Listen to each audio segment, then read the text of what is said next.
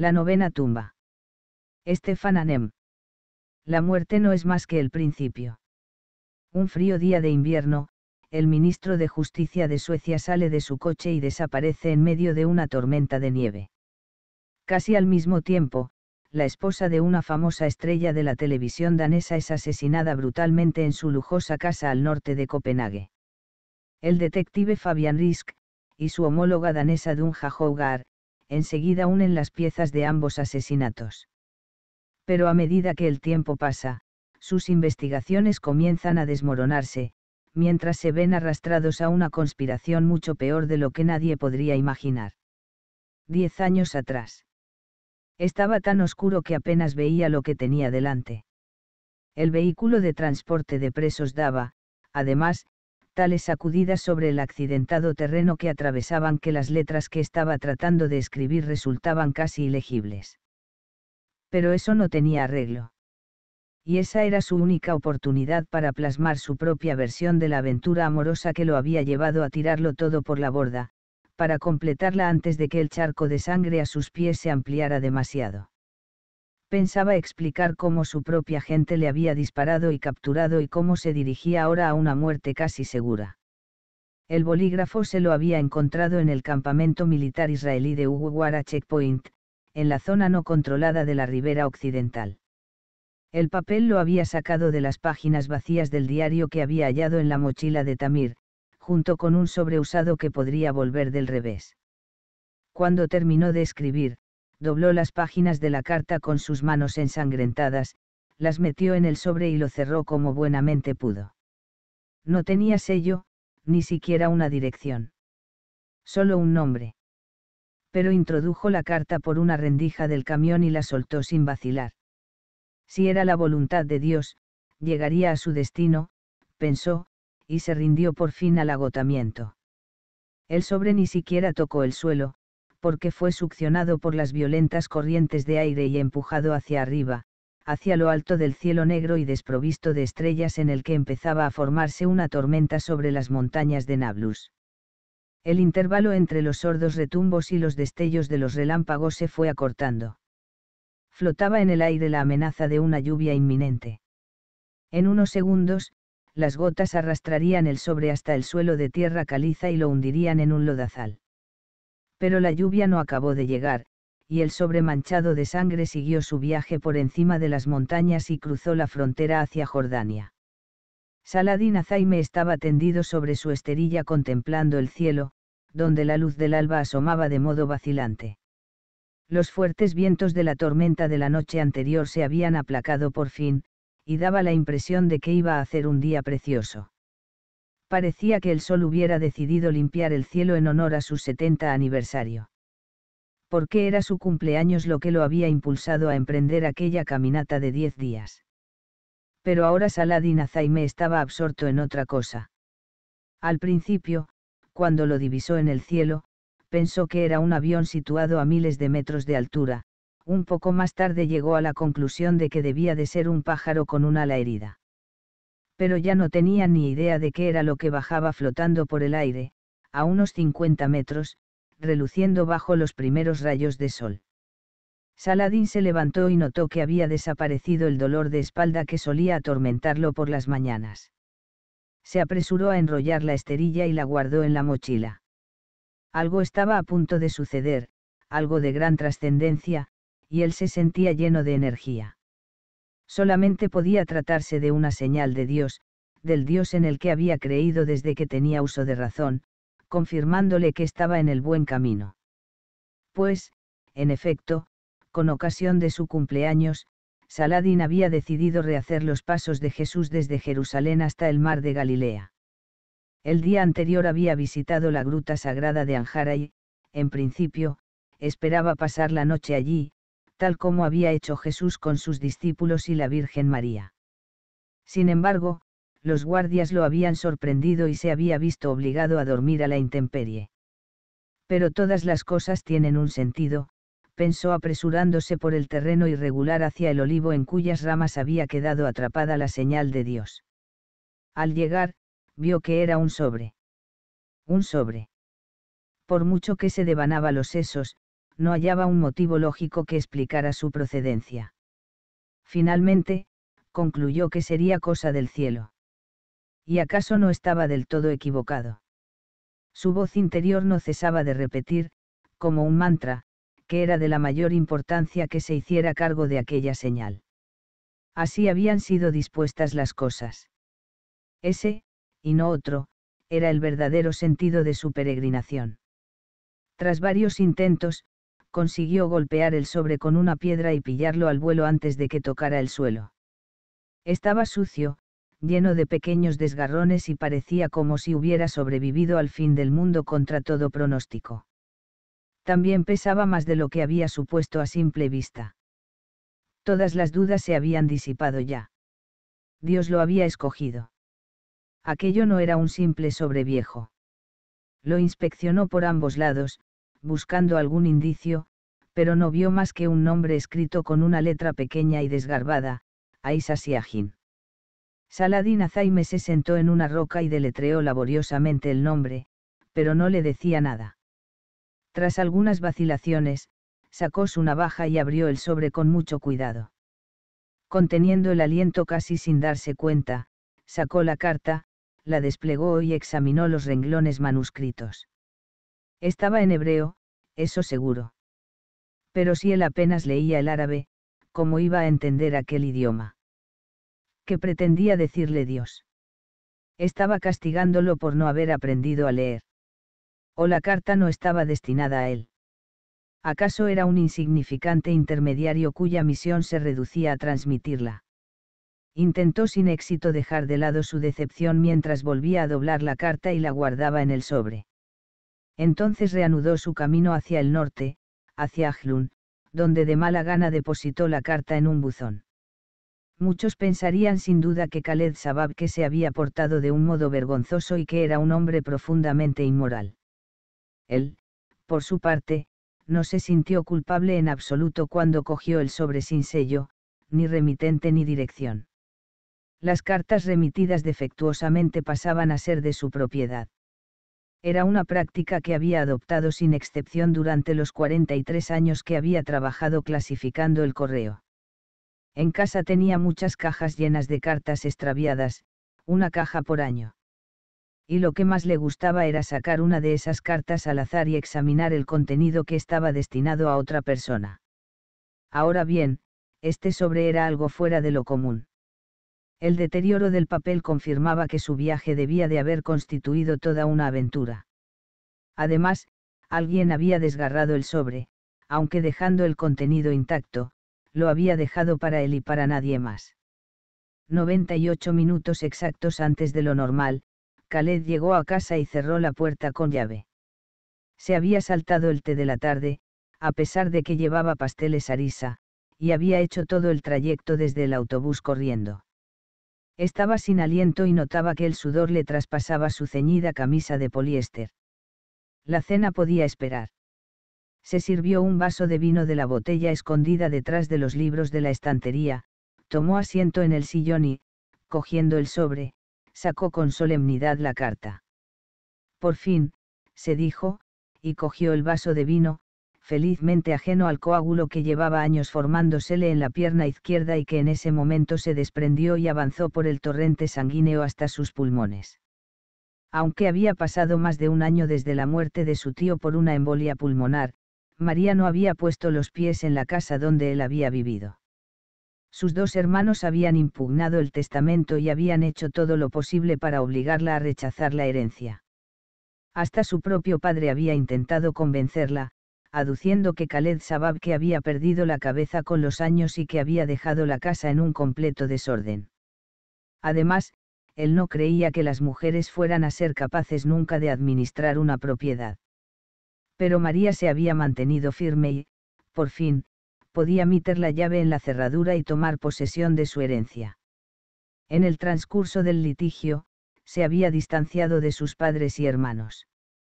Pensaba vaciar la casa y venderla y, con ese dinero, podría abandonar su empleo en la sastrería, trasladarse a Amán e incorporarse al trabajo de sus sueños en la Comisión Nacional Jordana para la Mujer.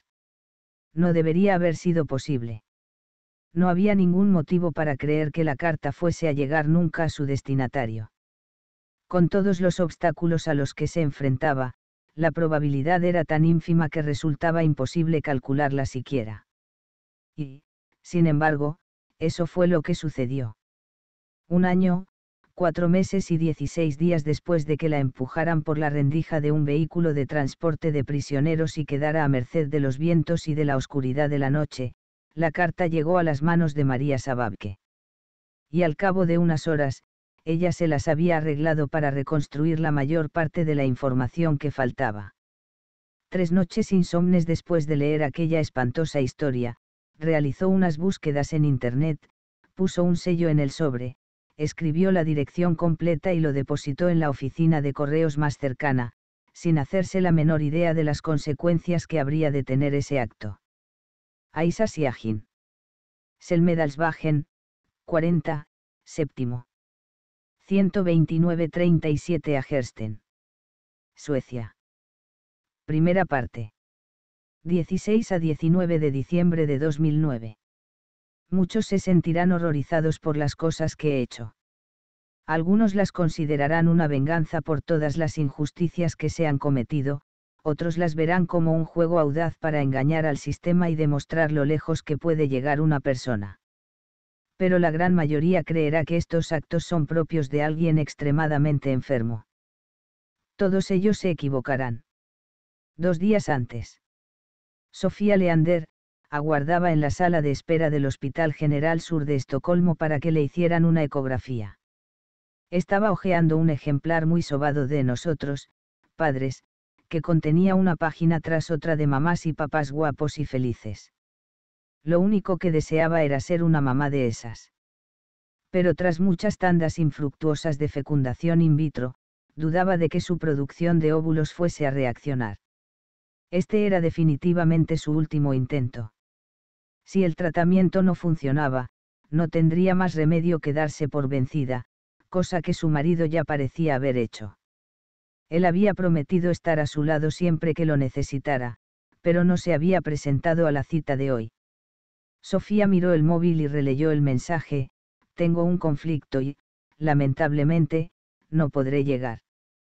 Todo aquello era intrascendente para él, como ir a comprar leche de regreso a casa.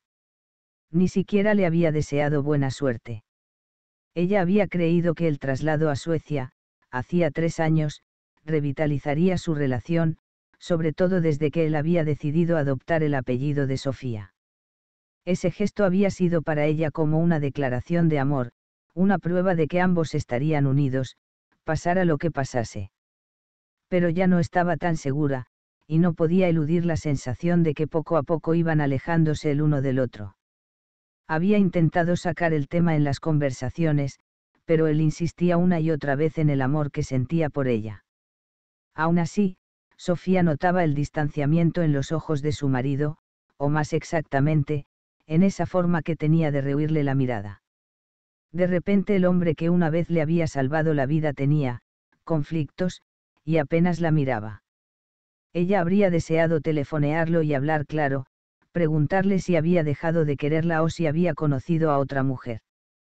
Pero no se atrevía. Además, estaba segura de que no le respondería.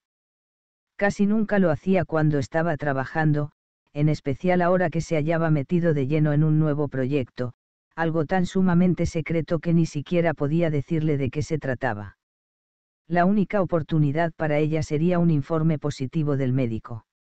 Si al menos consiguiera eso, todo se arreglaría. Entonces podría darle por fin el hijo que siempre habían deseado, y él se daría cuenta de lo mucho que la amaba. Sofía Leander, dijo una comadrona. Se levantó y la siguió a lo largo del pasillo hasta una pequeña sala de exploración, donde había una especie de ordenador grande y una cama de hospital, las persianas estaban bajadas. Cuelgue el abrigo de ese gancho y túmbese. El doctor viene enseguida. Sofía asintió y, cuando salió la comadrona, se quitó el abrigo y las botas. Una vez sobre la cama, se sacó la blusa y se desabrochó los pantalones. Decidió tratar de hablar con su marido de todas formas y preguntarle qué era tan importante como para no poder acompañarla. Cuando iba a coger el bolso, se abrió la puerta y entró el médico. ¿Es usted Sofía Leander? Ella asintió. Bien. De entrada, voy a pedirle que se tienda de lado, con la espalda hacia mí. Obedeció y oyó como el médico abría un envoltorio de plástico. No estaba del todo segura, pero había algo en la situación que no acababa de encajar. Disculpe, yo he venido para que me examinen los ovarios. Por supuesto. Pero primero hemos de ocuparnos de esto, dijo el médico presionándole las vértebras. De pronto notó un pinchazo en mitad de la espalda. ¿Qué está haciendo? Me ha puesto una inyección. Se volvió y vio que el médico se guardaba algo en el bolsillo. Exijo saber qué es. No tiene que preocuparse. Es pura rutina. Estas son sus cosas. Dijo el médico señalando el abrigo y las botas, pero no esperó la respuesta y los colocó junto a los pies de la mujer. No debemos olvidarnos nada, ¿verdad? No era la primera vez que a Sofía le hacían una ecografía de los ovarios, por lo que sabía sin la menor duda que aquello no era un procedimiento de rutina. Pero no tenía la menor idea de qué se trataba. Estaba segura de una cosa, no deseaba seguir allí, quería alejarse cuanto antes de aquel médico, de la sala de exploración y del hospital en general. Creo que tengo que marcharme, dijo tratando de incorporarse. Quiero marcharme, me ha oído. Pero su cuerpo se negó a obedecerla. ¿Qué ocurre? ¿Qué me ha hecho? El médico se inclinó, sonriendo y acariciándole la mejilla, antes de colocarle una mascarilla de oxígeno en la cara. Enseguida lo comprenderá. Ella intentó protestar, chillar con todas sus fuerzas, pero la mascarilla ahogaba los sonidos. Antes de que pudiera reaccionar, desbloquearon los frenos de la cama y la sacaron de la sala de exploración al pasillo. Habría deseado agarrar algo, cualquier cosa, e incorporarse en la cama para que todo el mundo se diera cuenta de lo que estaba sucediendo. Pero no podía. Lo único que podía hacer era permanecer allí tendida, mirando el techo, los fluorescentes que iban desfilando y las puertas que se iban abriendo frente a ellos.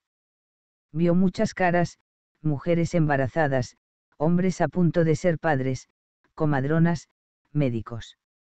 Estaban muy cerca y, a la vez, muy lejos. Oyó voces, el ruido de las puertas del ascensor al abrirse y al cerrarse. O estaban abriéndose. Se sentía un poco confusa. Volvió a quedarse sola con el médico, que estaba silbando una melodía que reverberaba entre las recias paredes.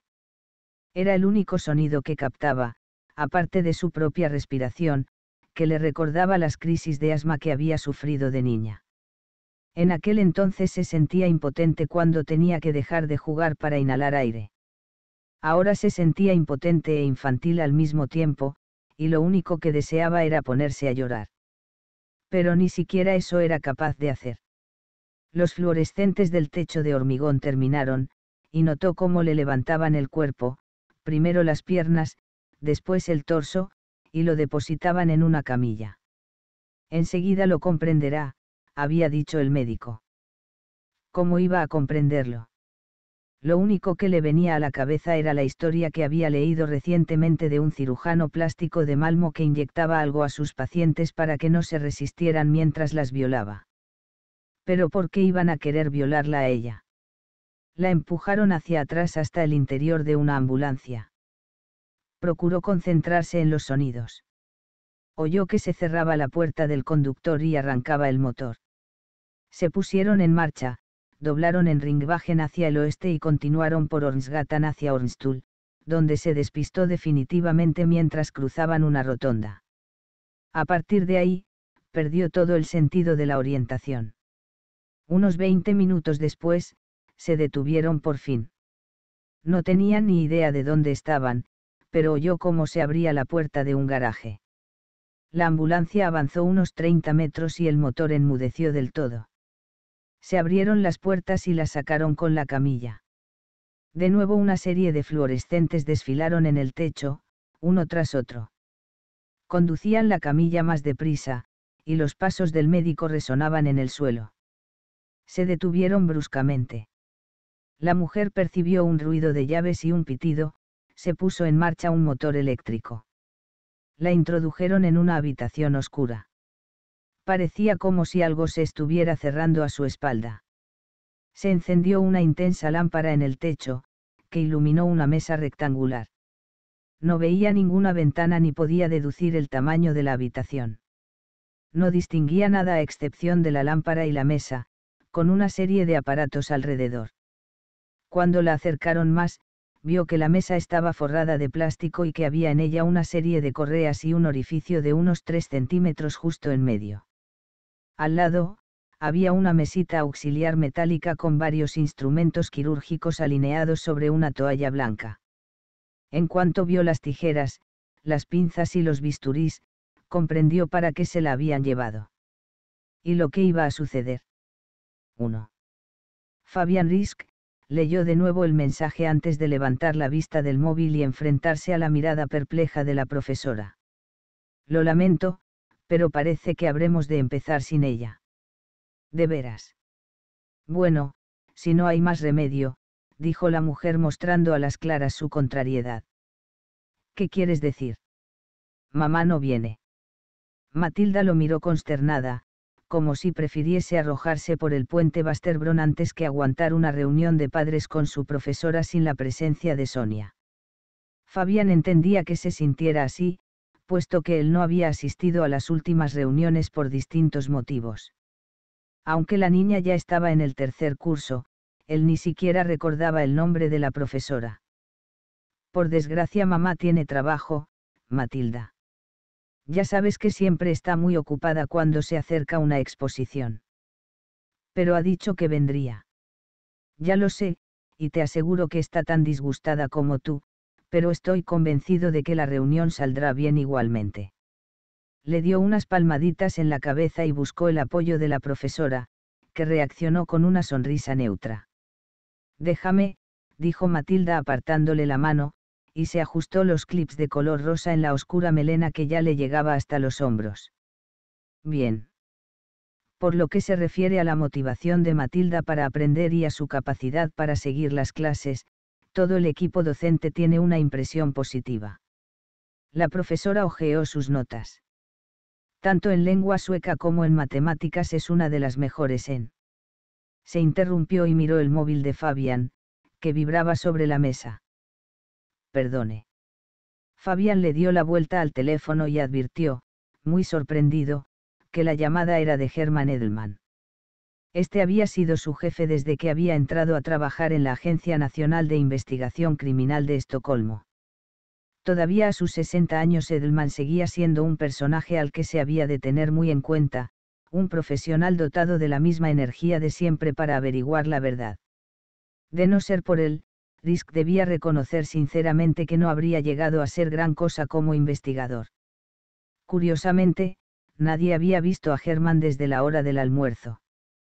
Por la tarde, durante la pausa para el café, ningún miembro del equipo había tenido noticias suyas y todos se habían cuestionado si habría sucedido algo. Ahora, sin embargo, estaba llamando. Pero lo hacía después del horario de trabajo, lo cual significaba que, en efecto, algo había sucedido, algo que no podía esperar. Cuando se disponía a responder, la profesora carraspeó. No disponemos de toda la noche. No es usted el único padre al que tengo que ver. Disculpe, ¿dónde estábamos? Fabián rechazó la llamada y dejó el móvil. Matilda. Su hija. La mujer le dirigió una sonrisa forzada. Como estaba diciendo, los miembros del equipo docente no tienen más que comentarios positivos sobre ella. De todos modos, añadió mirándolo a los ojos, me gustaría hablar con usted un momento en privado, si no le importa. Ah, sí. Muy bien. No hay problema. ¿Verdad, Matilda? ¿De qué vais a hablar? Seguro que será alguna cosa de adultos, dijo su padre, girándose hacia la profesora, que asintió sonriendo. Matilda, puedes esperar en el pasillo. Enseguida salimos. La niña suspiró y salió del aula arrastrando los pies con aire enfurruñado. Mientras la seguía con la mirada, Fabián no pudo dejar de preguntarse qué querría Edelman. Bien. La profesora entrelazó las manos sobre la mesa. Me ha llegado a través de varias personas que hay serios indicios de que Matilda. Una vez más la interrumpió la vibración del móvil de Fabián. Su irritación era más que evidente. Tiene que disculparme, no sé qué está pasando. Risk cogió el teléfono y miró quién llamaba. Ahora era su compañera Malin Renberg, que estaba en Copenhague en un seminario. Edelman debía de haberla llamado después de probar con él. Perdone, pero no tengo más remedio que. Entonces vamos a dejarlo aquí, dijo la maestra, y se dispuso a recoger sus papeles. Espere. No podríamos. En esta escuela tenemos una norma de tolerancia cero con los teléfonos móviles durante las clases. No veo ningún motivo para hacer una excepción con los adultos. Siguió recogiendo los papeles y los metió en su maletín. Atienda esa llamada tan importante. Y así yo podré reunirme con unos padres que estén realmente interesados en sus hijos. Que pase una buena tarde, añadió levantándose. Espere, no era mi intención echar a perder la reunión. Justo entonces el móvil soltó el pitido del buzón de voz. Ojalá me haya dejado un mensaje explicándome qué ocurre, pensó. Disculpe. Por supuesto que estoy aquí para hablar de Matilda y de nada más. La profesora le dirigió una mirada desdeñosa. Muy bien. Hagamos un último intento. Volvió a abrir el maletín y sacó la carpeta de Matilda. No solemos entrometernos en estas cosas, pero creemos que es muy importante dar un toque de atención en el caso de su hija. Nos tememos que, si ustedes no hacen algo, sus estudios puedan correr peligro. Perdone, pero no lo entiendo. Si no hacemos. ¿Qué? Ella colocó un dibujo sobre la mesa. Este es uno de sus últimos trabajos. Véalo usted mismo. Fabián se reconoció a simple vista en el dibujo. Aparecía con la perilla que se había afeitado hacía unas semanas. Sonia estaba frente a él con un cuchillo de cocina en la mano. Ambos tenían la cara roja y gritaban con la boca abierta. Recordó la escena. Él había cuestionado que fuera necesario que su mujer trabajara tanto por las noches.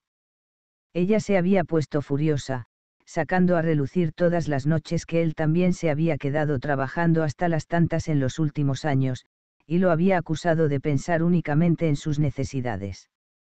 Ambos habían acordado en su momento no pelearse nunca delante de los niños, pero en el calor de la discusión, él incluso había amenazado con el divorcio. No sé qué decir. Esto es. Y aquí hay otro, le cortó la profesora. Esta vez se trataba de un dibujo de la habitación de Matilda. Fabián reconoció el papel pintado de la pared, junto a la cama, y los peluches alineados sobre las almohadas, tal como estaban en la realidad. En parte, quedó impresionado por la destreza de su hija para dibujar, pero por otra parte, luchaba para asimilar lo que decían los bocadillos de texto que ilustraban la pelea desatada al otro lado de la pared. Esta vez eran palabras relacionadas con el sexo y, por lo que pudo ver, algunas de ellas estaban dolorosamente cerca de la verdad.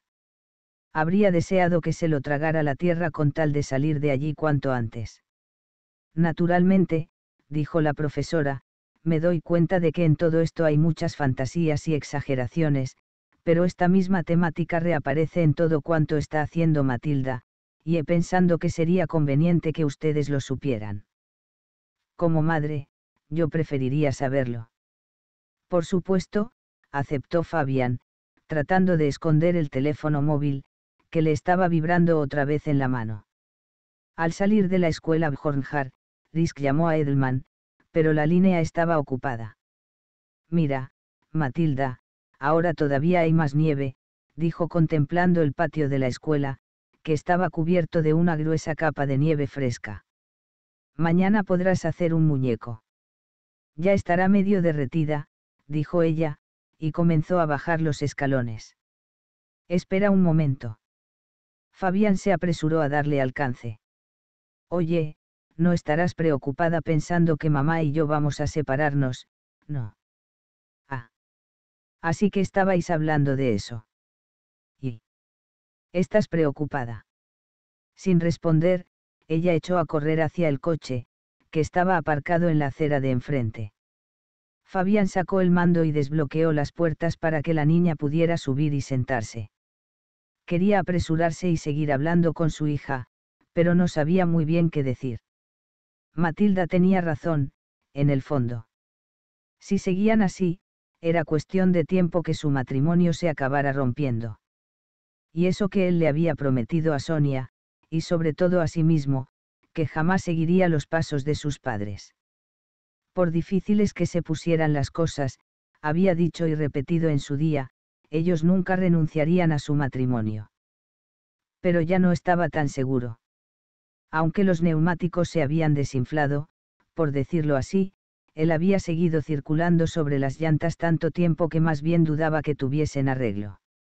Soltó un suspiro y se detuvo en mitad del patio para llamar a Malin Renberg. Fabián, ¿dónde te habías metido? Te salvas porque estoy a más de 600 kilómetros. Eres consciente de que Germán me ha estado dando la lata porque tú no te molestas en responder al teléfono me trata como si yo fuera una secretaria o algo parecido. Ya sé que a todo el mundo le tiene sin cuidado, pero resulta que estoy en Copenhague en un seminario. Que es bastante interesante, por cierto. Vale. Pero sabes. Aunque las camas son una mierda, y además, me siento como una vaca inflada. Ya, bueno, pero... Y no me importa que solo me queden dos meses. Estoy a punto de cometer una locura si estos críos no llegan pronto. Fabián. Sigues ahí. Pero te ha explicado qué está pasando. No me lo ha dicho. Evidentemente, es muy importante. Pero no tengo ni idea. De acuerdo. Procura responder la próxima vez que te llame. Fabián oyó un clic y, sorprendido, se percató de que estaba asintiendo cuando ella ya había colgado. La verdad era que él también esperaba que el embarazo de su colega terminara cuanto antes. Quince segundos más tarde, Malin le mandó un mensaje disculpándose por su tono y prometiendo que volvería a ser la misma de siempre en cuanto, este embarazo diabólico, hubiera llegado a su fin. Risk se sentó al volante y le echó un vistazo a Matilda, que estaba en el asiento trasero. ¿Qué tal si paramos en Chau Chau y compramos una pizza? La niña se encogió de hombros, pero él notó que se animaba un poco, aunque se esforzara en disimularlo. Arrancó el motor y tomó María Prastgarsgatan mientras intentaba otra vez contactar con Edelman. Hola, Germán. Veo que has llamado. Entiendo que debo darle las gracias a Malin. Estaba en medio de una reunión de la escuela, y hasta ahora. Sí, Sí, está bien. Te llamaba porque me han convocado en el sapo esta noche a las ocho y quiero que me acompañes. Esta noche. Perdona, pero estoy solo con los niños. ¿Por qué es tan importante que yo? ¿Quién manda aquí? Tú o yo. No es eso lo que quería. Escucha, Pearson y Paivinen acaban de encontrar una pista nueva del caso Adam Fisher, y Hoglund y Carlen están desbordados intentando localizar a Diego Arcas. Los únicos que por ahora no tienen nada sobre la mesa sois tú y Renberg. Y ella, por lo que sé, está en Copenhague. Vale, pero puedes contarme qué ha pasado. Supongo que es de eso de lo que nos van a informar. Nos vemos frente al sapo a menos cinco. Hasta luego. Fabián se quitó los auriculares y dobló por Nitorgatan. No sabía gran cosa sobre el caso Adam Fisher, aparte de que se trataba de un famoso playboy que había desaparecido recientemente. Los dos compañeros de Risk lo estaban tratando como un secuestro, pero desde su punto de vista podría ser muy bien que el individuo se hubiera embarcado en una juerga de ocho días y que aún no hubiera vuelto a casa. Diego Arcas era un personaje al que conocía mejor, un proxeneta brutal que dirigía numerosos burdeles en Estocolmo Llevaban años intentando detenerlo por trata de mujeres o tráfico de drogas, pero era un tipo súper escurridizo. Risk esperaba que Hoglund y Carlen encontraran las pruebas que necesitaban tan desesperadamente, aunque en su fuero interno más bien lo dudaba. Arcas era demasiado listo para dejarse atrapar. Volvió a concentrarse en la conducción y en la reunión que lo esperaba esa noche. No era ni mucho menos la primera vez que se cruzaba en su camino con el servicio secreto sueco, el Sapo, pero nunca lo habían invitado a una reunión fuera de horas de trabajo, lo cual se debía, probablemente, a que ocupaba un puesto muy bajo en la jerarquía. Germán Edelman, en cambio, iba allí cada dos por tres.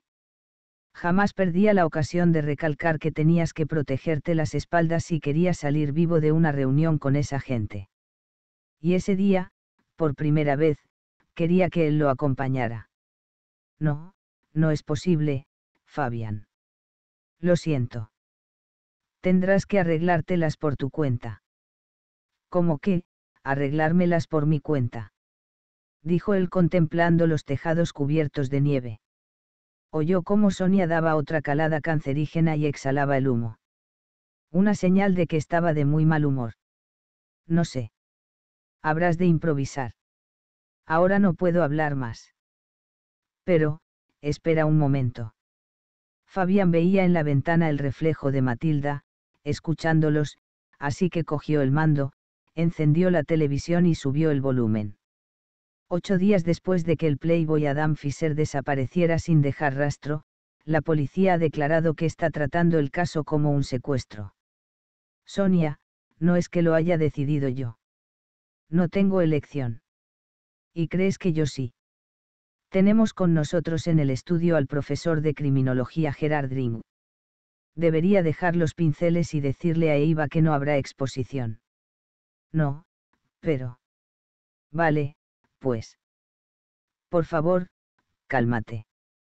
¿Por qué ha difundido la policía esa información? ¿Y por qué no hemos sabido nada de un rescate? Estoy calmada, dijo Sonia sin tratar de ocultar que estaba encendiendo otro cigarrillo. Simplemente, no entiendo por qué ha de resultar un gran problema que sea yo por una vez la que debe trabajar. De acuerdo. Ya me las arreglaré. ¿Sabes cuándo volverás? Sí. Cuando haya terminado. Y por favor, no me preguntes a qué hora, porque no tengo ni idea. Solo sé que odio más y más estos cuadros a cada segundo que pasa, dijo, y después dio otra calada y suspiró. Perdona, pero es que estoy harta. Me dan ganas de vomitar encima de ellos. Cariño, todo saldrá bien. Siempre te sientes así antes de una exposición y, de repente, tienes una especie de epifanía y todo cuadra. Ya lo veremos. Yo ya me las arreglaré, no te preocupes. De acuerdo. Te quiero. Hablamos luego. Fabián se sentó en la cocina con Matilda y sacó su pizza de la caja. ¿Qué tal estaba la de plátano? Bien. Pero quiero preguntarte una cosa. ¿Qué? Mamá también te ha dicho que te quiere. Fabián la miró con fijeza, preguntándose qué responder. No. No lo ha dicho. Quizá es que está muy estresada. Fabián asintió y dio un gran mordisco a la pizza, que se había enfriado hacía rato. 2. No era la primera vez que Risk estaba en el sapo, pero nunca había tenido que atravesar tantos controles de seguridad, ni se había adentrado tanto en el edificio. Ya había perdido por completo el sentido de la orientación. Germán Edelman permanecía en silencio, lo cual era toda una novedad. Después de utilizar varios ascensores y de recorrer un montón de pasillos sin ventanas, los hicieron pasar a una gran sala muy poco iluminada. Justo antes de tener que salir de casa, Teodor había vuelto de su partido de Floorball y accedido a cuidar de Matilda tras una rápida negociación. Aunque era miércoles, Fabián les había permitido tomar refrescos y patatas fritas y cervídeos en sus habitaciones. Con una condición, que no se lo contaran a Sonia y que Matilda no lo reflejara en un dibujo de la escuela. Ustedes deben de ser Germán Edelman y Fabian Risk, dijo una mujer emergiendo de las sombras y estrechándoles las manos. Bienvenidos. Andersen Furage y los demás ya están esperando. La mujer los guió hacia el fondo. Cuando la vista se les habituó a la penumbra, Fabián vio una serie de cubos oscuros que parecían flotar a un metro por encima del suelo. Ya había oído hablar de esos cuartos a prueba de escuchas que, según se decía, habían excedido los presupuestos del sapo en varias decenas de millones, pero era la primera vez que tenía ocasión de verlos con sus propios ojos. Edelman, en cambio, ni parpadeó. Se limpió sus gafitas redondas con un pañuelo y siguió caminando. Risk no lo había visto tan serio y sombrío desde que murió su esposa de cáncer hacía casi diez años. ¿Podrían darme sus móviles, por favor? Solicitó la mujer deteniéndose junto a la escalera que ascendía a uno de aquellos cubos tipo cabaña. En lo alto de la escalera, había una recia puerta entornada. Cuando estuviera cerrada, el recinto quedaría herméticamente sellado. Le entregaron los móviles, subieron los escalones y entraron en el cubo, que tenía las paredes marrones y una moqueta de tono rojo oscuro. Había tres hombres trajeados, cada uno con una corbata de diferente color, sentados alrededor de una mesa ovalada de nogal, con vasos y botellas de agua frente a cada asiento. Fabián reconoció de inmediato al director general, Andersen Furage, quien se levantó para saludarlos mientras la puerta se cerraba a su espalda. Gracias por acudir a una convocatoria tan precipitada. Como seguro que ya habrán entendido, todo lo que se diga en esta reunión es absolutamente confidencial.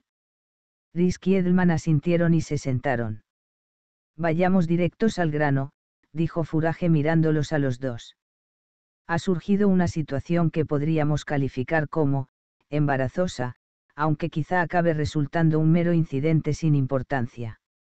Fabián echó una ojeada a Edelman, que parecía tan perplejo como él. Melvin Stenberg, aquí presente, es el responsable de seguridad personal y puede darnos más datos, añadió Furage haciéndole una seña al hombre de la corbata azul. A las 3 y 24 minutos de hoy, una hora después de que concluyera el turno de preguntas parlamentarias, Carleric Grimas ha salido por la puerta oeste del edificio del Parlamento, donde lo esperaba un coche. Nuestro chafe dice, sin embargo, que Grimas no ha aparecido y desde entonces nadie lo ha visto. Un momento, está diciendo que ha desaparecido el ministro de Justicia. Preguntó Edelman. El hombre de la corbata azul se la recolocó y asintió secamente. Hemos registrado toda la zona de alrededor del Parlamento y de Rosenbad, y contactado tanto con su familia como con la jefa del gabinete del Ministerio de Justicia, informó el hombre de la corbata verde. Pero por ahora todo el mundo parece tan confundido como nosotros. Se hizo un silencio mientras los presentes asimilaban la noticia de que uno de los ministros de mayor rango del país, el responsable del trabajo de todos ellos, en último término, había desaparecido sin dejar rastro. Y usted dice que se trata de un mero incidente sin importancia. Dijo Edelman negando con la cabeza. No es eso lo que he dicho, Germán, en absoluto. Furage lo miró sonriendo. No nos pongamos quisquillosos. Como sabe usted bien, en este momento no podemos asegurar. Ha desaparecido, diantre. ¿Cuántos políticos de este país deben perder su vida para que espabilemos de una vez? Quiero decir, Grimas no cuenta con protección personal las 24 horas del día. Furage se dio la vuelta hacia el hombre de la corbata azul, que carraspeó antes de decir. Bueno, es todo cuestión de recursos y prioridades. Hicimos una evaluación de riesgos que concluyó que no había indicios de ninguna amenaza inminente mientras el ministro permaneciera en alguno de los edificios del Parlamento pero en cambio tenemos un cubo a prueba de escuchas donde sentarnos a hablar, pensó Fabián, mientras el director general le indicaba al de la corbata verde que pulsara el botón del panel de control integrado en la mesa. Descendió una pantalla a lo largo de la pared. Esta secuencia procede de las cámaras de seguridad de la puerta en cuestión, dijo el tipo, y puso en marcha el proyector. El vídeo, que no duraba mucho más de un minuto, mostraba a Carl Eric Grimas caminando hacia las acristaladas puertas, de dos hojas, de seguridad, llevaba un maletín en la mano izquierda. Una vez allí, pasó su tarjeta por el lector, empujó una hoja de la puerta, luego la otra, y desapareció en medio de la ventisca. Fabián reconoció su indumentaria por las fotografías de los periódicos, el abrigo con un gran cuello de piel negra y el inconfundible sombrero que se había convertido en un rasgo característico del ministro. El indicador horario que aparecía en la esquina superior izquierda de la imagen marcaba las 3 y 24. El proyector se apagó y la pantalla ascendió silenciosamente hacia el techo. Y uno de sus coches estaba esperando afuera para recogerlo. Inquirió Fabián. Aquello le parecía incomprensible. El de la corbata verde asintió. Debo añadir que estaba nevando mucho y que el chofer no disponía de una visión clara de toda la puerta. ¿A qué hora ha llegado él? Si se refiere a Grimas, ha entrado por la puerta principal de edificio oeste del Parlamento a las 11 y 43 minutos, dijo el de la corbata verde, a todas luces satisfecho de poder proporcionar una respuesta rápida y precisa. A las 11 y 38 minutos ha salido de Rosenbad y ha caminado con paso enérgico por Strongatan. Pero en vez de tomar Rixbron, ha dado un rodeo por Basabron hasta Kanslikagen. Siempre con protección personal, explicó el de la corbata azul. ¿Y cuándo ha empezado el turno de preguntas en el Parlamento? A las 12. No. No ha empezado hasta las doce y media. Pero Grimas nunca se retrasa y el coche que estaba esperando, a qué hora se suponía que debía estar allí. A las tres en punto, dijo el de la corbata azul, y dio un sorbo de agua. Así pues, aunque tiene fama de ser siempre puntual, no ha salido del edificio del Parlamento hasta las tres y veinticuatro minutos. Los dos hombres intercambiaron una mirada en silencio. Ante lo cual, Furaje carraspeó con intención de intervenir. Permíteme aclarar una cosa. Ustedes no están aquí para asumir la investigación, sino para ser informados. Mientras no estemos seguros de que se ha cometido un delito, seremos nosotros quienes dirijamos la investigación. ¿Y de qué podría tratarse, sino de un delito? Planteó Edelman acariciándose la barba. Lo cierto es que hasta ahora no hay nada que apunte a un acto criminal, y tal como, disculpe, ¿cómo ha dicho que se llamaba? Preguntó Furage dirigiéndose a Fabian. Fabian Risk. Y tal como Risk sugiere, hay una serie de interrogantes en este asunto, interrogantes que nos estamos esforzando en despejar en estos momentos. No tiene sentido precipitarse a sacar conclusiones, en mi opinión. Desde luego, les iremos informando puntualmente. Ya. Ustedes están al tanto de lo ocurrido desde las tres y media de esta tarde y nos informan ahora. Es eso lo que llama, informar puntualmente. Digámoslo así, en este momento no tenemos ni un cadáver ni una amenaza explícita. Nada indica que pueda tratarse de un acto terrorista o de algo de esa naturaleza. Por otro lado, hay bastantes personas que aseguran que el ministro últimamente parecía estresado y distraído a la vez, lo cual sugiere la idea de que ha desaparecido por propia voluntad y que, sencillamente, quiere que lo dejen tranquilo. Edelman soltó un bufido y dijo. No se ha planteado la posibilidad de que su llamado, análisis de riesgo, sea inútil. Tal vez lo único que ustedes están haciendo es ganar tiempo para que su equipo pueda barrer las pruebas de su propio fracaso. Germán, me permite sugerir que mantengamos la conversación con decoro dijo Furage, impasible ante el ataque de Edelman. Aquí nadie está tratando de barrer nada. No estaríamos aquí sentados, en ese caso. Nosotros tenemos el mismo objetivo que ustedes, averiguar qué ha ocurrido. Y, desde luego, es muy posible que hayamos realizado una evaluación errónea en nuestro análisis de riesgos. Pero eso no cambia lo que acabo de decirle, que la investigación seguirá en nuestras manos mientras no podamos confirmar que se ha cometido un delito. Quiero subrayar que el objetivo no es mantenerles a ustedes al margen, sino poder trabajar con discreción. Ambos conocemos las ventajas de la discreción, Germán. En cuanto ustedes pongan en marcha su maquinaria, esto aparecerá en las portadas de todos los tabloides, y lo único que podremos hacer será celebrar conferencias de prensa una día tras otro. Y si no estoy dispuesto a aceptarlo, tendrá que hacerlo. Y para que se ahorre dolores de cabeza, debe saber que ya he obtenido la autorización de Crimson. Fabián observó a Edelman, que permanecía en silencio sin mover ni un músculo. Le habían segado la hierba bajo los pies, y lo sabía. Sin su conocimiento, Furage había hablado con el comisario general de la policía y había obtenido luz verde para mantener a la Agencia Nacional fuera del asunto. Si ahora los estaban informando era, con toda probabilidad, por orden de Crimson. Los habían desbancado con una maniobra estratégica. Edelman dejó transcurrir los segundos sin revelar lo que estaba pensando. Con toda calma, sacó su pitillera con una mano mientras buscaba su viejo Raansan con la otra. Antes de que nadie pronunciara una palabra, la punta del cigarrillo destelló con un rojo intenso. Ni Furage ni los otros dos hombres dijeron nada. Después de darle al cigarrillo un par de caladas, lo apagó en un vaso y les espetó. Muy bien. Entonces ya hemos terminado. Espero recibir la información sobre el desarrollo de los acontecimientos. Desde luego. Furage le tendió la mano. Usted figura en el primer puesto de mi lista, ya lo sabe. Edelman ignoró la mano tendida y miró a Fabian, que se levantó y lo siguió fuera del cubo, pensando que nunca jamás debía aceptar un puesto ejecutivo. Mientras volvían a recorrer el laberinto de pasillos hacia la salida, Edelman seguía tan taciturno como a la llegada. Resultaba imposible saber si era porque temía que pudieran oírlo o porque estaba demasiado enfadado para hablar.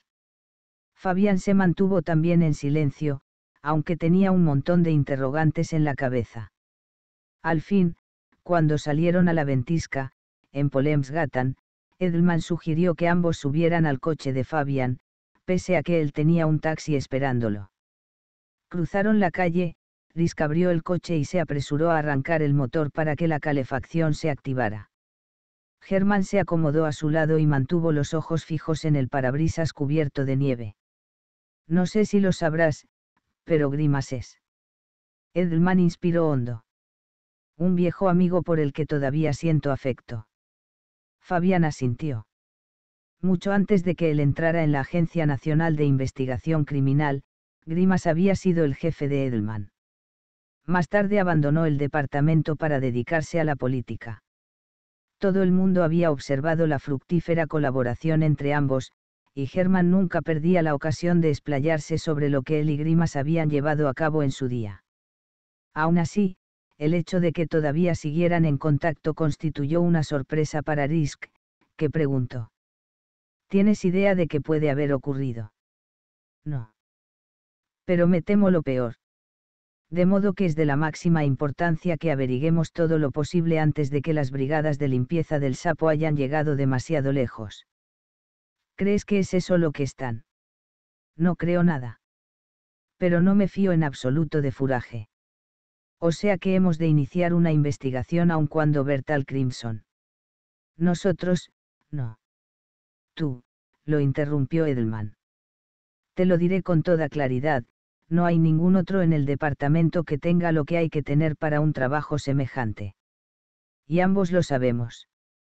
Pero ¿cómo voy a iniciar una investigación por mi cuenta si Bertal Crimson ha dicho explícitamente? Pues entonces no lo llamemos investigación. Lo que quiero decir es que, si nosotros no averiguamos la verdad, ¿quién va a hacerlo? El sapo. Fabián asintió.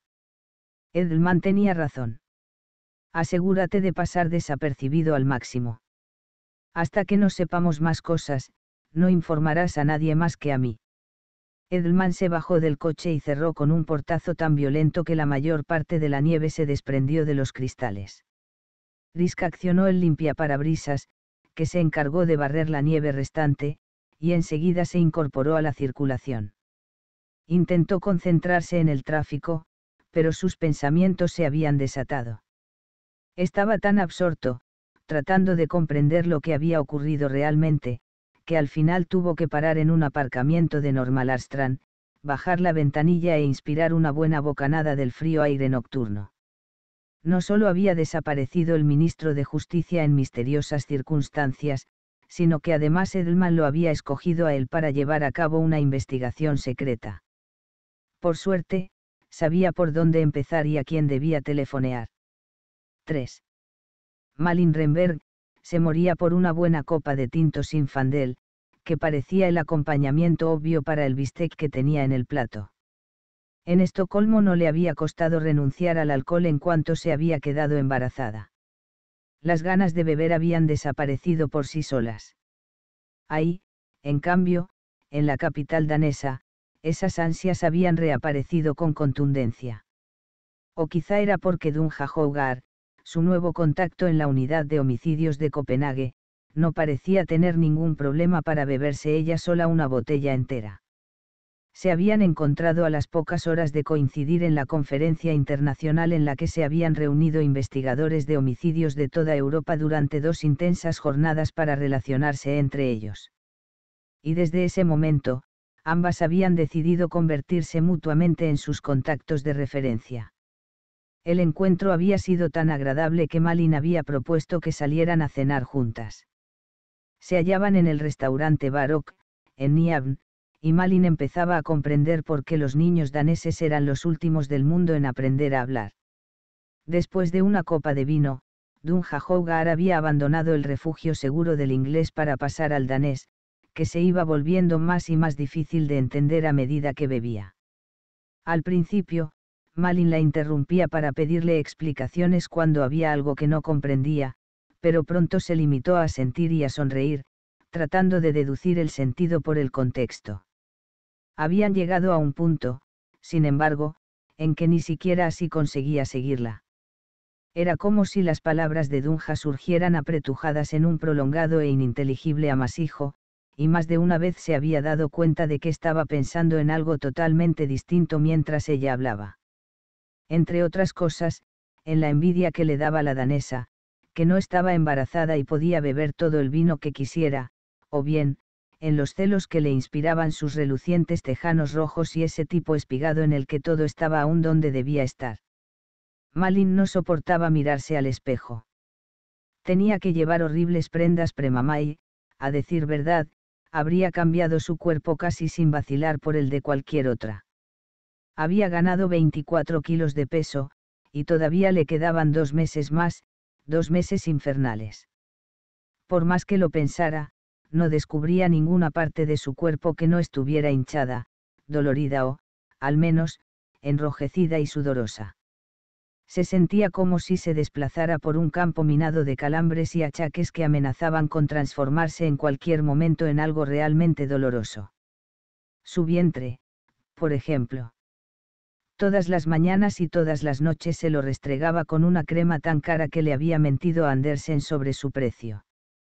Pero si bajaba la vista, se lo veía tan lleno de estrías que parecía como si la hubieran atropellado. Seguro que no quieres un poco de vino. Malin se sobresaltó, saliendo de su distracción. Disculpa. Un poco de vino, dijo Dunja Hougar, tratando de hablar en sueco mientras cogía la botella. No, gracias. Me prometí que no bebería una gota mientras estuviera embarazada. ¿Por qué? La agente danesa parecía sinceramente perpleja, por lo que Malin se cuestionó si estaba visitando otro planeta en vez de un país vecino. No es bueno para el feto. El alcohol entra en la placenta y... Eso es típicamente sueco. ¿Cómo? Tenéis demasiadas normas y prohibiciones. Estáis muertos de miedo, la verdad. ¿Qué daño puede hacer un simple vasito de vino? Malin inspiró hondo para dominar su irritación. Tal vez la noticia no haya llegado a una Dinamarca, pero hay bastantes investigaciones que demuestran que, cuando la madre bebe alcohol, el feto se desarrolla más pobremente y el riesgo de sufrir un TDA aumenta. Además. No, eso no es cierto. Dunja dio un trago de vino y la miró con fijeza. Aquí, en Dinamarca, acabamos de concluir un estudio con varios miles de niños de 5 años, y los médicos no han podido documentar ninguna diferencia entre los críos cuya madre bebía un par de copas al día durante el embarazo y los críos cuya madre se había abstenido totalmente de consumir alcohol. Vaya. Pero me parece raro. Claro que hoy en día pueden demostrar casi cualquier cosa con esa clase de estudios. La cuestión es. ¿Sabes lo que creo? Dunja alzó el dedo índice. Creo que el único riesgo de que te tomes una copita de vino esta noche es que tus hijos tengan una madre feliz. ¿Cómo, feliz? Yo soy feliz, no. Malin notó que su irritación se estaba imponiendo y que iba a desatarse del todo. Bueno, Malin, debes disculparme porque estoy un poco borracha, pero tengo que decirlo. Te escucho, dijo ella observando que ahora, de repente, entendía cada palabra. Lamentablemente, no pareces tan feliz. Malin no supo qué decir ni cómo reaccionar. Tendría que haberse enfadado y largado sin más, debería haberle dicho a su nueva amiga danesa que se fuera a la mierda con sus mentiras pro alcohol y que se buscara otro contacto en Estocolmo. Si Andersen se hubiera permitido cualquier comentario que sonara vagamente como una crítica, ella habría cogido las podaderas y le habría cortado la nariz sin pestañear. Pero por algún motivo insondable, no se enfadó en absoluto. Al contrario. Muy bien. Apuró el agua mineral. Dame un poco de vino, que caramba, dijo tendiéndole la copa vacía a Dunja, que la llenó, entre risas, y le indicó con una seña al camarero que querían otra botella. Alzaron las copas y brindaron. Malin saboreó el vino y sintió que la recorría una oleada de placer. ¡Ay! Por Dios, qué bueno. Bebió un poco más. Pero te digo que estás del todo equivocada en una cosa, no solo tú, sino todos los daneses. Suecia no tiene más prohibiciones que Dinamarca. Es exactamente al contrario. Dio otro sorbo. Aquí, por ejemplo, no puedes vivir en tu casa de verano todo el tiempo que quieras. El kanjang, un suplemento alimentario corriente, está prohibido. Y las tiendas ni siquiera pueden abrir en domingo. Para que luego hablen de un estado paternalista. Vale, vale. Ya entiendo tu idea. Pero. Y lo mejor de todo, ¿sabías que los trabajadores de la construcción en Dinamarca están obligados por ley a ponerse crema de labios con filtro solar si trabajan al aire libre? Eso es un chiste. No. Es cierto. Ambas estallaron en carcajadas. Malin volvió a alzar la copa. Salud. Después de otro trago, Dunja la miró pensativa. ¿Sabes? Me siento muy misundelig de tu embarazo. Misundelig. Si eso significa, envidiosa, estoy más que dispuesta a cambiarte el lugar. ¿Por qué? No es maravilloso. ¿Qué tiene de maravilloso andar como un pato hinchado y sentir dolores por todas partes? No estoy en contra de tener hijos, en absoluto. Y me parece que tener gemelos es en gran parte como un premio adicional. Es mejor reducir los años con hijos pequeños lo máximo posible. Pero el embarazo. Si he de ser franca, lo detesto más y más cada día. No lo dices en serio, ¿verdad? Tú misma lo has dicho. Que no parezco feliz. ¿Y cuál crees tú que es la causa, si no esto?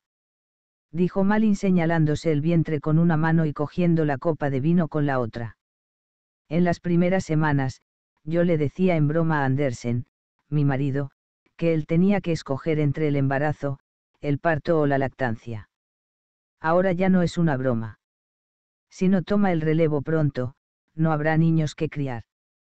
O sea que sigue mi consejo y no sometas ese cuerpazo impresionante, si me permites decirlo, al suplicio de un embarazo. Seguramente no sucederá pronto. ¿Qué quieres decir? ¿Estás soltera? No, pero mi novio y yo Nalder demasiado poco. ¿Con Nalder te refieres a?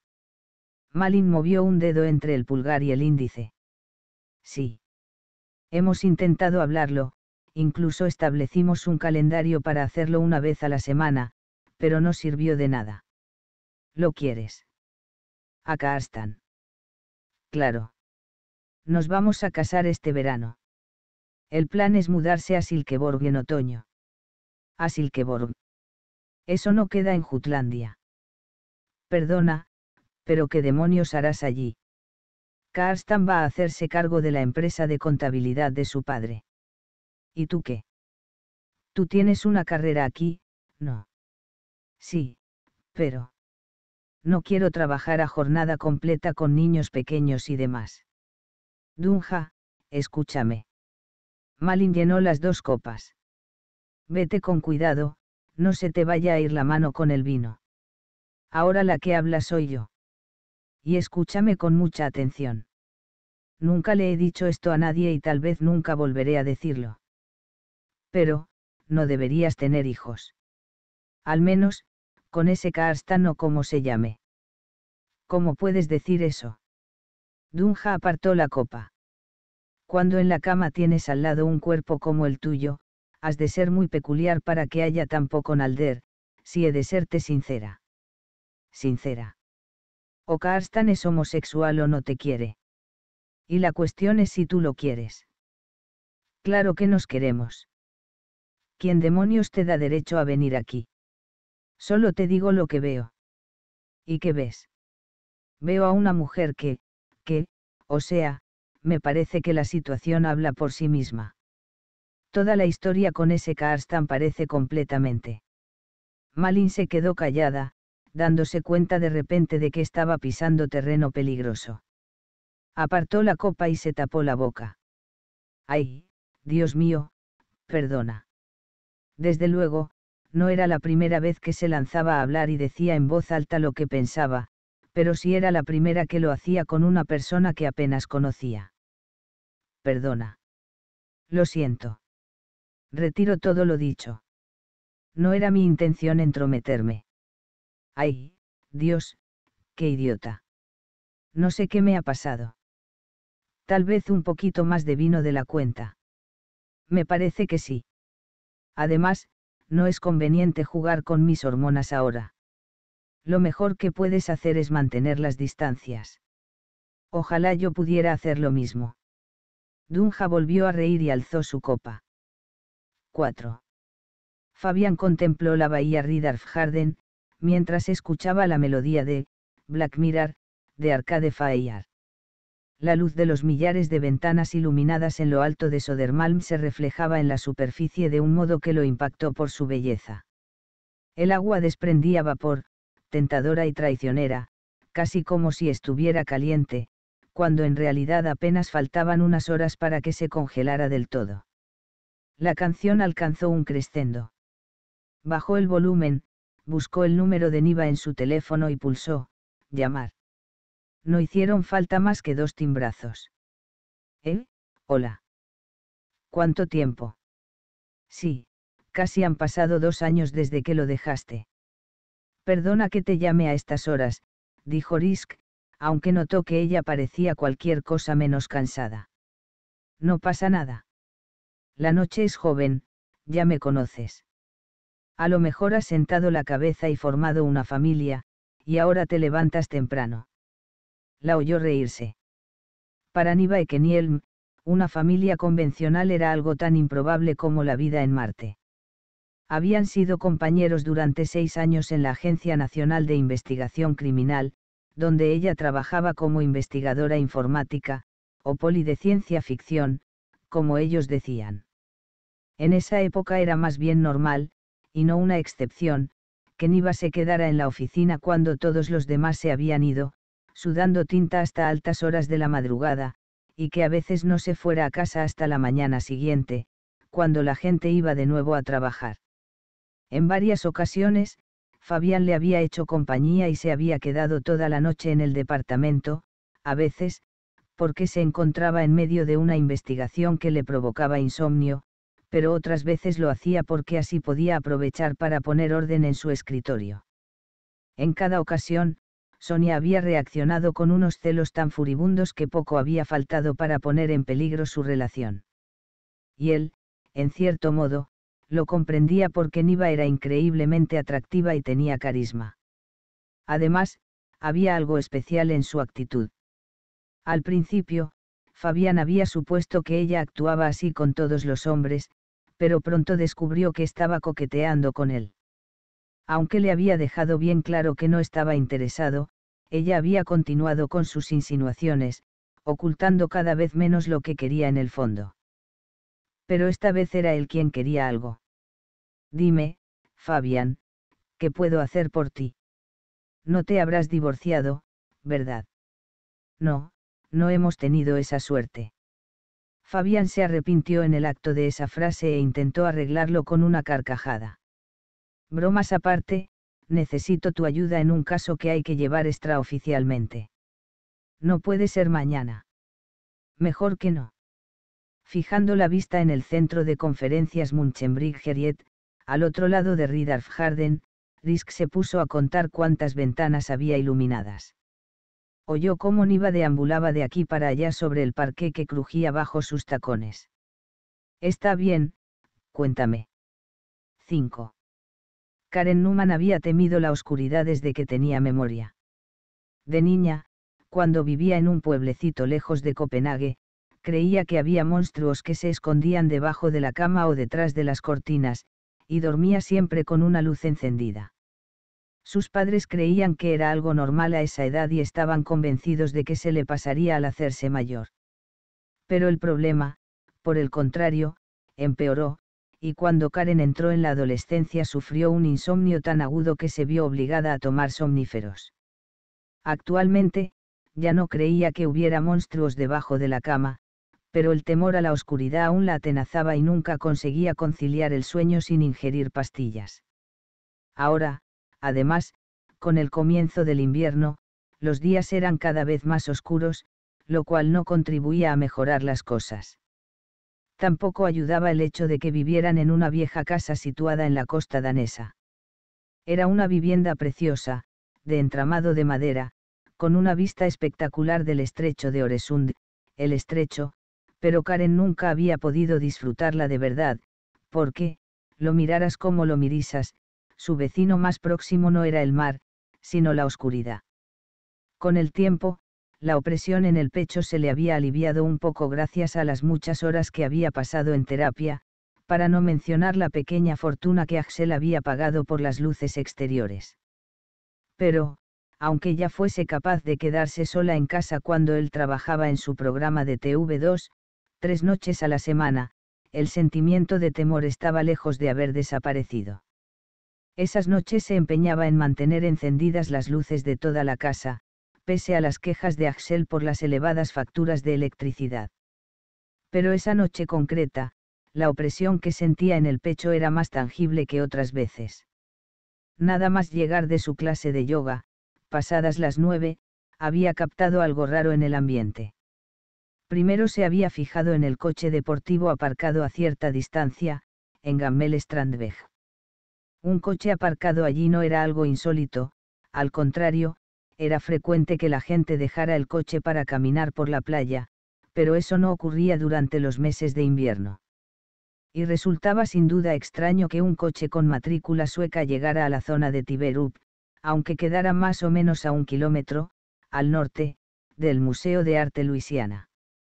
Trató de resistir la tentación de ceder al miedo, tal como había acordado con su terapeuta, y siguió caminando con calma por el jardín hacia la casa. Pero cuando vio que las luces del jardín no se encendían, ni siquiera al agitar los brazos y dar saltos frente al sensor de movimiento, se sintió perdida sin remedio y su ritmo cardíaco se disparó casi al doble. Corrió con todas sus fuerzas hacia la puerta, la abrió y apagó la alarma con dedos temblorosos. Las luces de dentro funcionaban, por fortuna, y encendió las de toda la casa con el mando a distancia. Entró en la cocina, calentó un gran tazón de agua y añadió zumo de limón, miel y una pizca de sal del Himalaya para recuperar su equilibrio homeostático tras la sesión de Bikram Yoga. Dando por supuesto que había saltado un fusible, notó que se tranquilizaba. Seguro que no era nada, se repitió en voz alta mientras iba a la sala de estar. Cogió la tableta, que estaba sobre la mesita de café, y buscó en la lista a Lisa Nilsson, cuya voz tenía la virtud de calmarla. Pulsó, play, y la música sonó en los altavoces disimulados del techo. Al principio, Axel había tenido que esforzarse para convencerla de que un sistema de música ambiental era mucho mejor que poner un CD. Ahora Karen no podía imaginarse la vida sin la posibilidad de llevar la música a cualquier habitación de la casa con un clic. Fue al cuarto baño.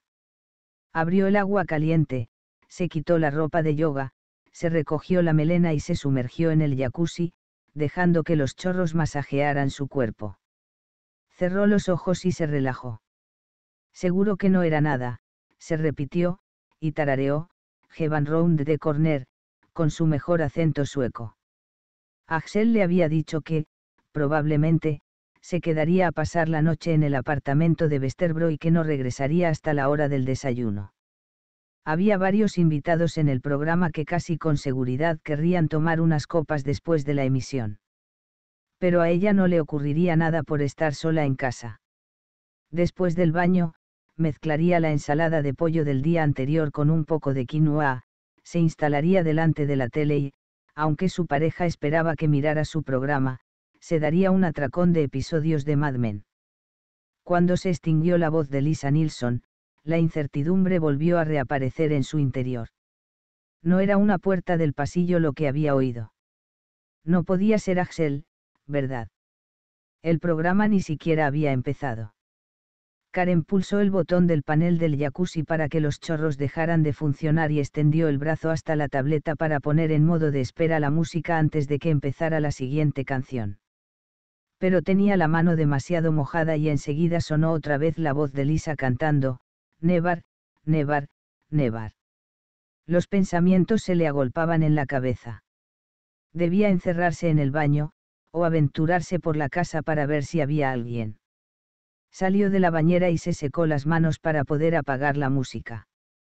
El silencio se impuso tan bruscamente que Karen dio un respingo. Todo su cuerpo estaba tenso como un muelle y se sentía como si volviera a ser una niña de cinco años, una niña que tenía un monstruo debajo de la cama. Se acercó con rapidez hasta la puerta del baño y pegó el oído en ella.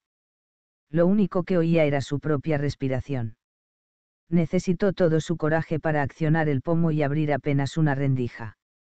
La puerta crujió tan ruidosamente que sintió como si el sonido se le clavara en las entrañas. Le había dicho tantas veces a Axel que arreglara esa puerta que el asunto ya se había convertido en un chiste entre ellos. Quizá era Axel. Tal vez habían cancelado el programa por algún motivo.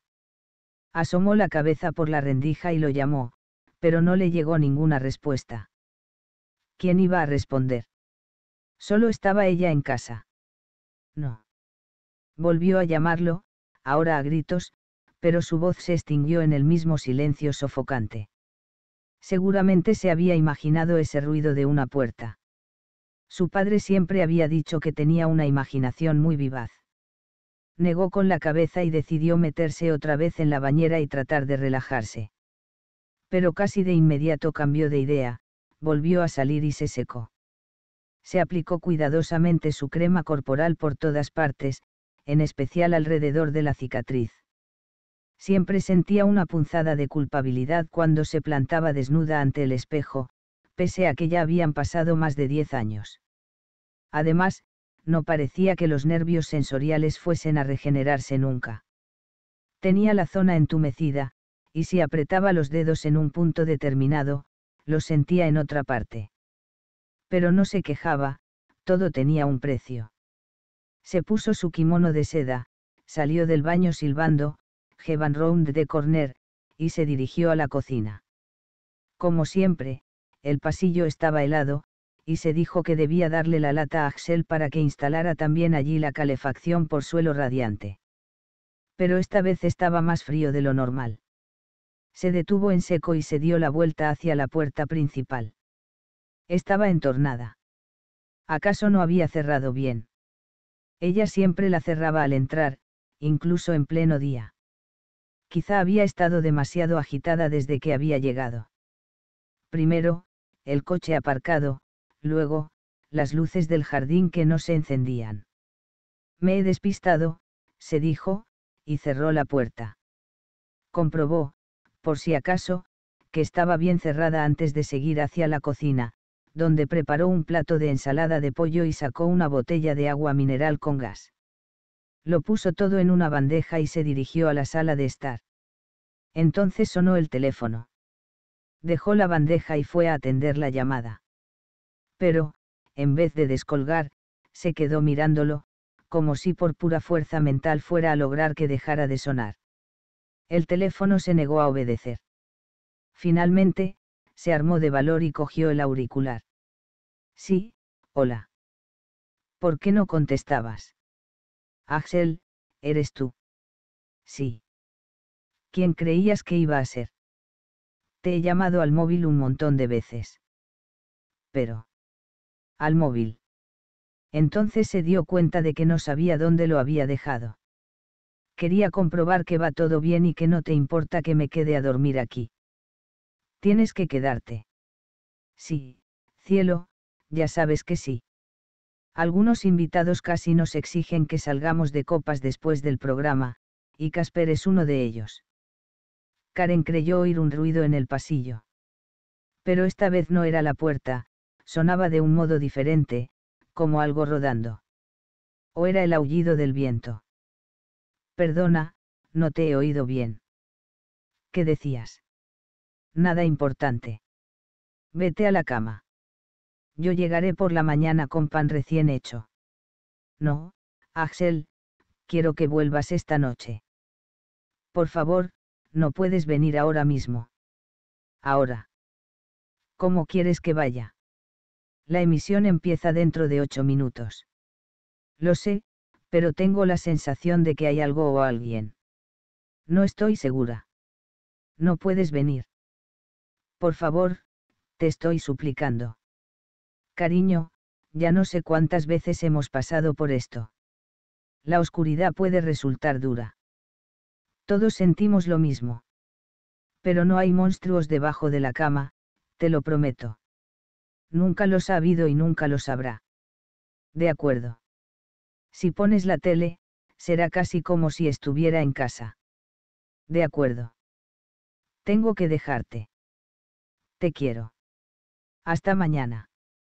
Él colgó y Karen dejó el auricular dando un suspiro. Salió al vestíbulo y echó un vistazo, pero no vio nada de particular, hasta que bajó la mirada. Había una lámina de plástico transparente, desplegada desde la puerta principal, que recorría el vestíbulo y giraba para continuar por el pasillo. Hola. Gritó y, doblando la esquina, avanzó por el pasillo perdone. Hola. No se oía nada en absoluto, salvo el crujido del plástico bajo sus pies. A ella misma le sorprendía que no se hubiera puesto a correr en la dirección opuesta. Era como si algo en su interior se hubiera cansado de tener miedo. Estaba más furiosa que asustada. No importaba de qué clase de monstruo se tratara, quería mirarlo a los ojos.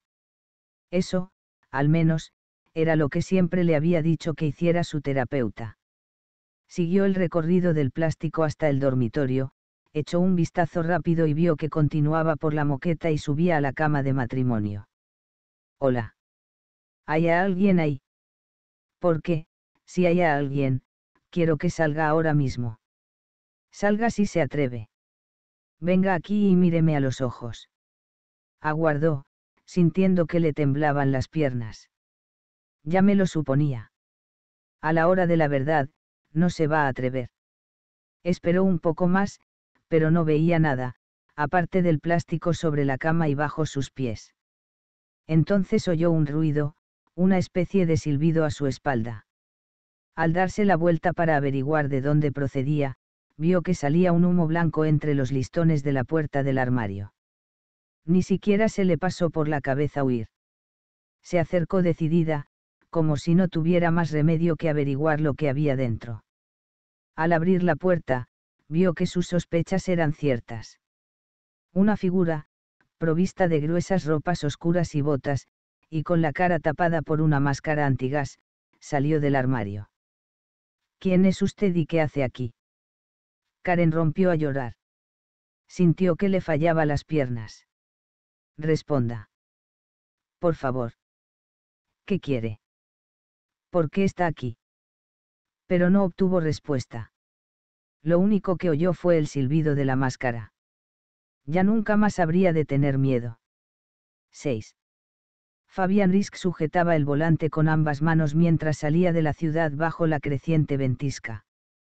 Estaba tratando de librarse de la desagradable impresión de que no tenía la menor idea de la magnitud de la misión que le habían asignado. Debería desoír las instrucciones de Edelman y regresar a casa con los niños, pero no podía. Su jefe le había confiado la investigación especialmente a él, y se conocía lo bastante como para saber que la llevaría a cabo sin prestar atención a todas las señales de advertencia. El ministro de Justicia había desaparecido esa misma tarde y, al igual que Edelman, no creía ni por casualidad que un personaje de su posición hubiera decidido desaparecer por propia voluntad y que fuera a reaparecer próximamente. Algo había ocurrido, seguro. Llamó a casa, pero saltó el buzón de voz. Dejó un mensaje para Matilda y Teodor diciendo que llegaría un poco más tarde de lo que había pensando, y que debían irse a la cama, cosa que supuso que ya debían de haber hecho. Ya pasan de las once y media, pensó, mientras ponía de Pearl, de Harold Bad y Brian Eno, en el reproductor. No era ni de lejos su álbum favorito, pero sí uno de los primeros CD que había comprado, y de ahí que ocupara un lugar en su colección, igual que la mayoría de proyectos en los que Eno había participado. Se adaptaba a la perfección a su presente estado de ánimo. Unos solemnes tonos de piano inundaron el vehículo mientras cruzaba el puente Drottningholm, contribuyendo a que los copos de nieve parecieran el elegante decorado de un teatro, en lugar de una tormenta real. Si la ventisca no amainaba pronto, ni siquiera podría volver a casa. Siguió por Ekerovagen hasta Rorvivagen, donde torció a la izquierda para detenerse a unos 50 metros más adelante, a la altura de un edificio con aspecto de casa de campo. Había varios coches aparcados delante, uno de ellos, un Mazda RX8 rojo, le hizo luces. Aparcó y echó a correr hacia el vehículo a través de los torbellinos de nieve.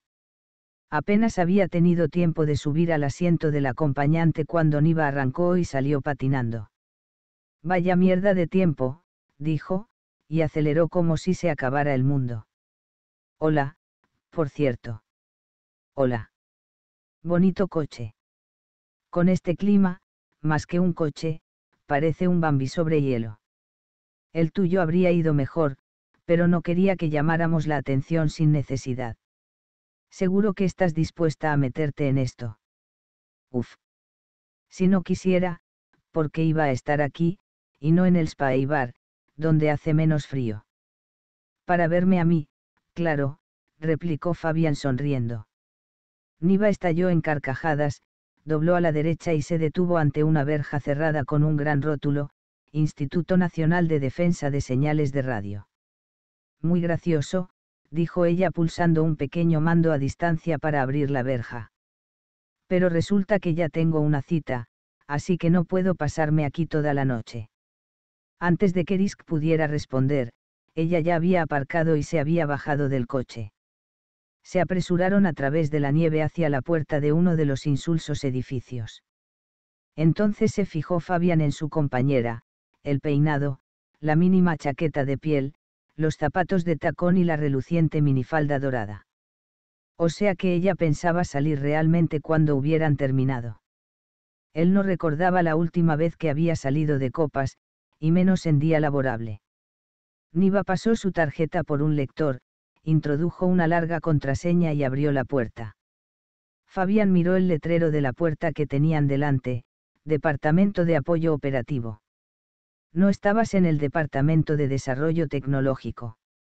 Sí, dijo Niva, y bajó rápidamente por la escalera. Pero ahora prefiero esta ruta.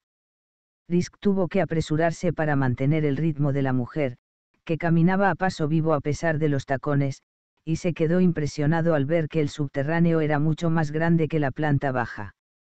Unas puertas más adelante, Niva volvió a sacar su pase, abrió una gruesa puerta de acero y desapareció en la oscuridad.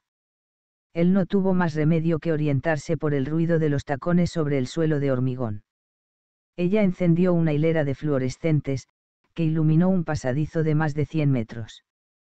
Tras otra maciza puerta de acero y después de coger un ascensor llegaron por fin al Departamento de Desarrollo Tecnológico. Era el departamento más prestigioso del Instituto Nacional de Señales de Radio, INESR, aunque el público en general apenas sabía nada sobre él.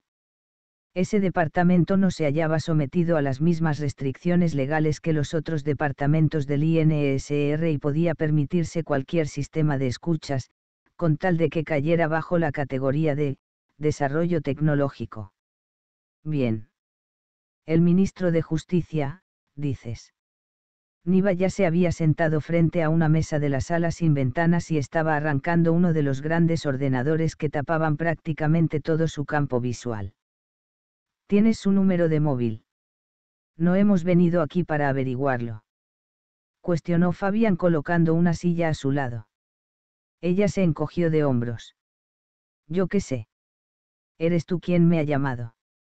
Introdujo una serie de comandos y accedió a varios servidores.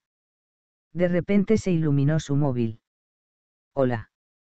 Perdona, pero tengo que ayudar a un viejo amigo, o sea que voy a llegar un poco tarde. Por supuesto. Sí, lo prometo. De acuerdo. Adiós dejó el móvil e introdujo el nombre, Carleric Grimas, en un campo de búsqueda parpadeante. Era tu cita. Estaba enfadado. ¿Quién ha dicho que es un tío? Ah, perdona. Niva le lanzó una sonrisa que tal vez podía significar que le estaba tomando el pelo. Cosa muy propia de ella, pensó Fabián, mirando la pantalla, que se estaba llenando con un listado de nombres. ¿Dónde estás ahora? Preguntó. En el Sapo, Departamento de Protección Personal, dijo Niva, copiando el número del móvil de seguridad del ministro en un campo de búsqueda de la pantalla adyacente. Pulsó, buscar posición. En una tercera pantalla, se fue ampliando un mapa de Estocolmo. Al cabo de unos minutos, apareció un punto parpadeante en el agua, junto al muelle Kanslikagen. Esa es la última localización del móvil. Ella asintió y precisó. A las 3 y 26 minutos de hoy. Era dos minutos después de que hubiera salido del edificio del Parlamento, lo cual significaba que había ido directamente allí y tirado el teléfono, o si no, se había tirado él mismo. Pero ¿por qué iba a hacer algo así? Había maneras de matarse más fáciles que arrojarse a unas aguas gélidas a plena luz del día. ¿O acaso se había tropezado con alguien por el camino? Se puede ver si ha recibido llamadas en torno a esa hora. Niva asintió y abrió en una de las pantallas una tabla que mostraba la actividad del número del ministro hasta las 3 y 26. Aquí hay algunas llamadas de esta mañana, cuando todavía estaba en Rosenbad. ¿Puedes ver de quién eran? Sí, pero yo diría que no hay nada destacable ha mantenido una breve conversación con Germán Edelman justo antes de las nueve. Con Edelman. Repitió Fabián. No entendía por qué su jefe no le había dicho nada. ¿Alguien más? Sí, trece minutos después ha llamado a la embajada israelí, pero ha colgado antes de que tuvieran tiempo de responder. A las nueve y media ha hablado con Melvin Stenberg, del Departamento de Protección Personal del Sapo. Estoy seguro de que era sobre su decisión de desplazarse a pie al edificio del Parlamento. También hay algunas llamadas a otros ministros, y una con la jefa de gabinete del ministerio, pero nada muy llamativo. Esas llamadas están grabadas en alguna parte. Ella se echó a reír. Has leído demasiado a Orwell. Quizá, pero estamos hablando del ministro de Justicia me imagino que su teléfono resultaría especialmente interesante para los que trabajáis aquí. Desde luego. Pero hasta nosotros tenemos nuestros límites. Lo que puedo hacer es imprimir una lista de todas las llamadas del ministro, con la hora y el destinatario de cada una. Bueno, ya hemos terminado por esta noche, no. Terminado. Se extrañó Fabián mientras examinaba en la pantalla la tabla con las llamadas del ministro. Sí. ¿Qué diría Sonia si nos quedáramos aquí aislados por la nieve? Se levantó y se acercó a la impresora, que soltó un zumbido y arrancó. No es así como se llama tu mujer. Sí, pero. Risk se cayó, dándose cuenta de que estaba a punto de caer en una trampa. Aunque Niva tenía una cita esperándola, estaba coqueteando descaradamente con él. Parecía como si hubiera husmeado una crisis marital y fuera a clavarle las garras en cualquier momento. ¿Pero qué? Se le acercó sonriente. Un momento. ¿Qué es esto? Risk señaló dos entradas en la tabla de la pantalla. Estas dos llamadas se han hecho justo después de las 3 y 26 minutos. Sí, pero no han sido atendidas. Es decir, alguien ha intentado localizarlo después de que el teléfono acabara en el agua. Es posible ver quién. Niva suspiró y consultó el reloj, ya sin sonreír. Venga, hazlo por mí. Te va a costar caro. Para que lo sepas. Se sentó en la silla y volvió a teclear. Lo lamento, el comunicante de las 3 y 28 tiene un número bloqueado. Tú no lo podrías averiguar. Podría, pero no ahora. Hace falta más tiempo. De acuerdo. Y la llamada de las 3 y 35. Ese número es de un tal. Sten Gustafsson, y es. Los dedos de la mujer bailaron sobre el teclado como si no hubieran hecho otra cosa en su vida.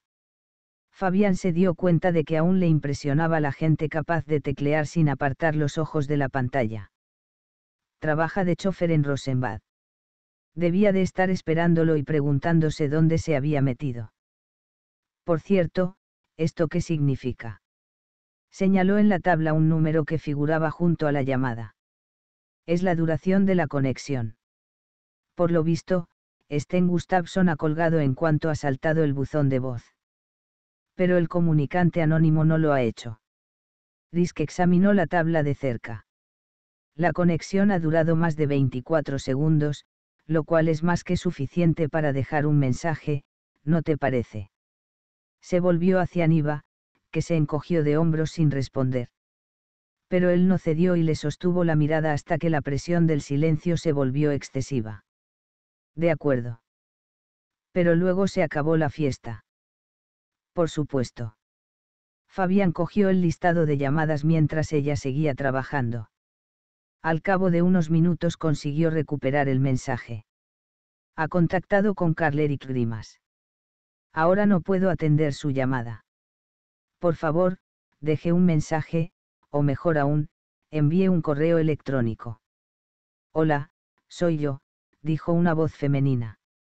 Y sí, ya sé que no debería llamar a este número. Lo he intentado muchas veces en el otro, pero no respondes. Aunque tal vez no lo creas, yo también tengo una vida. Tú no eres el único. Qué pesadez. Sonó un clic y la llamada concluyó.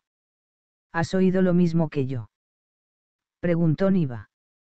Él asintió. Grimas tenía otro teléfono. 7. Dunja Hougar se puso a pedalear por la Gottersgade, desafiando a la nieve, pero de repente recordó lo que le había ocurrido a Karstan hacía tres años, cuando la había acompañado a casa en bici tras una noche de copas en Vesterbro, y decidió apearse y seguir adelante arrastrando la bicicleta.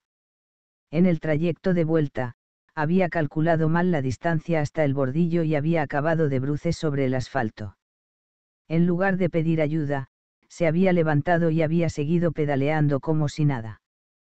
Pero a la mañana siguiente descubrió que tenía varios dientes mellados y algunas partes de la cara magulladas. Desde entonces, no había vuelto a probar el alcohol. Cosa de la que no podían acusarla a ella, desde luego. Tampoco Malin Renberg, su nuevo contacto en Estocolmo, bebía alcohol. Al menos, en principio la verdad era que la velada había superado todas sus expectativas. Hacía mucho que no se reía tanto. La agente sueca había resultado al principio tan formal y aburrida como la mayoría de suecos con los que se había tropezado. Pero después de beber un poco de vino, su rigidez se había transformado en una actitud divertida y directa. Así que ahora no le costaba imaginar que podían mantenerse en contacto y que quizá con los años llegarían a ser buenas amigas. Sin embargo, había algo que la reconcomía y no acababa de dejarla en paz. Malin se había lanzado a la carga como un perro de presa y había sostenido que Karstan no la quería. Aunque Dunja había atribuido esa actitud a su prolongada abstinencia, era la primera vez que bebía un poco desde hacía seis meses, el comentario no resultaba fácil de digerir. A decir verdad, no hacía más que pensar en ello, aun cuando estaba segura de que Karstan y ella estaban hechos el uno para el otro. Tenían sus problemas, desde luego, pero ¿quién no? Y realmente, ¿con qué frecuencia mantenía la gente relaciones sexuales? Ella nunca había dudado que seguirían juntos siempre. Al menos, hasta esa noche. Ya no sabía qué pensar.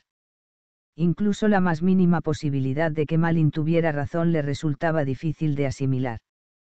Quizá estaba inflando el asunto de un modo desproporcionado porque todavía estaba bebida, por lo que procuró sacárselo de la cabeza y continuó caminando hacia Norreport, donde la ventisca la bombardeó con sus copos de nieve. Al llegar al apartamento, en el número 4 de Blagarsgade, parecía el Yeti de Tintín en el Tíbet.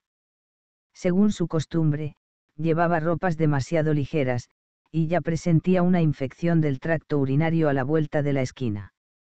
Las luces de la sala estaban encendidas.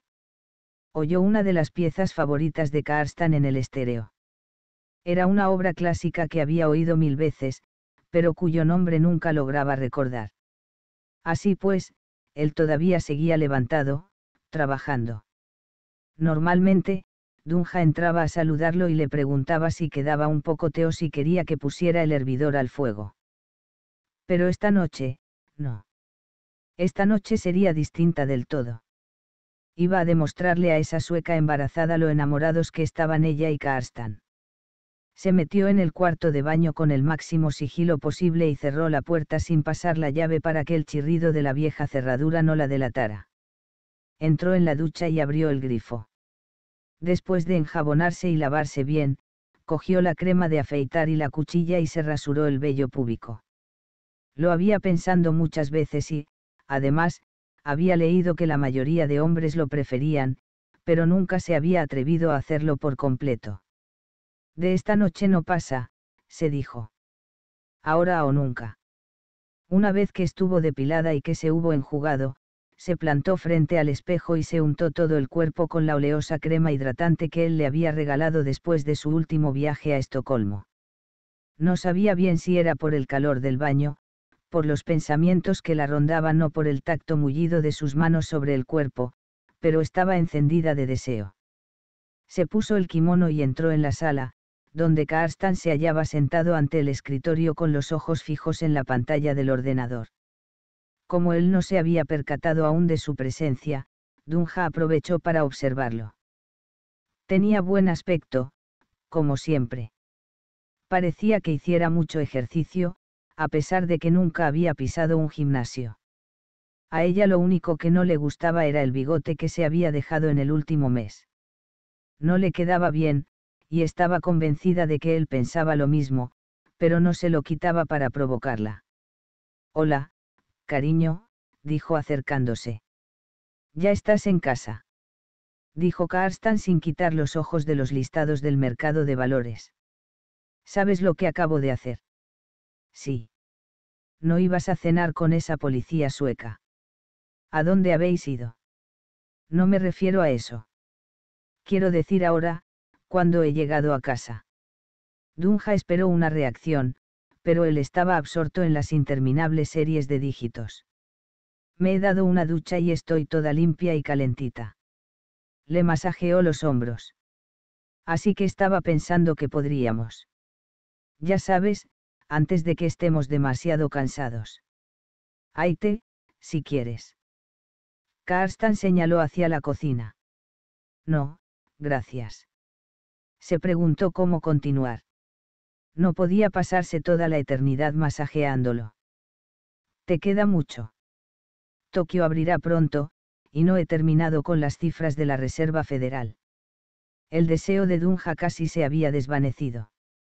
Ya solo quería tumbarse bajo una manta, con una humeante taza de té, y seguir leyendo el mensaje que llegó en una botella de Jussi Adler Olsen. Pero se había prometido hacer todo lo posible y decidió lanzarse de cabeza al precipicio con la esperanza de que su pareja estuviera preparado para sujetarla al vuelo. Entonces ahora tenemos un momentito para estar juntos.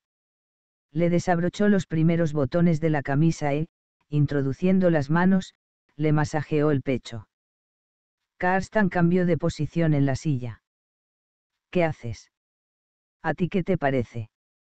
Ella siguió bajando las manos y le aflojó el cinturón. Ahora, no, por favor. Él le apartó las manos. Tengo mucho trabajo. Además, no me he duchado últimamente. Olvídate de eso. Allá voy, pensó Dunja, y dejó caer el kimono al suelo. Karstan se la quedó mirando fijamente. Ella se sentía como una modelo de Helmut Newton, aunque no sabía si eso era bueno o malo. Él no sabía qué decir, pero al menos alzó la vista y la miró a los ojos.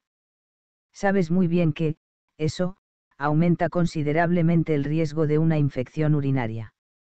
Dunja ya no deseaba más que retirarse y borrar toda la escena, pero sus piernas se negaron a obedecer, de manera que permaneció allí, sintiéndose más desnuda que nunca, tan desvalida como una chica que pretendiera recuperar su virginidad.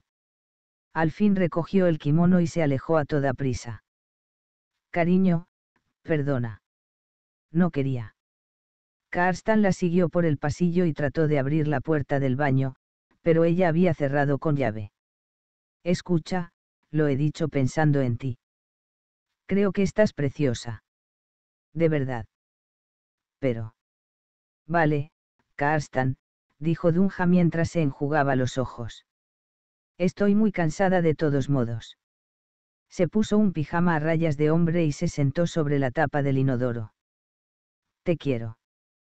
Que lo sepas. Yo también, contestó ella. Pero ahora pensaba que aquella sueca embarazada tenía toda la razón. 8. Había visto bien o se lo había parecido. Axel Newman se aferró al volante y echó otro vistazo por el retrovisor. Maldita sea, había visto bien. El coche patrulla estaba unos pocos vehículos más atrás. Después de tomarse tres cervezas y un gin tonic y medio, había decidido de repente no quedarse a dormir en la ciudad y regresar a Tiberup para darle una sorpresa a Karen. En principio, le había parecido una buena idea. Había notado que ella estaba muy angustiada y no se había visto capaz de dejarla sola toda la noche. Y con su nuevo BMW X3, dotado de tracción inteligente en las cuatro ruedas, no tardaría más de media hora en hacer el trayecto. Sin embargo, ya no le parecía tan buena la idea. ¿Por qué no se había quedado en Copenhague, en su apartamento del barrio de Vesterbro? Los ataques de ansiedad de Karen provocados por la oscuridad estaban empezando a ser la norma, y no la excepción. Como siguieran así, se vería obligado a renunciar a su programa nocturno. Miró de nuevo por el retrovisor y observó que el coche de policía se mantenía a la misma distancia. Si lo paraban, no tendría la menor posibilidad y sin duda se produciría un escándalo. Ya veía los titulares, famoso presentador de televisión, pillado conduciendo ebrio, acaba pasando la noche en el calabozo. Los medios esperarían un poco antes de dar su nombre y difundirían rumores sobre la identidad del personaje para crear expectación. Al cabo de unos días soltarían la bomba, añadiendo un montón de sabrosos detalles, como, por ejemplo, que se había meado en los pantalones y que había necesitado ayuda para bajar del coche. ¿Cómo demonios podía ser tan idiota? Joder la última vez se había prometido que ya no habría ninguna más. Quizá merecía que lo metieran en la cárcel y que le retirasen el permiso de conducir. Quizá era justo lo que necesitaba, pero no ahora. Era esencial no conducir demasiado despacio, lo cual solía ser el mayor error que cometía la gente cuando conducía bajo la influencia del alcohol moderarse en exceso y circular muy por debajo del límite de velocidad para evitar un accidente era el modo más seguro de llamar la atención de la policía. En cambio, tenías que mantenerte lo más cerca posible del límite permitido, e incluso superarlo un poco. Lo difícil era no salirte de tu carril. Maldita sea. Estaba borracho, casi más borracho que cuando se había subido al coche. Bajó la ventanilla, inspiró el aire helado y procuró concentrarse en las marcas de la calzada. Cuidado. Ya no quedaba mucho. Un kilómetro más y llegaría al Museo Luisiana. Luego, pasada la iglesia, debía doblar y bajar hacia el mar. Y al cabo de unos 100 metros, estaría en casa. Como en una mala película, las luces azules se aproximaron e iluminaron el interior del coche. Maldita sea. Iba a caer justo cuando llegaba a la línea de meta. Miró por el retrovisor para deducir lo cerca que estaba el coche patrulla, pero se deslumbró por la intensidad de las luces. No tenía otro remedio que parar e intentar salir del aprieto a base de labia, cosa que sin duda se le daba bien. Pero el coche de la policía lo adelantó a toda velocidad y desapareció en la oscuridad. Sí. Tamborileó con los dedos en el volante y soltó un aullido de júbilo. Se había librado por los pelos y se prometió que esta iba a ser de verdad la última vez. Pasó junto a la iglesia Umleback, redujo la marcha y dobló por Gammel Strandweg. Pronto vería la casa. Su ritmo cardíaco reflejaba que el peligro ya había pasado. Dejó atrás un Porsche plateado aparcado en la carretera. Pasados 50 metros, tomó el sendero de acceso y aparcó junto al coche de Karen. Por algún motivo, los focos no se encendieron. Al bajar del vehículo, se dio cuenta de que todas las luces del jardín estaban apagadas. Y sin embargo, Karen siempre las dejaba encendidas cuando estaba sola. Caminó por el sendero de guijaros a través de la ventisca. En el umbral, se apoyó en la pared para no perder el equilibrio y metió la llave en la cerradura. Pero no pudo girarla, la puerta no estaba cerrada con llave. Eso no era nada propio de Karen. Primero, las luces del jardín, y ahora, la puerta. No se podía negar que ella le había parecido más angustiada de lo normal por teléfono, incluso había llegado al extremo de tratar de convencerlo de que cancelara el programa. Entonces él no lo había captado del todo. Nunca se enteraba de gran cosa en los minutos previos a su actuación, cuando la luz roja estaba a punto de encenderse. En esos momentos, toda su atención se centraba en la emisión inminente. Mientras entraba en el vestíbulo, se preguntó cuántas veces había tratado de explicarle a Karen ese estado suyo tan peculiar, subrayando que no tenía nada que ver con el amor que sentía por ella. Era algo inconsciente. El mundo podía desmoronarse y llegar a su fin fuera del estudio, pero él no se daría cuenta hasta después del programa. Karen no le creía, sin embargo siempre repetía que su sistema de trabajo era una prueba de su narcisismo y que, a la hora de la verdad, en su vida no había un lugar para ella. Axel había intentado convencerla una y otra vez de que no era así. Él le había dado todo su apoyo cuando se había puesto enferma, también, por supuesto, su apoyo económico. Si eso no era prueba suficiente, ¿cómo iba a demostrárselo? Se quitó los zapatos y a punto estuvo de perder el equilibrio. Ahora la cuestión era si la borrachera se le iba a pasar de una vez. Todavía tenía la sensación de que su nivel de alcohol en sangre seguía subiendo. Se asomó a la sala de estar y comprobó que Karen no estaba levantada, lo cual significaba que había conseguido calmarse y que, finalmente, se había acostado. Pero entonces oyó en el pasillo que la puerta del dormitorio se abría y se cerraba, y supuso que ella estaba a punto de acostarse. Al menos, ya sabía que él había llegado a casa. Se dirigió al baño silbando. Una vez allí, se desnudó y dejó la ropa amontonada en el suelo, se metió en la ducha, y el agua caliente le chorreó por el cuerpo. Puso el mando en el modo, suave lluvia de verano, y pensó una vez más que le encantaba esa nueva ducha, capaz de recrear desde la lluvia monzónica hasta una densa niebla. Cuando terminó de enjuagarse, se secó con una toalla y, escondiendo la barriga, estudió su cuerpo frente al espejo, tanto de frente como de lado. Estaba en buena forma y podía perfectamente tumbarse en el suelo y hacer treinta y tantas flexiones a buen ritmo. Salió del baño y se dirigió al dormitorio. Asomó la cabeza en la oscuridad. Hola. Se puede. Aguardó una respuesta, pero no llegó ninguna. Así que ese era el juego al que iban a jugar esta noche, supuso, y se adentró en el dormitorio, el juego sin palabras, en el cual el único vocabulario era el lenguaje corporal y el deseo. Karen solía dejar encendida una lámpara hasta que él llegaba y se tendía a su lado, pero estaba todo tan oscuro que tuvo que tantear el borde de la cama para orientarse. Se metió bajo la colcha por su lado y se tumbó boca arriba. Continuaba ebrio. Confiaba en que Karen no lo notara. En todo caso, le tocaba a ella tomar la iniciativa, pensó, mientras trataba de aparentar que estaba a punto de dormirse. Aparte de su propia respiración y del débil murmullo del sistema de ventilación, no oía nada. Karen estaba en completo silencio. Él tenía tendencia a roncar por la noche, y ella lo amenazaba cada dos por tres con dormir en habitaciones separadas si no se decidía a usar de una vez una férula dental antironquidos. Cosa que él prometía casi todas las noches, pero que no cumplía. Apartó la colcha con gesto automático. Su palpitante erección estaba totalmente expuesta, apuntando hacia el ombligo. Pero no obtuvo ninguna reacción de Karen.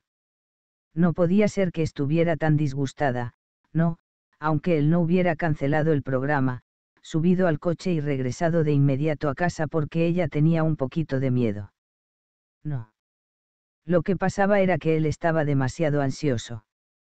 Se puso las manos frente a la boca y exhaló el aire de sus pulmones, pero no estaba seguro de si apestaba alcohol. Tras otro minuto interminable, se volvió hacia ella y deslizó una mano bajo la manta. Karen yacía boca arriba. Fue subiendo la mano y le rozó el pezón, cosa que siempre la excitaba. Pero esta vez no hubo la menor reacción, ni siquiera cuando se dedicó a usar la lengua. Apartó la colcha, se inclinó sobre ella y, delicadamente, con la punta de lengua, fue trazando círculos, primero alrededor y después directamente sobre el pezón. Tampoco hubo reacción. ¿Qué estaba haciendo mal? Era así como empezaba siempre los preliminares. Decidió concentrarse en las partes inferiores, aunque le constaba que Karen podía desconectar en el acto si él se mostraba demasiado directo. Pero qué remedio le quedaba. Ella lo estaba obligando. Bajó la mano desde su pecho a lo largo de las costillas y llegó al vientre, donde notó algo pegajoso que lo impulsó instintivamente a apartarla e incorporarse. ¿Qué demonios es eso? Se dijo y, alarmado, encendió la lamparilla. Su primer pensamiento fue que se había quedado dormido y que aquello no era más que un sueño maligno destinado a reforzar su sentimiento de culpabilidad por haberla dejado sola. Pero, acto seguido, la conmoción lo sacudió con tal violencia que lo dejó sin aliento y tuvo que salir del dormitorio para respirar. 9. Fabián Risk torció por Berggatan. En las noticias matinales no habían dicho una palabra de la desaparición del ministro de Justicia.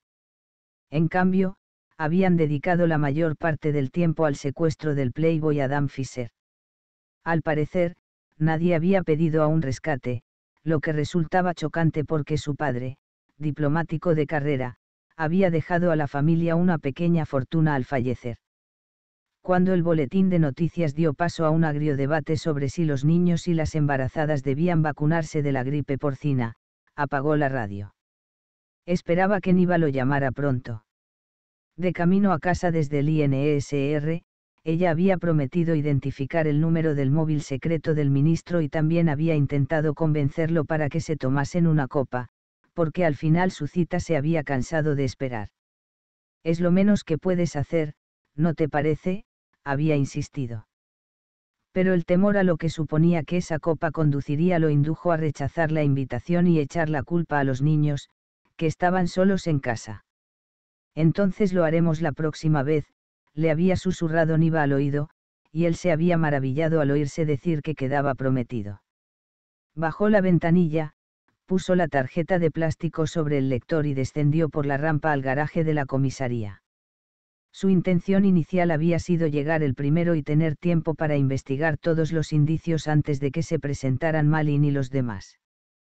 Pero esa mañana se había convertido en un ejemplo de manual de cómo no comenzar el día. Sonia había pasado la noche en el estudio. Parecía que Matilda y Teodor no habían dormido apenas y había resultado casi imposible sacarlos de la cama. De su propia cama, para ser exactos, porque cuando él había llegado a las doce y media, los había encontrado allí acurrucados muy juntitos bajo las mantas. Al principio, no había dado crédito a sus ojos. Sus hijos nunca jugaban juntos, la diferencia de edad era demasiado considerable y su único interés común era chincharse mutuamente. Sonia pensaba que disfrutarían más de su relación fraternal cuando fuesen mayores, pero él no lo veía tan claro. Al contrario, creía que todo indicaba que tendrían el mismo tipo de relación prácticamente inexistente que él mantenía con su hermano mayor. Todo cobró sentido, en cualquier caso, cuando vio el estuche de pesadilla en el street encima del reproductor de DVD. Eso sí, cuando se levantaron por la mañana, ambos retomaron su rol habitual y se pelearon por todo, desde quien tenía derecho al último paquete de chocolate en polvo, hasta cuánto tiempo podía pasar cada uno encerrado en el baño. A las ocho y media, Fabián vio el coche de Malin Renberg en su plaza de aparcamiento, a pesar de que acababa de volver de Copenhague en avión esa misma mañana. Andersen, escucha. Escúchame tú, por favor, dijo Malin al teléfono y, poniendo los ojos en blanco, miró a Fabián, que estaba colgando su abrigo. Si queremos terminar la reforma antes del juicio final, vamos a tener que llamar a unos albañiles de verdad. Por si no te has fijado, estoy muy muy embarazada. No, ahora hablo yo. Hizo una pausa y vació su vaso de Coca-Cola. ¿Tú crees que tengo energías para pasarme el fin de semana a gatas alicatando el baño? ¿Qué?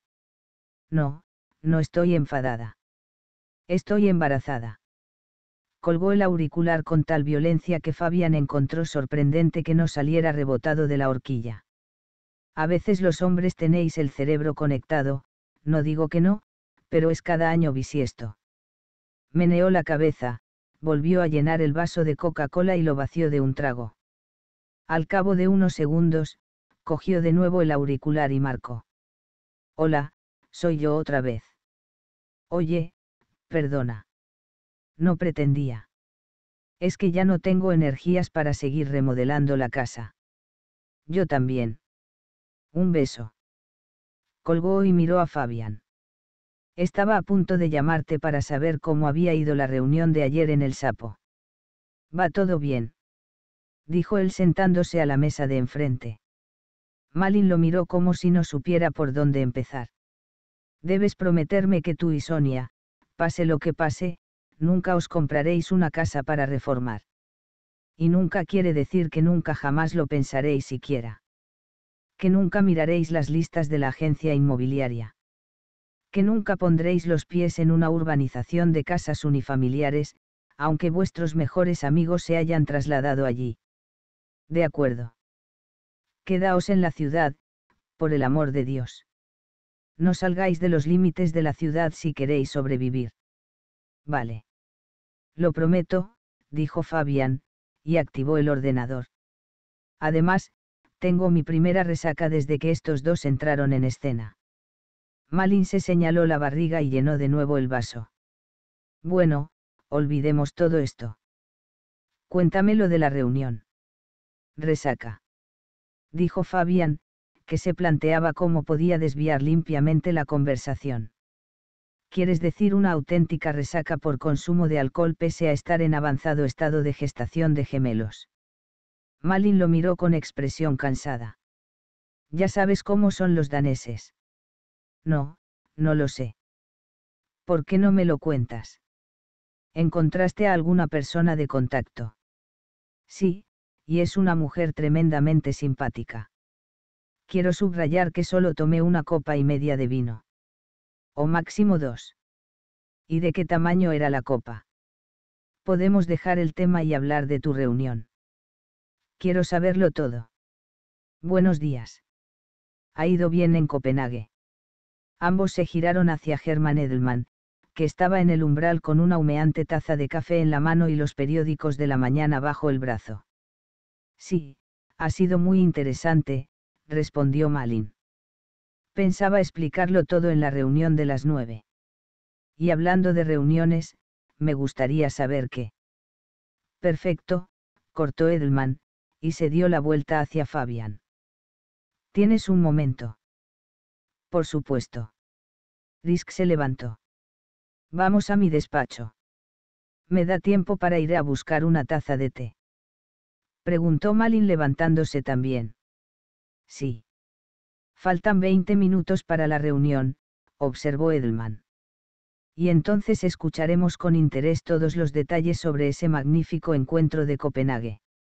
Fabián notó en el cogote la mirada penetrante de Malin durante todo el rato que duró el recorrido por el pasillo. Siempre tenía la sensación de retroceder 30 años cuando cruzaba el umbral del atestado despacho de Edelman. Durante sus años como jefe del departamento, este había rechazado con obstinación cualquier propuesta de remodelación que le habían hecho, hasta el punto de que ya se admitía la importancia de preservar ese despacho en su estado original para las futuras generaciones. Fabián sospechaba que lo único que quería Edelman era conservar el murmurante frigorífico que siempre mantenía bien aprovisionado de caviar Coles, cebollas rojas y cerveza fría. El viejo televisor con reproductor de VHS no debía de usarlo tanto, pero era evidente que no pensaba deshacerse de él mientras tuviera su colección de películas clásicas en la estantería. Edelman incluso se había opuesto a que pintaran de nuevo las paredes de color amarillo nicotina porque temía que descubrieran que infringía la prohibición de fumar. Siéntate, por favor, le dijo Ariski, acomodándose en la butaca que había junto a la ventana, se dispuso a llenar una pipa. Fabián apartó un cojín y varias carpetas del gastado diván de cuero y tomó asiento. Solo disponemos de unos minutos. Lo último que he sabido es que el sapo ha encontrado el teléfono móvil, indicó Edelman inclinando la llama del mechero para encender la pipa. En las aguas de la bahía Ridarfjarden, no, frente al muelle Kanslikagen, dijo Fabian. Sí. ¿Cómo lo ha sabido? Anoche hicimos una búsqueda e identificamos la última localización del móvil en ese punto. También descubrimos que el ministro tiene otro teléfono móvil, pero con un número secreto. Si todo va bien, tendremos una localización hoy mismo. Germán dio un sorbo de café con aire pensativo. ¿Por qué hablas en plural? Supongo que la otra persona no soy yo, ¿verdad? No, es una antigua colega que ya no tiene conexiones aquí. Pensé que era mejor que recurrir a Novak. Una antigua colega soltó el humo de la pipa formando una serie de anillos. ¿Te refieres a Niva? Creía haber dejado bien claro que no debía enterarse nadie más. No debes preocuparte por ella. Niva entiende perfectamente. Permíteme que yo decida quién debe preocuparme. Fabián, iba a sentir, pero se contuvo. Si no aceptaba ahora la reprimenda, se arriesgaba a perder toda su libertad. Por regla general, él podía llevar sus investigaciones como deseaba, pero este no era un caso normal, y era obvio que su jefe creía que podía manejarlo como si fuese una marioneta. Tú llamaste a Grimas unas horas antes de su desaparición, dijo. ¿De qué hablasteis? Saltaba a la vista que Edelman no estaba preparado para la pregunta, pero se recuperó enseguida y dio otra calada. De nada importante. Si lo hubiera sido, te lo habría comentado ayer, desde luego. Pero ahora soy yo quien lleva la investigación, de modo que déjame determinar qué es importante. Edelman soltó una risa forzada. Esta sí que es buena, Fabian. Hablamos sobre el turno de preguntas parlamentarias a la que iba a asistir. Si no recuerdo mal, era sobre una propuesta de enmienda legislativa no captaste nada que pudiera tener que ver con su desaparición. Germán negó con la cabeza y soltó otra risa. Entonces le replicó. No, pero prometo comunicártelo si recuerdo algo. Y hablando de llamadas telefónicas.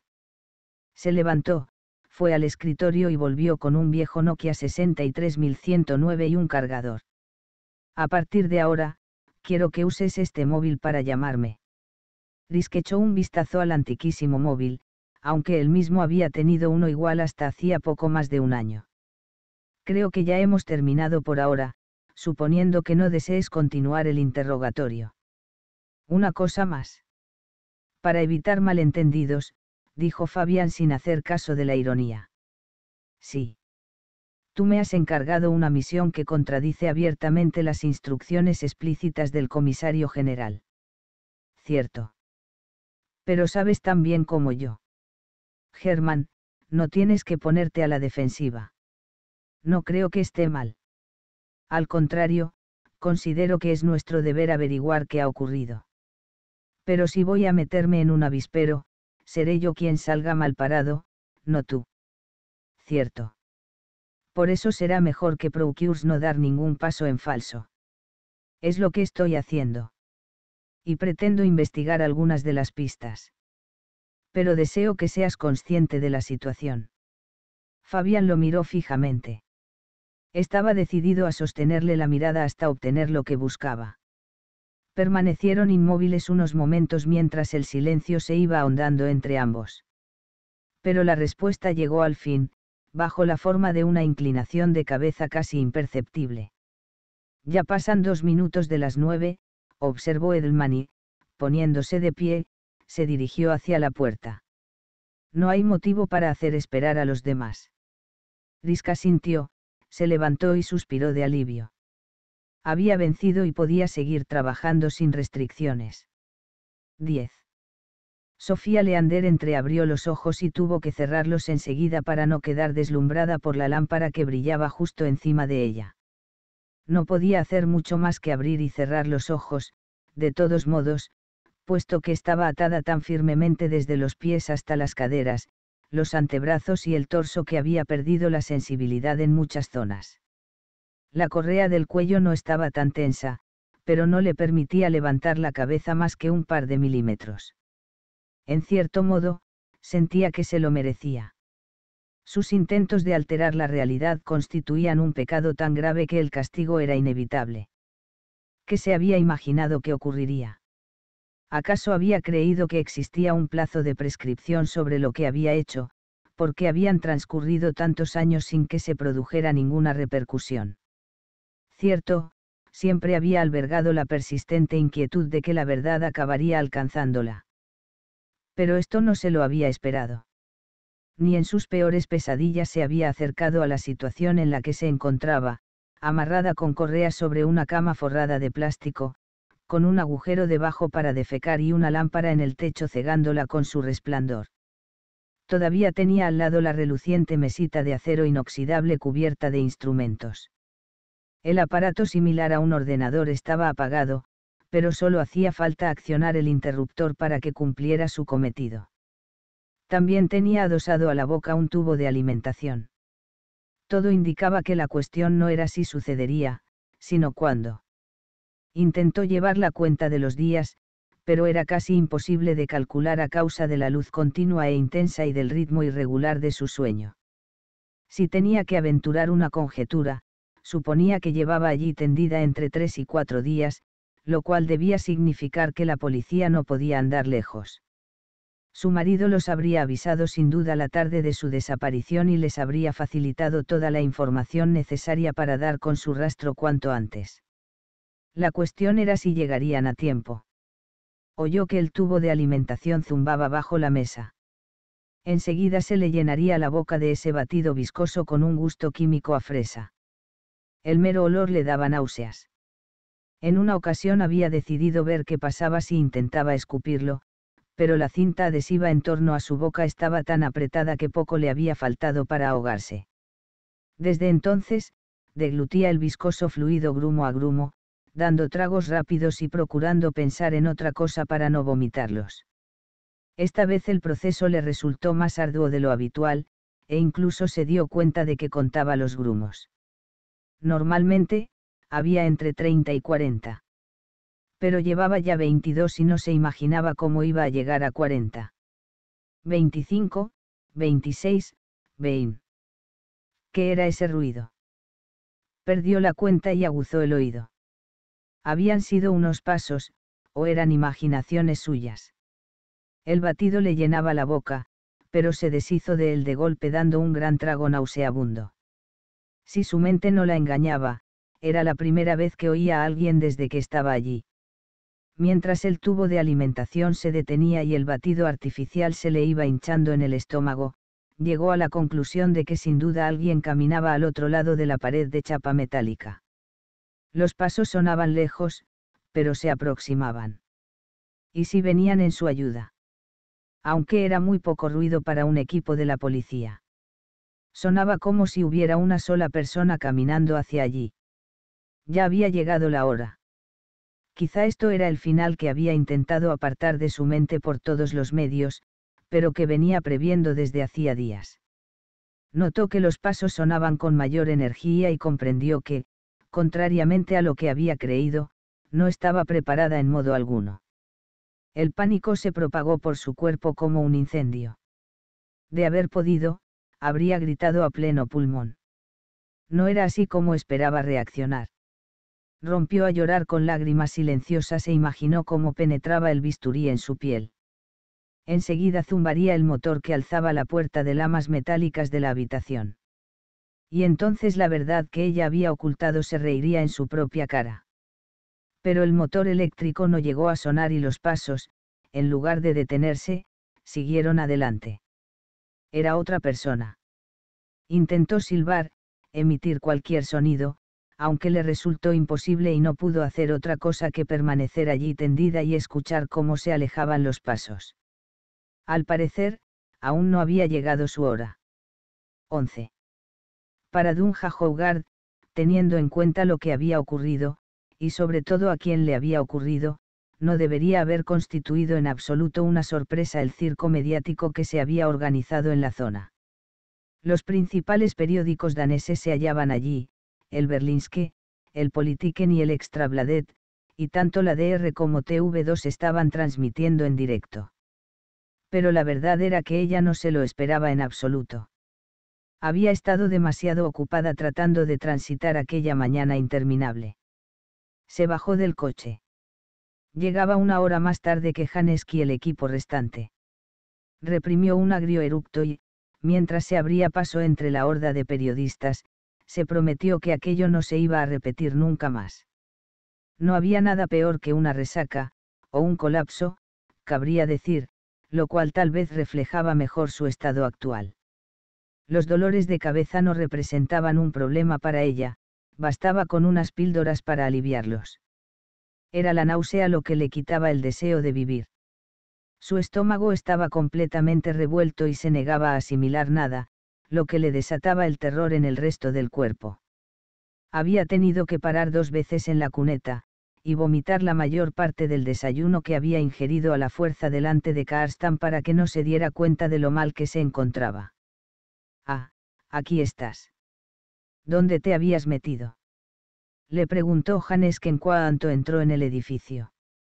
Ha habido algunas complicaciones en el trayecto, dijo ella observando que Esk, que siempre había sido delgado, había echado un poco de barriga. Ya veo. ¿Qué clase? Mejor que no lo sepas, te lo aseguro. Me interesaría más saber qué habéis estado haciendo vosotros, dijo mientras se ponía un par de protectores de zapatos. Bueno, supongo que lo de siempre. Tenemos una serie de interrogantes, pero ninguno que no vayamos a aclarar al final, suponiendo que nos dejen trabajar en paz. Esclavio por la casa. El mayor problema ahora es mantener a raya a los medios. ¿Qué me aspen si no son peores que los mosquitos de mi casa de campo en Suecia?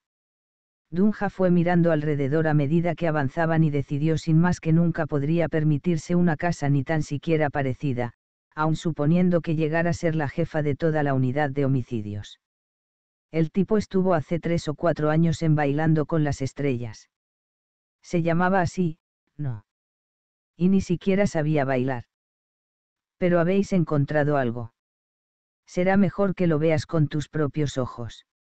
Esk se detuvo ante la puerta de la habitación y la dejó pasar antes que él. Tras un solo paso, Dunja se detuvo en seco con los ojos fijos en la cama de matrimonio situada en medio de la habitación. La última vez que había visto a Karen Newman había sido en una revista de cotilleo en el consultorio del dentista. Salían fotos de ella y de Axel tomadas en algún estreno de cine, y le había impresionado lo enamorados que parecían, a pesar de que llevaban más de 20 años casados. Karen se hallaba en la cama desnuda y empapada de sangre, de la sangre que había manado de su vagina y de las heridas alrededor del torso. Al acercarse un poco más, vio que eran tan profundas que debían de haber sido asestadas con alguna arma distinta de un cuchillo corriente, alguna arma más grande y más pesada capaz de atravesar todas las capas de tejido, e incluso el cartílago y el hueso en algunas zonas. No, no te vuelvas. Tú sigue mirando. Previsiblemente, era Oscar Pedersen, el forense, que venía del baño contiguo enfundado en una bata blanca. Los humanos son animales de costumbres. Muchas veces ni siquiera notamos lo que nos inquieta. Y lo mismo nos ocurre ante un cuerpo destrozado, te doy mi palabra. Coincido en que este resulta interesante. Parecía tan entusiasmado como un niño en Legoland, con la excepción de que él tenía delante a una mujer mutilada. ¿Has podido identificar el arma homicida? Preguntó Dunja. Un cuchillo no, desde luego. El forense se acercó. Si tuviera que jugarme el sueldo, diría que un hacha. Y no me refiero a una de juguete. Tomo medidas con las manos. Estamos hablando de un arma contundente capaz de partir madera de un solo golpe. Observa cómo algunas partes de la caja torácica están hechas trizas, por no hablar de los órganos internos. Abrió una de las heridas del abdomen para mirar mejor. Creo que ya he visto bastante, dijo Dunja sintiendo que los restos del desayuno se le revolvían en el estómago. No. Vamos, mira por dentro. Esk no iba a rescatarla, se había girado hacia el armario, y ella bajo ningún concepto le daría el gusto al forense de montar una escena, así que se inclinó y miró los intestinos mutilados. La inundó un penetrante hedor dulzón, lo que la obligó a contener el aliento. ¿Lo ves? Está totalmente destrozada, como si la hubieran pasado por una trilladora. Dunja asintió y observó todavía unos momentos antes de incorporarse y mirar al forense a los ojos. ¿Y la sangre del abdomen? Todavía no he examinado esa parte, pero si tuviera que aventurar una conjetura diría que él, probablemente, se divirtió un poco con ella antes de volverse loco. ¿A quién te refieres con, él? Pedersen miró a Esk, que ahora se había vuelto a acercar. La mayoría de los indicios sugieren que ha sido Axel Newman, anunció Esk. Axel, su marido. Dijo Dunja. Esk asintió. ¿Estás seguro? No me imagino que haya podido someter a su esposa a algo así. Señaló la sangre que empapaba la cama. Ya empezaba a recuperar la energía. ¿En qué te basas para decirlo? En las revistas de cotilleo. Apenas llevas aquí un minuto. Ella iba a replicar, pero se contuvo. El caso era de Esk, no suyo. Oficialmente, ambos tenían la misma categoría, pero él contaba con más años de experiencia en su haber, de manera que una investigación compleja y de gran relevancia como esta recaía de forma automática en sus manos. A ella le correspondía colaborar y aportar ideas, pero no asumir el caso. Además, es que había dado en el clavo en lo referente a las revistas de cotilleo. Bien. El escenario que contemplamos ahora mismo es este, dijo Esk situándose en medio de la habitación. Numan fue visto en el Carriere Bar, aquí en Copenhague, con Casper Christensen, uno de los invitados de su programa de anoche. Según sus compañeros de TV2, se suponía que iba a pasar la noche en su apartamento de Vesterbro, pero decidió volver a casa. Richter ha encontrado huellas nítidas de su BMW X3. ¿Hablas de mí? Dijo el técnico de la científica, Held Richter, entrando en la habitación. Estaba explicando que las huellas indican que Axel Newman estuvo aquí y después se fue con su coche. El técnico asintió, rascándose con aire pensativo su barba incipiente, que, al igual que las patillas y las cejas, necesitaba un buen repaso. Pero resulta que también hemos encontrado huellas de un tercer coche. ¿Qué quieres decir con un tercer coche? Además del de Axel y el de Karen, hubo otro coche que estuvo aquí después de medianoche. ¿Cómo sabemos que fue a esa hora? Preguntó Esk. ¿Por qué no había nieve fresca sobre las huellas y, según los informes meteorológicos, a medianoche dejó de nevar? Entonces hubo una tercera persona implicada, no. Intervino Dunja. Richter asintió. Esto refuerza mi teoría, dijo Esk. La mujer se trae a alguien aquí creyendo que su marido va a pasar la noche en la ciudad, pero el tipo vuelve a casa y los sorprende en flagrante delito. Se desata un pandemonium, y él sale a buscar un hacha, momento que don Juan aprovecha para escabullirse. Tendremos un testigo en cuanto lo encontremos. Dunja se encogió de hombros, escéptica. Sigue sin creer que ha sido él. Esk parecía realmente irritado. Ella no sabía qué decir. Dejando aparte los cotilleos, estaba convencida de que Axel Newman no era el asesino. ¿Puedes darme una sola razón para no? Perdona, me llaman al móvil, lo interrumpió Dunja mirando la pantalla. Uf. Es Sleipner. Será mejor que responda. Sí, diga, aquí Dunja Hogar. Vaya, me siento un poco herido. De veras no tienes mi número programado en el móvil. Dijo Sleipner fingiendo un tono lastimero. Claro que sabía que eras tú, dijo Dunja mientras se devanaba los sesos para comprender por qué la llamaba a ella y no a Esk. Pero siempre contesto así en horas de trabajo. Ya, ya. Entonces procuraré llamarte más a menudo fuera de horas de trabajo, dijo él con una risita. Dunja respondió a la mirada perpleja de escalzando una mano, como pidiéndole paciencia. Pero no llamo por eso. La prensa nos está acosando. Aquí también. Si quieres saber algo de la investigación será mejor que hables con Han. Si quisiera hablar con él, lo llamaría. La cuestión es que he convocado una rueda de prensa dentro de una hora y necesito algo que ofrecer. Pero. Cualquier cosa para calmarlos un poco. Es demasiado pronto. No tenemos una hipótesis clara, y Richter necesita más. Dunja, da la impresión de que no vamos bien. Seguro que tienes algo. ¿Qué has estado haciendo todas estas horas? Hay ciertos indicios de que podría haber una tercera persona implicada, pero no sabemos en qué sentido ni qué papel podría haber jugado. O sea que podría ser un amante o el asesino. O ambas cosas, replicó ella, consciente de que estaba pisando terreno resbaladizo y que sería un milagro si no acababa tropezando. Pero todo esto son teorías por ahora. Si estuviera en tu lugar, me andaría con mucho cuidado con lo que. Ya, pero la suerte no ha querido que estés en mi lugar. Dails a los demás que celebraremos una reunión en cuanto estéis todos de regreso. Hasta luego. Sleipner colgó sin más.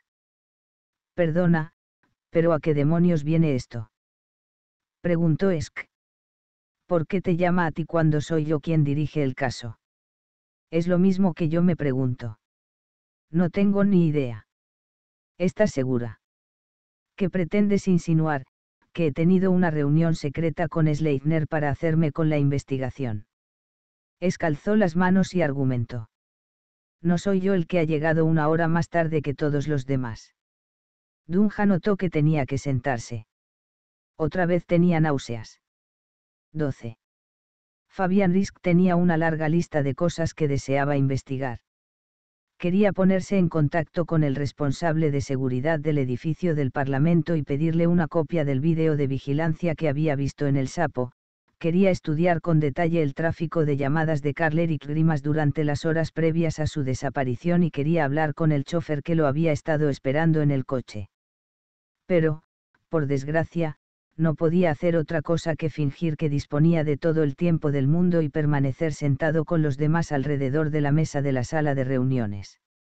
Con una taza de café en la mano, cada cual ocupó una silla, aquella que, con los años, se había vuelto, suya, y se sentaron. Una vez, años atrás, Fabián había querido ocupar la silla de uno de sus colegas, para ver su reacción, pero enseguida había desechado la idea, por el riesgo que entrañaba, y había preferido volver a su sitio antes de tener un disgusto. Fue circulando el termo alrededor de la mesa, lleno de un brebaje que había pasado tanto tiempo en el fogón que más bien sabía a ácido tánico que a café. Como de costumbre, la lata de galletas danesas se detuvo frente a Marcus Hoglund, que se empeñaba en escoger con cuidado sus favoritas, y cada vez eran más numerosas, observó Fabian. No entendía a dónde iban a parar tantas galletas, desde luego, a su barriga, no. Marcus no había cumplido los 35, pero esa no podía ser la única explicación. En su propio caso, el cambio de metabolismo se había producido a los 25 años, y, desde entonces, cada caloría de más se le incorporaba a la cintura. Había sido Carleric Grimas quien había introducido lo de la lata de galletas durante su época en la agencia, y la costumbre había persistido, como una cucaracha que se negara obstinadamente a sucumbir. Edelman nunca las comía y, hacía algunos años, había tenido el valor de intentar poner fin a esa tradición, pero había encontrado una oposición tan firme que él mismo la había vuelto a introducir de inmediato. Fabián no había simpatizado con las protestas y estaba seguro de que a nadie le gustaban realmente esas galletas con mantequilla y azúcar en polvo, bueno, a nadie salvo a Hoglund. Tenemos mucho por delante, así que vale más que empecemos ya, dijo Edelman. Malin, tú has estado en Copenhague y, por lo que he oído, ha sido un gran éxito. Ella asintió, y vació su vaso de Coca-Cola. Sin duda recomiendo a todo el mundo que aproveche la próxima ocasión para asistir. Creo que estaban hablando de Berlín para la primavera que viene. Berlín suena guay, dijo Thomas Pearson pasándose la mano por el pelo rapado al estilo militar. ¿Tú qué dices, Jarmo? Ya sabes lo que pienso de los viajes, masculló Jarmo Paivinen con su inconfundible acento entre finés y sueco. En cualquier caso, ahora tengo un buen contacto en Copenhague ocupa exactamente la misma posición. Malin, seguro que tienes muchas experiencias interesantes que contar. Pero creo que podríamos dejarlas para el final, si el tiempo lo permite, la interrumpió Edelman sonriéndole. Claro. Ella cogió una galleta y trató de captar la mirada de Fabian, pero él estaba ocupado intentando ocultar que el móvil le vibraba en el bolsillo tuvo que esperar hasta que la reunión hubo empezado para sacarlo bajo la mesa y mirar el mensaje de texto, llámame en cuanto puedas. Niva. No podía marcharse de inmediato porque todo el mundo, y no solo Malin, se preguntaría qué sucedía. Pero tampoco iba a esperar hasta que hubiera terminado la reunión. Todavía no tenemos noticias sobre Diego Arcas. Preguntó Edelman. No. Por desgracia, ese cabrón continúa destruyendo a una chica tras otra y ganando dinero a manos llenas. ¿Pero qué puedo hacer? Mientras Inger siga de permiso, estoy solo, dijo Marcus Hoglund, y se tragó una galleta con un sorbo de café. ¿Qué puedes hacer? dices. Ya me perdonarás, pero no voy a quedarme callado, dijo Thomas Pearson, y se metió un pellizco de tabaco picado con aromatizantes, snus, bajo el labio superior. ¿Quieres explicarme por qué no te dedicas a otra cosa que estar aquí de brazos cruzados consumiendo azúcar? Seguro que hay un montón de cosas que podrías hacer tú solo. Hoglund puso los ojos en blanco, buscando en vano el apoyo de los demás, y soltó. Piensa lo que quieras. Que Inger haya estado en casa cuidando a sus hijos más tiempo del que ha pasado aquí, no significa que yo no haya hecho nada además del Black Cat, en Antwerp Argatan, donde Arcas exhibe a la mayoría de sus chicas, he conseguido, con la ayuda de Inger, localizar siete apartamentos distintos alrededor de la ciudad en los que se celebran fiestas día y noche, como quien dice. Y sí, podríamos ir apartamento por apartamento, pero sería mejor efectuar una operación sincronizada, y eso no pienso hacerlo sin ella. Está bien, lo que tú digas, dijo Thomas Pearson. Pero pienso. Vamos a dejarlo aquí, lo interrumpió Edelman. Si Inger no vuelve el lunes, tendremos que resolverlo de otro modo. Hoglund asintió y se metió otra galleta entre pecho y espalda, mientras le lanzaba una mirada furibunda a Thomas. Y si no, Fabián y yo podemos echar una mano, intervino Malin. ¿No te parece? Ahora mismo no tenemos nada entre manos. ¿Por qué no? respondió Risk, aunque veía en la expresión de sus ojos que ella estaba tomándole el pelo. Como he dicho, esperaremos hasta después del fin de semana, zanjó Edelman y dirigiéndose a Harmo Paivinen y Thomas Pearson, les dijo. Creo que tenéis novedades sobre el coche de Adam Fisher. Veamos en qué consisten. Harmo asintió, se bajó un poco las gafas de lectura y hurgó entre sus documentos. ¿Quieres informarles tú o lo hago yo? Le preguntó Thomas tamborileando con los dedos sobre la mesa. Calma. Harmo siguió buscando. A Fabián le llamó la atención lo viejo que se le veía, a pesar de que solamente le llevaba cinco o seis años, lo que lo situaba en los cuarenta largos. Su mujer lo había dejado hacía cuatro años, llevándose a los niños, y daba la impresión de que la soledad lo estaba consumiendo. Como habréis oído en las noticias, prosiguió Harmo, hemos establecido que se trata de un secuestro. ¿Qué es lo que sospechábamos desde el principio? dijo Thomas. Estas son las últimas imágenes que teníamos de Fisher. Harmo hizo circular unas fotos de Adam Fisher en su todoterreno, tomadas por una cámara de vigilancia. Hasta ayer, añadió Thomas con un exagerado aire de satisfacción, mientras flexionaba sus bíceps tatuados.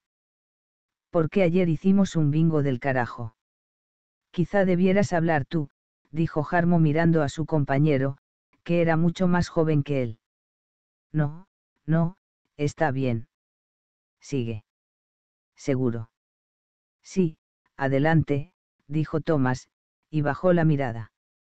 Se nos debería haber ocurrido antes, pero el tipo vive en un enorme piso de soltero del barrio de Mosebaque, debe de haberle costado casi toda su herencia, de modo que llamamos a los aparcamientos de la zona y, al final, tuvimos un golpe de suerte en el deslusen.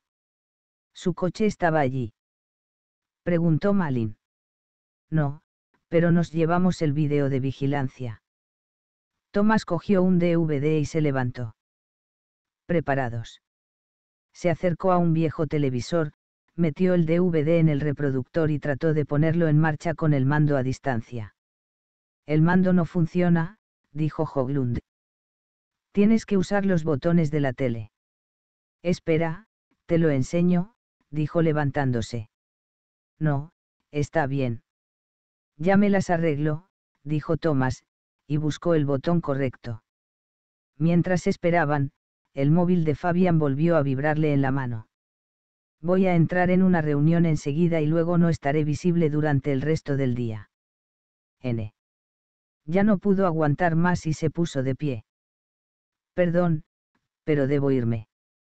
Está bien. No te preocupes, dijo Edelman. ¿Cómo que, no te preocupes. Se extrañó Malin. Se puede saber que es tan importante para que te largues en mitad de una reunión cuando no tienes una investigación en marcha.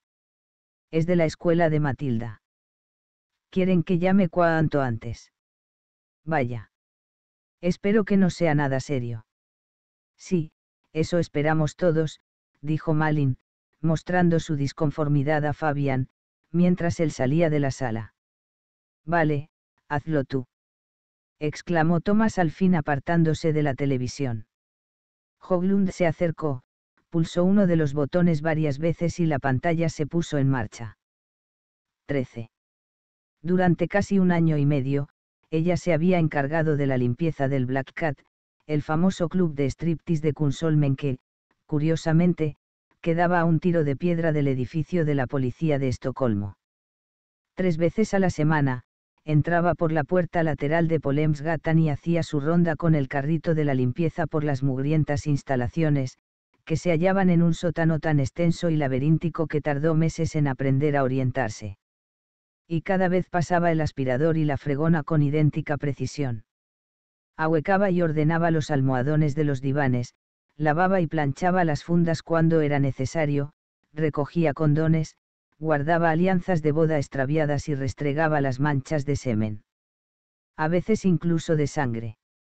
Pese a las órdenes expresas del lugarteniente de Diego Arcas, un tipo fornido con pendientes en las orejas y ojos en la nuca, para que todas las chicas tomaran la píldora o usaran un DIU, siempre había algunas que desobedecían con la esperanza de quedar embarazadas. Ella al principio no había comprendido por qué habrían de querer exponerse a quedar preñadas de uno de aquellos cerdos asquerosos, que seguramente tenían mujer e hijos en algún barrio residencial pero enseguida descubrió que no había una manera más rápida de salir de allí que tener el bombo. La sangre no procedía tan solo de la menstruación. Cierto que la violencia contra las chicas estaba prohibida en teoría, pero si lo que buscabas era desmadrarte del todo, también había un precio para eso. A decir verdad, todo se reducía a la cantidad de ceros que te pudieras permitir en tu cuenta. Según se rumoreaba, si apoquinabas 300.000, podías violar a una chica hasta dejarla muerta. Pero en ese caso debías recurrir a una de las más viejas, que de todos modos ya estaban en las últimas. En dos ocasiones había tenido que desinfectar la habitación después de que fuera usada. La primera, tras una sesión privada que se les había ido de las manos. Tardó horas en limpiarlo todo, y el tipo fornido le echó una bronca y se negó a darle la paga porque no había terminado antes de que abrieran el local. Ella no protestó, se limitó a sentir y se recordó a sí misma que el dinero no era el único motivo por el que estaba allí. La segunda vez, el responsable del ataque fue el propio Diego Arcas, al enterarse de que una de sus esclavas se había quedado preñada. El objetivo era asustar a las demás, obviamente. Y bien asustadas se quedaron cuando oyeron hablar de las uñas sanguinolentas y los mechones arrancados de cuajo que ella había encontrado en la habitación, y de todos los fluidos corporales y los excrementos que había tenido que limpiar con un detergente tan fuerte que requería el uso de mascarilla y guantes de protección. El colchón mismo había quedado tan empapado de sangre que habían tenido que tirarlo. Ella podría haber forzado a que cerraran el club yendo a declarar a la policía, que, como era bien sabido, lo tenía sometido a vigilancia. Pero no abrió la boca. Ni siquiera soltó un comentario, se limitó a dejar la habitación más limpia que nunca y continuó sus rondas como si nada. Fue desde entonces que habían confiado en ella. El tipo fornido dejó de cachearla al entrar y le permitía rondar por las instalaciones sin ninguna supervisión. Y ella no tardó en explotar esa libertad recién adquirida. El primer paso había consistido en prolongar un poquito su horario todos los días para seguir todavía allí cuando abrían las puertas y los clientes entraban. El segundo paso consistió en pasar inadvertida en la penumbra y en desplazarse por el local tomando nota de todo lo que veía. Y vio un montón cosas. 14. Fabián Risk se miró en el espejo frente al lavamanos mientras su teléfono sonaba de nuevo. Todavía no le habían reaparecido las ojeras, pero sabía muy bien que en cuestión de días la presión de la nueva investigación volvería a dejarle huella, y parecería diez años más viejo se arrancó unos pelos de la nariz y observó que tenía la patilla izquierda más larga que la derecha, a continuación, cogió el Nokia que Edelman le había dado y marcó el número. Aquí iba. Tenemos la sospecha de que el sapo está monitorizando las llamadas, así que utiliza este número a partir de ahora, dijo Fabián. ¿Has descubierto algo? Vaya. Pim, pam y gracias. Sin preliminares. Perdona, pero eso lo dejaremos para otro momento. Ahora mismo. Dime dónde y cuándo. Y por si se te ha olvidado, me debes una copa. No, claro que no. ¿Por quién me has tomado? Yo diría que, después de esto, habrá que elevarlo a categoría de cena por lo menos. Quizás sí. Pero aún no sé qué has encontrado. Tendrás que comprarlo a ciegas y confiar en la suerte. O sea que no tengo elección. Fabián, siempre tienes elección. Estaba jugando con él descaradamente. Debería de haber previsto que la situación acabaría tomando ese derrotero. Quien calla otorga. ¿Qué decides? La puerta número uno. Bien.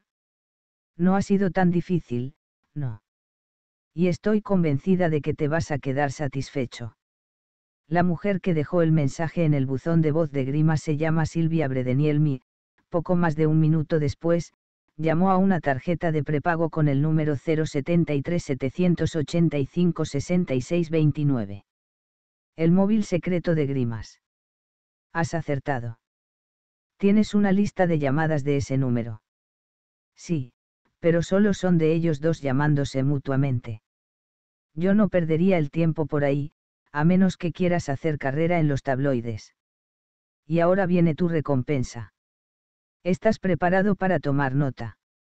Risk sacó un bolígrafo y se arremangó la chaqueta. Vale.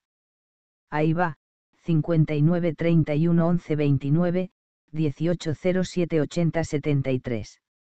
Él anotó los números en el interior de su antebrazo. ¿Qué es esto? La posición más reciente del móvil, con una desviación de 10 o 15 metros. Sigue conectado. No. Desapareció ayer a las 4 y 4 minutos de la tarde, lo cual son casi 40 minutos después de que desapareciera el primero. Increíble, Niva. Me has sido de gran ayuda. Te llamaré. Lo sé. Él cortó la llamada y salió del baño. Por fin tenía algo concreto para seguir adelante. Sin sentarse frente a su mesa, activó el ordenador, abrió Google Maps e introdujo las coordenadas. Apareció un mapa de Estocolmo, un globo rojo señalaba un punto de Sodermalm. Amplió el mapa, pasando a Street View, y observó que dicho punto correspondía al número 46 de Ostgotagatan. En principio, curiosamente, había considerado con escepticismo la función de Street View de Google Maps. Habría implicado un trabajo increíble el fotografiar cada esquina de Estocolmo, que había sido la primera ciudad de Suecia en obtener ese servicio pero cuando por fin consiguió dominar los comandos y obtuvo la imagen del edificio situado en la esquina de Ostgotagatan y Blekingegatan, les dio las gracias de corazón a los tipos de Google. El edificio estaba cubierto de andamios y parecía deshabitado. Seguramente la imagen había sido tomada alrededor de otoño, y no había ninguna garantía de que las obras de reforma siguieran en marcha. Si era así, o todavía mejor, si la reforma se había interrumpido a la espera de que la crisis financiera amainase, aquel sería sin duda el sitio ideal para mantener oculta a una víctima. Limpió el historial de búsquedas y apagó el ordenador. Al salir se tropezó de frente con Malin Renberg. Madre mía, qué prisas llevamos. Y ni siquiera tienes ningún asunto sobre la mesa. Al menos, que yo sepa. Perdona, Malin, pero ahora no tengo tiempo. Trató de esquivarla, pero ella le cortó el paso. Mala suerte, porque no pienso retirarme hasta que me cuentes qué demonios sucede. Fabián barajó mentalmente varias posibilidades y al final decidió que no iba a llegar muy lejos mintiendo. Ven conmigo. 15. Esa mañana, como de costumbre, Ossian Krempf se había sentado junto a la ventana esquinera para tomar su café y resolver un sudoku mientras escuchaba los boletines de Radio Estocolmo. No sabía por qué, pero siempre le había gustado oír los boletines de tráfico y del tiempo, en especial los largos informes marítimos, que describían con detalle la dirección y la fuerza del viento en todo el litoral de Suecia. Esta mañana, no obstante, era distinta. Aunque había escuchado entero el informe marítimo, estaba muy lejos de sentirse tranquilo. La inquietud se le había infiltrado sin que lo advirtiera y, de pronto, resultaba muy evidente. Había intentado no hacer caso y continuar con el puzzle de números japonés, pero no lograba encontrar ningún dígito. Tenía la mente acelerada y no conseguía ponerle freno. Durante muchos años se había esforzado en dominar sus pensamientos. Pero ahora estaban revolucionados y se concentraban en una serie de ideas prohibidas. Subió el volumen de la radio y comenzó un sudoku más fácil, pero no sirvió de nada y por fin tuvo que apagar la radio y dejar el bolígrafo. Se le ocurrió que ese cambio se había iniciado hacía unas semanas, quizá incluso un poco antes. Cuanto más lo pensaba, más se daba cuenta de que, últimamente, nada había sido igual. Había estado de un mal humor insólito, pero eso no era lo único que no andaba como era habitual. Sin ir más lejos, llevaba una camisa azul, a pesar de que los jueves siempre se ponía una verde. ¿Y qué había ocurrido el pasado domingo durante su paseo alrededor de Arstaviken? Había llegado a dar ese paseo. No lograba recordarlo. No era lo único que no recordaba. Toda la semana anterior, aparte de algunos retazos sueltos, era como un gran agujero negro. Y el día anterior por la mañana se había quedado demasiado tiempo en la cama y no había podido dejar de pensar en todo aquello que se había prometido no volver a abordar jamás. No le quedaba ningún recuerdo del resto del día. Había tomado sus medicinas, de eso estaba seguro. Todos los días, mañana, tarde y noche, se tragaba las píldoras con un vaso de agua tibia y sentía cómo le bajaban por la garganta. O sea que el problema no era ese. O quizás sí. Y sí creía que se las había tomado, pero en realidad no lo había hecho. ¿Y si la dosis era demasiado escasa? ¿Qué había dicho el médico? Debía aumentarla o disminuirla. ¿Y qué era ese olor? No se le habría olvidado sacar la basura el martes. ¿Verdad? Ossian Krenf estaba casi mareado con tanta pregunta y sintió que necesitaba tumbarse y descansar. Pero eso tampoco lo ayudaría, sobre todo mientras aquel hombre y aquella mujer siguieran deambulando por la calle. No era normal lo que hacían, pensó, y fue a buscar sus prismáticos. La gente solía caminar en una dirección, pero no daba vueltas en el mismo trecho como hacían ellos. Parecía como si buscaran algo. No reconocía a ninguno de los dos, pero después de observarlos un rato, había averiguado cuál era su coche. Una sencilla búsqueda en Internet le había revelado que pertenecía a un tal Fabian Risk, que trabajaba como investigador de homicidios en la Agencia Nacional de Investigación Criminal de Estocolmo. La mujer embarazada era sin duda una compañera, otra subordinada de Hermann Edelman. En cierto modo, no se había sorprendido lo más mínimo. Sabía que acabarían saliendo de sus agujeros y mostrando sus jetas siniestras, aunque no esperaba que fuese a suceder tan pronto. Pero ahí estaban. Putos polis. La pregunta era cómo había podido ocurrir. Él había hecho lo posible para pasar desapercibido desde que lo habían dejado en libertad. No solo había cambiado su apellido y adoptado el de su madre, sino que se había abstenido de ponerlo en la puerta de ese apartamento realquilado de segunda mano. O era de tercera. También había reducido su actividad al máximo y dejado que pasara el tiempo con la esperanza de librarse algún día de su antiguo yo, tal como su terapeuta le había prometido. Pero no había dado resultado. Aunque había obedecido y realizado todas esas recomendaciones, el fuego seguía ardiendo en su interior había hecho lo que el terapeuta le pedía. Pero en el fondo, tras uno o dos años de tratamiento, había llegado a la conclusión de que nunca lo conseguiría. Hiciera lo que hiciese, el ansia seguiría ahí, presente. Echó de nuevo un vistazo con los prismáticos y vio que los dos policías desaparecían bajo los andamios. ¿Cómo era posible que ya lo hubieran localizado?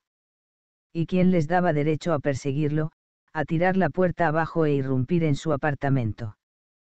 Quien decía que podían derribarlo en el suelo, ponerle las esposas y registrar su casa. Tal vez los suyos fuesen pensamientos prohibidos y desenfrenados. Él y su terapeuta se habían esforzado durante años para acallarlos sin ningún éxito. Sabía que lo mejor, por el bien de todos, era no tenerlos, pero ahora ya no le importaba. Por primera vez en mucho tiempo, se recreó en cada uno de aquellos pensamientos prohibidos. Si esos cerdos de mierda llegaban a su casa y derribaban la puerta, estaría preparado. Les hincaría los dientes y los haría pedazos. Al fin y al cabo, ya no tenía nada que perder. 16. Ojalá se acabe pronto el día, pensó Dunja Hogar, imaginando que se acurrucaría bajo las mantas y se quedaría dormida antes de que Karstan llegase a casa. Pero el día no había hecho más que empezar, y aunque había bebido al menos dos litros de agua y tomado varias cucharadas de sales de rehidratación, todavía estaba hecha polvo. Se sirvió una taza de café y ocupó su sitio en la mesa de conferencias, frente a Hanesk, que aún creía que ella había maquinado a sus espaldas y cerrado algún acuerdo con Kim Sleitner. Heldrichter estaba sentado en un extremo y parecía como si no supiera dónde mirar. Ninguno de ellos decía nada, lo cual propiciaba que el silencio fuera más incómodo a medida que transcurrían los minutos. Al fin se abrió la puerta y entró Sleitner, que recorrió la sala de un vistazo. Llevaba una camisa blanca con gemelos y corbata. Era visible en su rostro el maquillaje que se había puesto para la rueda de prensa. Dunja no conocía a ningún otro hombre de la central de policía que se maquillara para aparecer ante los medios. Claro que a Sleitner las ruedas de prensa le gustaban más que a nadie, y no perdía ocasión de convocarlas. Nadie como él era capaz de presentarse ante las cámaras y de hacer una engolada exposición a partir de la nada. ¿Alguno ha visto la rueda de prensa? preguntó acercándose a la máquina de Nespresso. Esk, Richter y Dunja negaron con la cabeza. No me preguntéis cómo, pero he logrado convencer a todo el mundo de que sabemos a qué demonios nos enfrentamos, por tanto, ahora depende de vosotros demostrar que no he prometido demasiado. Introdujo el cartucho de café y dejó que la máquina se encargara del resto. Y eso que él nunca pagó su parte, pensó Dunja aunque siempre era el primero en protestar cuando no quedaba dinero en el fondo común para el café. Ella misma nunca usaba esa máquina, no solo para evitar las monsergas de Sleitner, sino, sobre todo, porque no le parecía que fuese tan delicioso como creían los demás. A su modo de ver, era un verdadero misterio porque casi todo el mundo occidental suscribía la idea de que debías comprar el café en una tienda exclusiva y pagar el triple. Por lo demás, prefería no pensar en el impacto medioambiental de todo aquel montaje. Bueno, vamos a ver qué tenéis. ¿Con qué hipótesis estáis trabajando? Esk carraspeó y, poniéndose de pie, explicó. Como ya he dicho, estamos en la primera fase de la investigación y hay un montón de interrogantes. Pero basándonos en las pistas que Kjeld y su equipo han encontrado, está muy claro que hubo una tercera persona implicada. Esk se empeñaba en ponerse de pie siempre que Sleitner estaba presente, cosa que Dunja no acababa de entender. Si alguien despreciaba al jefe y cuánto representaba, era él.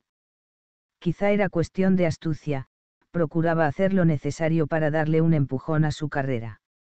Cuanto más lo pensaba, más le irritaba la adulación constante que desplegaba su compañero con todos los que estaban por encima de él. Si Sleitner se bajaba la bragueta, seguro que Esk no vacilaría un segundo, siempre que ello redundara en su beneficio. Lleva todo el día distraída. Dunja tardó varios segundos en darse cuenta de que Esk se refería a ella. Perdón, ¿qué decíais? ¿Tú también lo ves así? Preguntó Sleitner mirándola fijamente. La hipótesis, le aclaró Richter. Ya sabes. Numan llega a casa después de su programa televisivo, encuentra a su esposa con otro hombre en la cama y se vuelve loco con un hacha. Perdonad si parezco un poquito ausente. Pero. Dunja no sabía cómo proceder sin pisarle los callos a Esk. ¿Pero qué? urgió Esk. No sé. Se mire como se mire, me cuesta imaginar que Axel Numan sea capaz de algo ni remotamente parecido cogió una de las fotos que mostraban el cuerpo destrozado de Karen Newman y la observó. He hablado con el personal del Carriere Bar y está claro que se consumieron un buen número de gin tonics, dijo Esk. Y además, Newman se ha aliado a puñetazos en ese bar en más de una ocasión, aportó Richter. Ya. Pero, Dunja buscó torpemente algún modo de seguir. Quizás sonará trivial, pero Axel y Karen eran una de esas parejas que después de tanto tiempo juntas parecían enamoradas de verdad. Dunja, somos policías que investigamos un crimen, no guionistas de un nuevo culebrón, dijo Esk. Pues tampoco es mala idea, comentó Richter, y cogió su teléfono, que estaba sonando. Hay un montón de giros argumentales en esta historia. Diga, aquí Richter. Se levantó y salió de la sala. Lo único que puedo decir es que no creo que haya sido él, aseveró Dunja. ¿A quién le interesa lo que tú creas? Tercio Esk. Y si es inocente como tú sostienes, ¿por qué ha desaparecido? No lo sé. Esperemos que tenga un buen motivo cuando lo encontremos. Pero si llegó a casa antes de lo previsto, quizá el asesino aún estaba allí y emprendió su persecución. Eso sería más propio de él, sobre todo si estaba borracho. Exacto. Eso encajaría con lo que Kjeld iba a exponer, dijo Sleitner. Y hay otra cosa que he estado pensando. Quizá podríamos comentarla después, en la pausa del café, la interrumpió Esk. Si hemos de atraparlo antes de que llegue muy lejos, deberíamos. Déjala terminar, por favor, dijo Sleitner indicándole a Esk que se sentara. Dunja notaba que su compañero estaba a punto de explotar, pero ahora no tenía más remedio que proseguir. Han, no entiendo por qué estás tan furioso conmigo. Ah, no. Lo único que pretendo es que la investigación avance. Y puede que esté equivocada del todo, desde luego, pero tengo la sensación de que hay algo que no tiene lógica. Considera el arma del crimen, por ejemplo, que, según Pedersen, ha sido seguramente un hacha grande. Por lo que he visto, en la casa no había chimenea ni leña, eso sugiere que tampoco había ningún instrumento para cortarla. ¿De dónde ha salido entonces el hacha? La tenía Axel guardada en el coche por si necesitaba asesinar a alguien. Esk reflexionó y se encogió de hombros. ¿Qué quieres decir, pues? inquirió Sleitner sin mirar a Esk. Dunja cogió una de las fotos, donde aparecía Karen Newman en la cama empapada de sangre. Mirad qué cantidad de sangre. Pero no había ninguna mancha en el suelo ni en el pasillo, lo que indica que el asesino iba preparado y extendió un plástico o algo parecido. Dejó la foto sobre el montón. El que haya hecho esto ya ha asesinado otras veces. Es innegable que suena más lógico, comentó Sleitner, justo cuando volvía a entrar Richter. Ya está listo el análisis del tercer neumático, dijo, y se sentó en su sitio. Y hay un detalle bastante interesante. Hizo una pausa teatral, aunque demasiado breve para que nadie lo notara. Todo apunta a que estamos buscando un coche deportivo con neumáticos provistos de clavos. Neumáticos con clavos. Se extrañó Dunja. ¿Quién usa esa clase de neumáticos hoy en día? Es lo que yo también me estaba preguntando. Los suecos. Les vuelven locos los neumáticos con clavos, aseguró Esk. Cuando nosotros vamos a Smalan a celebrar la Navidad, todos los suecos andan por ahí en un Volvo con neumáticos con clavos. Entonces nos enfrentamos a un asesino sueco, aventuró Sleitner. Esto cada vez se pone mejor. Yo me inclino por Axel Newman, pero tampoco quiero cerrar ninguna puerta. Así pues, creo que deberíamos emitir una orden de búsqueda para localizarlo mientras seguimos investigando la pista sueca, sugirió Esk. Dunja sintió, aliviada por el hecho de que Esk comenzara a recuperar su color normal. Podemos preguntar a Skandlines si anoche tuvieron a bordo algún deportivo de matrícula sueca. Si se trata de un asesino sueco, es factible que tomase el ferry hasta el Singborg. Bien pensando, Dunja. Sleitner se puso de pie. A partir de este momento, todos debéis informar a Dunja, que pasa a ser la responsable de la investigación y me informará directamente a mí. ¿Alguna pregunta al respecto? Nadie dijo nada, y Sleitner abandonó la sala de inmediato. La angustia descendió como una niebla espesa y pegajosa. Dunja sintió que se le formaba un nudo cada vez más grande en la garganta y que le costaba respirar. Además, sus náuseas estaban a punto de hacerle devolver lo poco que había comido en el almuerzo. No sabía a dónde mirar ni qué decir. Deseaba que se la tragara la tierra. Pero lo único que podía hacer era permanecer sentada mientras pensaba a toda velocidad. Era culpa suya. Se había extralimitado.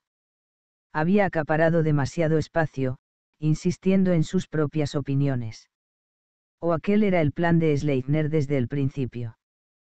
Por eso la había llamado a ella, y no a Esk cuando estaban en la escena del crimen. Y en ese caso, ¿por qué? ¿Qué andaba buscando? Porque desde luego tenía que haber algo, de eso estaba segura. Bueno. Dijo Richter rompiendo el silencio. ¿Alguien entiende a qué ha venido eso? No tengo ni idea, no entiendo nada, exclamó Dunja, y observó que Esk temblaba de furia. Han podía enfadarse de verdad, eso le constaba. En los peores años de crianza de sus hijos, según le había contado él mismo, había llegado a agujerear a patadas las paredes de su casa. Pero ella nunca lo había visto tan furioso. Han, tienes que creerme. Yo lo entiendo tan poco como tú. Esta investigación es tuya y... Él la cortó con un bufido. La miró fijamente y le espetó. No hace que falta que intentes. No intento nada. Te estoy diciendo. Cállate la boca, zorra de mierda. Esk se levantó con tal violencia que la silla volcó hacia atrás.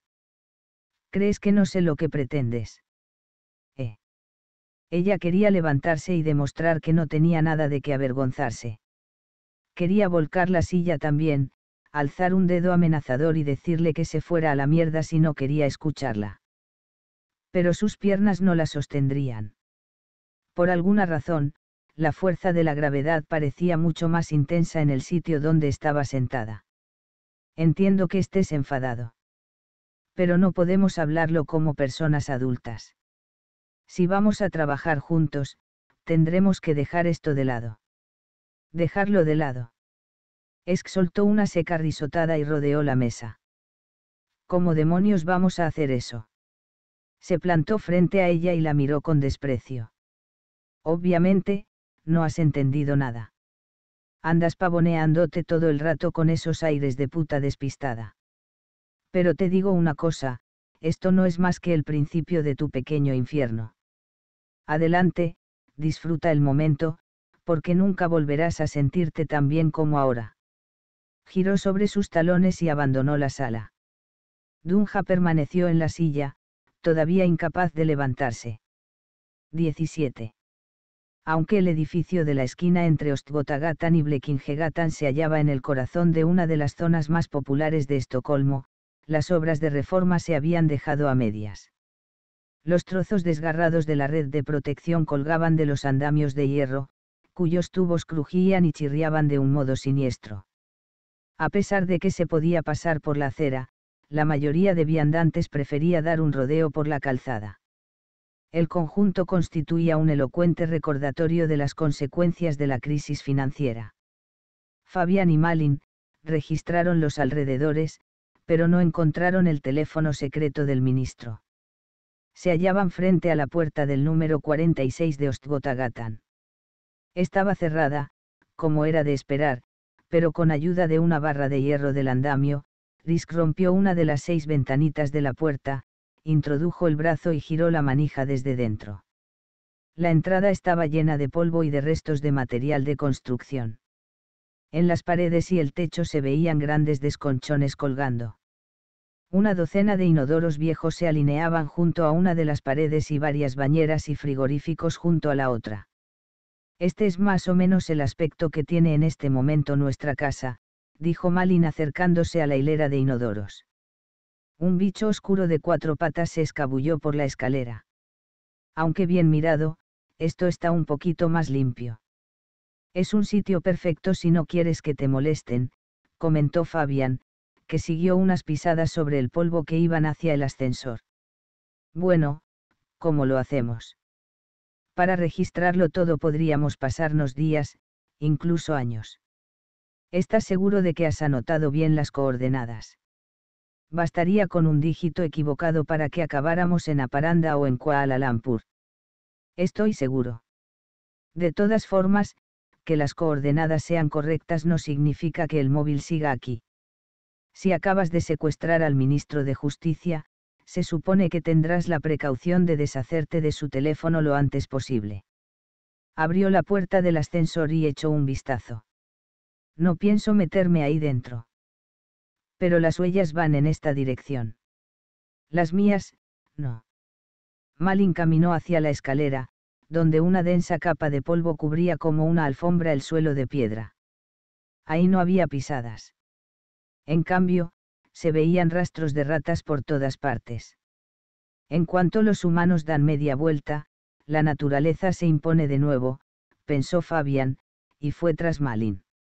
Subieron piso tras piso. No hallaron huellas humanas hasta llegar a la quinta planta se veía claramente el rastro de unas botas contundentes entre el ascensor y la puerta del apartamento situado al fondo a la derecha. El polvo frente a las demás puertas estaba intacto. Malin sacó su móvil y tomó varios primeros planos de las pisadas. Fabián se dirigió a la puerta del apartamento, que no tenía número. Tapó con una mano la mirilla y con la otra abrió sigilosamente la ranura del buzón. Estaba muy oscuro para ver el interior y no se oía ningún ruido. Le indicó a su colega que se acercara y mantuviera la mano sobre la mirilla mientras él iluminaba con la linterna del móvil la ranura del correo. Había un felpudo gastado frente a la puerta y un rollo de lámina de plástico apoyado contra la pared. No deberíamos avisar al equipo de intervención especial para que entren ellos primero. No es posible mientras la investigación la dirija oficialmente el sapo. Fabián cerró con sigilo la ranura del correo y probó el pomo de la puerta. Estaba cerrada. Fue a probar la del apartamento contiguo, que resultó estar abierta.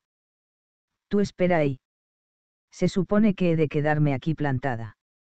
Malin se interrumpió y suspiró. Estaba tan sucio y cochambroso como cabía esperar en un apartamento clausurado.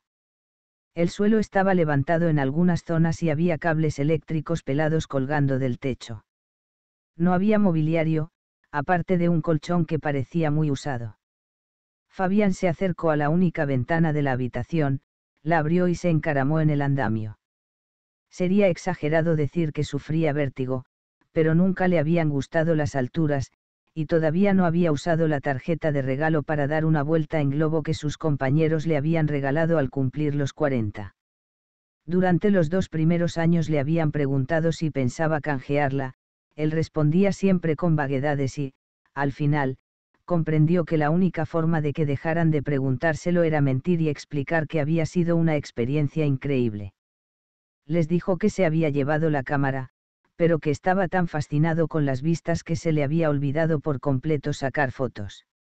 Ahora no tenía otro remedio que confiar en que los gélidos barrotes del andamio aguantasen.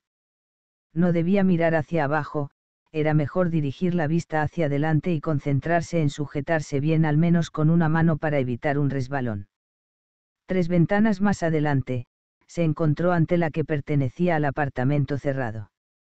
La persiana estaba bajada, no era posible ver el interior. Miró en derredor, buscando algo que pudiera servirle para entrar. Como no encontró nada, decidió probar dando una patada en la ventana, que resultó más sólida de lo que esperaba. Pese a ello, persiana y ventana acabaron cediendo. Si hay gente dentro, tendrán tiempo de sobra para prepararse, pensó, y se contoneó para colarse por el marco roto. Una vez dentro, echó un vistazo alrededor y vio que la habitación medía unos 20 metros cuadrados. En contraste con el otro apartamento, ese el suelo estaba más o menos limpio. En un lado, había una despensa con un hornillo, un fregadero y una nevera. Una muñeca de porcelana de pelo largo y rizado, con vestido y sombrero a juego, lo miraba desde lo alto de la nevera. Entró en la habitación contigua. Estaba muy oscura y sus ojos tardaron en adaptarse. Buscó a tientas por la pared y al final encontró el interruptor. La luz era tan cegadora que se vio obligado a girar la cabeza. Al cabo de unos momentos, se dio la vuelta lentamente y vio una mesa forrada de plástico, con un agujero en medio y varias correas colgando a los lados. 18. Ya había pasado casi media hora desde que Kjeldrichter le había deseado suerte a Dunja y la había dejado sola en la sala de conferencias. Pero ella continuaba sentada, tratando de reunir la energía suficiente para salir de allí e ir a la oficina con la cabeza bien alta. Las náuseas se le habían pasado por fin, aunque fueron reemplazadas por un penetrante dolor de cabeza. Si no tomaba algún líquido pronto, la cabeza le acabaría estallando. Y por si fuera poco, necesitaba ir al baño con urgencia. Analizó la situación y se dio cuenta de que estaba sola, dejando aparte a Sleipner, con quien no quería tener el menor contacto. Es que era demasiado buen policía para poner la investigación en manos del azar, pero ella estaba segura de que haría todo lo posible para crearle dificultades. Richter era la única incógnita real. Ella no había sido capaz de interpretar si su escueto, buena suerte, constituía un sarcasmo o una muestra de consideración. A lo mejor, ni siquiera él sabía cuál era su posición, pero si Dunja no se equivocaba sobre el carácter de su colega, suponía que él escogería el camino que le creara los menos problemas posibles durante la pausa del café. Iba a ser una dura batalla, eso era evidente. Nadie esperaba que ella fuese capaz de manejar por sí sola una situación semejante, probablemente, ni siquiera el propio Sleipner. Pero no podía echarlo a rodar sin más. No había ninguna salida fácil.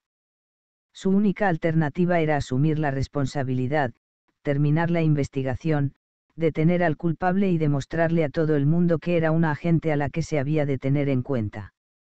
Aunque, por desgracia, ni siquiera ella misma se lo creía cogió el paño rojo del fondo del cuenco de fruta y se enjugó la frente. Cerró los ojos e inspiró hondo antes de apoyar las manos sobre la mesa y levantarse con cuidado. Tanto las piernas como las manos le temblaban, y el corazón le palpitaba desbocado. Necesitaba acostumbrarse. Esk tenía razón casi con toda seguridad, eso era el principio de su pequeño infierno. 19. Después de abrirle a Malin la puerta del apartamento clausurado, Fabián volvió a la mesa rectangular, situada en medio de la más grande de las dos habitaciones. Estaba atornillada al suelo con un hierro angular y forrada con un plástico transparente, fijado con grapas por la cara inferior de la mesa. Debajo del agujero había un embudo unido a un grueso tubo que descendía hasta un bidón. Pero este estaba vacío y el embudo parecía limpio, igual que el plástico y las correas. Risk no vio restos de sangre ni de excrementos. En contraste con el resto de la habitación, la mesa tenía aspecto de nueva e inmaculada. Los tornillos que sujetaban las correas en su sitio estaban relucientes, y no había ni una mota de polvo en la lámpara colgada del techo. O lo habían limpiado todo con sumo cuidado, o no habían utilizado esa mesa. Se acercó a las ventanas, que estaban cubiertas con placas de yeso, lo que impedía la entrada de la luz exterior y que se viera nada desde fuera. En un rincón había otro rollo de plástico y, amontonados en el suelo, un destornillador eléctrico y una sierra circular con un largo cable de conexión. Estaba bien claro que el apartamento había sido preparado con un fin concreto. La cuestión era cuál. Tortura. Cirugía. Descuartizamiento podría ser sencillamente un macabro montaje para mantener confinado a alguien.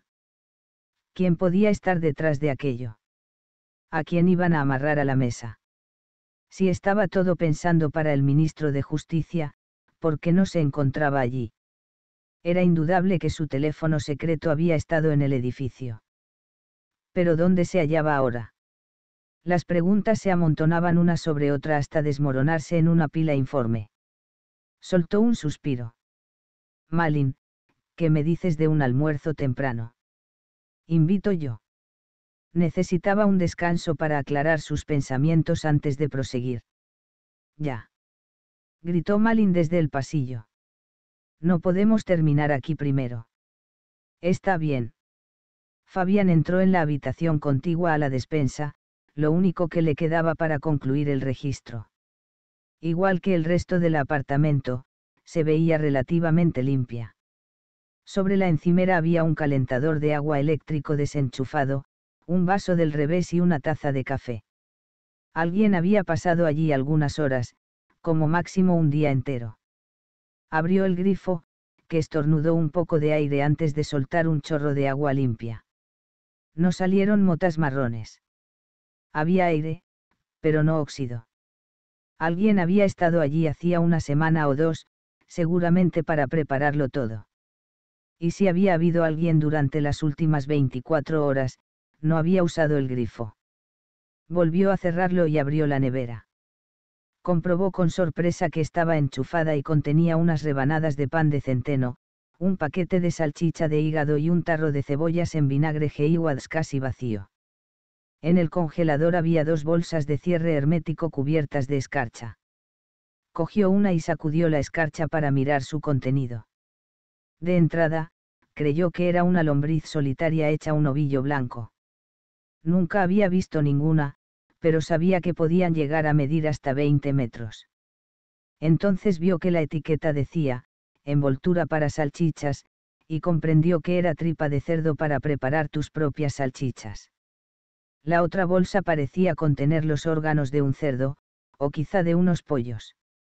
Nunca le había entusiasmado la casquería, aunque tenía un libro de cocina de los años 30 que contenía varias recetas a base de vísceras, incluidos esos de vaca asados, una exquisitez de Sudamérica. Pero ¿quién comía este tipo de cosas hoy en día? Y sobre todo, ¿qué tenía eso que ver con la desaparición del ministro de Justicia? Fabián. Ven a ver esto. Gritó Malin. Él cruzó de nuevo la habitación grande y ya se iba hacia el pasillo cuando reparó en una cosa. Si no la había visto antes era porque al concentrarse en la mesa rectangular, le había dado la espalda todo el rato.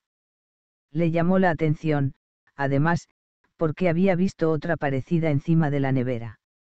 Se trataba de una muñeca de porcelana de rizos rubios y ojos azules la que lo miraba desde lo alto de la caja de fusibles. La cogió y la examinó.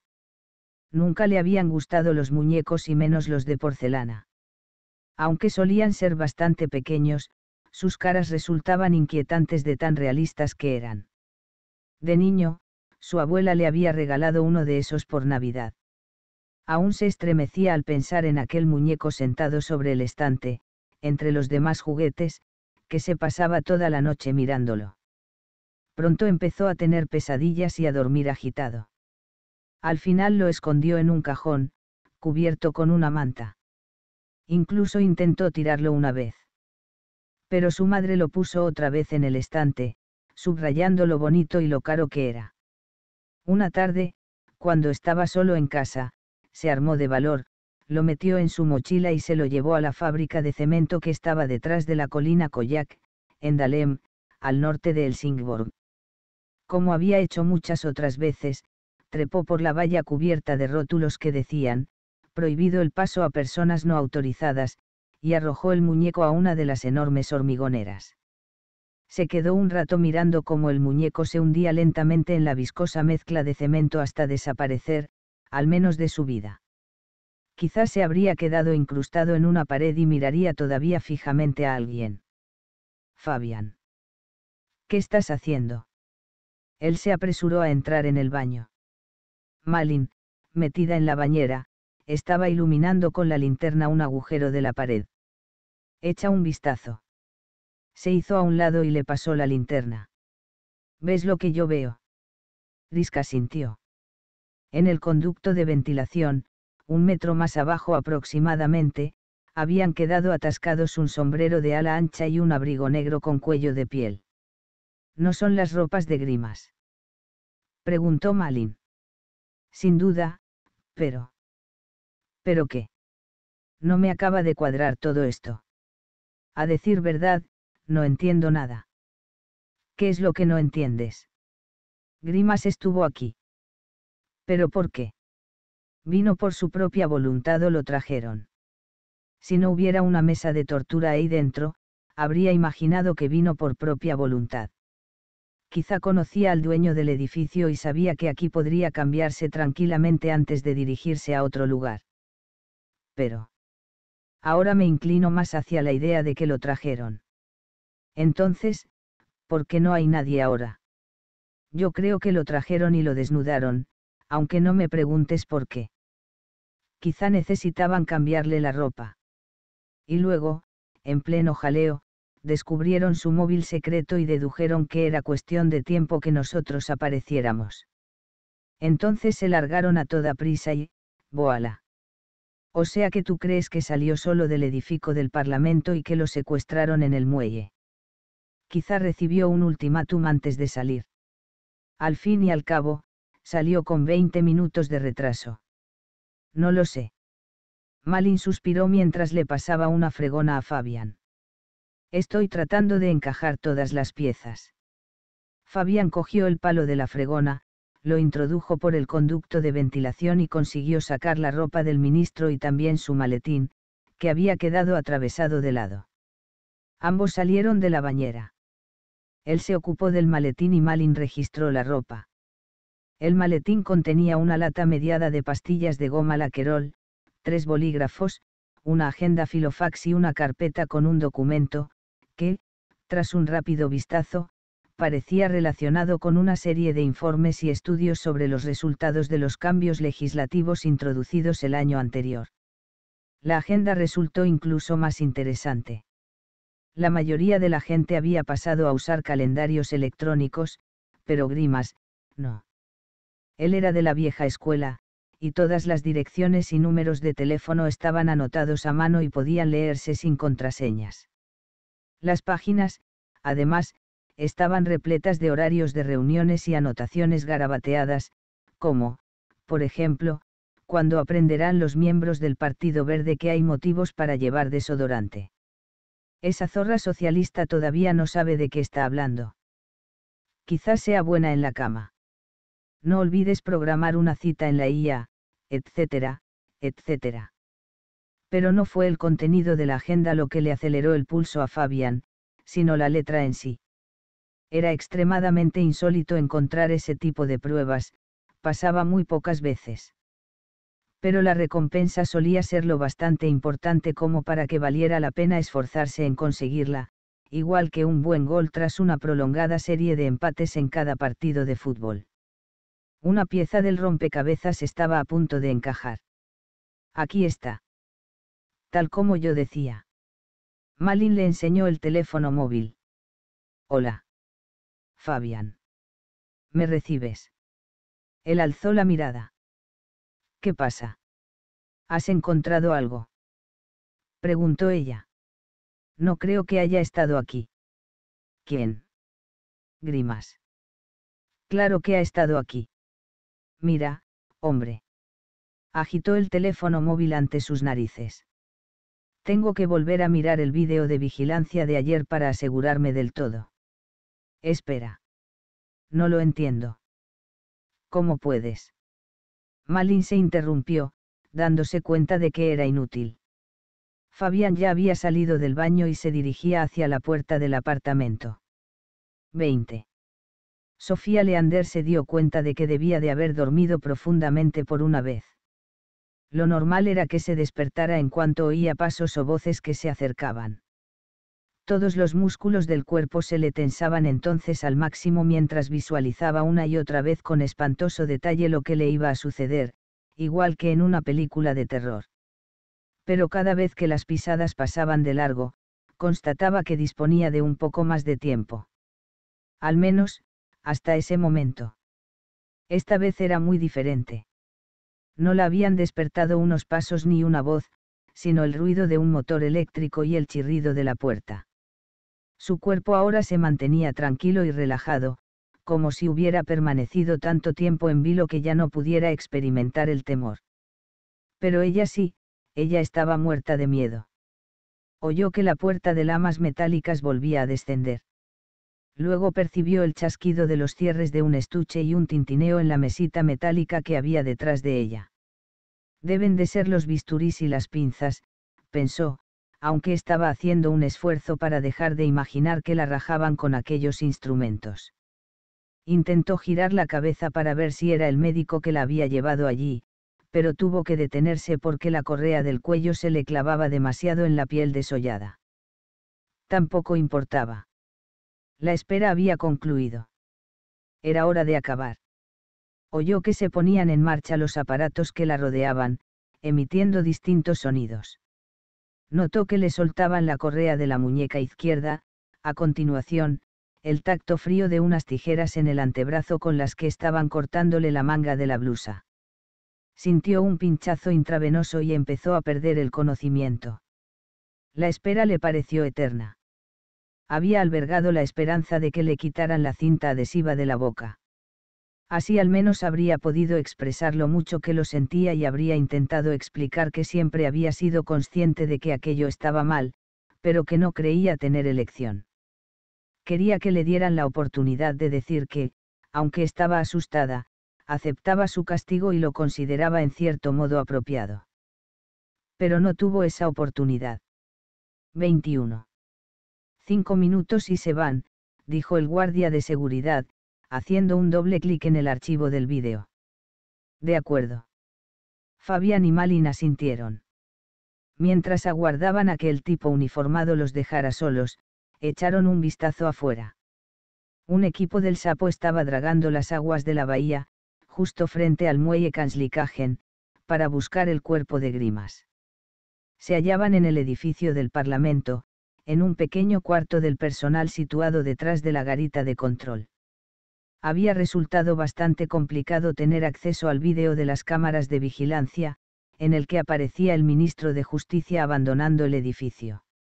El sapo lo había clasificado como alto secreto y había alertado al supervisor de seguridad de que tal vez se presentara allí algún miembro de la Agencia Nacional de Investigación para hacer preguntas pero no habían contado con Mali ni con sus arranques de mal genio que, cuando no se salía con la suya, bastaban para hacer ceder a cualquiera. Fabián puso en marcha el vídeo, que mostraba la entrada, al principio vacía, y las acristaladas puertas, de dos hojas, de seguridad del Parlamento. Esa misma secuencia de Carleric Grimas entrando en el encuadre ya la había visto proyectada en la reunión de la noche anterior. El ministro aparecía solo, sosteniendo el maletín con la mano izquierda, pasaba su tarjeta por el lector con la derecha, empujaba una hoja de la puerta, luego la otra, y desaparecía en medio de la ventisca. Como Fabián barruntaba, la solución la habían tenido ante los ojos todo el tiempo. Pero no habían sabido lo que debían buscar. Solo una persona diestra llevaría el maletín en la mano izquierda y pasaría la tarjeta por el lector con la derecha. Sin embargo, la inclinación de la letra de la agenda Filofax revelaba que, al igual que su esposa, Sonia, Carleric Grimas era zurdo. Risk le preguntó a Malin. ¿No notas nada? Ese tipo es diestro. Entonces. No es el ministro de Justicia, sino alguien vestido como él. Exacto. Podría ser el criminal volvió a poner el vídeo desde el principio y lo estudió fotograma a fotograma. Fíjate bien. El tipo sabe dónde está la cámara y cómo debe caminar para que no aparezca su cara. Pero suponiendo que sea el criminal, ¿dónde está el ministro?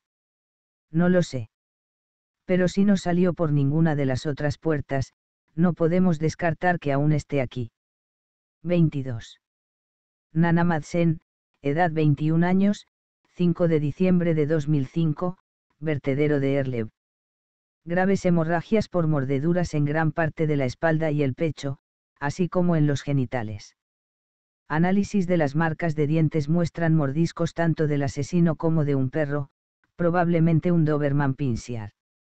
No se ha hallado ningún rastro del asesino.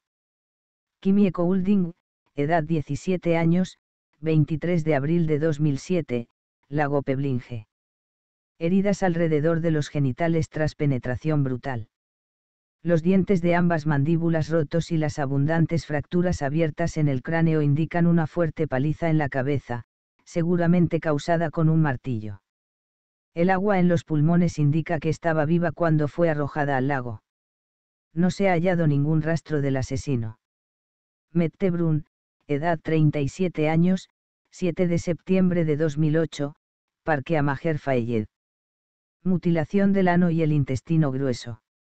Numerosas heridas internas, desde los genitales hasta el estómago, muy posiblemente producidas tras la penetración con una rama gruesa o un palo con clavos. No se ha hallado ningún rastro del asesino. Dunja Hogar dejó la carpeta sobre la mesa, se arrellanó en el diván y cerró los ojos.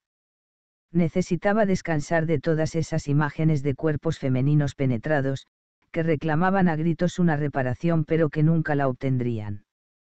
En vez de tales imágenes, apareció en sus pensamientos Kim Sleipner.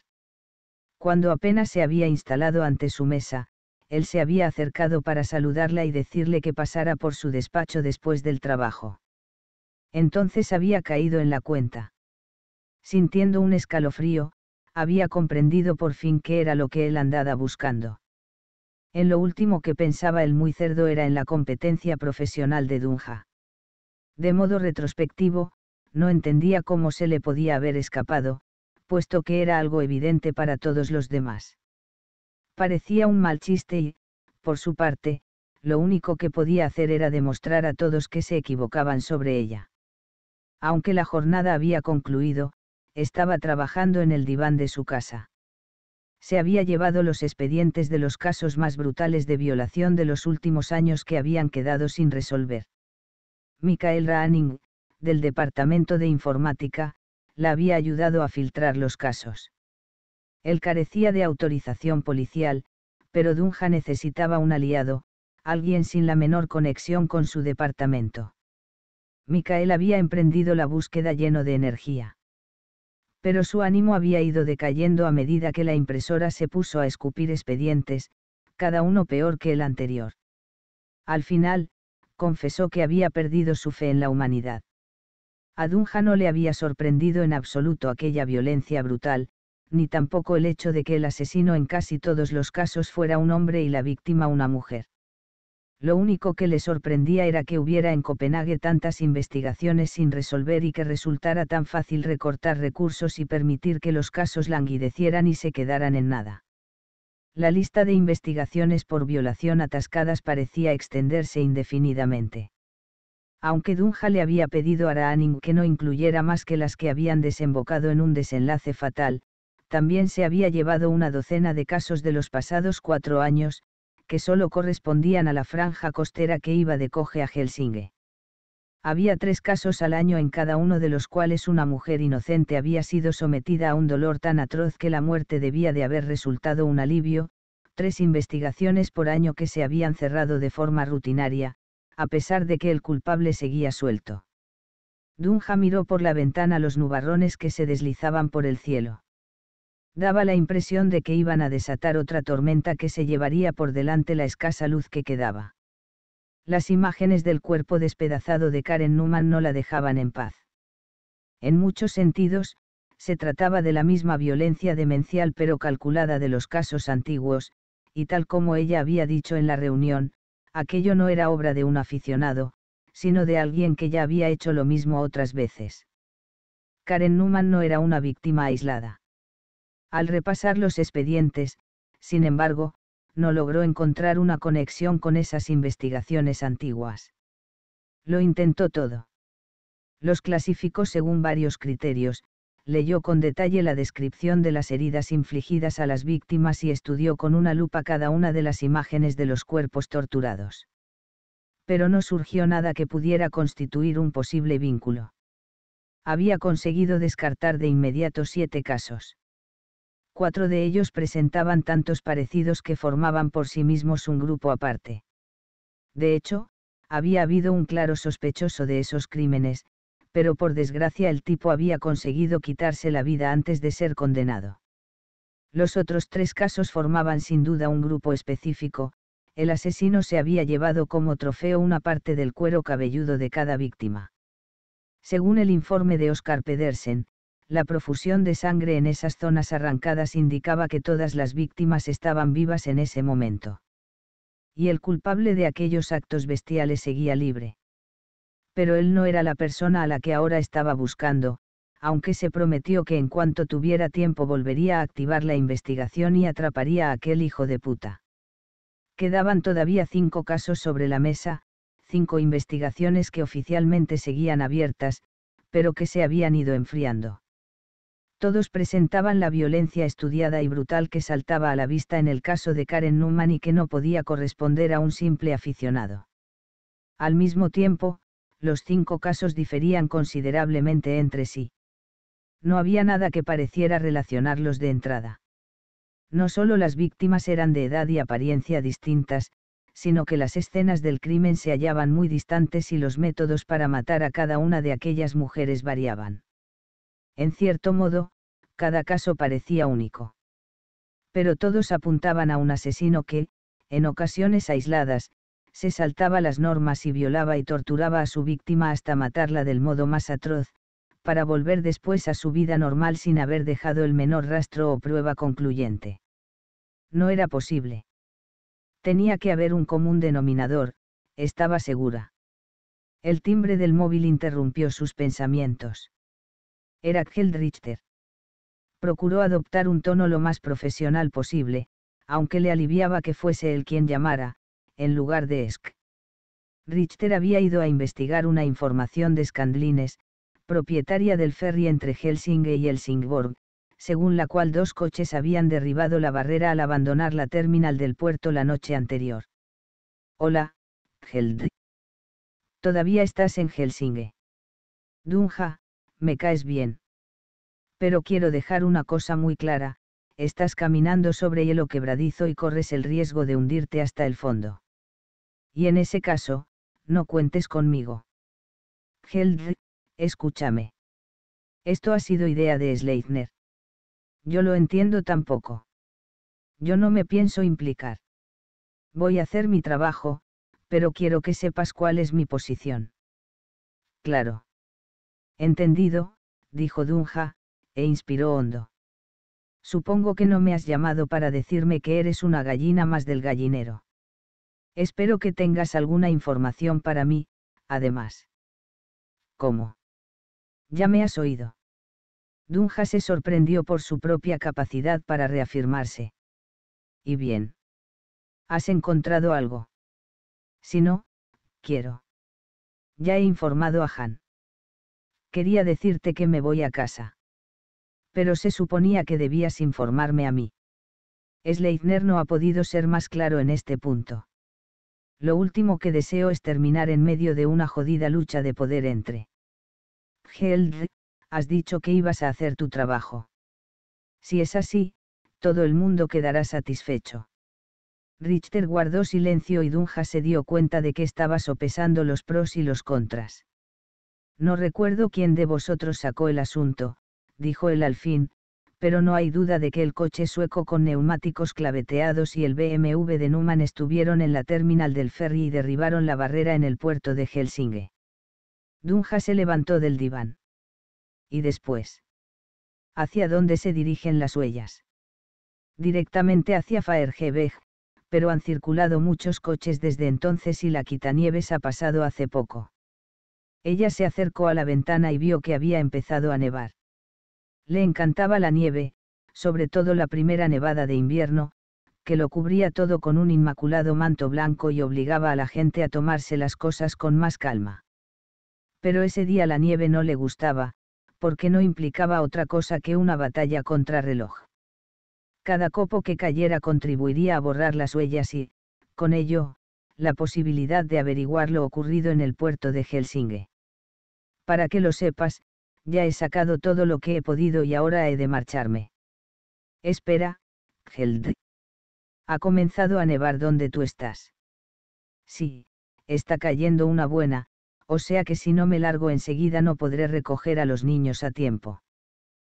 Pero yo quiero que te quedes ahí. ¿Cómo que me quede? El jueves es el único día que me toca recoger a los niños.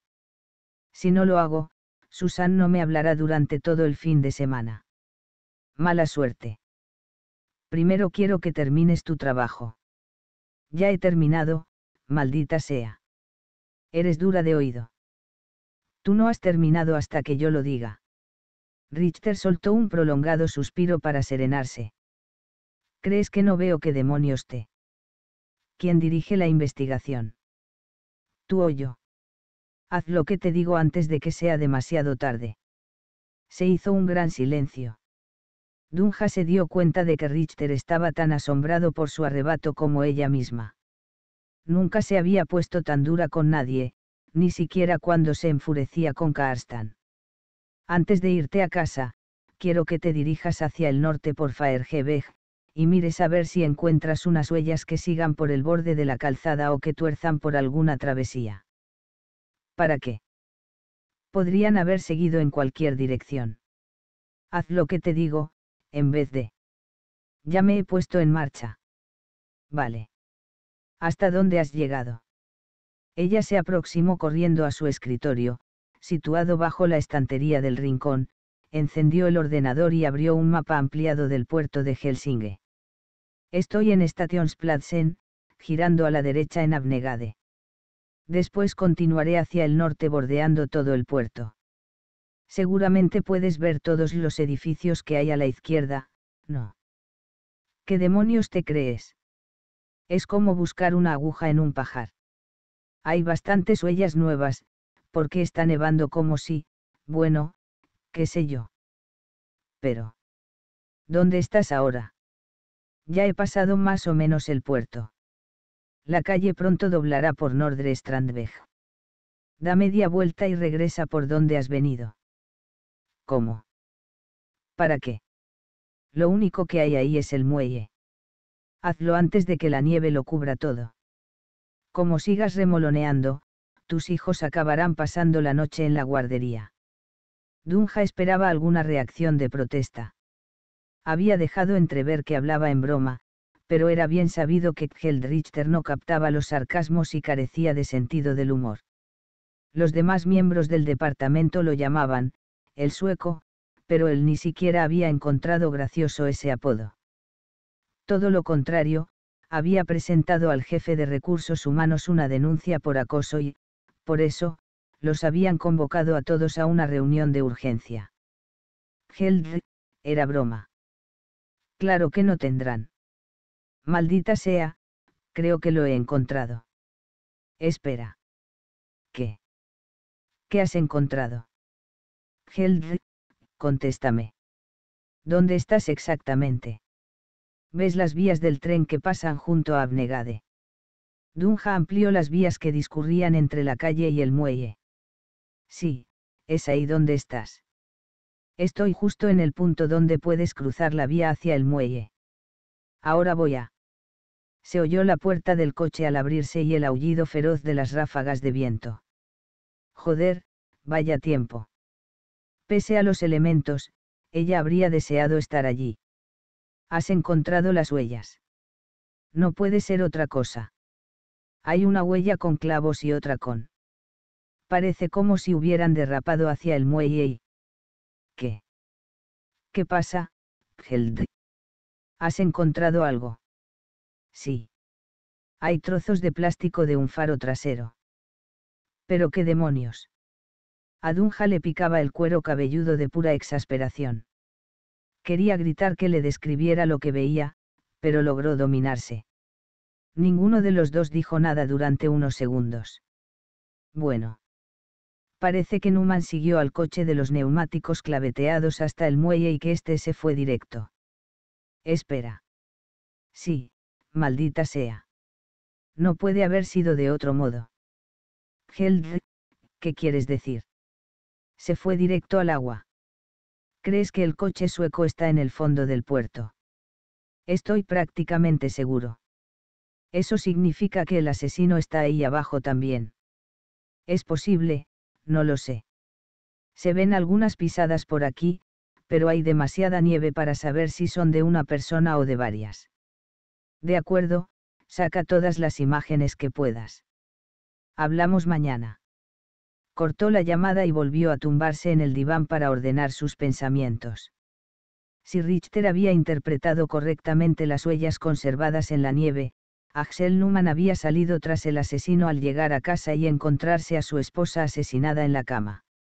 Según lo que sabían hasta ahora, Numan había perseguido al coche sueco todo el trayecto hasta la terminal del ferry de Helsinge, donde el asesino debía de haberlo visto.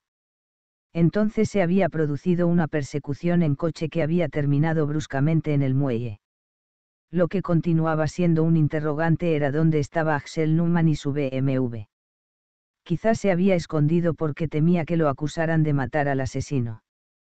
También cabía la posibilidad de que éste hubiera logrado salir a nado. O quizá ni siquiera estaba en el coche en el momento de caer al agua, sino escondido en alguna parte, y tal vez había atacado a Newman y arrebatado la vida y el coche. Era una hipótesis razonable. Que fuera probable ya era otra cuestión. Si Dunja hubiera tenido que responder a esa pregunta, habría dicho sin vacilar que no. Estaba muy lejos de resultar probable. Pero su instinto le decía que lo de menos en esta investigación iba a ser si algo era probable o no. 14 de junio de 1998. No sé dónde estás, ni si aún existes siquiera, pero esta carta es para ti y para nadie más. Yo te veía casi cada día al otro lado del puesto de control y de la valla de alambre de espino. Pero de eso ya hace un año. Te sentabas allí durante horas. Quizá estabas de paso, o quizá solo venías a mirar. No lo sé. En el campo corrían rumores sobre mujeres palestinas que se reunían en secreto con soldados israelíes, y tú tal vez venías por mí. Yo permanecía junto a la barrera, lleno de esperanza. Sabía que las mujeres de las montañas de Nablus podían tener ojos azules, pero nunca lo había visto antes de conocerte a ti. Eras la persona más bella del mundo. Al principio no lo entendía, pero mi corazón se aceleraba cada vez que te veía. Todavía se acelera cuando pienso en ti, como si se negara a aceptar que ya no queda tiempo y que muy pronto todo se habrá acabado. No puedo dejar de pensar en nuestra última noche. ¿La recuerdas? Oscurecía ya y tú te quedaste más tiempo de lo normal. Mi turno había terminado y pensé que era entonces o nunca. Caminé junto a la barricada y vi que tú te desplazabas en mi dirección. Estuve a punto de gritar de alegría. Habría dado media vuelta si hubiera sabido lo que ocurriría después, te habría advertido que no te acercases demasiado, incluso te habría amenazado y obligado a retroceder. No me habría detenido junto a la valla ni habría permitido que mis ojos se encontraran con los tuyos, y tú no habrías caminado hasta allí ni habrías puesto las palmas de las manos sobre las mías. Tus labios. No puedo seguir mucho más. No me queda demasiada sangre. ¿Cuánto tiempo estuvimos allí en silencio? Fueron unos minutos o una hora entera. Había tantas cosas que quería decir, que deseaba preguntar. Pero no me atreví. Me daba mucho miedo enturbiar aquel momento tratando de expresar mis pensamientos con palabras. Decir que eras la mujer más hermosa que había visto. Que tus ojos eran tan azules. Que yo ya te amaba, aunque solo nos hubiéramos visto con una valla interponiéndose entre nosotros. Ni siquiera llegué a saber tu nombre lo único que conseguí hacer fue encender mi radio portátil. ¿Te acuerdas? Sonaba una canción de Eta y Ames. Nadie habría podido decirlo mejor que ella. Me pellizqué con fuerza en el brazo para comprobar que aquello no era un sueño.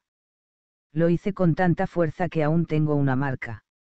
No sé quién te llevó lejos de allí, o si esa fue la razón de que no volvieras más. Fue tu padre, o quizá alguien de tu aldea. Todavía estás viva. Tal vez todo había sido un sueño, al fin y al cabo, y durante un tiempo pensé que bastaba con eso. La marca, y tu imagen, mantuvieron vivo el recuerdo. 23. El Parlamento contaba con siete edificios distintos, el del ala este y el del ala oeste, situados en el Solmen, y otros cinco, Ledamot-Suset, Brancontoret, Neptunus, Cepalus y Mercurius, en la ciudad vieja. Todos estaban conectados por túneles subterráneos y vigilados por un centenar aproximado de cámaras, lo cual era muchísimo trabajo para los dos únicos guardias situados en el centro de seguridad. Teniendo en cuenta la cantidad de metros cuadrados de los edificios y el número de políticos de alto nivel que entraban y salían de allí diariamente, podía decirse que la zona estaba casi desprotegida. Si uno sabía dónde se hallaban las cámaras, no era difícil volverse invisible. Tras casi dos horas seguidas mirando vídeos de vigilancia, Fabian, Malin y uno de los guardias consiguieron identificar al ministro de Justicia cuando salía del salón de plenos por la puerta número 4 a las 2 y 42. Grima se detenía para ponerse su abrigo con cuello de piel antes de seguir caminando hacia la escalera mecánica. ¿Te has fijado? Sujeta el maletín con la mano derecha y el sombrero con la izquierda, dijo Fabián señalando el monitor justo cuando el ministro bajaba por la escalera mecánica y desaparecía. Malina sintió.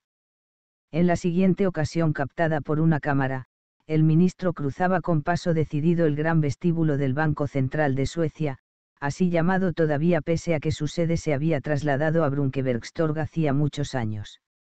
El maletín seguía en su mano derecha, mientras que con la izquierda se estaba poniendo el sombrero. Ese es el camino más directo para llegar al Ledamot-Suset. Preguntó Malin. El guardia asintió. Parece que está a punto de salir, de todos modos, dijo Fabián, quien observó que el lenguaje corporal del ministro no parecía indicar que ese día no fuese como otro cualquiera. También apreció esa misma actitud mientras examinaban las imágenes de Grimas atravesando la llamada, alcantarilla, la primera parte del túnel subterráneo que llevaba a los edificios gubernamentales de la ciudad vieja. No parecía nervioso ni vacilante cuando miraba por las ventanas la bahía Ridarfjarden, en cuyas aguas encontrarían más tarde su primer teléfono móvil, o cuando saludaba a otros parlamentarios con los que se iba cruzando. Daba toda la impresión de ignorar por completo lo que se avecinaba. Cosa que sucedía unos segundos más tarde. El rótulo horario indicaba las 2 y 45.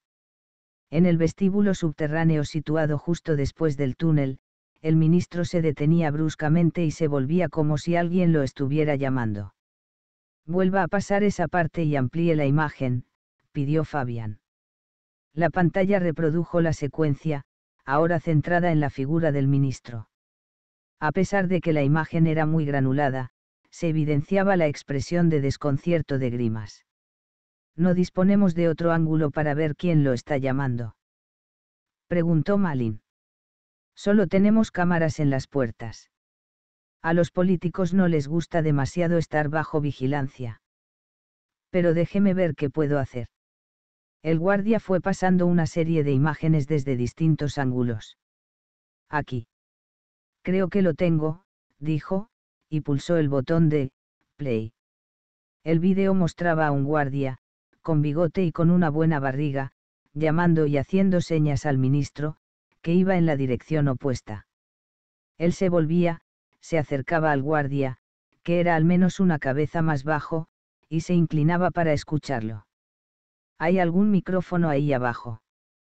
Preguntó Fabián. No, por desgracia. El guardia amplió la imagen de Grimas escuchando atentamente. ¿Reconoce a ese guardia del bigote? inquirió Malin. No, pero todos tienen que llevar un número de identificación en el uniforme. Ahí queda tapado por el ministro. Grimas asentía y luego seguía al guardia fuera del encuadre. ¿A dónde han ido? Dijo Risk. No estoy seguro, pero da la impresión de que han seguido recto hacia Brancontoret o Neptunus, en lugar de doblar a la derecha hacia Ledamot Suset. Sin embargo. Pase a otra cámara. No podemos perderlos. Que esto no es en directo, Fabián, objetó Malin. Debe de estar todo grabado, no. Añadió dirigiéndose al guardia, que asintió sonriendo ampliamente. Pero Fabián no se calmó. Había ocurrido ahí mismo, el ministro había desaparecido ante sus propios ojos. No lo entiendo, dijo el guardia, pasando de un vídeo a otro, algunos de los cuales estaban completamente en negro. Es como si hubieran rociado, con un spray o algo por el estilo algunas cámaras. Porque si alguien corta el cable, yo recibo una señal de alarma. Vuelva a la secuencia en la que aparecen por última vez y después avance hasta las 3 y 20. El guardia avanzó el vídeo y, al cabo de un minuto y medio, el ministro volvió a aparecer en el encuadre. Ahí está, dijo. Ya empezaba a preocuparme suponiendo que sea realmente él, observó Fabián. 24. Dunja trató de pensar en otra cosa, pero no podía librarse de las imágenes de aquellos cuerpos femeninos mutilados, con los genitales destruidos, las gargantas seccionadas y las miradas exánimes, como si fueran simples desperdicios que los hubieran arrojado al suelo en un matadero. Había analizado las fotografías hasta el menor detalle en un intento cada vez más desesperado de encontrar un vínculo con el caso de Karen Newman. Pero después de tantas horas en el diván había acabado en un callejón sin salida y decidido meterse en la cama. Su cerebro, no obstante, se negaba a reposar y seguía revisando los hechos por su propia cuenta. Cuando oyó que Karstan regresaba de su cena de Navidad, permaneció completamente inmóvil con la esperanza de que, si se hacía la dormida, al final se dormiría de verdad. Quizá debería haber sido sincera y haberle dicho de entrada que no intentara nada, porque tenía la mente saturada de imágenes de mujeres violadas y seccionadas con hachas o sierras. Pero prefirió fingir y dejarle el campo libre, cosa que Karstan no tardó en aprovechar. Cuando él decidía lanzarse, los argumentos como la fatiga o el dolor de cabeza resultaban irrelevantes. Tampoco lo detenía el hecho de que ella no tuviera ganas. Al contrario, Karstan estaba convencido de que restregándole el clítoris un poquito más se remediaba todo. Dunja terminó cediendo, con la esperanza de que su cerebro alcanzara un momento de descanso. Aunque, por desgracia, esta vez no acababa de dar resultado. En el fondo estaba deseando hacer el amor con su pareja por eso dejó que la bombeara con un ritmo tan regular como el de un metrónomo y soltó incluso un par de gemidos cuando él le preguntó al oído si le gustaba. Por cierto, añadió él, se me olvidaba decirte una cosa. Ahora. Es que no puede esperar. Dijo ella mientras intentaba apartar de su mente la imagen de lo que un palo con clavos podía hacerle a una mujer. No. Si no, quizás se me olvide. Tengo que irme a Estocolmo este fin de semana y no volveré hasta el martes. Le metió la punta de la lengua hasta el fondo del oído y ella se preguntó si sería consciente del ruido que provocaba al hacerlo. Es un seminario sobre un método nuevo para calcular la calificación de crédito de una compañía tras una fusión. Dunja asintió y le permitió que siguiera embistiendo. Podría ser que hubiera cinco asesinos distintos, o seis, incluyendo al de Karen Newman. ¿Cómo era posible que hubiera seis hombres diferentes capaces de atacar a una víctima inocente con una maldad tan calculada, para volver después a su vida cotidiana? Perdona que ayer no estuviera de humor. Te prometo que ahora voy a resarcirte. Dunja asintió de nuevo, procurando no pensar que estaba tan seca que incluso le escocía. Intentó pensar en las fantásticas sesiones de sexo que habían disfrutado al conocerse entonces lo hacían varias veces al día, prácticamente en cualquier parte. Todo giraba en torno a sus relaciones sexuales. Ella andaba siempre cachonda, y habían ensayado todas las posturas posibles e incluso las imposibles. Ahora no sabía cómo definir lo que estaban haciendo. Desde luego, no era sexo. Siempre había oído decir que cuanto más tiempo llevabas con una persona, más profundo e íntimo se volvía el sexo. En su caso, no había hecho más que empeorar y volverse monótono, hasta tal punto que cualquier cosa que no fuera la postura del misionero estaba descartada. Le habría gustado que él la sorprendiera de vez en cuando con algo inesperado, cualquier cosa sería mejor que esa forma cansina de embestir y machacar. Si al menos se moviera con un poquito menos de regularidad, o incluso mejor, si la sacara del todo y le lamiera el cuerpo. O bien podría darle la vuelta, ponerla a cuatro patas y darle. Espera. Así es como encaja todo. De repente lo veía tan claro que no entendía por qué no se le había ocurrido antes. ¿Qué pasa? Karstan se detuvo de golpe. Nada. Continúa. Las diferencias mismas eran el común denominador cómo se les podía haber escapado a todos, incluida a ella. Resultaba obvio que se trataba del mismo asesino. El tipo, sencillamente, no quería hacer dos veces lo mismo. Para conseguir un subidón, necesitaba emplear métodos cada vez más sádicos. Fingió que se corría. Al cabo de dos minutos, Karstan se derrumbó junto a ella, satisfecho de su actuación. Y ella pudo levantarse por fin de la cama. Enseguida vuelvo, cariño. Tengo que hacer una cosa. Prometo no irme a ninguna parte. Ya empiezo otra vez, dijo Karstan sujetándose una cansada erección. Me daré prisa, dijo Dunjay, poniéndose el kimono, salió de la habitación, plenamente consciente de que él se habría quedado dormido mucho antes de que ella hubiera terminado. 25. Brancontoret y Neptunus son los dos edificios más pequeños, dijo el corpulento guardia de seguridad, casi sin aliento, apresurándose por el pasadizo subterráneo que atravesaba la muralla de la ciudad vieja, al mismo tiempo que daba instrucciones por radio a los restantes miembros del equipo de seguridad. Si en efecto continuó por aquí, deberíamos encontrarlo enseguida. Fabián y Malin siguieron al guardia hacia el último lugar donde las cámaras habían registrado la presencia del ministro y del misterioso guardia del bigote.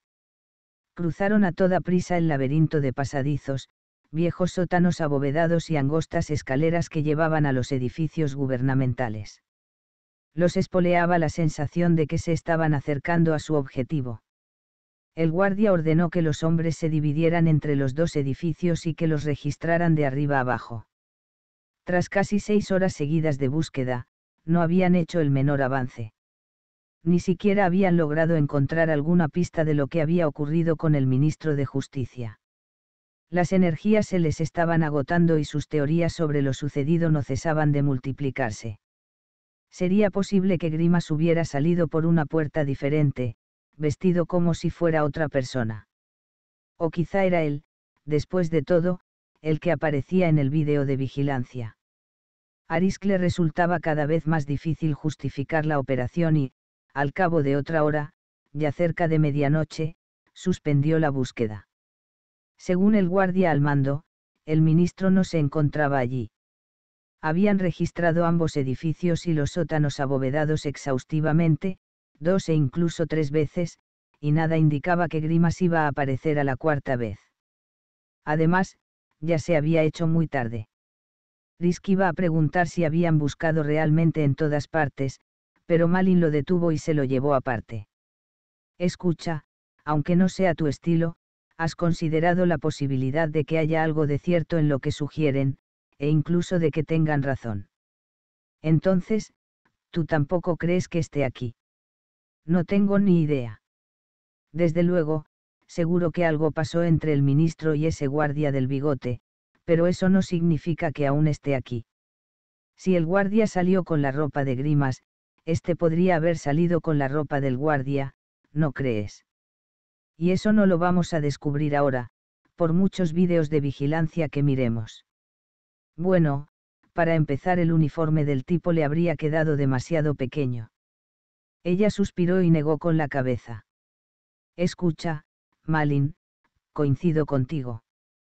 Si Grimas estaba implicado, podríamos haber parado la búsqueda hace horas. Pero no lo estaba. Ya has visto con tus propios ojos que el guardia lo llamó de repente cuando se dirigía hacia su coche. Hasta entonces, él no tenía ni idea de lo que le esperaba. Además, aquí no hay ninguna puerta sin vigilancia, o sea que la posibilidad de que saliera de uno de los edificios, voluntaria o involuntariamente, hay que confirmarla todavía. ¿Cuál es tu explicación entonces? No lo sé. No deben de haberlo registrado todo. Sí, sí que lo han hecho. Tres veces. Él no dijo nada. No tenía sentido.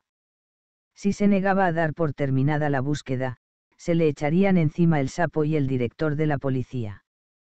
Pero no podía librarse de la sensación de estar muy cerca del objetivo no tenía la menor duda de que el ministro era la víctima de una acción criminal. Y cuanto más lo pensaba, más significativo parecía volverse el lugar del delito. No resultaba una tremenda ironía que Grimas estuviera menos protegido que nunca en los edificios del Parlamento. Durante las escasas horas transcurridas entre el turno de preguntas y el momento de salir del edificio, el sapo había cometido el error fatídico de escatimar recursos en su protección personal. Un guardia había llamado al ministro, lo había arrastrado a un punto ciego de la cámara y, al cabo de poco más de media hora, había reaparecido vestido con sus ropas. Eso era seguro, lo que no estaba claro era qué había ocurrido después. O Grima seguía en uno de los edificios del Parlamento, o el criminal había logrado sacarlo sin que lo captase ninguna cámara de vigilancia. Ahora bien, el riesgo que corría ese individuo de ser descubierto bastaba para deducir que el ministro podría seguir allí dentro. ¿Pero dónde? Tenía que haber algún rincón que se les hubiera escapado, una zona que no se utilizara nunca. Bueno, entonces supongo que debemos darles las gracias y desearles suerte, dijo el guardia acompañándolos. Se estrecharon las manos. Es muy posible que volvamos a contactar con ustedes, dijo Malin, y caminó hacia la puerta. Risk pensó que si él tuviera que esconder a alguien en la central de la policía, sabía muy bien dónde lo haría, en la habitación que todos los grandes centros de trabajo estaban obligados a tener, pero que nadie utilizaba. Fabian. Venga, nos vamos, dijo Malin. Él asintió y fue tras ella, pero se detuvo de nuevo y se volvió hacia el guardia. Han mirado en la habitación de descanso. La habitación de descanso. No tenemos ninguna habitación de esas, dijo el hombre, y soltó un bufido. Seguro. Conozco hasta el último rincón de estos edificios. A pesar de lo que cree la gente, los políticos no echan la siesta. Era una mera idea, dijo Fabián, y se dirigió a la puerta. Espere un momento. Detrás de los viejos proyectores almacenados, en el arco del sótano de Brancontoret. El guardia palideció. ¿Por qué no se me habrá ocurrido antes? ¿El qué? Preguntó Risk, pero no obtuvo respuesta el hombre ya había salido corriendo a tal velocidad que él y Malin tuvieron que hacer un esfuerzo para darle alcance. 26. Estás de broma. ¿Sabes lo tarde que es? La voz de Michael Ranning sonó con estridencia a través del teléfono. Sí, ya lo sé. Y no es broma, dijo Dunja acurrucándose en el diván sin soltar el móvil. Tú eres el único que puede ayudarme. ¿Dónde estás? lejos de la oficina. No, Ben ha tenido un conflicto. Bueno, un conflicto entre comillas. Ya sé que tenemos una relación abierta y bla, bla, bla, pero coincidirás conmigo en que es de mal gusto por su parte. Indudablemente. Pero ¿dónde estás ahora? Todavía aquí, jugando a los Sims. En la oficina. Sí, pero estaba a punto de irme al Cozy Bar. ¿Sabes lo que voy a hacer allí? No, pero me lo imagino. ¿Me puedes echar una mano antes de ir a vengarte de Ben? Por cierto, realmente se llama Ben. Sí, pero la mayoría de la gente lo llama Big Ben. Tú, no. Yo, si acaso, lo llamaría Big Ben pero no más Big que yo. Pero olvidemos a ese marica de mierda. ¿En qué quieres que te eche una mano? Creo que algunos de los casos que me sacaste del sistema son del mismo asesino. Es posible. Aparte de la violencia extrema, no tienen nada en común. Ya. Y ese es el quid de la cuestión. El tipo se aburre. Y para obtener la misma excitación tiene que inventar algo nuevo cada vez. ¿Me sigues? ¿Y qué quieres que haga? Una nueva búsqueda que se remonte mucho más. ¿Hasta dónde? Diez o quince años atrás. Y no tiene por qué ser con un desenlace fatal. Basta con violación, o con intento de violación. Tiene que haber habido una primera vez en su historial. Saldrán montones de resultados. ¿Quieres dejarte de excusas y hacerlo, por favor? Tus deseos son órdenes para mí. Perdona, tampoco pretendía. No importa. Pero si, Dios nos libre, acabáramos algún día en la cama, en una fiesta de Navidad o algo parecido, seré yo quien maneje el látigo, de acuerdo. Claro, prometido, dijo Dunja con una carcajada. Llámame cuando termines. No puedo dormir. No hará falta. Ya los he sacado. Vale. ¿Cuántos hay? Un montón, ya te lo he dicho. Un cifra de tres dígitos. Uy, sí. Dunja apartó el teléfono para que Raaning no oyera su suspiro. Él había acertado. Era repulsivo lo frecuente que se había vuelto la violación o el intento de violación en Dinamarca. Necesitaban alguna pista que distinguiera al asesino de todos los demás, un pequeño detalle que fuera posible buscar en el sistema y que conectara con los casos posteriores. Se incorporó en el diván y miró de nuevo los cinco expedientes esparcidos sobre la mesita de café. Ya había perdido la cuenta de las veces que lo había hecho. Hola. ¿Sigues ahí?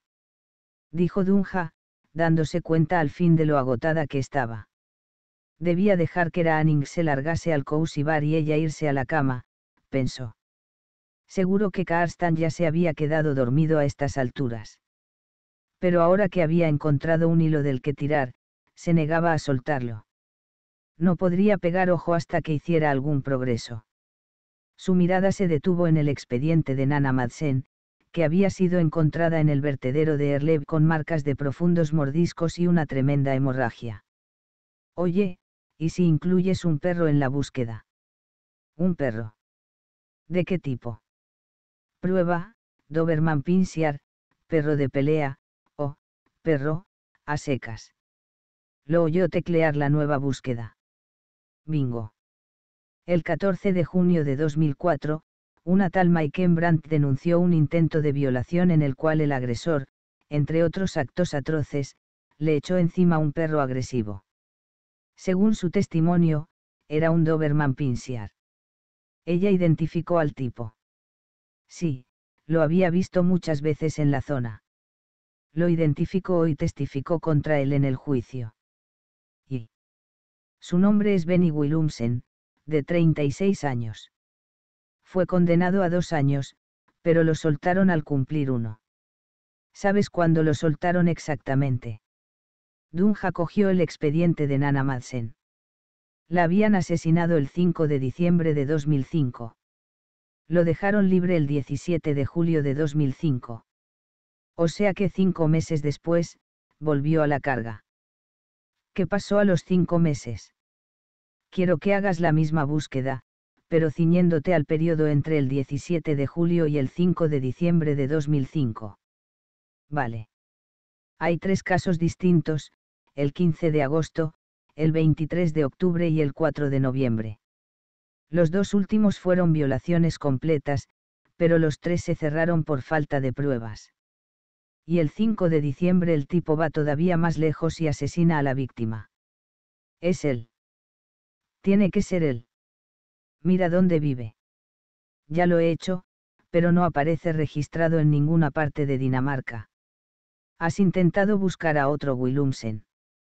Quizá aparezcan sus padres u otros parientes.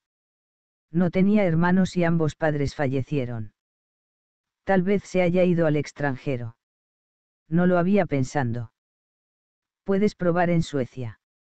Dunja oyó cómo los dedos de Mikael corrían otra vez por el teclado. Por algún motivo, ella ya se había calmado.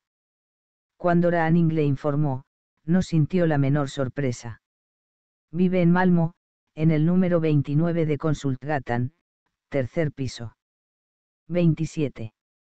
Un poco de calma, no olvides que estoy embarazada, advirtió Malin, que apenas podía mantenerse a la altura de Fabian, ni del guardia, quien, pese a su corpulencia, recorría los pasadizos como un sabueso ansioso.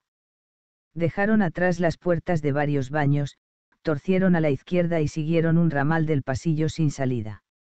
El guardia se detuvo al fin y, mientras recobraba el aliento, señaló varias docenas de proyectores antiguos amontonados unos sobre otros, como en un monumento moderno a los avances de la tecnología ahí detrás tiene que haber una puerta.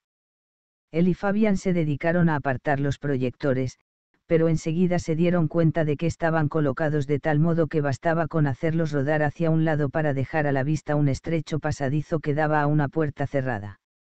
Tenía un rótulo con la imagen de una cama.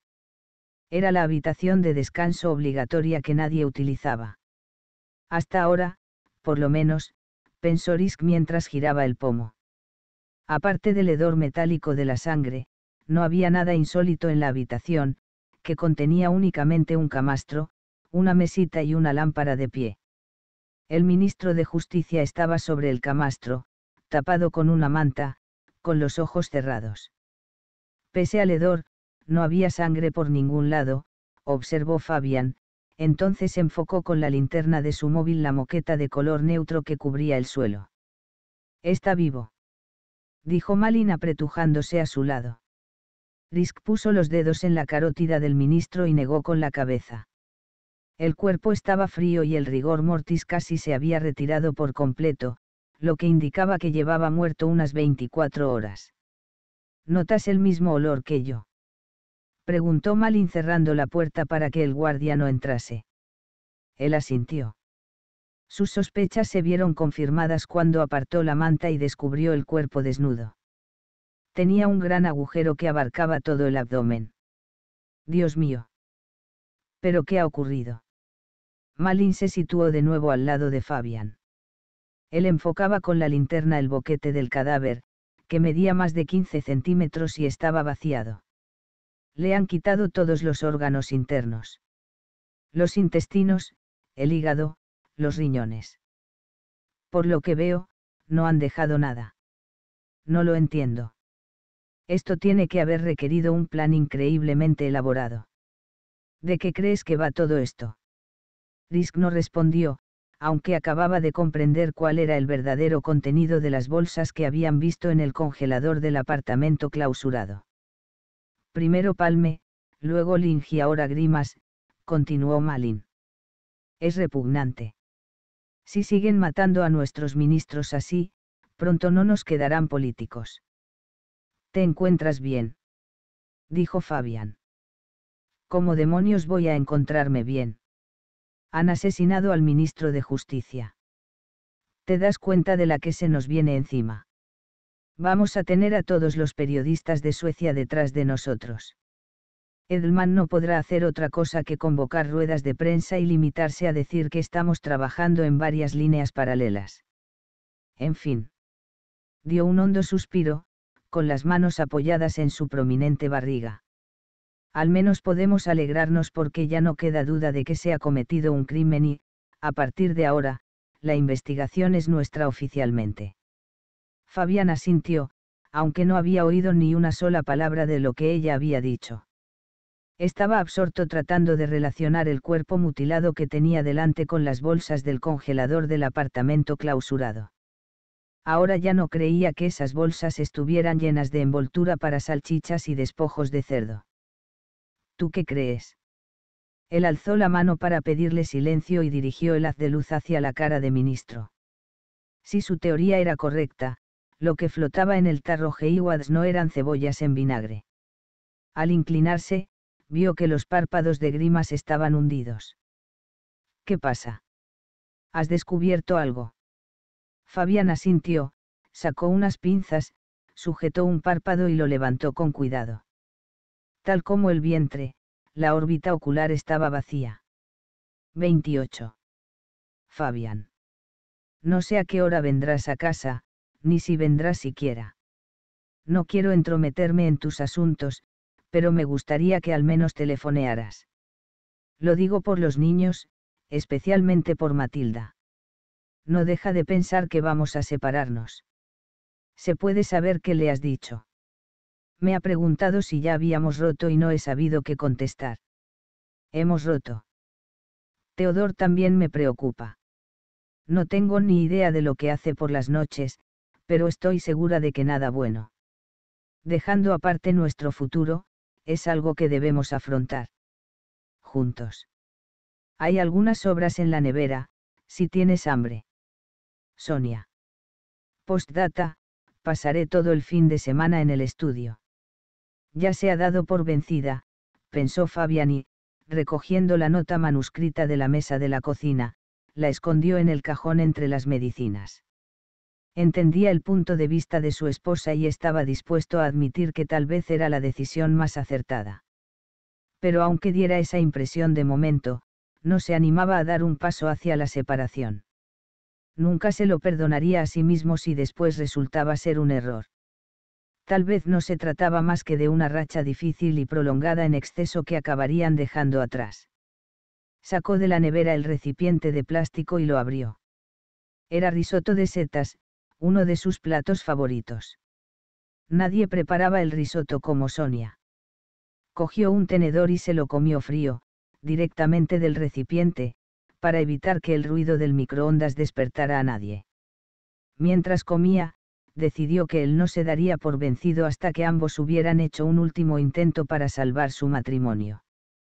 Cuando terminó, dejó el recipiente en el lavaplatos, que estaba lleno hasta los topes, apagó la luz y entró en el baño. Se duchó, se cepilló los dientes y se pasó el hilo dental, como de costumbre. El dentista le había advertido con más beligerancia que nunca que perdería los dientes si no usaba el hilo dental de forma sistemática teniendo en cuenta cómo le sangraban las encías, no debían de ser amenazas vanas. Sonia estaba dormida en la habitación. Realmente no había nada como aquel sonido suyo al dormir. Su respiración, potente e irregular, se intercalaba con unos leves ronquidos tan peculiares que ni ella misma era capaz de reproducirlos cuando quería hacerse la dormida. Puso el despertador a las siete y se metió bajo las sábanas todo su cuerpo reclamaba con desesperación unas horas de reposo. Una técnica de la científica, y Stabs, debía registrar la habitación de descanso del Parlamento y el apartamento clausurado para buscar pistas, mientras que el equipo forense estaba examinando el cuerpo de Grimas. Malin, tras recobrar fuerzas, había vuelto al edificio del Parlamento para revisar los vídeos de vigilancia con más detalle e intentar identificar al misterioso guardia del bigote. Ella quería que la acompañase, pero Fabián se había negado, consciente de que esos momentos constituían la calma que precede a la tormenta, y tal vez su última oportunidad para dormir un poco. Dentro de media hora, la noticia de la muerte del ministro se haría pública y, aunque Edelman omitiera los peores detalles, al final los medios lo averiguarían todo, abriéndose paso a golpe de titular y cargando cada vez más las tintas. Pero ahora eso no importaba. Pensaba todo el rato en la carta de Sonia y en la posibilidad de que ella hubiera tirado la toalla. Habían pasado juntos muchos años maravillosos. No podía aceptar que su relación estuviera a punto de extinguirse en silencio, tal como se vacía el recipiente de un reloj de arena lo mínimo que podían hacer era hablar. Sonia le había propuesto más de una vez que fueran a terapia y exploraran todas las alternativas. Él se había opuesto en cada ocasión, pensando que ella exageraba, creía que tenían que ser capaces de hablar de sus problemas ellos solos, sin un extraño lucrándose a base de observarlos. Pero la verdad era que no se atrevía. Se deslizó hacia el otro lado de la cama y se acurrucó junto a su esposa. Ella despedía calor y su cabello, a pesar de que se había duchado, olía un poco a pintura al óleo. Dormía demasiado profundamente para percibir su presencia y no reaccionó cuando él pronunció su nombre. Quizá oiga en su subconsciente, pensó acercándose a su oído. Sonia, te quiero. Para que lo sepas. Te quiero más que a nada en el mundo, susurró. Y te prometo que yo no he tirado la toalla, ni mucho menos. ¿Me oyes? Si quieres que vayamos a terapia, hagámoslo. De acuerdo. No era posible descifrar si se trataba de una respuesta o de un murmullo entre sueños. Te quiero, Sonia, susurró una vez más. Fabián te quiere. Yo también te quiero, musitó ella de forma casi inaudible. Pero para él fue más que suficiente. 29. Faltaban diez minutos para las seis de la mañana cuando Fabián y Malin se plantaron en la entrada apenas iluminada del número 107 de Ornsgatan. En muchos sentidos era una ubicación ideal en Sodermalm, a un tiro de piedra de la zona verde de Arstaviken. Pero a juzgar por su aspecto, pensó Risk, el edificio podría haber pertenecido a cualquier suburbio deteriorado. Malin lo había llamado 20 minutos antes para explicarle que había descifrado el nombre de la placa del guardia en uno de los vídeos de vigilancia de los edificios del Parlamento. Ese guardia que se había llevado aparte al ministro se llamaba Joachim Hallenberg, tenía 37 años, vivía solo y llevaba cinco años en el cuerpo de vigilancia. Sexto piso, dijo Malin, y abrió la puerta del ascensor. Vamos por la escalera, indicó Fabián poniéndose en marcha. Para ti es muy fácil porque no tienes que arrastrar a toda una familia, objetó Malin, aunque se apresuró tras él. Le he pedido a Boitan que mirase el historial de ese tipo. ¿Quieres saber lo que ha encontrado? Wojtek Nowak había sustituido a Niva Ekenielm cuando ésta se había ido hacía dos años. Él no quería que lo llamaran, poli de ciencia ficción, se empeñaba en ser considerado, investigador criminal de tecnología de la información. La mayoría de la gente lo llamaba Boitan o Ciber Boitan. Tras un primer año adaptándose al ritmo del departamento, no había quedado ninguna duda de que constituía un buen fichaje, aunque nunca estaría ni de lejos a la altura de Niva. Por supuesto. Cuéntame, dijo Fabián, que cedió a un bostezo irresistible. Como te digo, tiene 37 años y vivió con su madre hasta hace dos años y medio, cuando ella murió de cáncer de pecho. Qué mono, ¿verdad? Y no me refiero al cáncer de pecho. Ahora él se ha hecho cargo del alquiler. Un solitario que nunca se había ido de casa. No podría ser peor, pensó Fabián. Se detuvo a esperar a Malin, a quien ya se le congestionaba la cara por el esfuerzo de subir escaleras. ¿Algo más? Uy, sí. No he hecho más que empezar. En Facebook muestra sus simpatías por demócratas de Suecia y por el blog políticamente incorrecto. Y en Flashback, interviene todas las semanas en varios hilos de debate sobre armas. ¿Algún otro tema de debate? Dijo Fabián sin detenerse. Por ejemplo. Caza, desmembración, anatomía humana, etc. Ni idea. Si lo ha hecho, habrá sido con un seudónimo. Pero escucha esto, desde 1997 hasta el año 2000 presentó anualmente la solicitud para entrar en la Academia de Policía sin ser aceptado. El motivo. Malin subió el último escalón, sacó el móvil y leyó en voz alta, el solicitante sufre una fobia social tan intensa que consideramos que la profesión policial resulta del todo inadecuada. En cambio, trabajar de guardia de seguridad en los edificios del Parlamento no constituyó ningún problema. O quizá fue así como adquirió la fobia a la oscuridad. Pero espera, aquí es donde se pone interesante.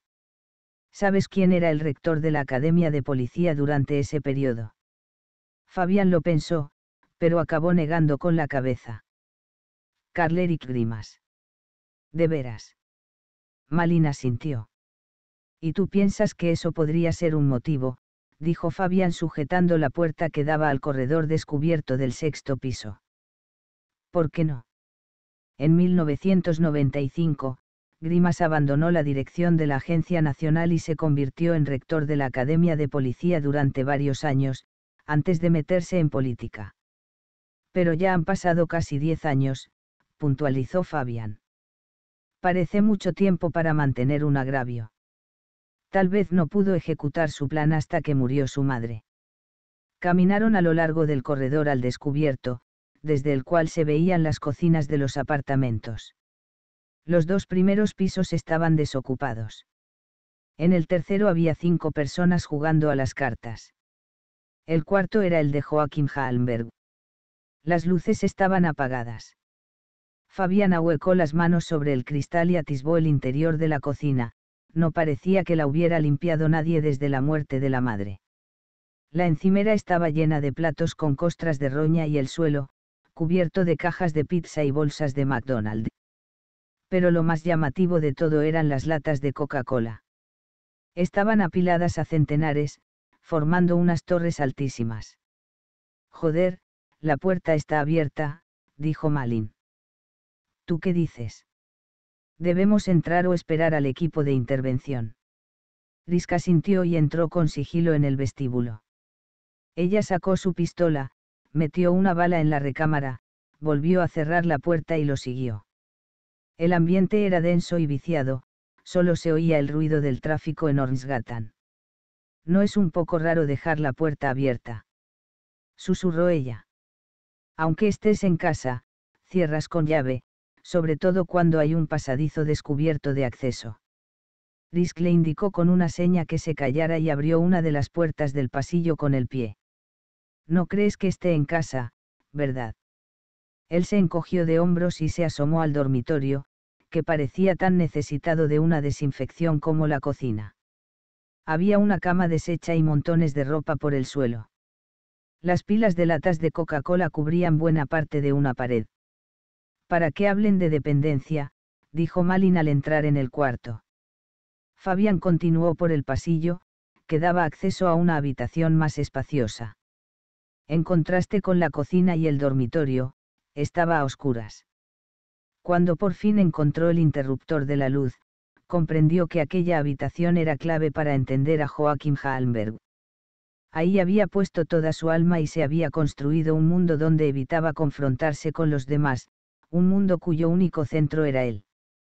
Igual que en el piso clausurado de Ostgotagatan, las ventanas estaban tapadas y no dejaban pasar la luz ni siquiera durante un día soleado. Toda la luz procedía de los focos del techo, que enfocaban a una docena de maniquís, cada uno con un atuendo distinto, incluyendo un hábito de monje, un bikini, un uniforme de enfermera y unas correas de bondad. Algunos maniquís estaban sentados en un diván de cuero, como si estuvieran charlando, y había unas copas de vino sobre la mesita de vidrio ahumado que tenían delante. Otros estaban de pie, o tumbados en el suelo en diversas poses obscenas. Sobre un estrado en medio de la habitación, había un sillón giratorio con apoyavasos situado frente a una gran pantalla de televisión, una PlayStation, una Xbox, un ordenador y un sistema de sonido envolvente. Una mesita redonda junto al sillón contenía una caja de Kleenex y un tubo de crema suavizante. Fabián subió al estrado y se sentó en el sillón, advirtiendo de inmediato que de un modo u otro los maniquís estaban vueltos hacia allí, como si él fuera el centro de la fiesta y todos estuvieran atentos a su presencia. A Joaquín Halmberg le gustaba estar solo para poder fingir que constituía el centro de atención. Era experto en armas, simpatizaba con la extrema derecha y, comprensiblemente, no había sido admitido en la Academia de Policía. Risk le dio vueltas a todos estos datos intuía que todavía faltaba una pieza clave que haría que todo encajara. Se levantó del sillón, rodeó uno de los maniquís despatarrados en el suelo, entró en el baño y encendió la luz. Los azulejos y la porcelana de la pila y el inodoro, que habían sido blancos, ahora tendían el amarillo. En un estante, había un tubo de polvos de talco y una pulcra hilera de pañales para adultos mientras recordaba haber leído un artículo sobre una residencia inglesa donde los ancianos usaban pañales y biberones, sonó el ruido lejano de una cisterna. Enseguida oyó cómo corría el agua por las tuberías. Ya se disponía a abrir la puerta de espejo del botiquín para ver si había medicamentos cuando vio, reflejada en ella, una rodilla que asomaba por debajo de la cortina de la bañera. ¿Por qué tenía un maniquí ahí dentro? O quizá se giró en redondo y apartó la cortina. El hombre iba en calzoncillos y camiseta. Tenía las manos atadas con una recia cinta de embalar. Sus ojos estaban cerrados y su boca, totalmente abierta. Alrededor del cuello llevaba un collar de perro con remaches cuya correa desaparecía a su espalda. Aunque Fabián lo había visto en un vídeo de vigilancia muy granulado, esa figura baja y corpulenta y ese bigote no podían corresponder sino a Joachim Hallenberg. Se había suicidado. Le buscó la carótida con los dedos bajo la oreja. Joaquín tenía pulso y, bruscamente, dio una fuerte sacudida hacia adelante, como tratando de incorporarse, pero el collar lo mantuvo sujeto en su sitio. 30. No lo sé, dijo Joaquín Hallenberg, rascándose la piel escoriada de la zona del cuello donde había tenido puesto el collar. Quiere decir que no lo recuerda o que no lo sabe. ¿O no le apetece responder? Preguntó Fabián, que se había sentado con Malin frente a él. Sentía un picor en la piel de lo enfadado que estaba. No lo sé. Hallenberg se terminó una lata de Coca-Cola y la dejó en la mesa, junto a las demás latas vacías. Llevaban más de dos horas en la sala de interrogatorios forcejeando con ese individuo, cuya respuesta a casi cada pregunta era, no lo sé. La habitación estaba muy cargada y el aire que respiraban había sido reciclado tantas veces que Risk prefería no pensarlo siquiera. Tampoco ayudaba el hecho de no haber dormido más que tres horas y de que aún estuviera esperando que Sonia lo telefoneara. Debía de haberse puesto furiosa al descubrir que él ya se había ido y que, seguramente, estaría fuera todo el fin de semana. Y no era de esperar que comprendiera la explicación que le había dejado en la mesilla de noche. No parece saber usted gran cosa, le espetó Fabián, procurando no fijarse en el dedo que Halmberg se había metido hasta el fondo de la nariz con gran desenvoltura. Puede decirme su nombre, por ejemplo. Eso lo sabe. Joaquín Halmberg mantuvo los ojos fijos en la mesa mientras se sacaba un moco y lo sostenía entre el índice y el pulgar. ¿Dónde puedo tirar esto? Fabián miró a Malin, que se sentía tan asqueada como él, y replicó. No lo sé. ¿Le suena? Se puso de pie y deambuló por la sala cada vez más claustrofóbica. No lo sé. No lo sé. No lo sé. Pero la diferencia entre usted y yo, o para ser más exactos, una de las innumerables diferencias, es que yo estoy diciendo la verdad. Porque no tengo ni puta idea de lo que hace la gente como usted con sus mocos repulsivos, ni sé si me apetece saberlo se situó detrás del hombre y se apoyó en el respaldo de la silla. ¿Tú qué dices, Malin? ¿Se te ocurre algo? Ella se encogió de hombros y negó con la cabeza sin cambiar de expresión. Fabián vio que su compañera no lo seguía. Era consciente de que estaba a punto a cruzar una línea roja, pero ya no aguantaba más. Nosotros teníamos a uno igual que este en clase. Un auténtico gusano, prosiguió. A usted le caería bien. Él se comía los mocos, los suyos y los de los demás. Según decía, tenían buen sabor. O sea que quizá es así. ¿Usted qué opina? Halmberg, sin hacerle caso, tiró el moco en una de las latas de Coca-Cola vacías. Luego fue a coger otra lata nueva. No, ya puede olvidarse. No va a haber más Coca-Cola. Fabián cogió la lata. Al menos hasta que nos haya contado qué demonios sucedió. Ya se lo he contado. Yo estaba sentado en mi trono. En su sillón, quiere decir. Sí, y entonces. Masturbándose. Hasta ahí lo hemos entendido. No. Iba a hacerlo, pero no llegué a empezar. Fabián, podemos hablar un minuto. Malin le indicó que salieran y, una vez que estuvieron fuera, cerró la puerta. ¿Qué demonios te pasa? ¿Qué estás haciendo? Él alzó la mirada hacia el televisor montado en lo alto de la pared, que estaba emitiendo en directo la rueda de prensa de la policía. Herman Edelman se hallaba sentado a la izquierda del comisario general de la policía, Bertal Crimson, ante un montón de micrófonos. Andersen Furage, del sapo, situado a la derecha, explicaba que no podía descartarse que la muerte del ministro constituyera un ataque terrorista. Se habían reforzado las medidas de protección de la mayoría de los políticos y se había pasado del nivel 2 al nivel 3 de alerta en todo el país. ¿Te ocurre algo? Malin lo escrutó. Sintió la tentación de hacerse el tonto, pero notó en el tono de voz y en la expresión de su colega que no cejaría hasta que cediera y confesara la verdad. No lo sé, perdona. Es que. Cerró los ojos y se masajeó las sienes. Sonia y yo estamos pasando una temporada difícil y, para serte sincero, no sé cómo acabará la cosa. O sea que apenas he pegado ojo esta noche. ¿Y crees que yo sí?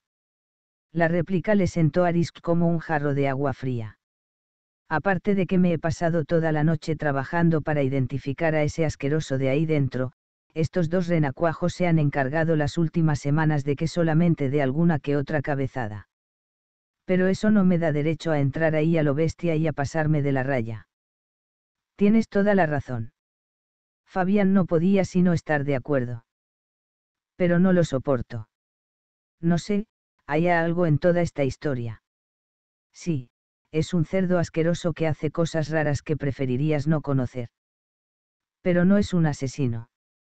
No es el quien descuartizó al ministro. Ni siquiera es el quien aparece en el vídeo de vigilancia. Ya. Pero porque retiene información y se niega a hablar. No es así. Eres tú el que no está escuchando. Escuchar, ¿qué? Lo único que dice es que no sabe nada. Una y otra vez. No estás haciendo las preguntas correctas. A partir de ahora, el interrogatorio lo llevo yo. Volvieron a la sala, donde Halmberg seguía con el dedo índice metido en la nariz. Muy bien, Joaquim, comencemos desde el principio, dijo Malin, después de cerrar la puerta. Usted estaba sentado en su trono y se disponía a divertirse un poco consigo mismo. Abrió otra lata de Coca-Cola y se la pasó. Pero entonces ocurrió algo. Halmberg se bebió más de la mitad de la lata, soltó un ruidoso eructo y asintió. Pero no sé lo que pasó, dijo, y se calló otra vez. Malin no rompió el silencio. Me pareció oír algo en el pasillo, aunque tampoco estaba seguro, prosiguió. Acababa de conectar el sistema de sonido envolvente y poner una película. ¿Y usted paró la película? Sí, y salí a ver qué era. ¿Y qué encontró? No lo sé. Halmberg se acabó la lata y la estrujó. Silencio de nuevo. Fabián intercambió una mirada con Malin. Ella siempre lo captaba como si fuera un libro abierto y le indicó con un gesto que conservara la calma y esperara. Al cabo de unos minutos, él notó que Malin también empezaba a ponerse de los nervios. Era como si todo, o sea, fuera blanco.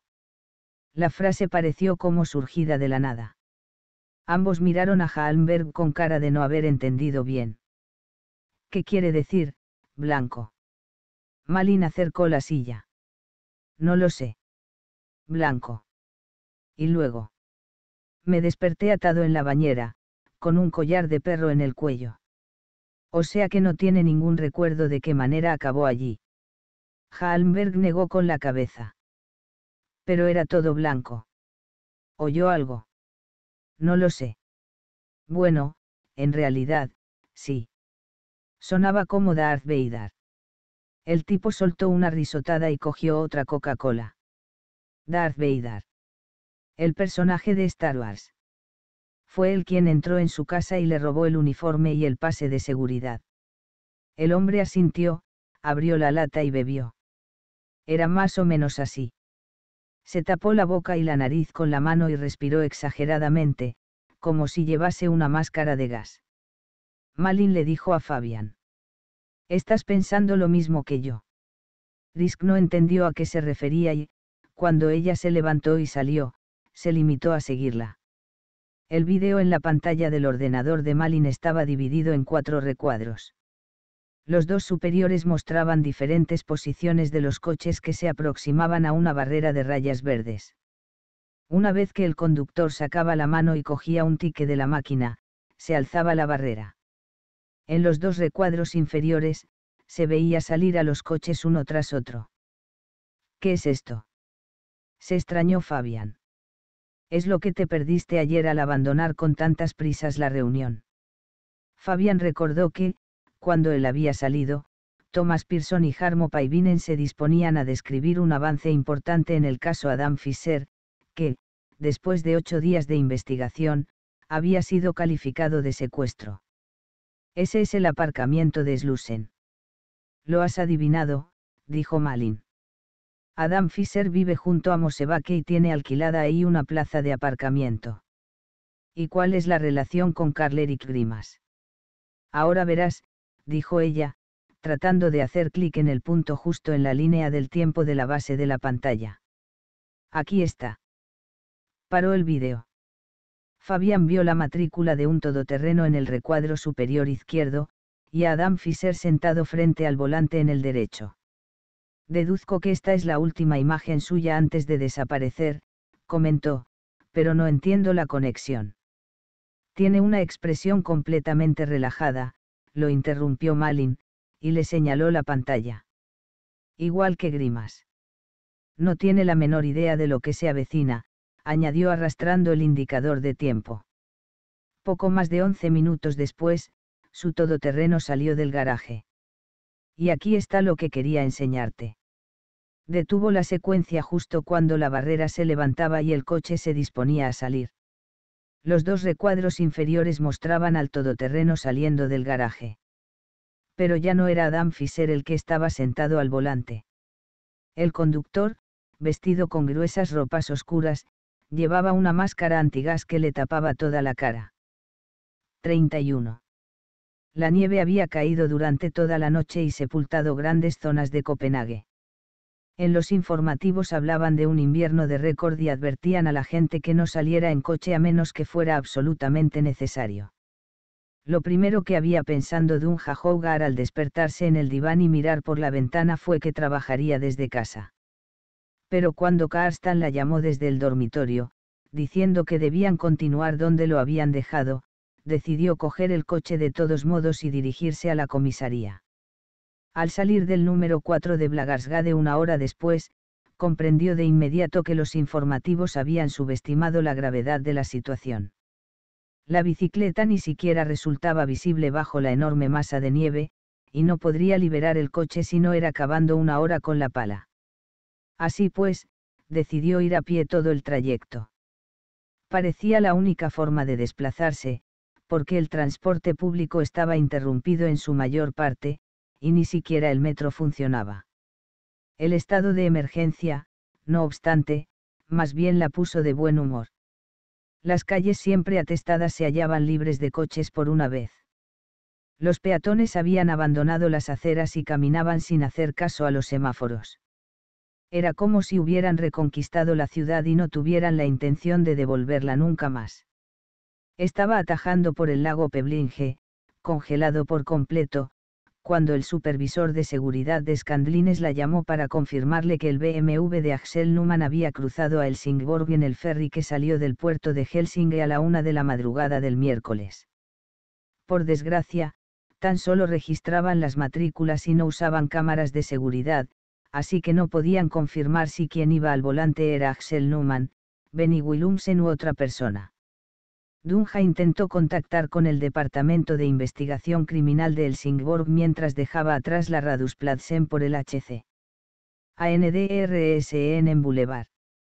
Como Astrid Tubeson, la jefa del departamento, ya se había ido a pasar las vacaciones navideñas, transfirieron la llamada a Sverker Holm, que, por supuesto, no respondió.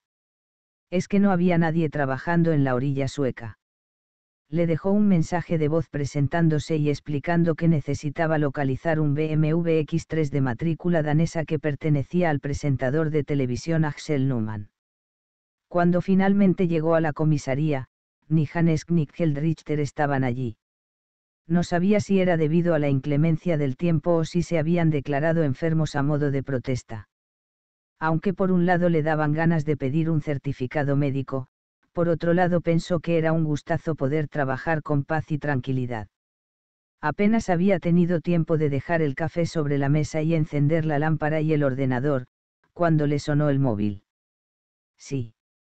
Aquí Dunja Hougar. Hola. ¿Qué tal? Aquí Clippan. He oído que necesita ayuda. Disculpe. ¿Usted trabaja para la policía de Helsingborg? Sí. Mi nombre es Sverker Holm, pero todo el mundo me llama Clippan, ya sabe, como la roca, aunque no me pregunte por qué. Acabo de recibir su mensaje. Mi llamada se refería a un BMW danés. Sí, he oído su mensaje. Ya lo he estado buscando y he conseguido encontrarle una foto. De veras. ¿Se ve quién está al volante?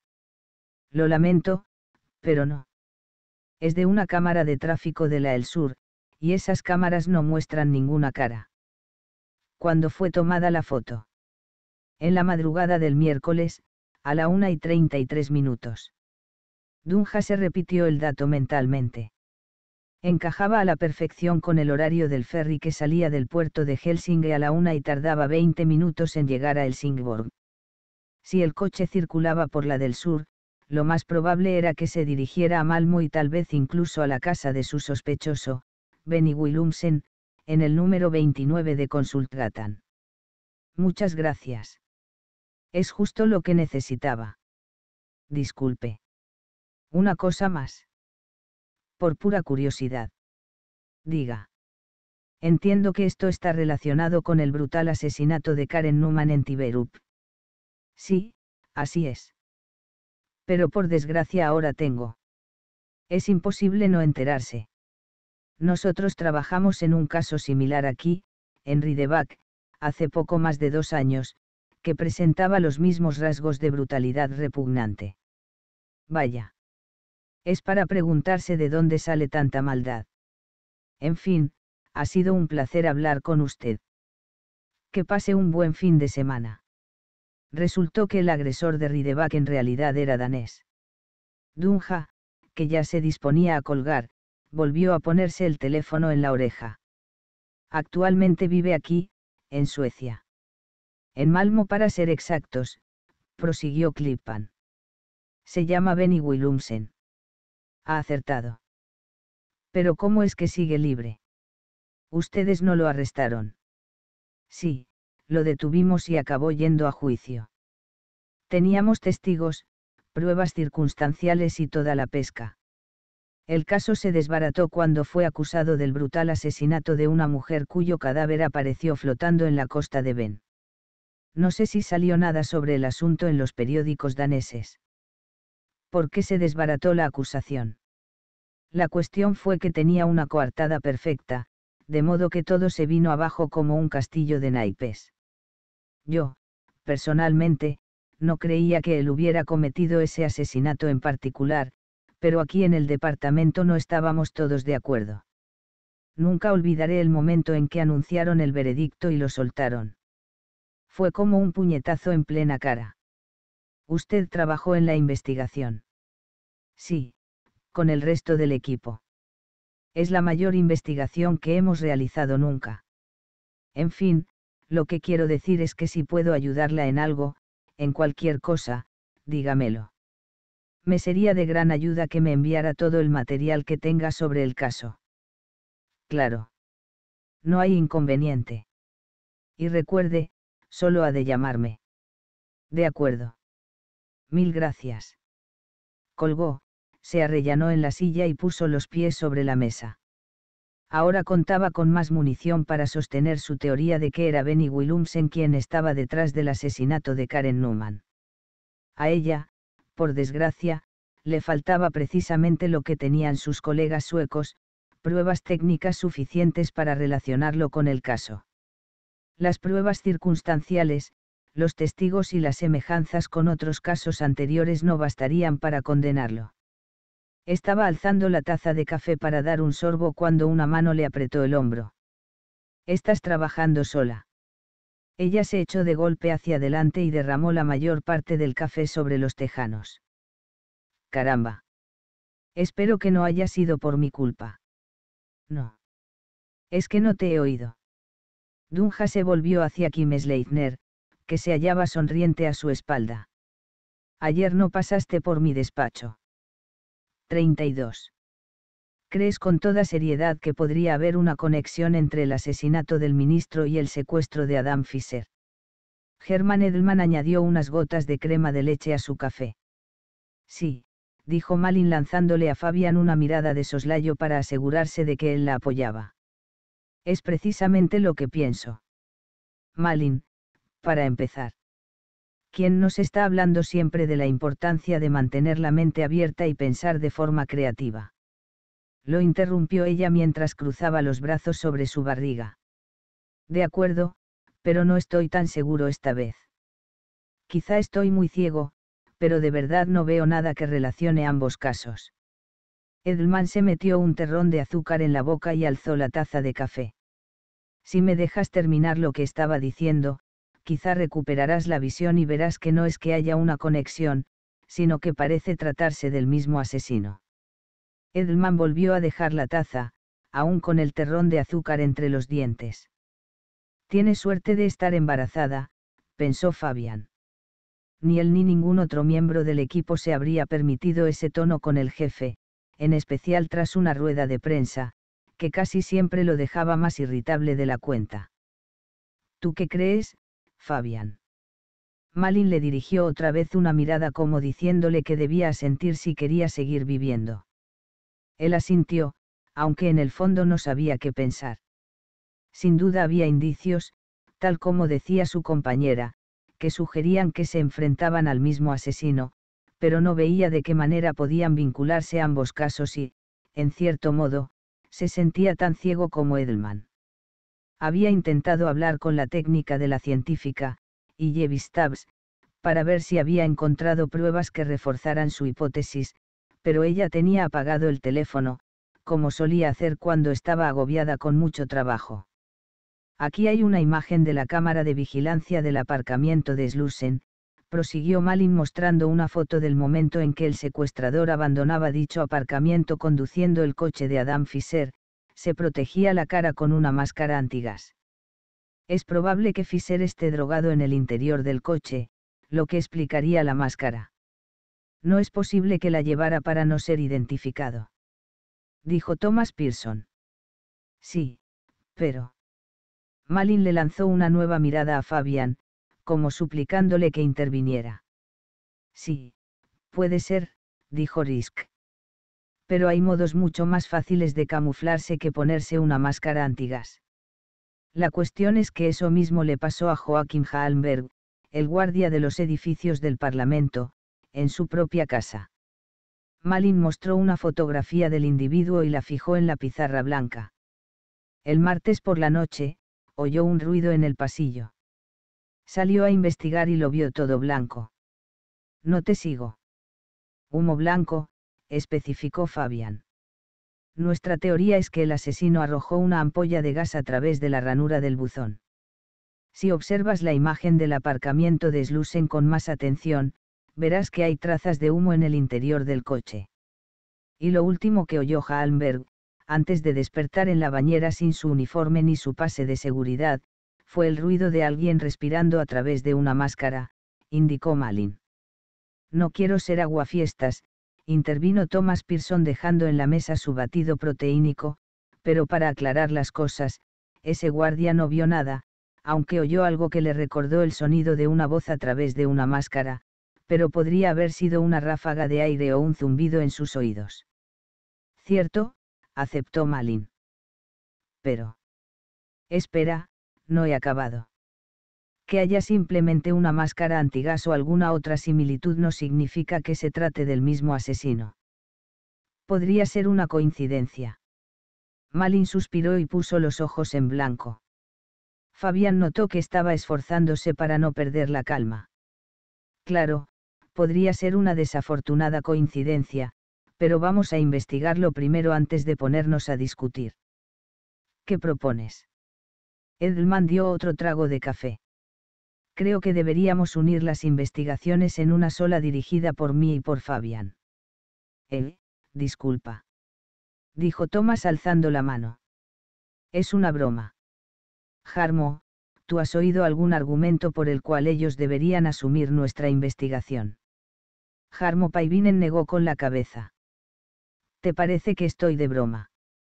¡Guau! Hoy Malin está que se sale. Dijo Thomas y, sonriendo, sacó pecho y se le marcaron los pectorales bajo una camiseta muy ceñida. Voy a ignorar el comentario, por tu propio bien. Germán, tú siempre estás subrayando que las investigaciones deben cruzarse y enriquecerse entre sí. Sin duda pero en este caso coincido con Thomas. Un sonido que recuerda a alguien respirando a través de una máscara antigas no es gran cosa, la verdad. Aparte de eso, hay algo más que indique que los casos deban investigarse conjuntamente. Dijo Edelman. Por ahora, no, opinó Fabian. ¿Qué vamos a perder con el intento? Malin les espetó a Thomas y a Jarmo. Y si tenemos que ser del todo sinceros, vuestra investigación no va lo que se dice a toda marcha. Oye, nosotros hemos. Habéis encontrado el vídeo de vigilancia. Ya lo sé, Tomás. Pero ¿qué ha aportado eso, aparte de una fotografía del tipo con una máscara antigas? ¿Por qué no proponemos ideas y miramos a ver si alguna tiene sentido?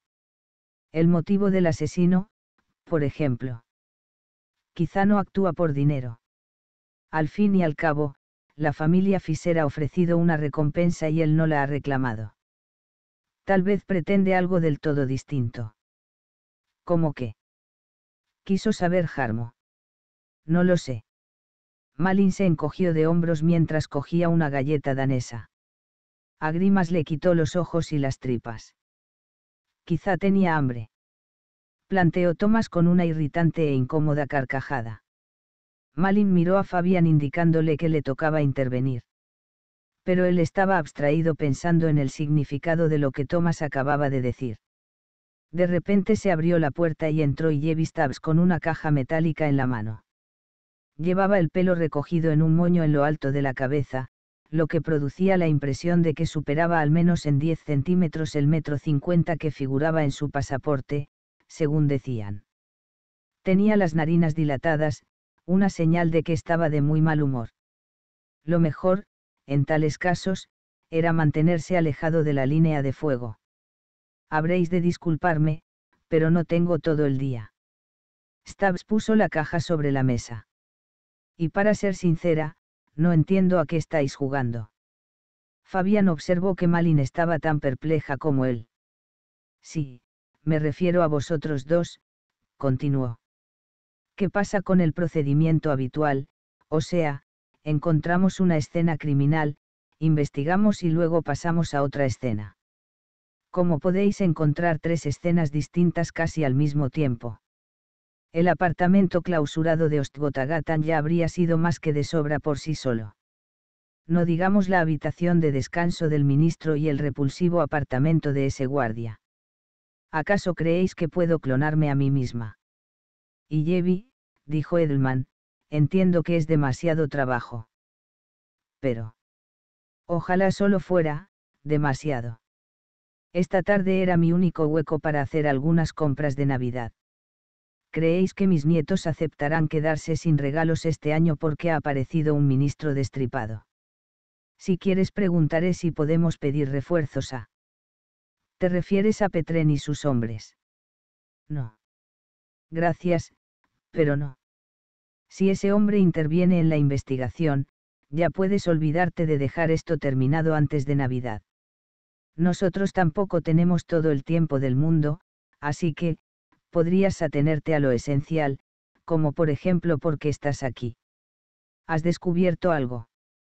Dijo Malin con un tono de irritación parecido al de Yevi. Fabián estaba seguro de que ésta lo habría hecho pedazos si él se hubiera atrevido a replicar así. Stubbs le contestó a Malin. Por supuesto. Abrió con un chasquido los cierres de la caja, levantó la tapa y, poniéndose unos guantes, sacó una bolsa de tela negra y la colocó sobre la mesa. Aflojó el nudo de la bolsa y extrajo un tarro de cristal. Esto estaba en la nevera del apartamento clausurado de Ostgotagatan. ¿A qué apartamento te refieres? preguntó Jarmo. Es donde se registró la última localización del segundo teléfono móvil de Carl Eric Grimas, explicó Malin mostrando una foto de la mesa forrada de plástico. Como verás, está preparada sin duda para. Quizá podáis comentarlo cuando yo haya terminado, la interrumpió Stubbs con una sonrisa forzada. He pensando que esto podría ser de interés alzó el tarro para que todos lo vieran. Fabián lo reconoció a simple vista. Era el tarro de cebollas en vinagre. Y tal como había sospechado desde que habían encontrado al ministro, no contenía precisamente cebollas en vinagre. Lo que flotaba en el oscuro fluido eran cuatro globos oculares. Tenemos que enviarlo de inmediato al departamento forense de Tastrom, prosiguió Stubbs pero no creo que nadie se sorprenda si dos de estos ojos resultan ser del ministro. ¿Y los otros?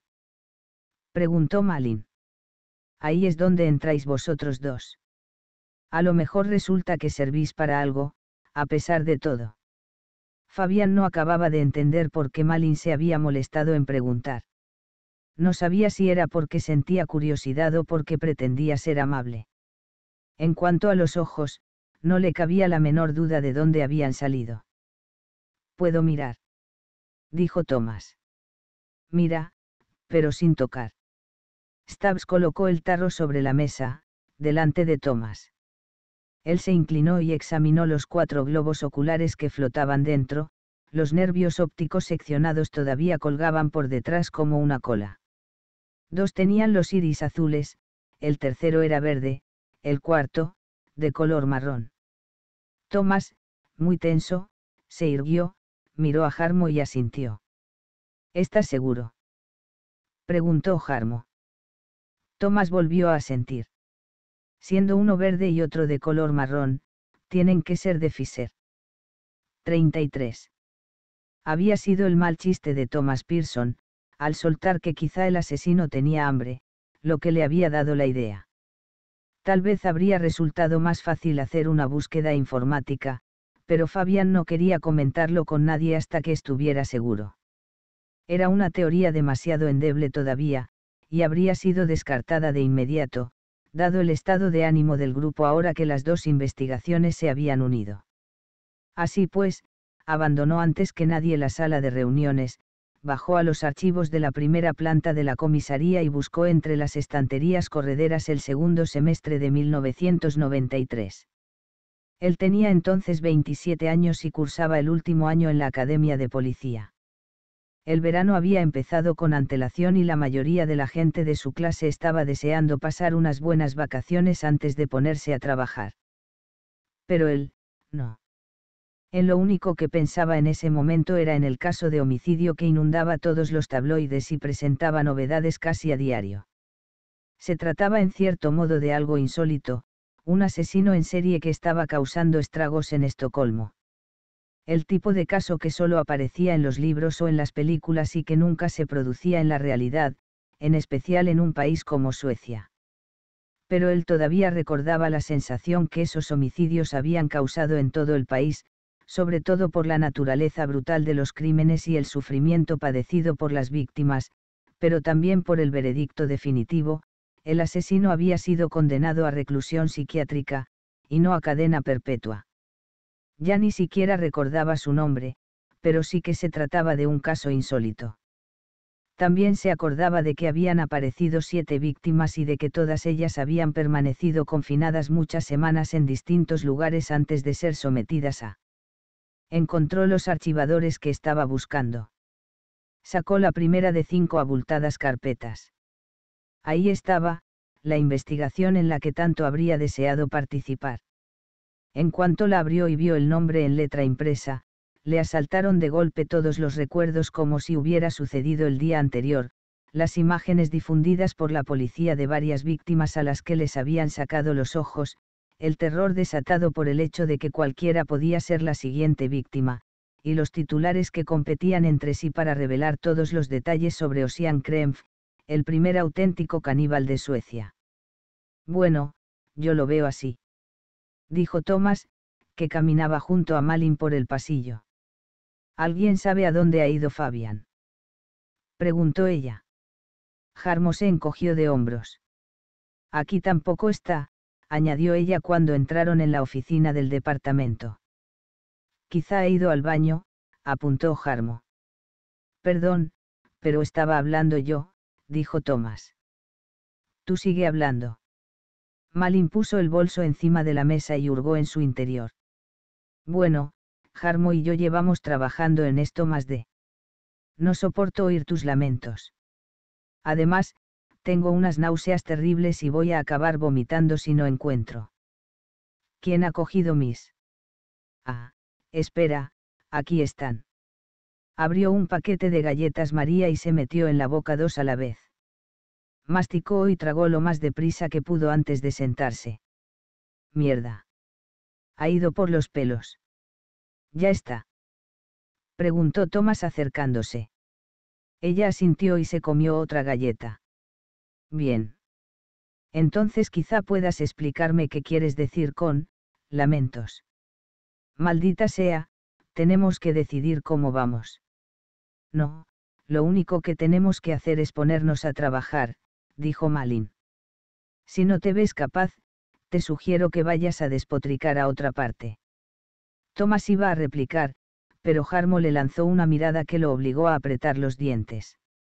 De acuerdo. ¿A qué demonios esperas, entonces? Bien, genial. Malin se levantó. Esto va a ser fantástico, os lo aseguro. Propongo que empecemos investigando si Carl-Eric Grimas y Adam Fisher tienen algo en común. De la conexión entre ambos podría surgir un motivo. Harmo asintió. Thomas permanecía de pie, sin decir palabra. Sabemos bastante sobre el ministro de Justicia, prosiguió Malin. Pero ¿qué sabemos sobre Adam Fisher? ¿Y por qué me parece haberlo visto en las revistas de cotilleo? Adam Fisher tiene 33 años, es hijo de un diplomático y su objetivo vital parece ser no crecer nunca, informó Harmo. Le gusta gastar el dinero de papá, se pasea en coches de lujo y asiste a los estrenos de cine. No hace falta mucho más para salir en las revistas de cotilleo. ¿Y su padre? ¿Alguien lo conoce? Sí, al menos Harmo y yo, dijo Thomas. Se llama Rafael Fischer, y fue embajador israelí aquí en Estocolmo durante la mayor parte de los 90. Embajador israelí. Repitió Malin. Aquí está. Harmo señaló una foto en blanco y negro de la pizarra. La imagen parecía tomada en una celebración y mostraba a un hombre mayor, de pelo totalmente blanco y vistiendo traje oscuro, que estaba sentado ante una mesa engalanada en compañía de otros dos hombres. Adam es el joven de la izquierda inquirió Malin. Sí. Creemos que la fotografía fue tomada en la boda de su hermana. ¿Cuándo fue eso? Le preguntó Harmo a Thomas. En agosto de 1998. El viejo murió tres meses más tarde. ¿Por qué es el hijo quien lleva bastón, y no él? Preguntó Malin. Adam parece pálido y flacucho, no. Harmo desprendió la foto de la pizarra para mirarla más de cerca. En efecto, Adam estaba sentado sosteniendo un bastón con una mano y parecía muy frágil. Tienes toda la razón. Nosotros habíamos supuesto que se lo había pedido prestado a su padre. Déjame ver. Tomás cogió la foto. ¿Quién es el tipo del otro lado? Malin señaló al hombre que estaba sentado a la derecha del embajador y se inclinaba hacia él como si estuviera a punto de hablarle al oído. Buena pregunta, opinó Harmo. Hemos tratado de averiguarlo, pero no lo hemos conseguido. Aquí también aparece, pero con el embajador actual, observó Thomas, y señaló una foto en color tomada años más tarde en la que el mismo tipo se bajaba de un coche junto con el embajador israelí y otro hombre. ¿Y quién es el tercer hombre? preguntó Malin. El embajador de Israel en Copenhague, dijo Harmo. O sea que el tipo conoce a todo el mundo. Habéis hablado con gente de la embajada. Harmo y Thomas negaron con la cabeza. Entonces empezaremos por. Ah, ahí estás. ¿Dónde te habías metido? Le preguntó Malin a Fabian, que acababa de entrar cargado con las carpetas. Estaba en los archivos, buscando información de un sospechoso. Fabián depositó el montón de carpetas sobre su mesa. Tomás cogió una y la abrió. Ocean Krempf. ¿Quién demonios es este? Es gracioso que me lo preguntes porque ha sido tú quien me ha hecho pensar en él. No era aquel caníbal. Dijo Jarmo. Fabián asintió. Yo entonces aún no había entrado en la agencia, pero estaba trabajando en un coche patrulla y se hablaba mucho del caso. ¿Alguien quiere hacer el favor de explicarme de qué estáis hablando? Preguntó Malin. De esto, dijo Thomas desplegando una doble página con fotos de víctimas a las que les habían extraído los ojos. Precioso, exclamó ella. ¿Por qué solo los ojos? No estoy del todo seguro, respondió Risk. Pero por lo que recuerdo, el asesino decía que se limitaba a obedecer las voces que le ordenaban coleccionar diversas, almas escogidas. Oh, no. Otro chalado, no. Y lo han soltado. Lleva tres años y cuatro meses en libertad. O sea que lo han declarado capacitado. Cuestionó Malin. Como si un poco de medicación y terapia pudiera curar a alguien capaz de esos crímenes. Exacto, corroboró Thomas. En los demás campos de la medicina se acepta que un cuerpo paralizado de cintura para abajo estará siempre paralizado. Pero la psicología es diferente. Se supone que todo el mundo puede recuperarse con un poco de terapia, por muy incapacitado que esté. Malin, sorprendida, miró a Thomas. ¿Eso lo has pensando tú solito, o lo has leído en una revista? Thomas le respondió con una sonrisa y cogió el paquete de galletas sírvete. He perdido el apetito de todos modos, dijo Malin, y se dedicó a hojear más a fondo el antiguo expediente. ¿Había alguna relación entre las víctimas o fueron escogidas al azar? Por lo que yo recuerdo, eran tanto hombres como mujeres. Y creo que había uno relativamente famoso, dijo Jarmo. Estás pensando en el locutor de radio que leía los informes marítimos, aportó Fabian. Exacto. Y Fisher y Grimas también son relativamente famosos. Tal vez escogía a gente que los sacaba de quicio, aventuró Thomas. En todo caso, hay una persona que casi con toda certeza los sacaba de quicio, afirmó Malin alzando la vista del expediente. ¿Sabéis quién dirigió la investigación? Los demás dijeron que no. Carl Eric Grimas. 34. Dunja Hougar se sentó frente al escritorio de Kim Sleipner de la forma más encogida y discreta posible. Debería haberse sentado orgullosamente, con las piernas extendidas, tal como Hannes habría hecho sin duda en su misma situación. Al fin y al cabo, contra todo pronóstico, ella había logrado identificar al principal sospechoso en menos de 24 horas. Si todo salía bien, Benny Willumsen recibiría la condena que merecía y, además, podrían cerrarse por fin tres investigaciones antiguas, cuatro, contando el caso sueco.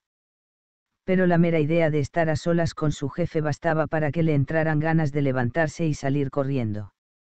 Se obligó a respirar con calma, bajó la mirada y escrutó la mancha seca de café de los tejanos, que producía la impresión de que se había meado encima. Reinaba tal silencio en el despacho que oía cómo entraba y salía el aire por las narinas congestionadas de Sleipner, quien todavía estaba examinando los antiguos expedientes y el borrador del informe. Se preguntó si no estaría entreteniéndose deliberadamente para prolongar su angustia. En todo caso, ella no alzó la mirada hasta que oyó que cerraba la carpeta. Él la miraba sonriendo. Sabía que eras la agente idónea para el caso, dijo mientras se quitaba las gafas de lectura. Y para que lo sepas, tuve buenas sensaciones desde la primera vez que te vi. Como Dunja no sabía qué decir, soltó una risita forzada.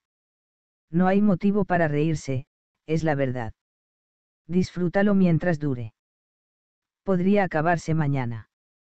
No, es broma. Hablando en serio. Alzó el informe. Esto es un trabajo impresionante. No sé cómo has podido relacionar el caso de la chica encontrada en un vertedero en 2005, con mordeduras de perro, con el caso de Karen Newman, asesinada el otro día a hachazos en Tiberup, pero lo importante es que Benny Willumsen será encarcelado de por vida. Siempre resulta divertido darles un rapapolvo a esos cabrones suecos en su propio terreno. Me parece que voy a aprovecharme de esto durante mucho tiempo. Dunja asintió de nuevo con una sonrisa forzada. Ante todo, me gustaría convocar una rueda de prensa en la que quiero que recibas toda la atención que mereces. Una rueda de prensa. ¿Cuándo piensas celebrarla? No deberíamos detener primero. Relájate. Por supuesto que lo detendremos antes de difundir ninguna información. Pero ya sabes que a mí me gusta pegar primero, y quiero que tengas la seguridad de que no voy a permitir que nadie se lleve el mérito de tu trabajo. Entendido. Dunja asintió una vez más. Cualquiera diría que se te acaba de morir un ser querido y que toda la culpa es mía. No, en absoluto. Lo que pasa es que pienso que queda mucho trabajo antes de cantar victoria. Igual que nuestros colegas suecos, no tenemos pruebas suficientes para conseguir una condena. Deberíamos dragar cuanto antes el puerto de Helsinki para poder demostrar que el asesino arrojó su propio coche al agua y se llevó el de Axel Newman. Quién sabe, quizá Axel también está en el fondo del puerto. Tienes razón, pero todo ha de hacerse en el orden debido. Naturalmente, hemos de detenerlo antes de que someta a alguien más a su macabro ingenio. Con un poco de suerte, encontraremos pruebas suficientes en su apartamento para ahorrarnos los costes de un dragado. Debería ser consciente de que registrar el fondo de un puerto con un invierno como el que estamos pasando no es nada barato. Ya, pero has leído todo el expediente del caso sueco. Ellos no encontraron nada de valor en su. Sleipner la interrumpió, riendo a, y le espetó. He leído lo suficiente para saber que tengo más experiencia que tú en este tipo de cosas. Ya verás cómo funcionará, Dunja. Si no encontramos nada en su apartamento, sacaremos el coche del puerto. Se levantó, rodeó el escritorio y se situó detrás de ella. Espero que te des cuenta de que esto va a propulsar tu carrera profesional. Cuando las manos de Sleipner se posaron en sus hombros, ella sintió como si la penetraran con un atizador. Era eso lo que se sentía al ser violada. La idea le vino a la cabeza espontáneamente y desapareció con la misma rapidez. Dunja, no puedes andar por ahí tan tensa. Estás dura como una roca. La masajeó con suaves movimientos. Procura relajarte. No es por presumir, pero si algo sé hacer es dar un buen masaje la sujetó de los hombros y se los echó para atrás, lo que provocó que los pechos sobresalieran. Deberías cuidar un poco más tu postura. No resulta profesional sentarse en una rueda de prensa como si fueras un saco de patatas. Si todavía no tienes dolor en las cervicales, lo tendrás en el futuro. Le apartó el pelo y le amasó la nuca. A mí me entraron las molestias en cuanto me puse a trabajar aquí si Henry Hammerstein no me hubiera insistido para que hiciera unas sesiones de masaje, seguro que ahora estaría en una silla de ruedas. Desde entonces, he estado yendo dos veces a la semana y no he vuelto a tener el menor problema. Las yemas de los dedos de Sleipner ascendieron y le masajearon el cuero cabelludo y la zona de detrás de las orejas. Ah, se me olvidaba. He arreglado las cosas para que te sientes en la mesa de dirección en la fiesta de Navidad no solo tenemos la ventaja de que nos sirvan y no debamos andar a codazos con todo el mundo, sino que además podemos beber snap sin límite. No está mal, no. Así tendremos la oportunidad de conocernos un poquito mejor. Dunja ya no escuchaba lo que le decía. Las palpitaciones de su corazón acelerado ahogaban cualquier otro sonido. Lo único que deseaba era levantarse y darle una bofetada con todas sus fuerzas pero estaba paralizada. Ni siquiera era capaz de pedirle que le quitase las manos de encima. No podía hacer otra cosa que permanecer sentada y sentir cómo todos los músculos se le iban tensando cada vez más. 35. Cuando Benny Willumsen despertó, no tenía ni idea de dónde estaba. Seguía aún en Suecia. La luz de la lámpara que tenía justo encima le impedía ver nada con claridad. Al conseguir aflojar la cinta que le ceñía desde la mandíbula hasta la frente, pudo girar la cabeza y hacerse una idea de su situación. Estaba desnudo y atado con cinta de embalar sobre la mesa de la cocina de su apartamento de Malmo. La foto de su querida Jessie, que había enmarcado y colgado en la pared el día de su muerte, disipaba cualquier duda. Ya habían transcurrido casi 17 meses desde entonces, pero los días sin ella todavía le resultaban difíciles de sobrellevar. Había pensado en buscar otro perro, pero al final había llegado a la conclusión de que no sería lo mismo. Poco a poco, de forma vacilante, recobró la memoria. Había salido a dar su paseo habitual. Aunque nevaba mucho, había escogido la ruta más larga, que le llevaba casi dos horas. Estaba tranquilo, sin la menor inquietud. Era justo lo contrario de cómo se había sentido después de su conquista en una de las casas de Fortuna Beach, en Rideback, hacía dos años. El acto en sí de violar y matar a puñaladas a una mujer en la playa mientras su marido estaba a 50 metros mirando las noticias, siempre le había provocado una cálida sensación de calma.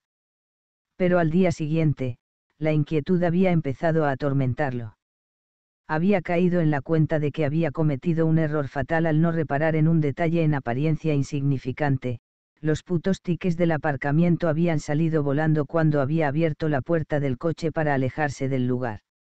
Él habría jurado que los había recogido todos, pero más tarde oyó en las noticias que la policía había encontrado una pista que la conduciría hasta el asesino. Se pasó una semana entera despierto en la cama y, por fin, la policía de Helsingborg lo localizó y lo detuvo. Sí, además, no lo hubieran acusado erróneamente del asesinato de la mujer que había aparecido atornillada a un palé en la costa de Ben, lo habrían condenado casi con toda seguridad. Puesto que estaba otra vez en libertad, se había prometido que nunca más se le pasaría por alto ningún detalle, por insignificante que pudiera parecer. Y hasta entonces lo había cumplido. De vuelta de su paseo, se había relajado un poco dedicando el resto de la tarde al ejercicio físico. Hizo tres tandas de fondos, flexiones, abdominales y levantamiento de pesas tanto acostado como de pie. Había alcanzado su máximo y, al terminar, el corazón le retumbaba en el pecho. Y entonces había sucedido. Había oído que algo caía a través de la ranura del buzón, pero cuando llegó a la cocina para investigar, estaba todo lleno de un humo blanco.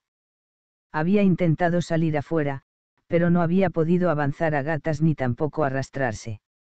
Lo último que recordaba era que alguien había entrado por la puerta principal y se había agachado junto a él, una figura que llevaba gruesas ropas oscuras y que se tapaba el rostro con una máscara antigas. Y en ese momento estaba atado con cinta de embalar sobre la mesa de su propia cocina sin tener ni idea de lo que iba a pasar aunque albergaba sus sospechas.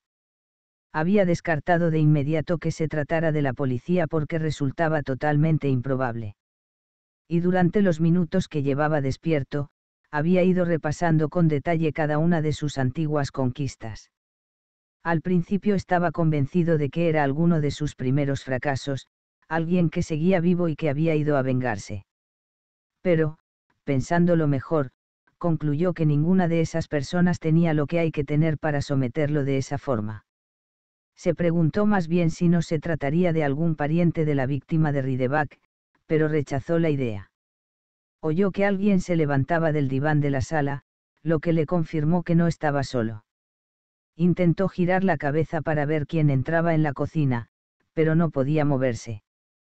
Entonces notó que le ponían una venda sobre los ojos y, por primera vez desde hacía muchos años, tuvo miedo. No mucho, pero sí lo bastante para sentir un desacostumbrado hormigueo que le subía desde los dedos de los pies. Para ser sincero, casi le gustaba. Ahora va a empezar, pensó. Fuera lo que fuese lo que le esperaba, estaba a punto de comenzar. 36. Fabián Risk tanteó a lo largo de la pared con una mano mientras sonaba el tono de llamada en sus auriculares. El baño de la comisaría estaba a oscuras y no veía nada. Al fin encontró el interruptor y encendió las luces. Se preguntó qué iba a hacer si ella no respondía. O si ya no volvería a responder a sus llamadas. Quizá sería lo mejor, de todos modos. Ya me empezaba a preguntar qué había sido de ti. Como siempre, Niva empleaba un tono travieso que sugería que todo era un juego. Pensaba que igual te habían echado la bronca en casa y que te habías vuelto a encerrar en tu caparazón. ¿Puedes dejarme una mano? Depende. Necesito encontrar la dirección de un tal Osian Krempf. Como te he dicho, depende. Se trata de un expresidiario que no vive en su dirección oficial lo consideramos el principal sospechoso de la muerte y desmembramiento de Adam Fisher y Carl Eric Grimas. Estamos seguros de que vive realquilado en alguna parte. Fabián esperó una reacción, pero no hubo ninguna. Niva. ¿Estás ahí? Preguntó, fingiendo que no la oía respirar. En realidad, entendía perfectamente a qué venía esa actitud y no podía negar que ella tenía razón. Él había hecho una promesa y debía cumplirla. Al fin y al cabo, no tenía por qué ser más que un encuentro con una antigua compañera. ¿Qué tal mañana por la noche?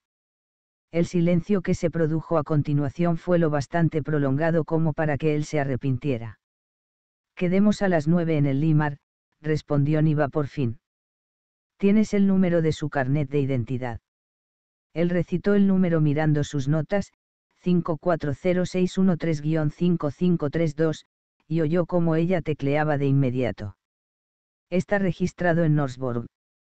Sí, pero como he dicho, tenemos la información de que vive realquilado en otro sitio. Vamos a ver su banco. Está en el Nordea y tiene una tarjeta normal de débito vinculada a su cuenta personal. Trabaja. ¿De dónde saca el dinero? No, no trabaja. Cobra varios subsidios y es de suponer que también un alquiler por el piso de Norsborg. Tiene otras cuentas. Seguramente, pero en esta tarjeta de débito hay suficientes transacciones como para poder localizarlo. Fabián oyó cómo tecleaba de nuevo. Mientras aguardaba, se sentó en el asiento del inodoro y se preguntó qué le diría a Sonia, si es que debía decírselo. Tal vez su mujer no esperaba que volviera a casa y daría por supuesto que iba a quedarse trabajando por la noche. Debía de haberse enterado de lo ocurrido por las noticias y, probablemente, ya se imaginaba que llegaría muy tarde durante varias noches. Era por eso por lo que no había reaccionado a su intento de explicación. Utiliza regularmente tres cajeros. Uno del centro comercial Ringen en Skanstull, otro frente al supermercado Consum de Gotlandsgatan y el último en la sucursal del Banco Nordea de Bondegatan. Yo diría que vive en algún punto entre Ringwagen y Bondegatan, alrededor de Gotgatan. Podrían ser varios miles de apartamentos. Y si está realquilado de segunda o de tercera mano, es posible que su nombre ni siquiera aparezca en la puerta. Yo indagaría sobre la época que pasó encarcelado. Podría ser que hubiera conocido a alguien allí. Sugirió Niva. Fabián ya la oía iniciando otra serie de búsquedas. Pero él estuvo en reclusión psiquiátrica, de manera que no habrá habido muchos. Ya lo sé, pero en 1996 lo consideraron lo bastante curado como para trasladarlo a la prisión Cumla, donde cumplió los últimos diez años con medicación y terapia continuada. Sí, y ahora se supone que está completamente curado, dijo Fabián, que, como los demás miembros del equipo, no comprendía cómo podían declarar sano a alguien que había mutilado, torturado y arrancado los ojos a sus víctimas. ¿Y qué me dices de los compañeros de prisión? ¿Alguna coincidencia? No lo parece. Al menos entre los presos con los que pasó seis meses o más. Uno de ellos está registrado en Lindvalsgatan, en la zona de Ornstull, y otro en Tantogatan, pero nadie dentro de ese radio de tres manzanas. Redúcelo de seis a tres meses. Ya lo estoy haciendo, pero hay un montón de nombres que revisar. Prueba con el terapeuta. El terapeuta. Sí, debe de haber visitado a alguno casi a diario. Por desgracia, vive en Gamla Enskede. En la misma calle que tu compañera Malin Renberg. Quizá ella lo conoce y va a su casa, calzando sus cracks, para pedirle azúcar o hablar de los niveles de ruido y la necesidad de poner más badenes. No creo que las cracks sean su estilo exactamente, dijo Fabián. Tuvo la sensación de que la amargura de Niva por el hecho de seguir soltera todavía rezumaba a través del teléfono como un lodo viscoso y amarillento. Me han dicho que está embarazada. De gemelos. Qué bonito. No tanto, si se lo preguntas a ella. Por ahora parece dispuesta a ofrecérselos al primero que pase. La hija. No sé si han averiguado ya el sexo. O sí, espera, son dos chicos. No me refería a Malin, sino al terapeuta. Fabián no entendía de qué estaba hablando. La hija del terapeuta. Está registrada en un apartamento en el 67 BE de Blekingegatan, pero ahora está estudiando en Lund. Es una posibilidad muy remota, pero quizá valdría la pena probar. Sin duda. No sé cómo darte las gracias. Si lo sabes. Nos vemos mañana por la noche. Sonó un clic, y Fabián se levantó del inodoro y se guardó el teléfono en el bolsillo. Suponiendo que fuera cierto, no le quedaba claro si el terapeuta habría quebrantado la ley o violado sus normas profesionales. Pero en todo caso, habría traspasado un límite ético.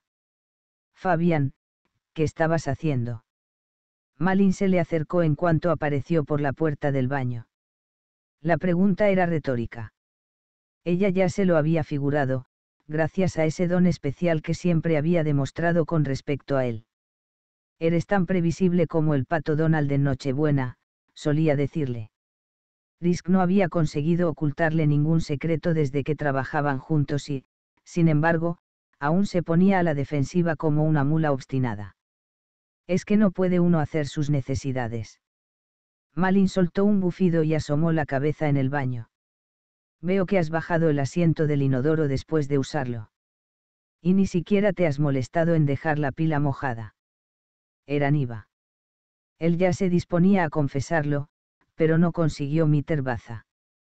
Sé lo que estás pensando, Fabián. Pero te aseguro que esa chica no es trigo limpio.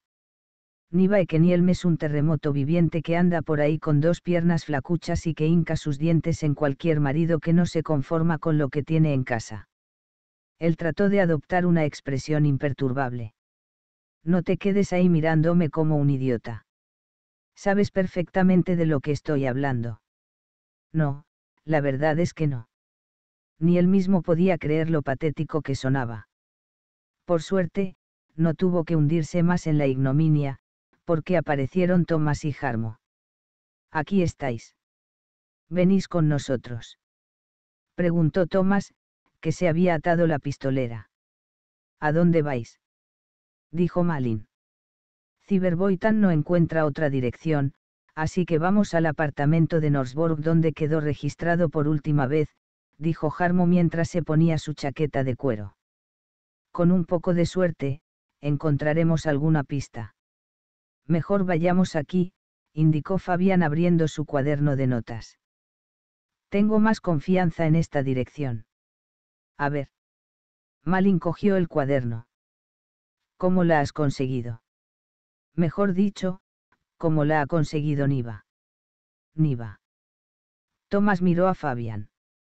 Niva Ekenielm. Es una posibilidad remota. Pero hay una serie de factores que indican que Osian Krenf está realquilado en el apartamento de la hija de su terapeuta, quien, por cierto, vive en la misma calle que tú, en Enskede, soltó Fabián, notando que estaba enderezando el bote de nuevo pero Malin no escuchaba lo que le decía. Miraba fijamente la dirección. El 67BE de Blekinghegatan. Quizá estoy equivocada, pero esto no es. Alzó la vista y los miró. No está en la misma manzana que el apartamento clausurado de Ostgotagatan. 37. Benny Willumsen no sabía cómo reaccionar. Sus pensamientos y emociones se arremolinaban. Por un lado, sentía una creciente ansiedad ante el dolor que podía estar a punto de sufrir, por otro lado, no le cabía duda de que merecía un castigo. Tal vez se trataba de alguna de sus primeras víctimas, o de sus fracasos, como él prefería decir. Aunque le sorprendía que hubiera hecho falta tanto tiempo para que alguna de ellas se tomara la justicia por su mano. Aún no estaba dispuesto a morir. Lo atormentaba pensar en la cantidad de cosas que deseaba lograr. Su bloque estaba lleno de esquemas de sencillos artilugios que conseguirían mejorar sus actos, como el látigo con cuchillas de afeitar, o la ducha de agua hirviendo. Todos sus diseños tenían en común un objetivo muy simple, hacer sufrir a la víctima el mayor tiempo posible. Pero quizá nunca podría probar sus inventos. Y, pese a todo, no era capaz de eludir una sensación de placer mientras aquellas manos planeaban ingrávidas sobre su piel desnuda, haciéndole estremecer con cada leve roce. Se deslizaron con suavidad sobre su pecho, todavía firme e hinchado tras su última sesión de ejercicios, y continuaron por sus abultados abdominales, que constituían su mayor orgullo. Aunque pasaba de los 40, nunca en su vida había estado en tan buena forma.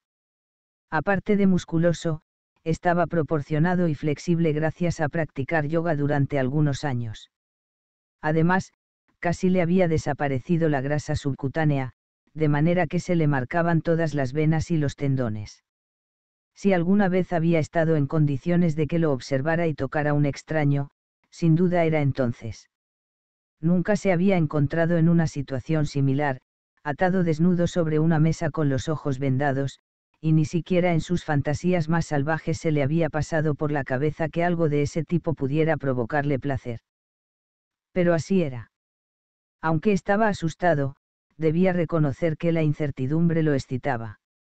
Hallarse indefenso contrastaba por completo con todas las veces que él había sido la parte activa, la persona que planeaba, actuaba y ejecutaba. No es que no le gustara estar al mando, al contrario, le encantaba disfrutaba llevando el timón en solitario. Poseer todo el poder sobre la vida de otra persona, ver incluso el miedo en sus ojos cuando descubría que estaba a su merced, era una sensación que superaba casi cualquier otra. Cada etapa del proceso ofrecía posibilidades de gozar.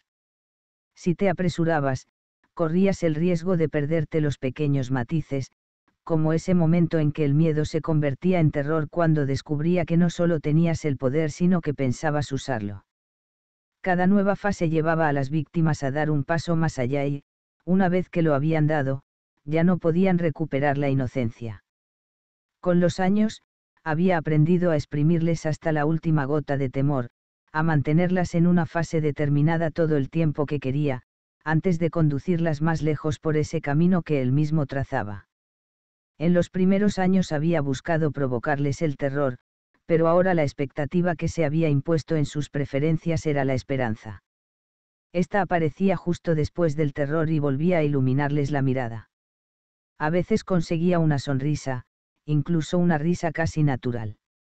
Lo que más le gustaba entonces era inocularles una falsa sensación de seguridad y permitir que su esperanza creciera tanto que se convirtiera en creíble. Le encantaba convencerlas de que si obedecían y no oponían resistencia, todo saldría bien, y que, entonces, saldrían vivas. Cuanto más lograba prolongar esa situación, mayor era su recompensa. Entonces disfrutaba observando cómo se daban cuenta de que no tenía sentido albergar esperanzas. Por mucho que rogaran y suplicaran, aquello solo podía terminar de una manera todavía inhalaban y su corazón seguía bombeando sangre como si nada, pero sus ojos no se engañaban. Sabían lo que se avecinaba. No había nada más hermoso que ese momento, cuando una mirada se ablandaba y parecía rendirse. Las manos le rozaron ligeramente la entrepierna y continuaron a lo largo de los muslos. Por primera vez, no podía hacer otra cosa que esperar y recibir. Aunque conocía el final, disfrutaba de sus últimos momentos sin remedio. Respiró más profundamente y su miembro cobró vida. Sentía el fluir de la sangre, agrandándolo y endureciéndolo a medida que esas manos suaves se aproximaban. Al principio había creído que eran unas manos femeninas, pero ya no estaba tan seguro. A diferencia de muchos otros hombres, él nunca se había detenido a pensar si tal vez era homosexual, o bisexual, ya puestos. Toda su vida había estado seguro de que era hetero y de que dejaría de excitarse en cuanto un hombre lo tocara. Pero al parecer su cuerpo no tenía preferencias, porque su erección había adquirido el tamaño completo, y estaba tan henchida y rebosante de sangre que notaba cómo se movía al ritmo de sus palpitaciones. Seguro que la persona que se dedicaba a jugar con él estaba impresionada. Con una longitud de 29 centímetros y una circunferencia de 18 y medio, era más grande que la de la mayoría de hombres. Entonces las manos lo tocaron al fin, pasadas ligeras y casi imperceptibles que iban desde la base hasta la punta a lo largo de la cara interna. No lo sabía con certeza, pero estaba casi seguro de que la punta de una lengua estaba jugando alrededor de su glande palpitante.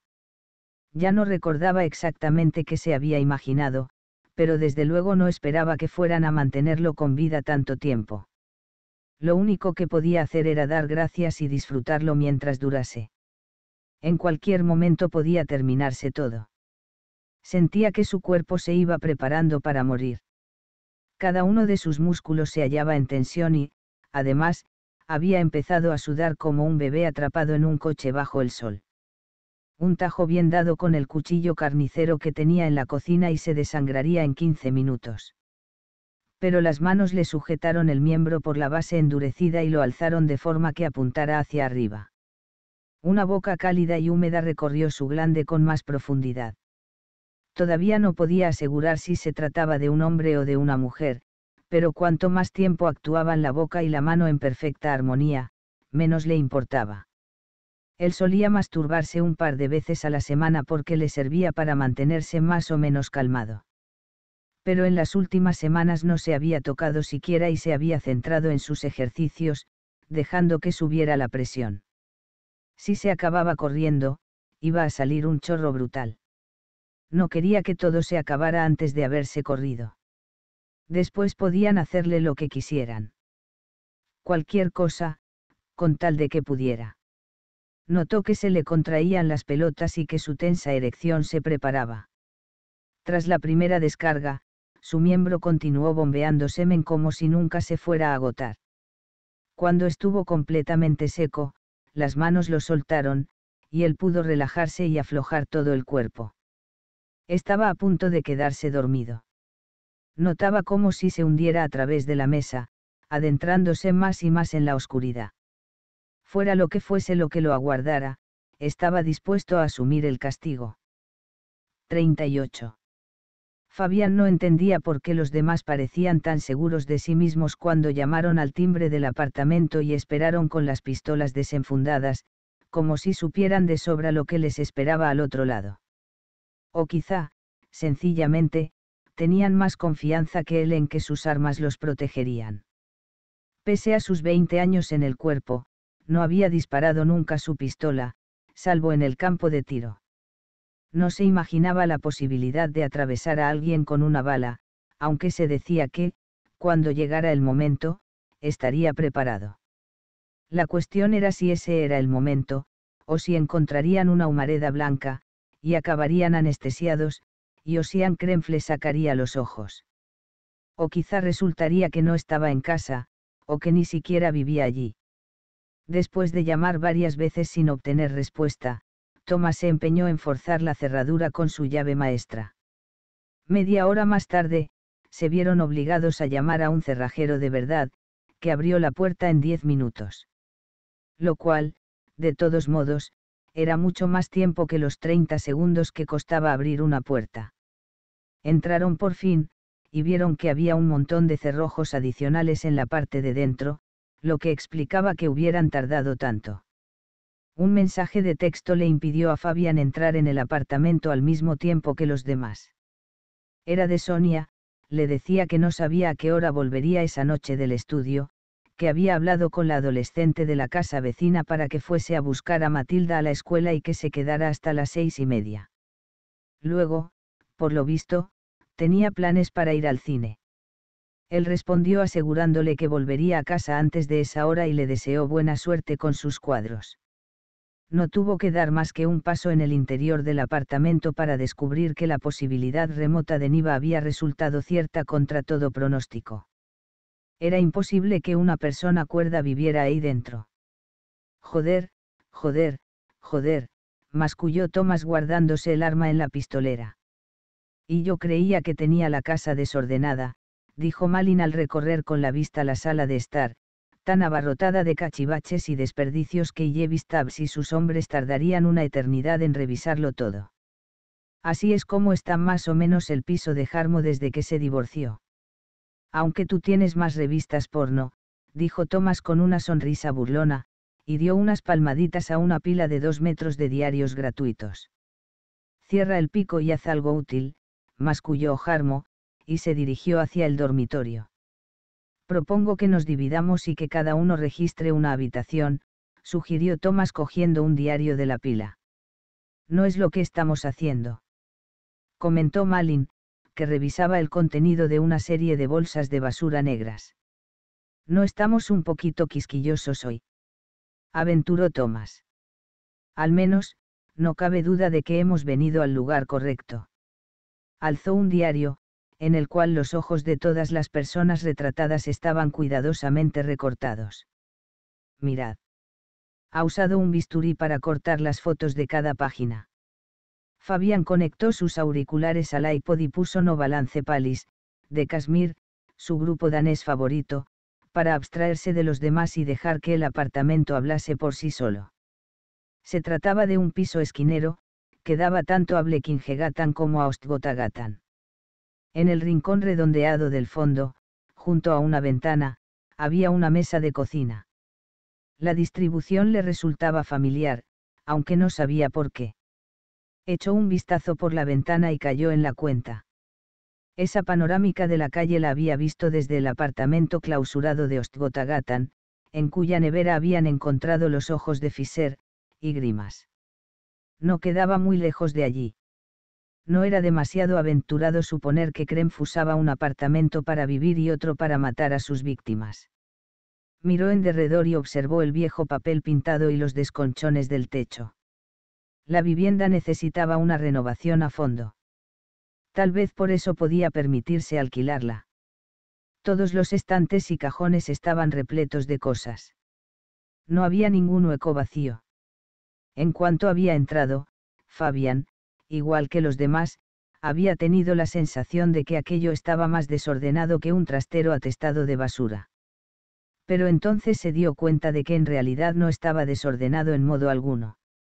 Sí, había algunas cosas tiradas por el suelo, pero la mayor parte de ellas estaban organizadas en montones, apiladas y clasificadas con mucho esmero.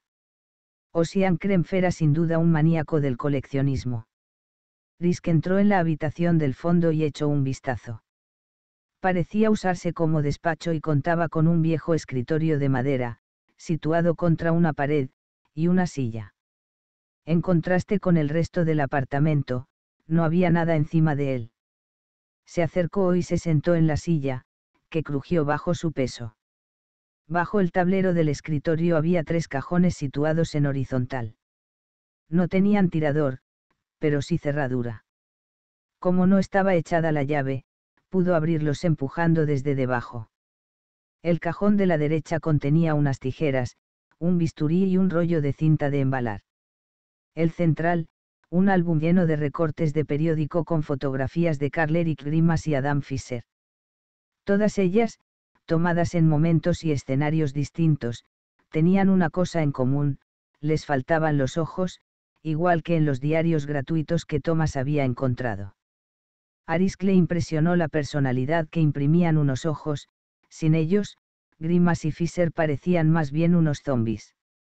El cajón de la izquierda también contenía fotografías, pero no estaban pegadas en un álbum ni recortadas de los periódicos. En este caso, daba la impresión de que había sido Krempf quien manejaba la cámara. Eran unas treinta y tantas, todas tomadas en el interior de un autobús.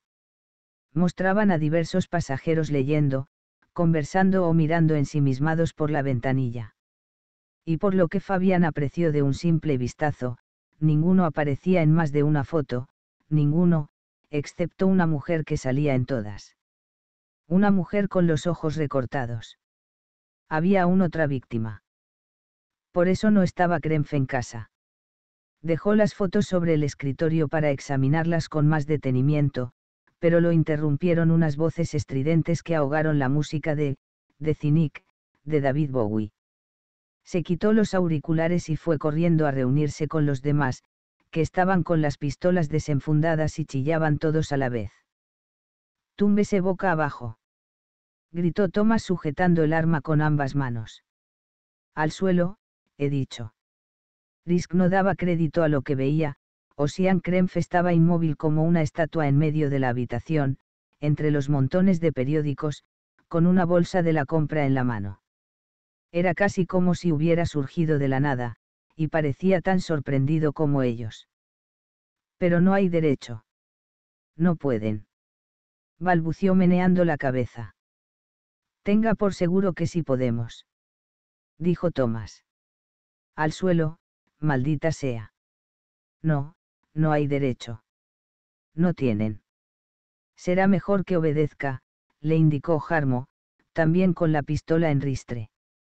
A Fabián le llamó la atención lo bajo que era aquel hombre y lo distinto que resultaba al natural, en comparación con la imagen del vídeo de vigilancia en el que aparecía como un guardia luciendo bigote y una abultada barriga.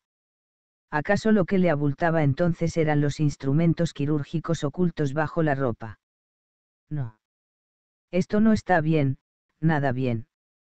Krempf meneó la cabeza con más fuerza y, soltando la bolsa de la compra, agitó los brazos. Tienen que marcharse. Fuera de aquí.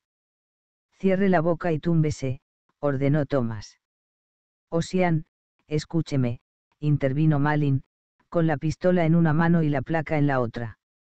Somos agentes de policía, y me parece que ya sabe por qué estamos aquí. Será mejor que mantenga la calma y que haga lo que le decimos. Krempf se serenó un poco y asintió. Muy bien. Ahora ponga las manos en la cabeza y arrodíllese muy despacio. Él alzó las manos y empezó a agacharse de mala gana. Pero entonces, sin previo aviso, giró en redondo y desapareció corriendo hacia el pasillo. Alto. Gritaron Thomas y Harmo a la vez. Pero ya era demasiado tarde. Krempf había salido del apartamento y, a juzgar por el eco, estaba bajando la escalera. ¿Qué demonios estamos haciendo? Ha escapado, maldita sea. Gritó Thomas, y echó a correr tras él. Ossian salió disparado a Blekingegatan y corrió con todas sus fuerzas hacia Gotgatan. Sabía que era más rápido que mucha gente, siempre lo había sido, y, pasara lo que pasase, no tenía intención de dejarse atrapar. Otra vez, no. Debía bajar al metro para ponerse a salvo. Ya tenía estudiadas las rutas de huida y sabía cómo escabullirse de los putos polis ante sus propias narices. ¿Por qué había sido tan ingenuo? No era nada propio de él. Y lo cierto es que los había visto deambular por la calle desde hacía unos días. Se había prometido que estaría preparado por si llamaban a su puerta y, sin embargo, había caído en la trampa estúpidamente. Ya no le faltaba mucho. Había de cruzar Gotgatan y después zambullirse en el inframundo. Sabía cómo abrirse paso en la entrada del metro de forma expeditiva, o sea, apartando a todos los cabrones que ignoraban que debían mantenerse a la derecha. Oía los gritos de la policía a su espalda, ordenándole que se detuviera y pusiera las manos sobre la cabeza. Podían gritar todo lo que quisieran.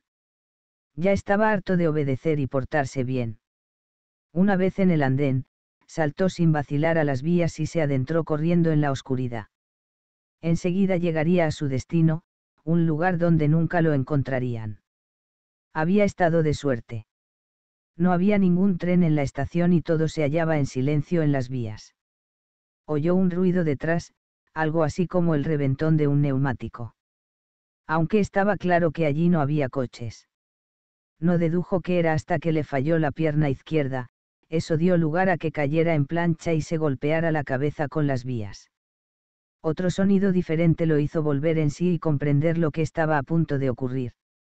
Era el traqueteo característico que indicaba que se aproximaba un tren. 39. Este era el peligro sobre el que su padre la había prevenido tantas veces, pensó Kat Haskell, que no sabía dónde estaba ni de qué modo había acabado ahí. Él había invertido una fortuna en sistemas de seguridad y le había advertido que bajo ninguna circunstancia saliera de la casa de Sneckersten a menos que lo tuviera planeado por anticipado con los guardaespaldas.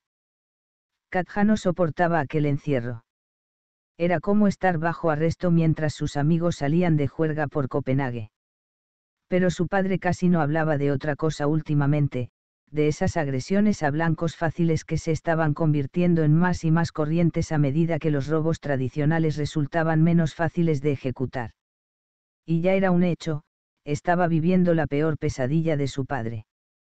La habían secuestrado y se la habían llevado a la fuerza como si fuera la víctima de una de esas películas malas que sabías que acababan bien, pero esto no era una película. Intentó calcular cuánto rato llevaba allí, pero enseguida desistió Teniendo en cuenta lo que había consumido la noche anterior, su sentido del tiempo no era fiable en absoluto. Además, estaba todo oscuro, tan oscuro que no veía nada a 10 centímetros, a pesar de que sus ojos deberían haberse adaptado hacía mucho. Sin duda estaba encerrada en un lugar angosto. Intentó rascarse la nariz, pero no había espacio suficiente. La envolvía algo rígido, acaso una alfombra, oía crujidos y notaba a su alrededor olor a plástico.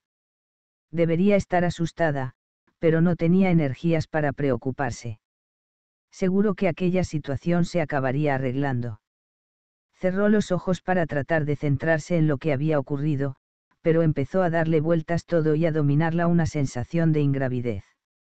Aún estaba colocada, y como no se le pasara pronto no iba a poder distinguir dónde tenía los pies y dónde la cabeza. Supuso que pretendían asustarla, que querían que se pusiera a dar golpes y berridos. Pero no pensaba complacerlos iba a quedarse tan callada que serían ellos los que se inquietarían. Y cuando vinieran por fin a sacarla de la oscuridad, se haría la muerta, tal como debías hacer si caías en el cubil de un oso. No se imaginaba cómo reaccionarían al descubrir que su plan para sacar millones era inútil. Pensó en la fiesta. Se suponía que iba a ser algo, tranqui, pero había degenerado en una orgía descarada, la gente esnifaba casi todo el alijo que ella tenía almacenado y follaba a saco por los rincones. Claro que así era como funcionaban las cosas la mayoría de veces, las fiestas más divertidas y exitosas eran las imprevistas.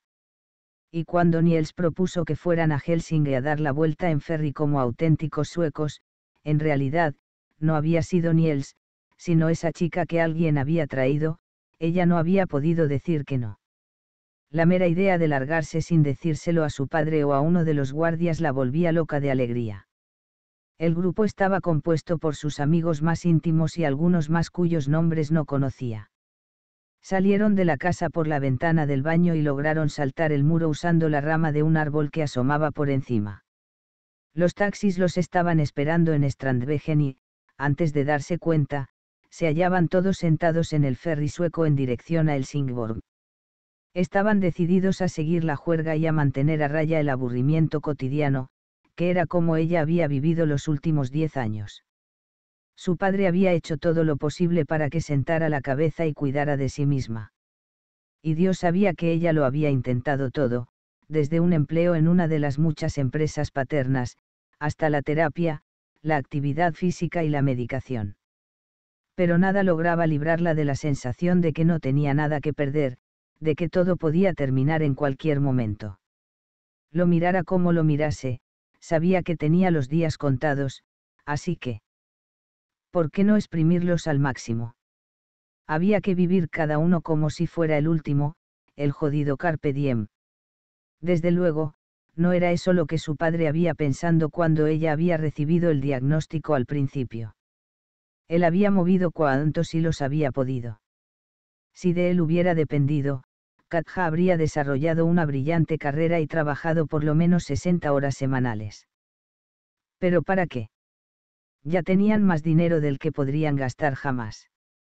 No es que no pudiera comprender la decepción de su padre, sobre todo en los primeros años, pero habían transcurrido más de diez y esa decepción seguía impregnando la relación entre ambos. Él intentaba ocultarla, pero casi siempre su mirada destilaba amargura, y algunas veces, si se leían entre líneas las cosas que le decía, daba la impresión de que incluso se arrepentía de haberla ayudado. Percibió una vibración y oyó un motor que arrancaba. Quizá fue porque dedujo que estaba en el maletero de un coche o porque notó que se movían, pero se percató de que estaba asustada. Más que asustada, aterrorizada. Entonces sí se le ocurrió que se trataba de algo real y no una broma pesada se acordó de golpe de aquella pobre mujer que había visto en las noticias. Karen Newman, así se llamaba. Pero no había anunciado la policía que ya había atrapado a su asesino. El terror la recorrió de pies a cabeza como una descarga de alto voltaje. Cada músculo se le tensó espasmódicamente, y se puso a chillar con todas sus fuerzas. La alfombra amortiguaba con tanta eficacia sus gritos que enseguida se dio por vencida. Notó que avanzaban poco a poco. Pasaron unos baches y luego la calzada se volvió regular. Estamos bajando del ferry, pensó. Si era en Dinamarca o en Suecia, no lo sabía. Por primera vez desde hacía mucho tiempo, tomó conciencia de cuánto podía perder. 40. Dunja intentó tragarse el nudo que notaba en la garganta mientras miraba a los periodistas y fotógrafos que tomaban asiento frente a ella. Cuanto más se llenaba la sala, más incómoda se sentía.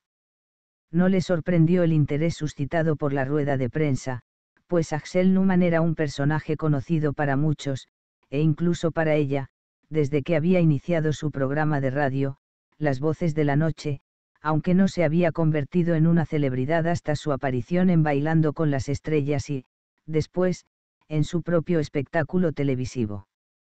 Pese a ello, no se imaginaba una expectación tan enorme como para haber tenido que trasladar el acto a la sala grande con el fin de dar cabida a los asistentes. Todavía seguía entrando gente, y quizá no cabrían todos. Si hubiera dependido de ella, más bien habría preferido formar parte del operativo en el apartamento de Benny Willumsen en Malmo.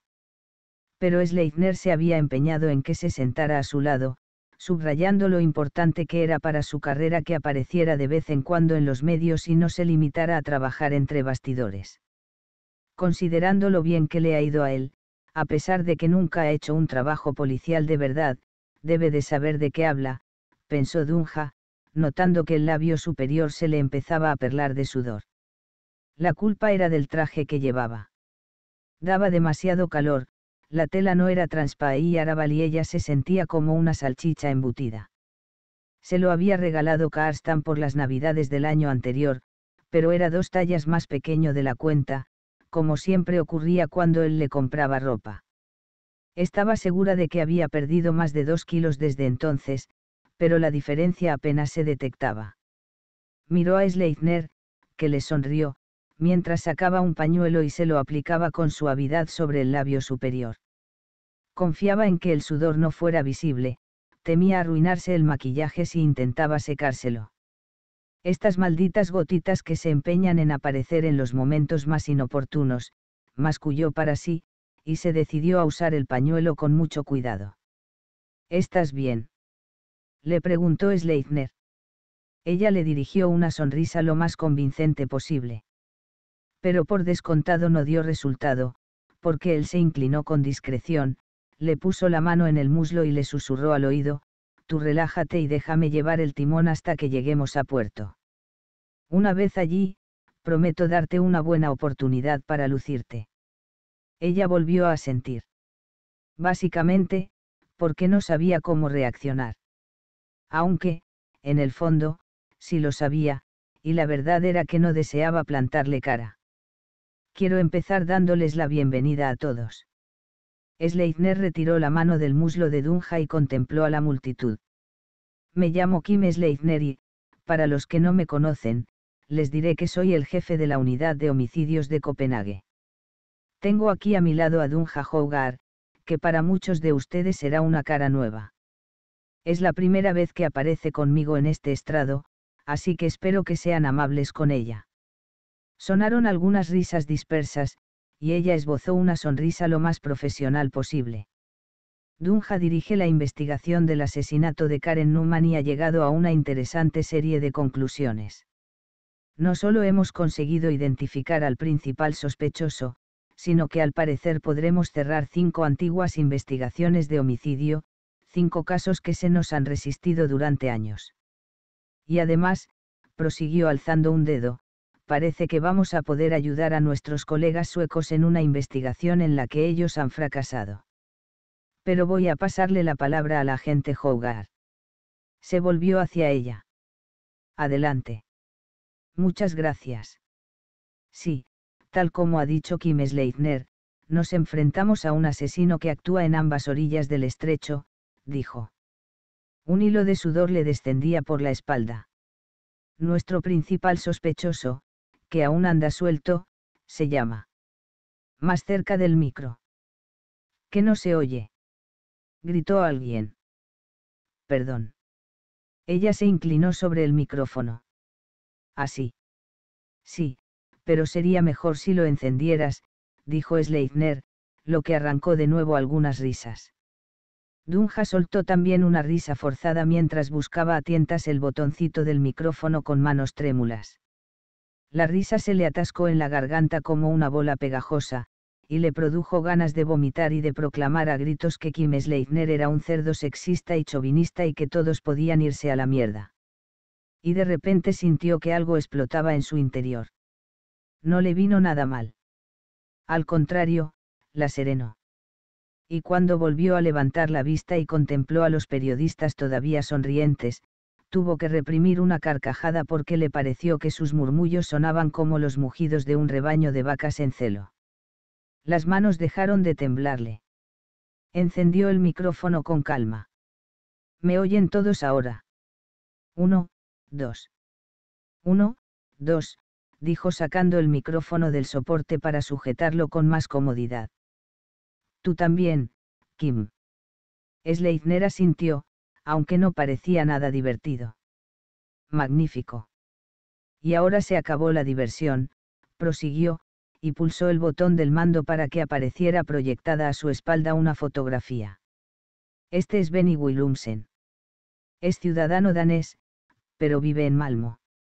Hace unos dos años, la policía sueca lo detuvo por este crimen. Volvió a pulsar el botón y apareció una imagen de la escena de Rideback, una mujer tendida sin vida en una playa. La sábana blanca que cubría el cuerpo parcialmente estaba manchada en muchas zonas por la sangre que había manado de las profundas heridas. Sin entrar en detalles, podemos confirmar que hay una serie de llamativas similitudes entre este caso y el asesinato de Karen Newman cometido en Tiberup, aun cuando el asesino fue todavía más lejos en este último y. Dunja se interrumpió y miró su móvil, que estaba vibrando frente a ella sobre la mesa. Era Sverker Holm, de la policía de Helsingborg, o, Klippan, según lo llamaban al parecer. No debería haber dejado el móvil allí encima, y mucho menos encendido, aunque estuviera silenciado. Y sabía que no debía responder bajo ninguna circunstancia. Pero, no obstante, hizo ademán de cogerlo. Dunja, quizá deberías guardar el teléfono, cuchicheó Sleipner con irritación. Ella rechazó la llamada y dejó el móvil. Perdón. ¿Dónde estábamos? La conexión entre el caso sueco de Rideback y el de Karen Newman en Tiberup. Bien. El móvil vibró de nuevo. Esta vez era un mensaje de texto, Willumsen ha vuelto a actuar. Llámeme cuanto antes. ¿Qué estás haciendo, Dunja? Sleipner ahora parecía muy estresado. Ella leyó una vez más el mensaje y se enfrentó a la mirada perpleja de su jefe. Ha vuelto a actuar. Habrás de continuar tú solo. Yo tengo trabajo, dijo y, levantándose, bajó del estrado. Ya veo, dijo Sleipner alzando las manos, resignado. Por desgracia, parece que tendrán que aguantarme a mí otra vez. ¿Dónde nos habíamos quedado? Dunja marcó el número mientras abandonaba la sala. Sí, hola, respondió Clippan. Se oía que estaba arrancando el coche. Han encontrado a una nueva víctima. No. Todavía no. Es una mujer sueca esta vez. Dunja siguió hacia los ascensores y pasó junto a un televisor que estaba emitiendo la rueda de prensa en silencio. No, es danesa. Se llama Kat Haskov. Quizá ha oído hablar de su padre. A Avis le suena. Sí, es uno de nuestros mayores empresarios. Intentó subir el volumen de la televisión. Pero no sé si entiendo la situación, añadió. No conseguía localizar el botón adecuado y abandonó con frustración su intento de escuchar la emisión de la rueda de prensa. Por lo que me han explicado, Katja montó un encuentro o una fiesta en su casa de Snekkersten. De madrugada, ella y algunos amigos fueron en taxi a Helsinki y subieron a un ferry para seguir la juerga. Ya sabe, beber alcohol y hacer varias veces el trayecto de ida y vuelta con el mismo billete. Creía que solo los suecos tenían esa costumbre. Yo también, pero ellos hicieron lo mismo. Bebieron mucho y, de repente, alguien advirtió que Katja había desaparecido. Y está completamente seguro de que no se habrá quedado desmayada en un bote salvavidas o algo así. El personal ha registrado el ferry dos veces. En cuanto me he enterado de lo ocurrido, he llamado al jefe de Scandlines. ¿Cómo se llamaba? Sí, ya sé a quién se refiere. Le he pedido que revisara los vídeos de vigilancia y, tal como sospechaba, el tipo ha estado allí con el mismo coche. Quiere decir con el BMW de matrícula danesa de Axel Newman. Exacto. Al parecer, ha abandonado el ferry en el Singborg a las 12 y 22 minutos. Dunja echó un vistazo al reloj. No habían pasado mucho más de dos horas. Una eternidad en estas circunstancias, pero todavía un periodo hasta cierto punto favorable. Clippan, ¿qué le parece si cruzo a Suecia y trabajamos juntos en la investigación?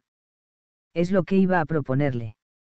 Llámeme en cuanto sepa qué hora va a llegar a Helsingborg y pasaré a recogerla.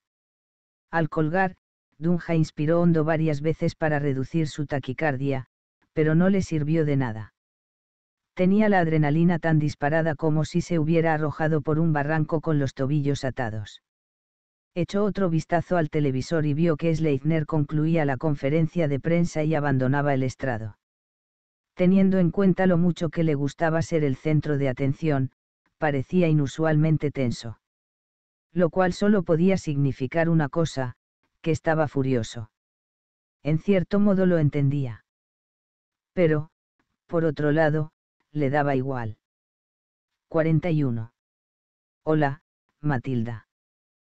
¿Qué te pasa? Dijo Fabián al teléfono, mientras cruzaba el pasillo hacia la sala de reuniones. ¿Cuándo vendrás a casa? He llamado a mamá un montón de veces, pero no contesta. Está en el estudio, y seguro que tiene el teléfono apagado. Rebeca no está contigo.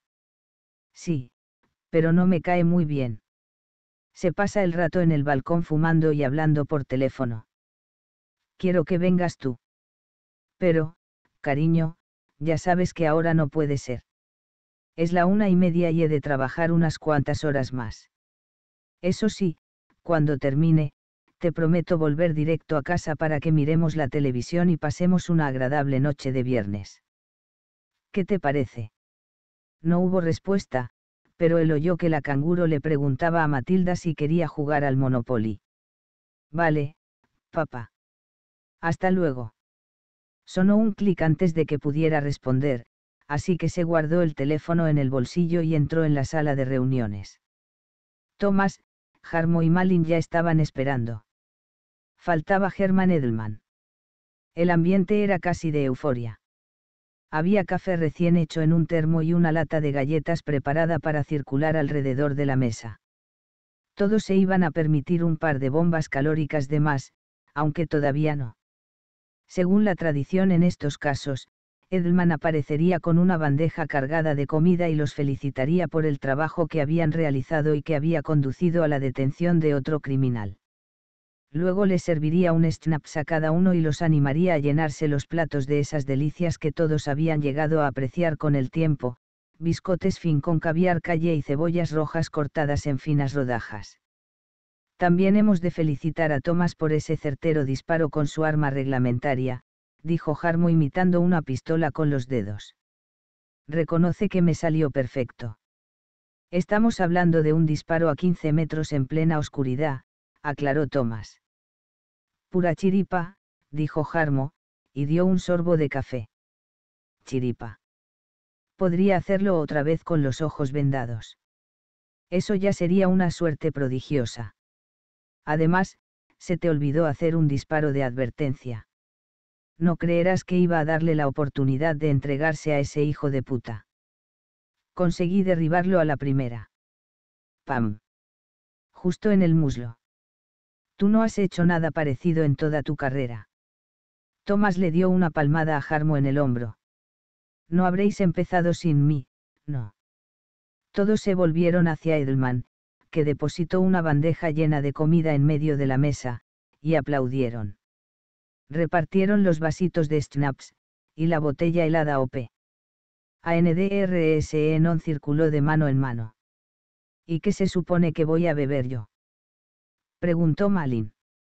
Limonada o cerveza sin alcohol, dijo Edelman mientras desenroscaba el tapón rojo del tubo de caviar y, con cuya punta en forma de estrella, perforaba la lámina de aluminio que lo protegía. O bien puedes tomarte un vasito pequeño y fingir que estás otra vez en Dinamarca.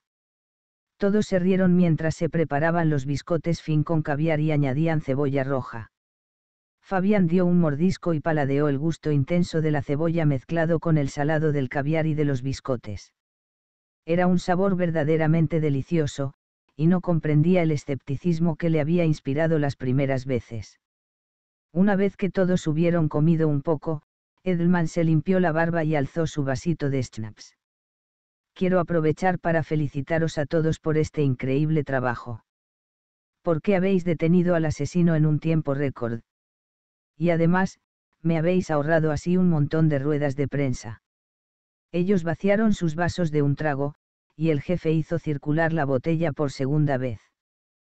Para que lo sepáis, Ossian Krempf fue el primer sospechoso que me vino a la cabeza cuando me enteré de lo que le habían hecho a Grimas. Todos se miraron entre sí. Es cierto, pero no dije nada, prosiguió Edelman mientras se preparaba otro canapé, porque estaba convencido de que no podía tratarse de él. Pensaba que lo tenían encerrado para siempre. Ni siquiera se me ocurrió que ya podía haber cumplido su condena y estar en libertad. Krempf era un criminal excepcionalmente inteligente, y también el más frío y calculador con el que me he tropezado durante todos mis años aquí, tan frío que le sacó los ojos sin inmutarse a su propio abogado defensor cuando intuyó el derrotero que estaban tomando las cosas. Y luego van y lo sueltan después de trece años nada más. Negó con la cabeza y vació el vaso de un trago. No obstante, quedan todavía algunos cabos sueltos, y antes de largarnos para comprar piezas de lencería a nuestras esposas y celebrar las Navidades, debemos dejarlos atados. ¿A qué cabos sueltos te refieres? inquirió Malin. Aún no sabemos qué ha hecho con Fisher, dijo Harmo. Por ejemplo, aceptó Edelman. Y además, tenemos a esta mujer, añadió Fabian, que esparció sobre la mesa algunas de las fotos de la mujer del autobús con los ojos recortados. ¿Quién es? Edelman cogió una foto y la examinó. No lo sabemos todavía, pero estas fotografías estaban en su apartamento junto con otras similares de Grimas y Fisher. O sea que puede haber otra víctima encerrada en alguna parte. Dijo el jefe. Quizá ella ignora felizmente que era la siguiente de la lista. ¿Cuándo podremos interrogarlo? Preguntó Malin mientras se preparaba otro biscote. Acabo de hablar con el Hospital General Sur de Estocolmo, dijo Edelman. Están cosiéndolo ahora mismo. Así pues, podríamos verlo en cosa de una hora. No tan deprisa. Como es de suponer, no está mentalmente estable después de lo ocurrido. Ah, y antes sí. Intervino Thomas, y soltó una risotada. Su terapeuta lo considera así, según parece, y ha prohibido las visitas. ¿Cómo que ha prohibido las visitas? exclamó Jarmo. Él no puede obstruir la investigación, no. Por desgracia, tiene derecho a impedir todo contacto si está en juego la salud del sospechoso. No olvidemos este detalle. Por muy seguros que estemos de su culpabilidad, en estos momentos no es más que un sospechoso. Entonces, ¿cuándo podremos verlo? repitió Fabián, aunque ya intuía que habría de pasar un tiempo. Han prometido decirnos algo pasado el fin de semana, pero dicen que calculemos al menos una semana de espera. Una semana. Gritó Thomas al tiempo que vaciaba lo que quedaba de snaps en la botella. Le disparé en la pierna, por el amor de Dios, no en la boca. La cuestión es si será posible siquiera un interrogatorio razonable, dijo Malin. Una semana e incluso dos era un plazo imposible, pensó Fabian. Fisher estaría muerto para entonces casi con toda seguridad, y lo mismo la mujer del autobús. ¿Y qué hacemos ahora, aparte de esperar aquí de brazos cruzados? Planteó Thomas. Nadie se va a quedar de brazos cruzados, dijo Edelman. Stubbs ya está registrando el apartamento y es posible que encuentre una buena pista. Bueno, entonces solo hemos de cruzar los dedos, dijo Thomas, y hundió otro biscotito en el plato de cebollas. No creo que vayamos a avanzar mucho más por ahora. Edelman se puso de pie. Seguid comiendo. Yo he de preparar una conferencia de prensa. Esperemos que sea la última sobre este caso. Cuando él abandonó la sala, se quedaron en silencio. El júbilo del principio se había extinguido. Bueno, si no pasa nada, nos vemos el lunes, dijo Fabián, y retiró la silla hacia atrás. Por supuesto. Buen fin de semana, respondió Jarmo. Igualmente a todos. Fabián salió de la sala y oyó que Malin se apresuraba a seguirlo. ¿Vas para casa? Sí, pero no a la mía. Voy a tu calle. ¿Qué? No te entiendo. Y tú vas a acompañarme a hacerle una visita a uno de tus vecinos. 42. Era una carrera contrarreloj. Había que compensar a toda costa la ventaja de dos horas y pico de Willumsen. Cada segundo era precioso. Por desgracia, había perdido un montón de tiempo quitándose el traje. Se le había atascado la cremallera de la falda y, después de probar con cuidado varias veces en ambos sentidos, Dunja la había estirado brutalmente de pura exasperación, de tal modo que se había partido y había acabado en la papelera. Necesitó un paquete entero de pañuelos de papel para secarse el sudor de todo el cuerpo. Menos mal que hasta el último miembro del departamento se había ido a casa, por tanto, pudo cambiarse con tranquilidad frente a su escritorio. En cuanto se puso los tejanos y el polo, volvió a sentir que era ella misma otra vez. Recogió los expedientes de los casos antiguos y apagó el ordenador. Así que era aquí donde te escondías. Dunja se giró. ¿Qué ha ocurrido ahí dentro? Dijo Sleipner acercándose.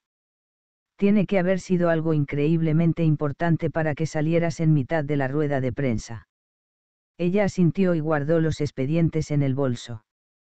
Era la policía de Helsingborg. Willumsen ha vuelto a actuar. Ha secuestrado a una joven en el ferry a Suecia. Tengo que llegar allí cuanto antes. Te llamaré para explicártelo mejor cuando esté en el tren. Se echó el bolso al hombro y se dispuso a marcharse. No tan deprisa. Sleipner la sujetó del brazo y el bolso cayó al suelo. Vamos a tomárnoslo con un poquito de calma. Kim. Perdona, pero no tengo tiempo. Él le apretó el brazo con más fuerza mientras le ponía el índice de la otra mano en los labios para hacerla callar. Ahora escúchame a mí. Entendido. Dunja asintió. Sleipner aflojó un poco, sin soltarla. Tienes idea de la situación en la que me has puesto hace un momento. Se puso a caminar alrededor de ella poco a poco. Te he confiado una investigación por la que algunos miembros del departamento habrían dado su brazo derecho. Te he dejado sentarte a mi lado en el estrado. He extendido una gran alfombra roja, una alfombra de mierda solo para ti. ¿Y qué recibo a cambio?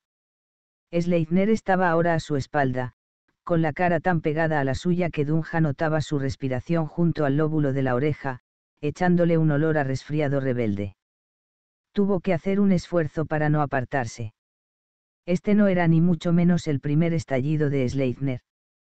Al contrario, solía echar broncas a sus subordinados a diestro y siniestro. Pero sí era la primera vez que ella se encontraba en la línea de fuego. Cuando Esqui y los demás se hallaban en esa situación, aguantaban el chaparrón con calma hasta que él había terminado. Voy a decirte lo que he recibido a cambio. Sleipner la rodeó por completo y se detuvo frente a ella. Pero Dunja no tenía tiempo que perder. Cada segundo que pasaba le daba más ventaja a Willumsen. Un puto dedo alzado frente a las cámaras. Levantó el dedo corazón agresivamente, y le rozó la nariz. Me he quedado ahí sentado como un imbécil sin tener ni puta idea. Kim, debes disculparme. Dunja le apartó la mano. Pero ahora no tengo tiempo para esto. ¿Que no tienes tiempo? Soy yo quien dice para que tienes tiempo. Y ahora mismo es para quedarte aquí y escucharme. ¿Acaso creías que podías largarte sin más? Dunja asintió. Él la miró atónito. Lo siento si he estado un poco ridícula ahí dentro. Lo siento de verdad. Pero tú me has encargado que dirija esta investigación y eso es lo voy a hacer. Recogió el bolso del suelo y se dirigió hacia la puerta. Dunja, espera. Ella se giró y vio que se le acercaba. Sí. Perdona. No pretendía ponerme así. Se detuvo otra vez frente a ella y la miró con fijeza. Pero me he sentido como si me dejaras con el culo al aire delante de todo el mundo. Ya sé que intentas asumir la responsabilidad en esta investigación, pero esa no ha sido la manera correcta de actuar. Tú misma tienes que reconocerlo. Dunja asintió una vez más. Sí, y lo siento mucho. Pero ahora tengo. Yo también. Lo siento, quiero decir. Y los dos estábamos muy bien antes de que sucediera todo esto. Le cogió la mano entre las suyas. Yo estoy dispuesto a hacer borrón y cuenta nueva, a empezar de cero. ¿Qué dices? De acuerdo, dijo ella, tratando de marcharse. Lo único que quería era largarse de allí, pero Sleipner seguía sujetándole la mano y mirándola a los ojos. Seguro. Ella volvió a sentir. Él sonrió abiertamente. Bien. Ahora ya sabemos a qué atenernos el uno con el otro. Le besó la mano y dejó que se fuera por fin. 43. No fue hasta el tercer timbrazo que el vecino de Malin salió a abrir. El hombre paseó la mirada entre ella y Fabián, desconcertado. Iba vestido con pantalones de pana beige, camisa blanca y chaleco de cuero. Debido a las gafitas redondas y al cabello canoso que le llegaba hasta los hombros, parecía un violinista de los bosques del norte, en lugar del psicoanalista de uno de los criminales más violentos de Suecia. Hola, ¿qué tal? Malin le estrechó la mano al hombre, que pareció todavía más confuso, si cabía. No me reconoce. Nos vimos en la barbacoa del pasado otoño. Mi marido quemó todos los perritos calientes y tuvimos que pedir pizza. Vivo unas puertas más arriba. Lo siento, pero tengo a un paciente esperando y...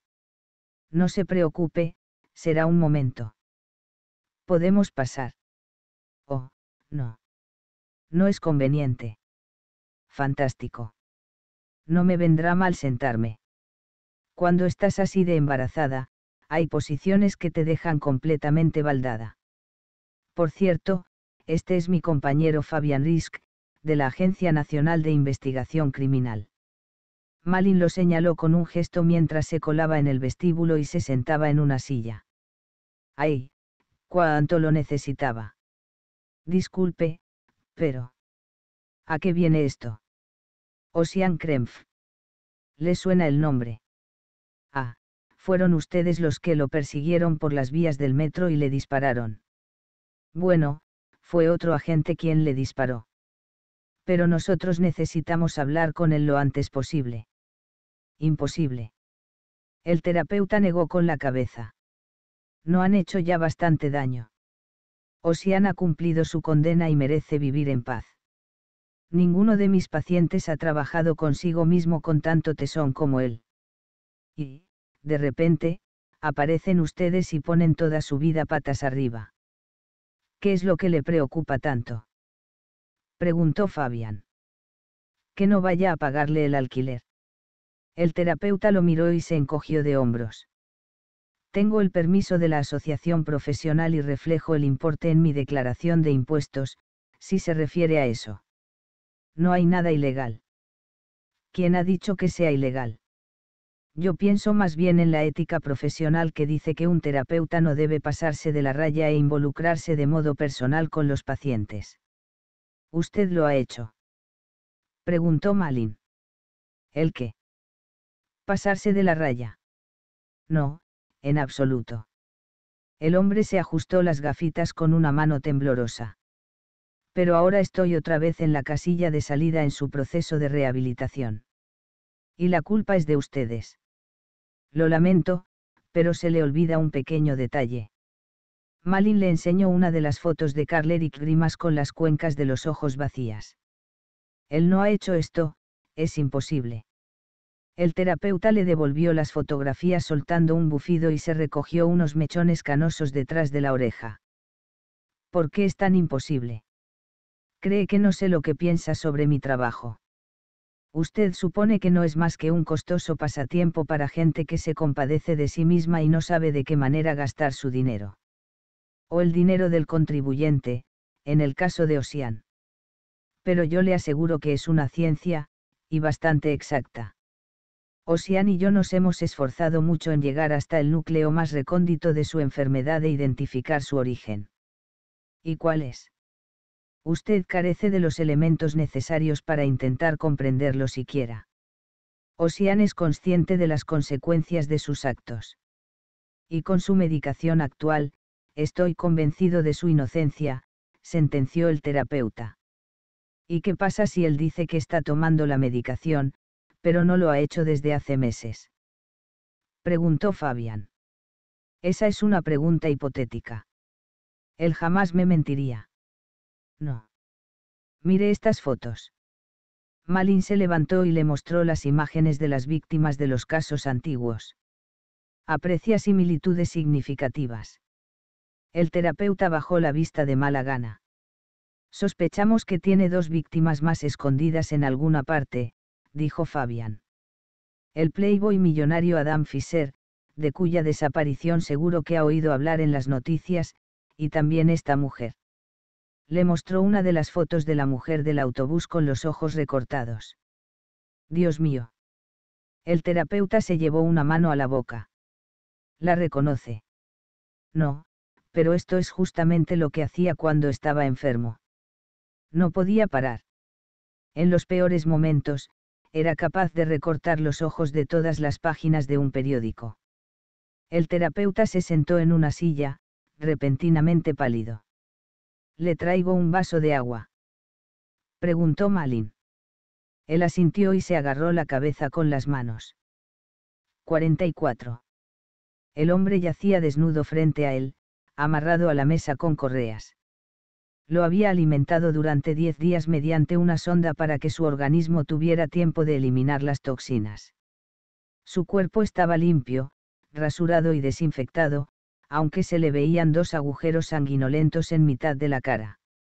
El anestésico había funcionado como era de esperar, y el hombre solo había gritado y gemido un poco mientras le sacaba los ojos, que después había procedido a guardar en el viscoso fluido. Su respiración volvía a ser normal. Ya estaba listo para contribuir con ese cuerpo lampiño y purificado a satisfacer su deseo. Aunque pensaba mantenerlo vivo el mayor tiempo posible. Cuando llegara el momento de preparar sus órganos, acabaría definitivamente con él, cortaría las partes principales y las pondría en la cazuela. Hasta entonces, se limitaría a algunos pequeños bocados de diversas partes del cuerpo. Era como combinar el aperitivo con los escarceos eróticos preliminares, un método que había empezado a apreciar últimamente. Podía prolongarlo días y días por el mero hecho de que el afilado cuchillo penetrara en la carne hasta el hueso ya se estremecía de placer. A veces incluso había eyaculado antes de probar bocado. Casi siempre cortaba pedacitos con el cuchillo pequeño, pero había ido un paso más allá al conseguir que le afilaran los dientes, dejándose los puntiagudos como colmillos. El procedimiento había sido doloroso y, además, había tenido que ir a Polonia para encontrar a un dentista dispuesto a realizarlo, pero estaba seguro de que había valido la pena enormemente. Se quitó la prótesis dental superior y la inferior y palpó con los dedos la hilera de dientes afilados mientras caminaba alrededor del hombre tendido sobre la mesa. Después de dar dos vueltas, se decidió por el muslo izquierdo. Se inclinó, abrió la boca e hincó con lentitud los dientes en la carne. La sangre caliente brotó de inmediato, le llenó la boca y le chorreó por la barbilla. Masticó la carne cruda, la tragó y luego se inclinó para dar otro mordisco. De súbito la mano del hombre apareció como de la nada y le dio un golpe en la cara. ¿Era eso posible si estaba atado? Ahora lo miraba abiertamente, pese a que sus órbitas estaban vacías. Incluso murmuró algo. Se agachó para escuchar mejor. Está despertando. Ossian Krempf miró en derredor y descubrió que había otras tres personas en la habitación.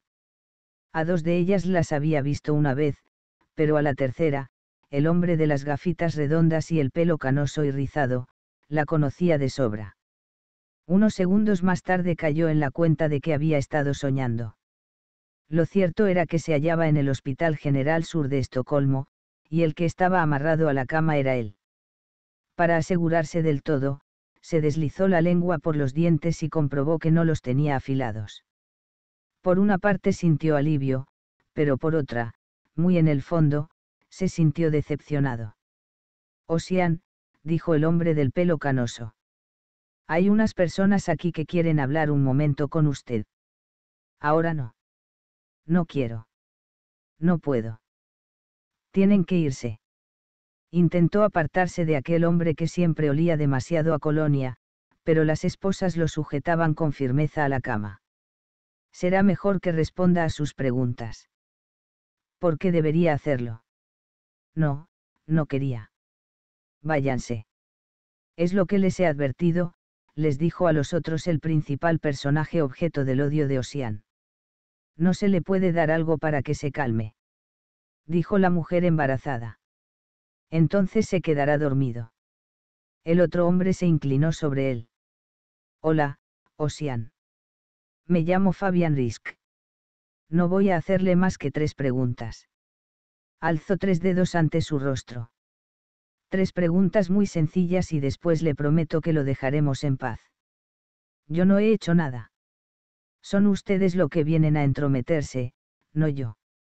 Aquello no le gustaba, no le gustaba nada. Dígales que se vayan ahora mismo. Gritó. Largo. Nos iremos en cuanto haya respondido a mis preguntas. La primera, ¿qué ha hecho con Adam Fisher? Krempf meneó la cabeza e intentó taparse los ojos con las manos, pero las cadenas de las esposas eran muy cortas. Responda, Osian, dijo el que afirmaba ser su amigo. ¿Dónde lo ha escondido? Ya les he dicho que no pueden estar aquí. Quiero que se vayan de inmediato. Bueno. Entonces pasemos por ahora a la siguiente pregunta, prosiguió el policía. Tiene retenidas a otras víctimas. ¿Qué me dice de esta mujer, por ejemplo? Le enseñó la foto de una mujer en un autobús, con los ojos recortados. Lo acribillaban a preguntas como unos buitres hambrientos con sus picos afilados. Fisher. Pero él no podía responder. Otras víctimas. Quería hablar, pero no podía pronunciar las palabras. Y finalmente, ¿dónde las tiene escondidas? Cerró los ojos y negó con la cabeza con ímpetu para lograr que aquellas personas desaparecieran, pero ellas se negaban. De hecho, se acercaron más y más con sus picos cortantes. Osian, no he venido a hacerle daño, mintió el policía. Pero quiero comprender cómo se relaciona todo esto. Comprender. No pudo reprimir una risotada. Esa sí que es buena. ¿Y quién no lo quiere? Ya me gustaría a mí. Perdone, pero ¿qué quiere decir? Decir. ¿Cómo voy a saberlo? Yo no sé nada. Ni siquiera me dejan tener una radio, a pesar de que no he hecho nada. Ellos dicen que no y que no. Osian, intente escuchar a la policía. ¿Cómo voy a escuchar el informe marítimo sin una radio? Eh. Imposible. Ya es hora de que se marchen. Las visitas no son buenas. Fabián, podemos hablar afuera dijo la gorda. Con el rabillo del ojo, vio que se cruzaban al salir con la enfermera del carrito de la comida. Por fin. No tiene sentido, dijo Malin masajeándose las caderas. O sea que hemos de rendirnos. Fabián cogió un termo de café del carrito y llenó una taza. Le han diagnosticado un serio trastorno disociativo de identidad y cabe la posibilidad de que no recuerde absolutamente nada de lo que ha hecho. Risca sintió. Era probable que Malin tuviera razón, pero esperar a que recuperase el juicio no era una alternativa. Tendrían que tomar otra ruta. ¿Me creen ahora? Dijo el terapeuta, que acababa de salir de la habitación y cerrado la puerta. Por supuesto. Le hemos creído desde el principio, afirmó Malin. Espero que sean conscientes de que esto afectará muy negativamente a la confianza que él tenía en mí. Me ha costado muchos años desarrollar esta relación, y ahora se ha esfumado en un abrir y cerrar de ojos. Lo entendemos. Y lo lamentamos mucho, dijo Malin. Pero comprenderá que no tenemos más remedio que intentar todos. Hemos de enseñarle la escena del crimen, la interrumpió Fabián, al mismo tiempo que se giraba hacia el terapeuta. Lo antes posible. Perdone, pero, no entiendo qué quiere decir. Hemos de llevarlo a una de las escenas criminales para ver si así se le refresca la memoria. El terapeuta le dirigió una mirada perpleja y exclamó. Es que no lo ha visto. No se da cuenta de lo mal que está. Sí, pero supongo que no es nada comparado con lo mal que deben de estar ahora sus víctimas.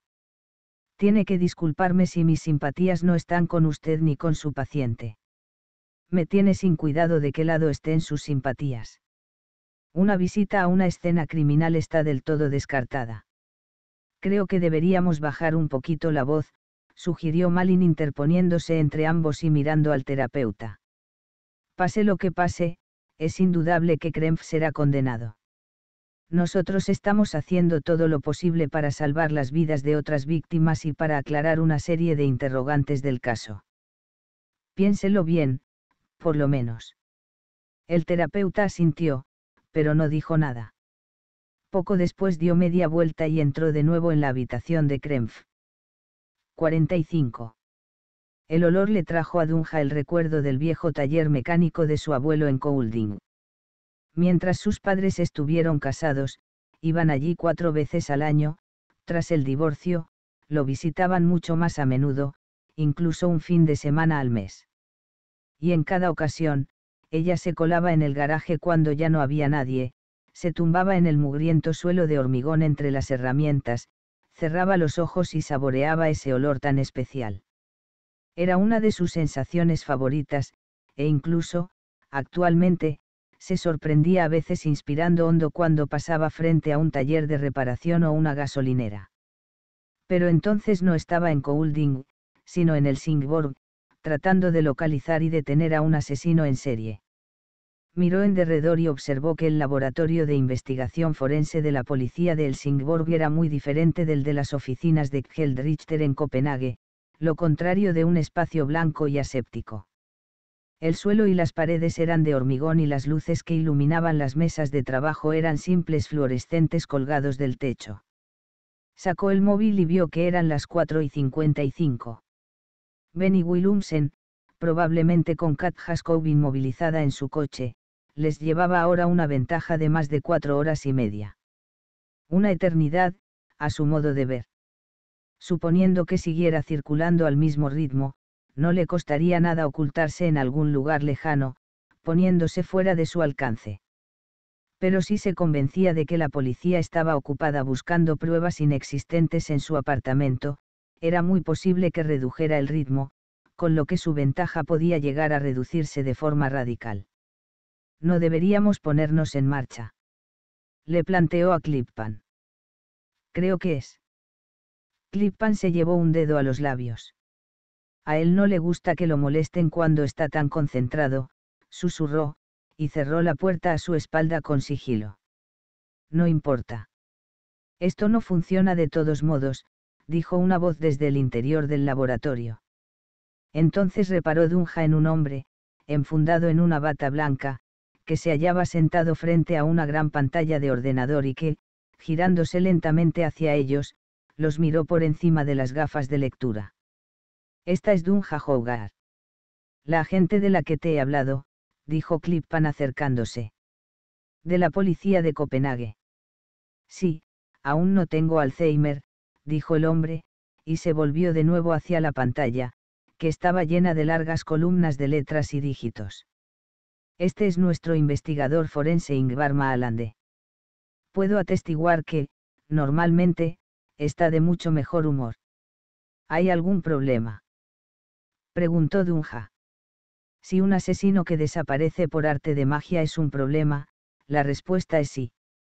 Maalande inició el pase de un vídeo de vigilancia del BMW de Axel Newman, que tenía los vidrios ahumados, en el momento de abandonar el ferry. Como ve, ha salido del ferry en el Singborg a las 12 y 22 minutos de esta mañana. Debería haber aparecido en alguna de las cámaras de control de velocidad situadas fuera de la ciudad, pero han transcurrido más de cuatro horas y aún no ha salido en ninguna grabación de toda la región de Escania. Pero ¿y si no conducía deprisa? Maalande y Clippan se miraron. No sé hasta dónde han llegado con esta tecnología en Dinamarca, pero la central de Malmo está probando aquí el sistema RAM. Tubeson ha obtenido autorización para que usemos sus datos en esta investigación, no me pregunte por qué, dijo Clippan. En Malmo se quedaron tan hechos polvo como nosotros cuando dejaron en libertad a Willumsen, aseguró Maalande. Tubeson debe de haber usado sus influencias en las altas esferas, porque se trata de un sistema muy polémico. ¿Qué significa RAM? Reconocimiento automático de matrícula, explicó Maalande. Las cámaras de control de velocidad están conectadas a un servidor que registra todos los coches que pasan en tiempo real, sin importar la velocidad a la que circulen. ¿De verdad está permitido hacer esto en Suecia? Todavía no. En principio, no esperan que el sistema entre plenamente en vigor hasta dentro de dos años. O sea que no podemos utilizarlo como prueba, informó Clippan. Tampoco importa, de todos modos, porque no estamos encontrando nada, indicó Maalande. Tal vez haya un fallo en el sistema, apuntó Clippan. No. Es más probable que el tipo haya escogido a propósito carreteras secundarias donde no hay cámaras. Ahora estoy recogiendo datos de todos los garajes y las gasolineras monitorizados. Con un poco de suerte. O tal vez ha cambiado una letra o un número de la matrícula, sugirió Dunja, y dejó el abrigo y la bufanda en una silla. Eso no es ninguna tontería, pensándolo bien, opinó Clippan asintiendo. En principio, basta con un trocito de cinta aislante negra. ¿Tú qué opinas? Le preguntó a Maalande. Pero la pregunta quedó flotando en el aire porque el forense ya estaba buscando números de matrícula alternativos. Entretanto, Dunja reparó en una carpeta con el rótulo, Caso Ben. Agosto 2007. ¿Qué es esto? Es lo que estaba explicándole por teléfono. Aquí está el motivo de que Willumsen continúe todavía en libertad. No lo he incluido en el correo electrónico que le he enviado porque estoy seguro de que él no fue el culpable. Pero Ingvar insiste en que usted lo valore por su cuenta, dijo Clippan. Por supuesto, yo estoy convencido de que fue él, terció Maalande. ¿Quién podría ser, si no? Es una buena pregunta. A pesar de todo, yo creo que no se trata de Willumsen. Él tenía una coartada perfecta. Pero, bueno, no hay motivo para seguir debatiéndolo ahora, adujo Clippan, y le dijo a Dunja, como ve, no estamos del todo de acuerdo. ¿Cuál era su coartada? Estaba en un gimnasio del centro de Malmo, donde llevaba haciendo ejercicio casi ocho horas enteras. ¿Ocho horas? Sí. Es un adicto al ejercicio físico y está tan fuerte como, bueno, no sé. Digamos que es un tipo con el que preferirías no tropezarte a solas en un callejón oscuro. Dunja abrió la carpeta y hojeó las páginas de la investigación, que databa de hacía dos años y medio. Había fotografías de una mujer desnuda a cuatro patas fijadas sobre un palé de madera que había aparecido flotando en la costa norte de la isla de Ben, cerca de Santib. Está clavada al palé. Sí, con tornillos autorroscantes del 10. Clippan ilustró el tamaño de los tornillos con las manos. Debió de ser algo terrorífico. Ingvar la conocía. Eso es exagerar. Depende de lo que entiendas por, conocer, masculló Maalande sin apartar la vista del ordenador. Bueno, vivían en la misma manzana. Por cierto, ¿cómo le va a su marido? ¿Sigue viviendo allí? No, vendió la casa hace un año y medio.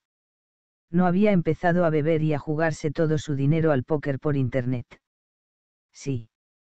Pero si pretendes que termine esto antes de las vacaciones, tendrás que mantener la boca. Por supuesto. Perdona, te vamos a dejar solo. Clippan le susurró a Dunja, siempre se pone quisquilloso cuando hay algo excitante en marcha. ¿Puede hablarme más sobre este caso? Clippan asintió y se la llevó un poco aparte. Es una historia espantosa. Ella se llamaba Inga Alberg y estaba corriendo por el parque Ramlosa cuando la atacaron y se la llevaron. No había ningún testigo, por desgracia, pero encontramos rastros de sangre en la pista de jogging. Como puede ver aquí, la golpearon en la cara con un objeto contundente. Avanzó entre las páginas del expediente para mostrarle las fotos de la cara machacada de la víctima. Quizá lo hicieron con una pala o algo similar. Encontramos más pruebas en un paraje apartado entre los árboles, junto a la orilla del río. ¿Qué pruebas? Sobre todo, más sangre. Pero también sus ropas de deporte y esos tornillos extremadamente largos. Fue allí donde el tipo la desnudó. Sí, y la atornilló a cuatro patas en el palé. Ella debió de despertar tras el palazo y tal vez creyó que saldría viva si obedecía. Él utilizó arandelas para que las cabezas de los tornillos no le atravesaran las manos y los tobillos. Clippan se interrumpió y meneó la cabeza. ¿Qué pasó después? La violó y la arrojó al río. Según el médico forense, tenía los pulmones llenos de agua salada, de modo que debió de sobrevivir por milagro durante el recorrido hasta el estrecho, antes de que el palé volcara. En muchos sentidos, era un asesinato típico de Willumsen. Era obvio que buscaba siempre nuevos estímulos y necesitaba ir cada vez más lejos y, si aquello hubiera sucedido en la actualidad, Dunja habría estado convencida de que se trataba de él pero el montaje era demasiado sofisticado en comparación con los otros crímenes que había cometido hacía dos años y medio, empleando el Doberman Pinsir y el palo con púas. Incluso sin la coartada, no creía que pudiera haber sido obra suya. Maalande los llamó, y se interrumpieron sus pensamientos. ¿Lo has encontrado? inquirió Clippan. Eres más impaciente que mis nietos en Nochebuena. Mira, echa un vistazo. Dunja se acercó a la mesa del forense, que les mostró unas anotaciones en un papel. Esta es la matrícula de Axel Newman, AF 54389. Si partimos de la teoría de Dunja y suponemos que Willumsen le robó el coche a Axel y cambió la placa con un poco de cinta aislante negra, lo más fácil sería convertirla, F, en una, y el, 9, en un, 8, lo cual nos daría tres combinaciones nuevas.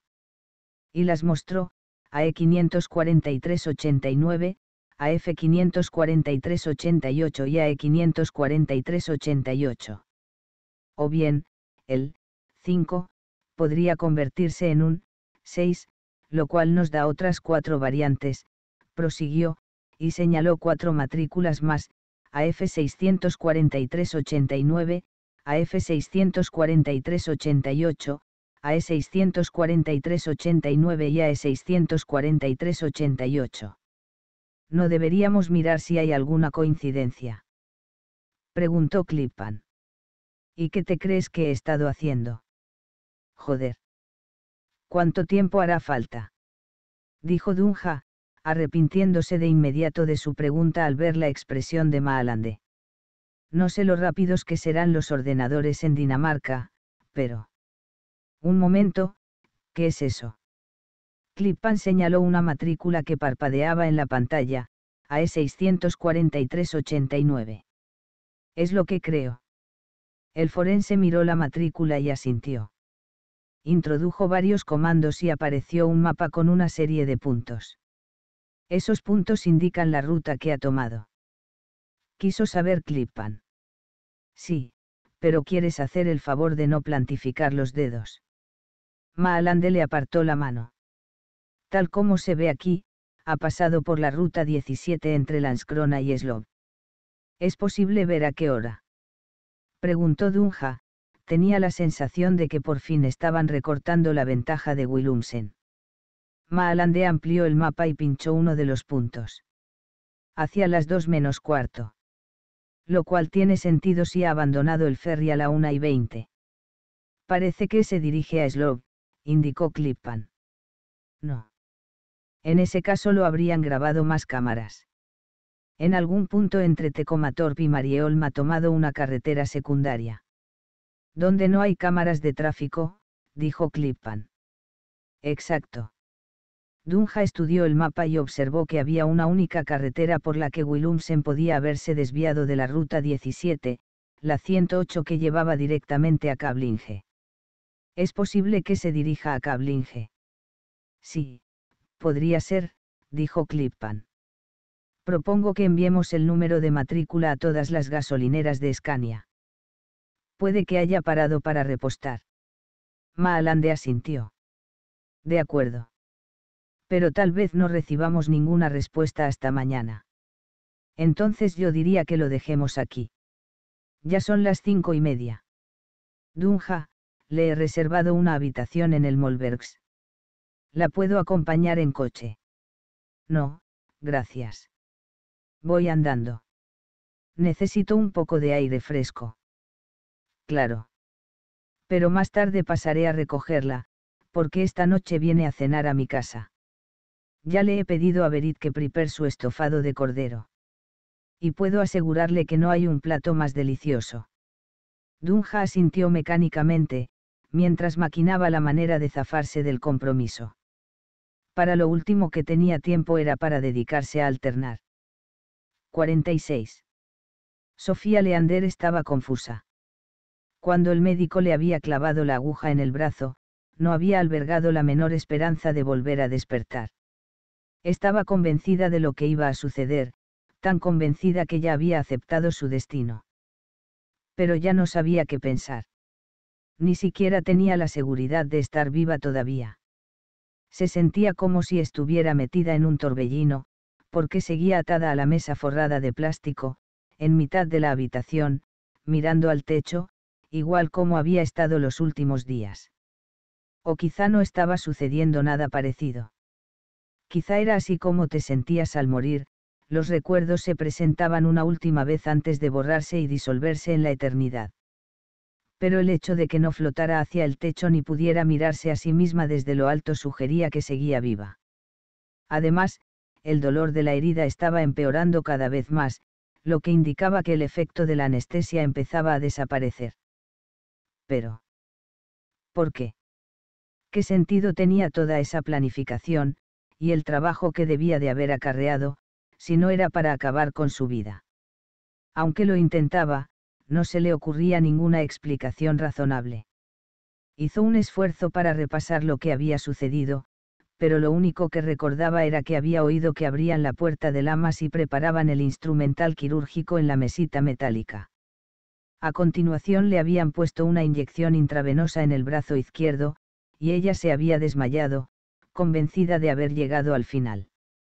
Pensó en su marido y le hubiera gustado saber hasta dónde habría llegado en sus esfuerzos para localizarla.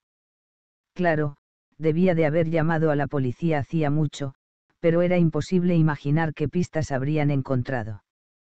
Para empezar, habrían revisado los vídeos de vigilancia del Hospital General Sur y observado que la sacaban en camilla del pabellón y la introducían en el ascensor pero los indicios que tendrían para seguir investigando a partir de ahí eran imprevisibles.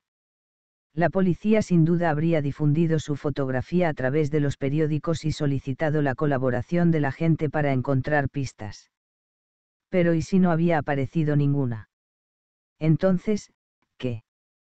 ¿Durante cuánto tiempo sería ella su máxima prioridad si no conseguían ningún avance? Tal vez a estas alturas ya ni siquiera salía en los titulares Tal vez la policía ya había dado prioridad a otros casos y la habían puesto en la abultada pila de los casos olvidados. Una de las máquinas que había junto a ella emitió un sonido. Estaba fuera de su campo visual, pero no le resultó difícil figurarse de qué se trataba, era el mismo borboteo que se había visto obligada a soportar cuatro veces por semana durante todos los años en los que no había podido hacer más que esperar una oportunidad, que tal vez nunca iba a presentarse. Odiaba aquel sonido, lo odiaba tanto que al final había decidido dejar de esperar y actuar por su cuenta. Y también sonaba aquí. Con la diferencia de que no tenía la menor idea de lo que le esperaba. 47. Fabián no veía otra cosa que los agujeros vacíos que le devolvían la mirada, ni lograba apartar la vista de esos orificios recortados que parecían hechos de una materia oscura con una infinita fuerza de gravedad. Debería haber habido ojos ahí, ojos que miraban, parpadeaban, inquirían y reflejaban una personalidad, un alma. Pero no había nada. Y experimentaba una profunda turbación mientras examinaba esas fotografías tomadas subrepticiamente en el autobús. Era como si sintiera penetrar la hoja del bisturí en el canal lagrimal y presionar hasta la parte posterior de la cuenca ocular para seccionar el nervio óptico y arrancar el ojo de cuajo. Por Dios, es difícil imaginar el aspecto de esa mujer sin verle los ojos, dijo Malin, que se había inclinado sobre las fotos esparcidas en el escritorio de Fabian. Aparte de que tiene el pelo largo y castaño y que parece rondar los 50. Risca sintió y cogió una lupa para centrarse en otros detalles y no solo en los ojos recortados. Reparó en un clip para el pelo de color marrón rojizo, en un niño que lloraba, en las manecillas de un reloj que marcaban las cinco y cuarto, en varios edificios de diversos colores, en un kiosco, en una cadena de oro con un hexagrama que la mujer llevaba colgada del cuello y en un iPod con auriculares blancos. Llevan abrigos y chaquetas, pero ni gorros ni sombreros, de manera que yo diría que la fotografía fue tomada en otoño o en la pasada primavera, observó Malin. ¿Y por qué no en el otoño anterior?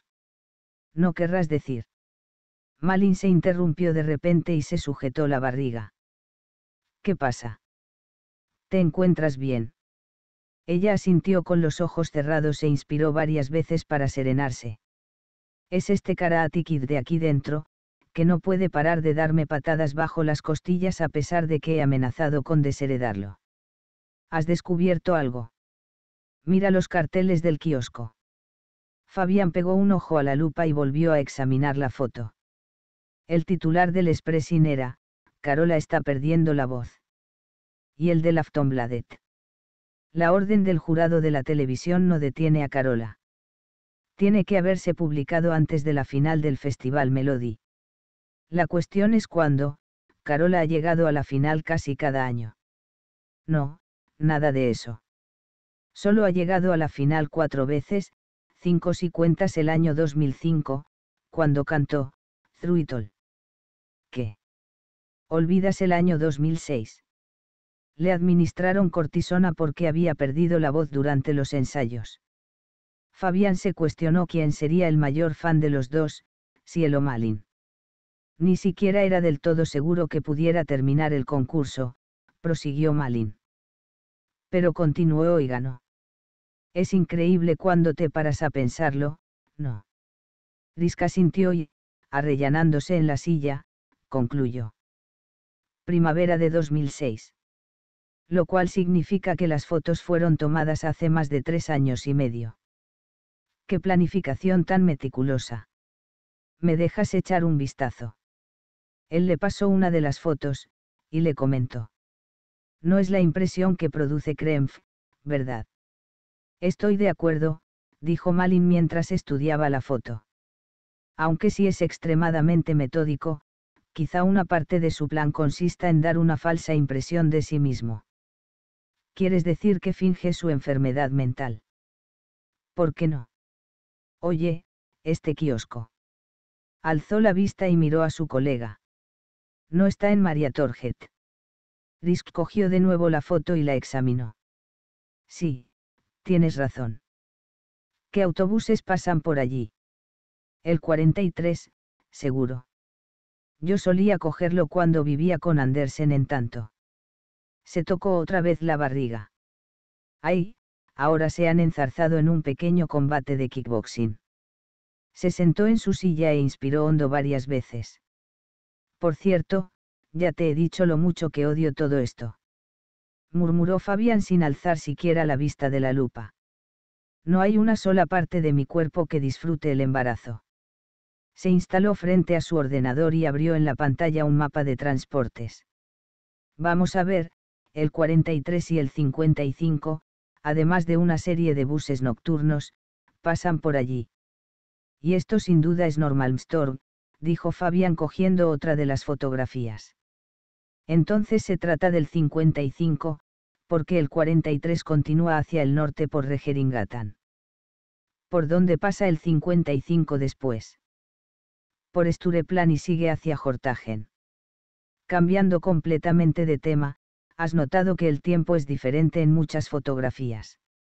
¿No crees que hayan sido tomadas el mismo día? Fabián asintió. Es decir, que la mujer sigue la misma ruta todos los días para ir al trabajo, dijo Malin. La hora está indicada en alguna parte. Sí. En María Torget son las cinco y cuarto. Debe de empezar tarde, a menos que vaya de regreso a casa. El 55 no empieza en Sofía.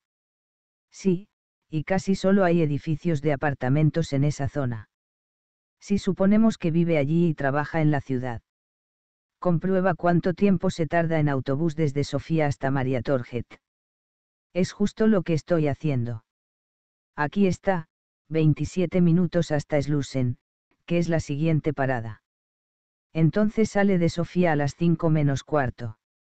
Bueno, a las 4.47 para ser exactos. ¿Qué hora es? Malin consultó el reloj y dijo las 4 y 33. Ambos se miraron y salieron disparados. 48. Y Jevistabs casi nunca tenía problemas de envergadura para interpretar una escena criminal o el domicilio de un delincuente. La mayoría de los lugares hablaban por sí solos, y ella, por lo general, no tardaba más de una hora en deducir qué había ocurrido y quién estaba implicado. El apartamento de Ossian Krempf de Blekingegatan era un caso muy distinto. Sí, también le hablaba a su manera, aunque ella no entendiera lo que le decía. O tal vez sí, a ratos. Pero por más que lo intentaba, no conseguía que el conjunto cobrara sentido. Cada vez que se le ocurría una idea, encontraba algo que la tiraba por los suelos, igual que cuando intentas coger una pastilla de jabón en la ducha y se te escurre una y otra vez de las manos. Al final, pidió a sus ayudantes que abandonaran el apartamento y fueran a tomarse un café. Nunca había hecho algo así, y ambos la miraron como si un platillo volante acabara de aterrizar ante sus narices. No importaba. Ella necesitaba quedarse sola para que sus pensamientos se desplegaran con tranquilidad. Cuando los oyó salir y cerrar la puerta, consiguió relajarse y empezar a trabajar de verdad. Desde que había puesto los pies allí, había tenido la sensación de que había algo que no tenía sentido, aunque no podía decir de qué se trataba. El apartamento estaba tan abarrotado de cachivaches que parecía un trastero que nunca hubieran vaciado, pero, al mismo tiempo, estaba relativamente limpio y, en muchos lugares, ordenado de modo meticuloso. Allí vivía alguien con una terrible necesidad de control, una persona que se hallaba en permanente combate contra el caos. Por ejemplo, esos centenares de periódicos, en los que habían recortado con sumo cuidado todos los ojos de las fotos, se hallaban apilados pulcramente en montones que casi llegaban al techo. Las camisas estaban clasificadas en el armario por colores, y casi todo aquello que tenía título o etiqueta, como los libros de la estantería, las especias de la cocina y los frascos de píldoras del baño, estaba en orden alfabético. Y no obstante, una patina de caos lo cubría todo. Había ropa tirada aquí y allá de cualquier manera, sobras de comida y platos sucios en la cocina, así como unas apestosas bolsas de basura negras de las que ya se filtraba líquido en el suelo. La mayor parte de los hallazgos los habían hecho en medio de ese caos. Entre otras cosas, un rollo del mismo tipo de lámina de plástico que forraba la mesa del apartamento clausurado, un bisturí, sin lavar, entre los cuchillos de la cocina, y el bote de gas hexano que, posiblemente, se había utilizado para anestesiar a Adam Fisher en su coche. Casi parecía como si Krenf no hubiera hecho ni el intento de ocultar su rastro. ¿O es que no había previsto que lo encontraran tan deprisa? Había ido a caer en manos de Risk con el mayor descuido y, en cambio, la ejecución de sus crímenes estaba planeada con minuciosidad. Puesto que por fin se había quedado sola, pudo tumbarse en el suelo, cerrar los ojos y buscar con calma la clave que permitiría articular todas las piezas del caso. Al volver a abrir los ojos y consultar el reloj, descubrió que había estado durmiendo casi 20 minutos, lo cual era un reconstituyente más eficaz que todo el café del mundo se incorporó y esperó a que se le normalizara la presión sanguínea antes de ponerse de pie y recorrer el apartamento con la mirada. No tardó mucho en comprender la explicación obvia de todo. El hogar de Ossian Krempf era una réplica de su esquizofrenia, una parte de él tendía al orden y la otra, al caos. Y ellos habían encontrado hasta el momento los secretos de su vertiente caótica y descuidada. Con un poco de suerte, ella descubriría los secretos del maniático del control. No sería tan fácil. Él había dedicado mucho tiempo de reflexión y mucha energía para identificar los rincones donde a nadie se le ocurriría buscar. Pero estaban allí, no le cabía duda. Comenzó por los sitios más obvios, como por ejemplo, detrás de los libros de la estantería, en la parte inferior del escritorio, en el interior de la rejilla de ventilación del baño y en los cartones sobre los que estaban pegados los recortes de periódico. Pero no encontró nada, ni siquiera en la cisterna del inodoro. Más, cuando abrió la puerta del escobero, dio con el primer indicio, escrito con tinta roja descolorida en la cara inferior de la esterilla de linóleo, que estaba suelta, Hogdal en corredor de 6895 se sorprendió al comprender de inmediato de qué se trataba, porque ella misma tenía un trastero igual desde hacía muchos años. Al principio, al separarse de Gertove, aquello había constituido una solución temporal, pero hacía tiempo que había aceptado que era un gasto que se vería obligada a seguir pagando cada mes durante toda su vida.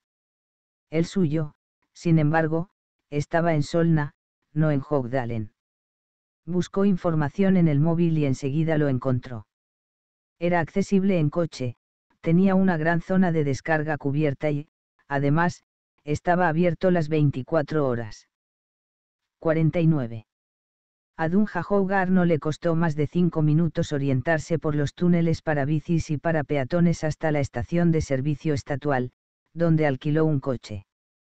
Ya que no tenían GPS disponibles, compró un mapa de carreteras, unas barritas de chocolate y dos botellas de sidra dulce navideña, que, según tenía entendido, era tan típica de Suecia como el surströmming, el famoso arenque fermentando.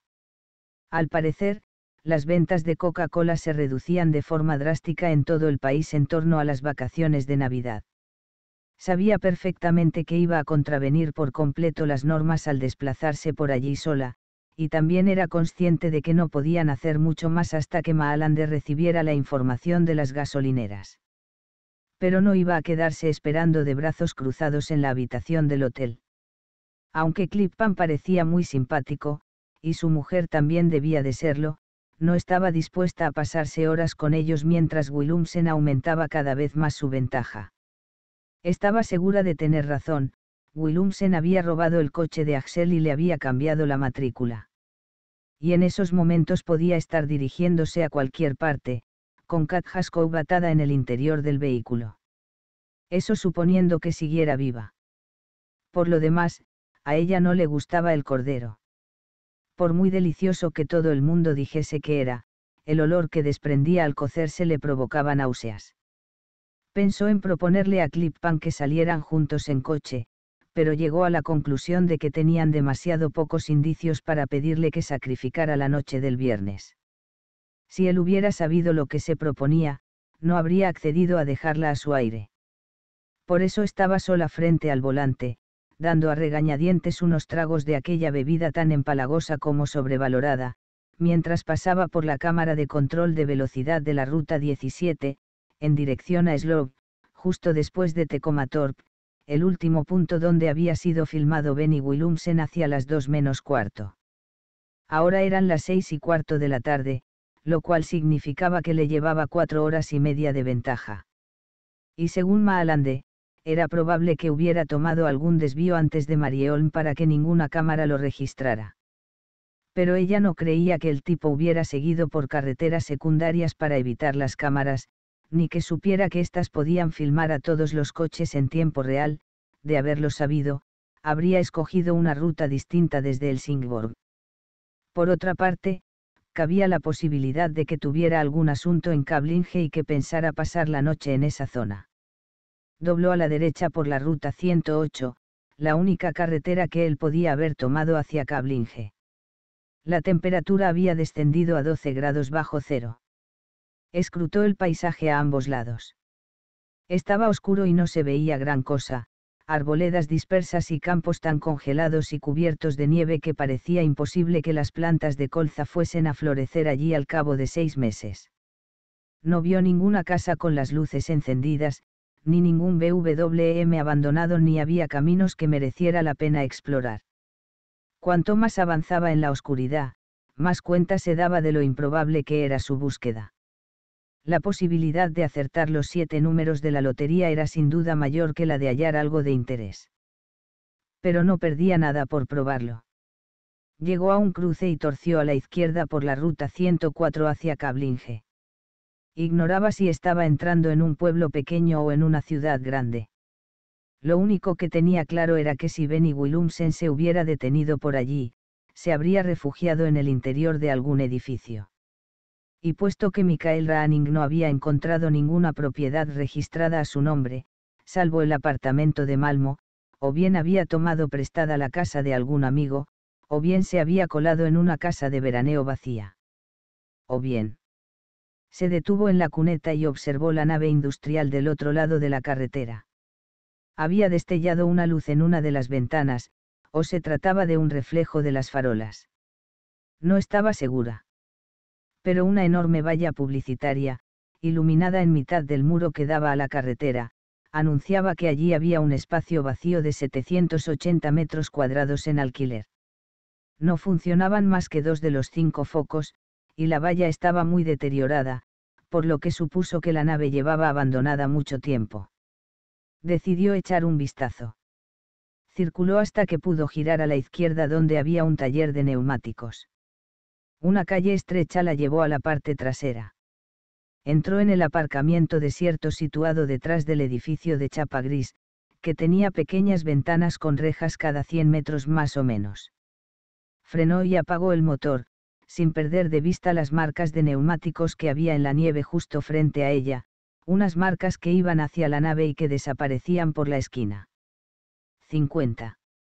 Fabián y Malin habían cruzado corriendo el pasillo, bajado por la escalera al garaje, en lugar de esperar el ascensor, que tenía la costumbre de no aparecer cuando más lo necesitabas, y recorrido en coche todo el trayecto desde Kunsolmen hasta Tengdalsgatan, en Sofía, en menos de 14 minutos, pero se les había escapado el autobús. Maldita sea. El conductor nos ha visto. Dijo Malin jadeando.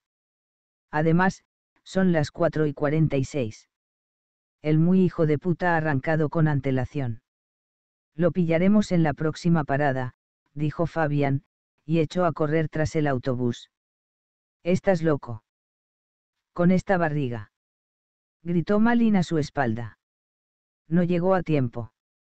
Él ya había doblado por la esquina de Tejelviksgatan y corría tan deprisa como podía sin resbalar en la nieve. No había nadie esperando en la siguiente parada, lo cual lo obligó a continuar hasta Barnangsbriggan, junto al lago Ammarby, donde logró subirse y retener el autobús para esperar a Malin. Ella parecía más muerta que viva cuando se desplomó por fin en uno de los asientos para discapacitados. Por Dios, estoy agotada. Se desabrochó el abrigo. Me parece que acabo de batir el récord de los 300 metros con gemelos. Risca sintió, aunque estaba concentrado observando a los pasajeros del autobús.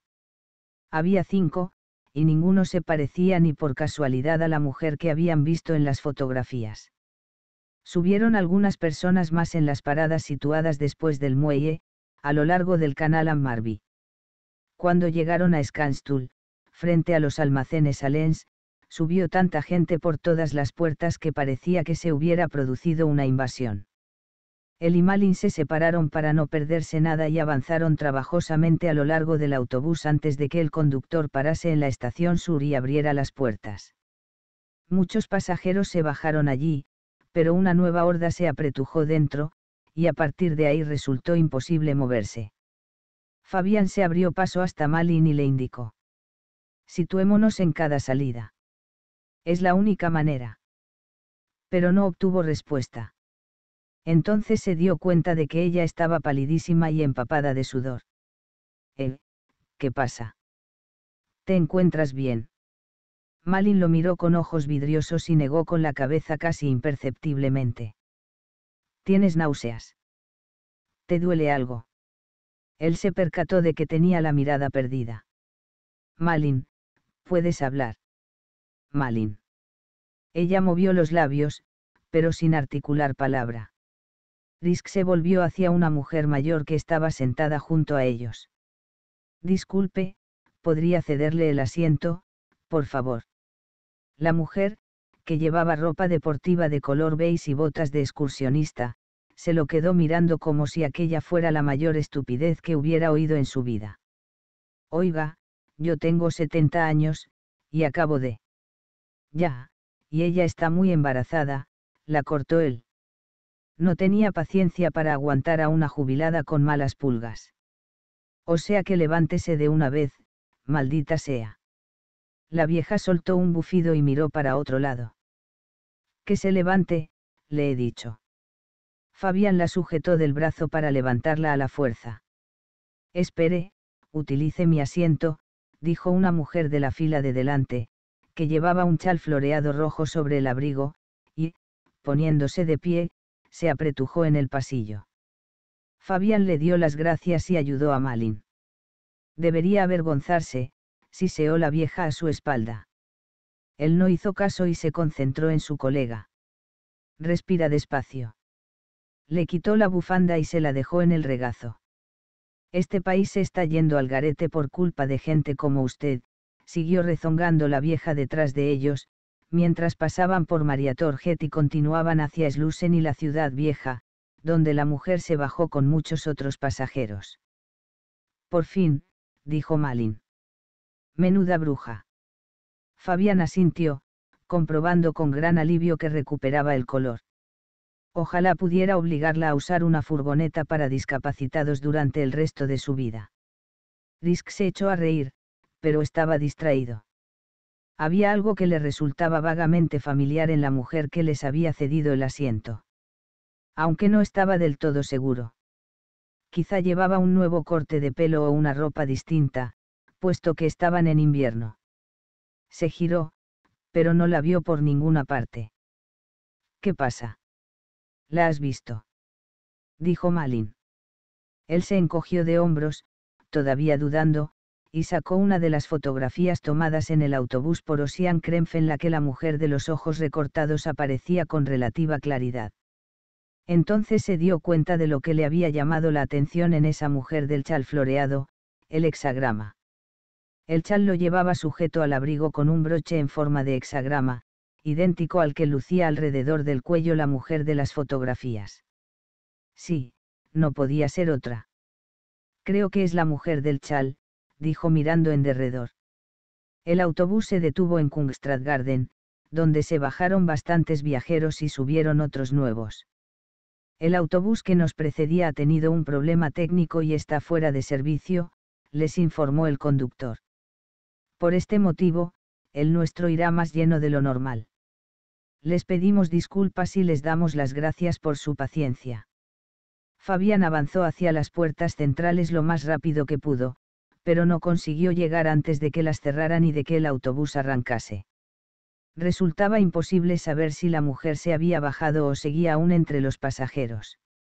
Volvía a ver tantos que solo veía a los que tenía justo a su lado, y si seguía avanzando a empujones, se arriesgaba a provocar el alboroto que ya parecía estar cociéndose. Alguien protestó por tener que viajar de pie después de esperar una eternidad. Otro apuntó que no era la primera vez que ocurría lo mismo.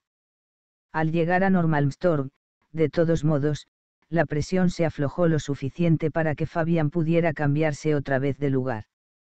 Y entonces, en el preciso instante en que el autobús se detuvo en un semáforo, la atisbó entre la gente. Se había quitado el chal floreado y estaba junto a la puerta trasera. Sin previo aviso, ella se dio la vuelta y lo miró. Él no sabía qué hacer. Si desviaba la mirada a toda prisa, resultaría sospechoso, pero si seguía mirándola a los ojos, también. Fingió que dirigía la vista más allá, sacó el móvil y llamó a Malin. La has encontrado. Está junto a la salida trasera. Dios mío, menos mal que el tipo no la ha atrapado. Malin tenía razón, claro, pensó Fabián. Él no había dejado de preguntarse por qué Krenf estaba interesado en ella y qué podía tener en común con Adam Fischer y Carl Eric Grimas. Pararon en Estureplan. Las puertas se abrieron y la mujer se bajó del autobús. Hemos de bajarnos. Acaba de salir por la puerta de atrás. Fabián saltó a la acera y la observó, ella caminaba deprisa hacia la marquesina de hormigón con forma de hongo. Malin, ¿dónde estás? No podemos perderla. Calma, calma. Ya llego, dijo ella, que ya se acercaba. Madre mía, estoy hecha polvo. Risca sintió sin apartar los ojos de la marquesina, bajo la cual la mujer estaba con otra mujer.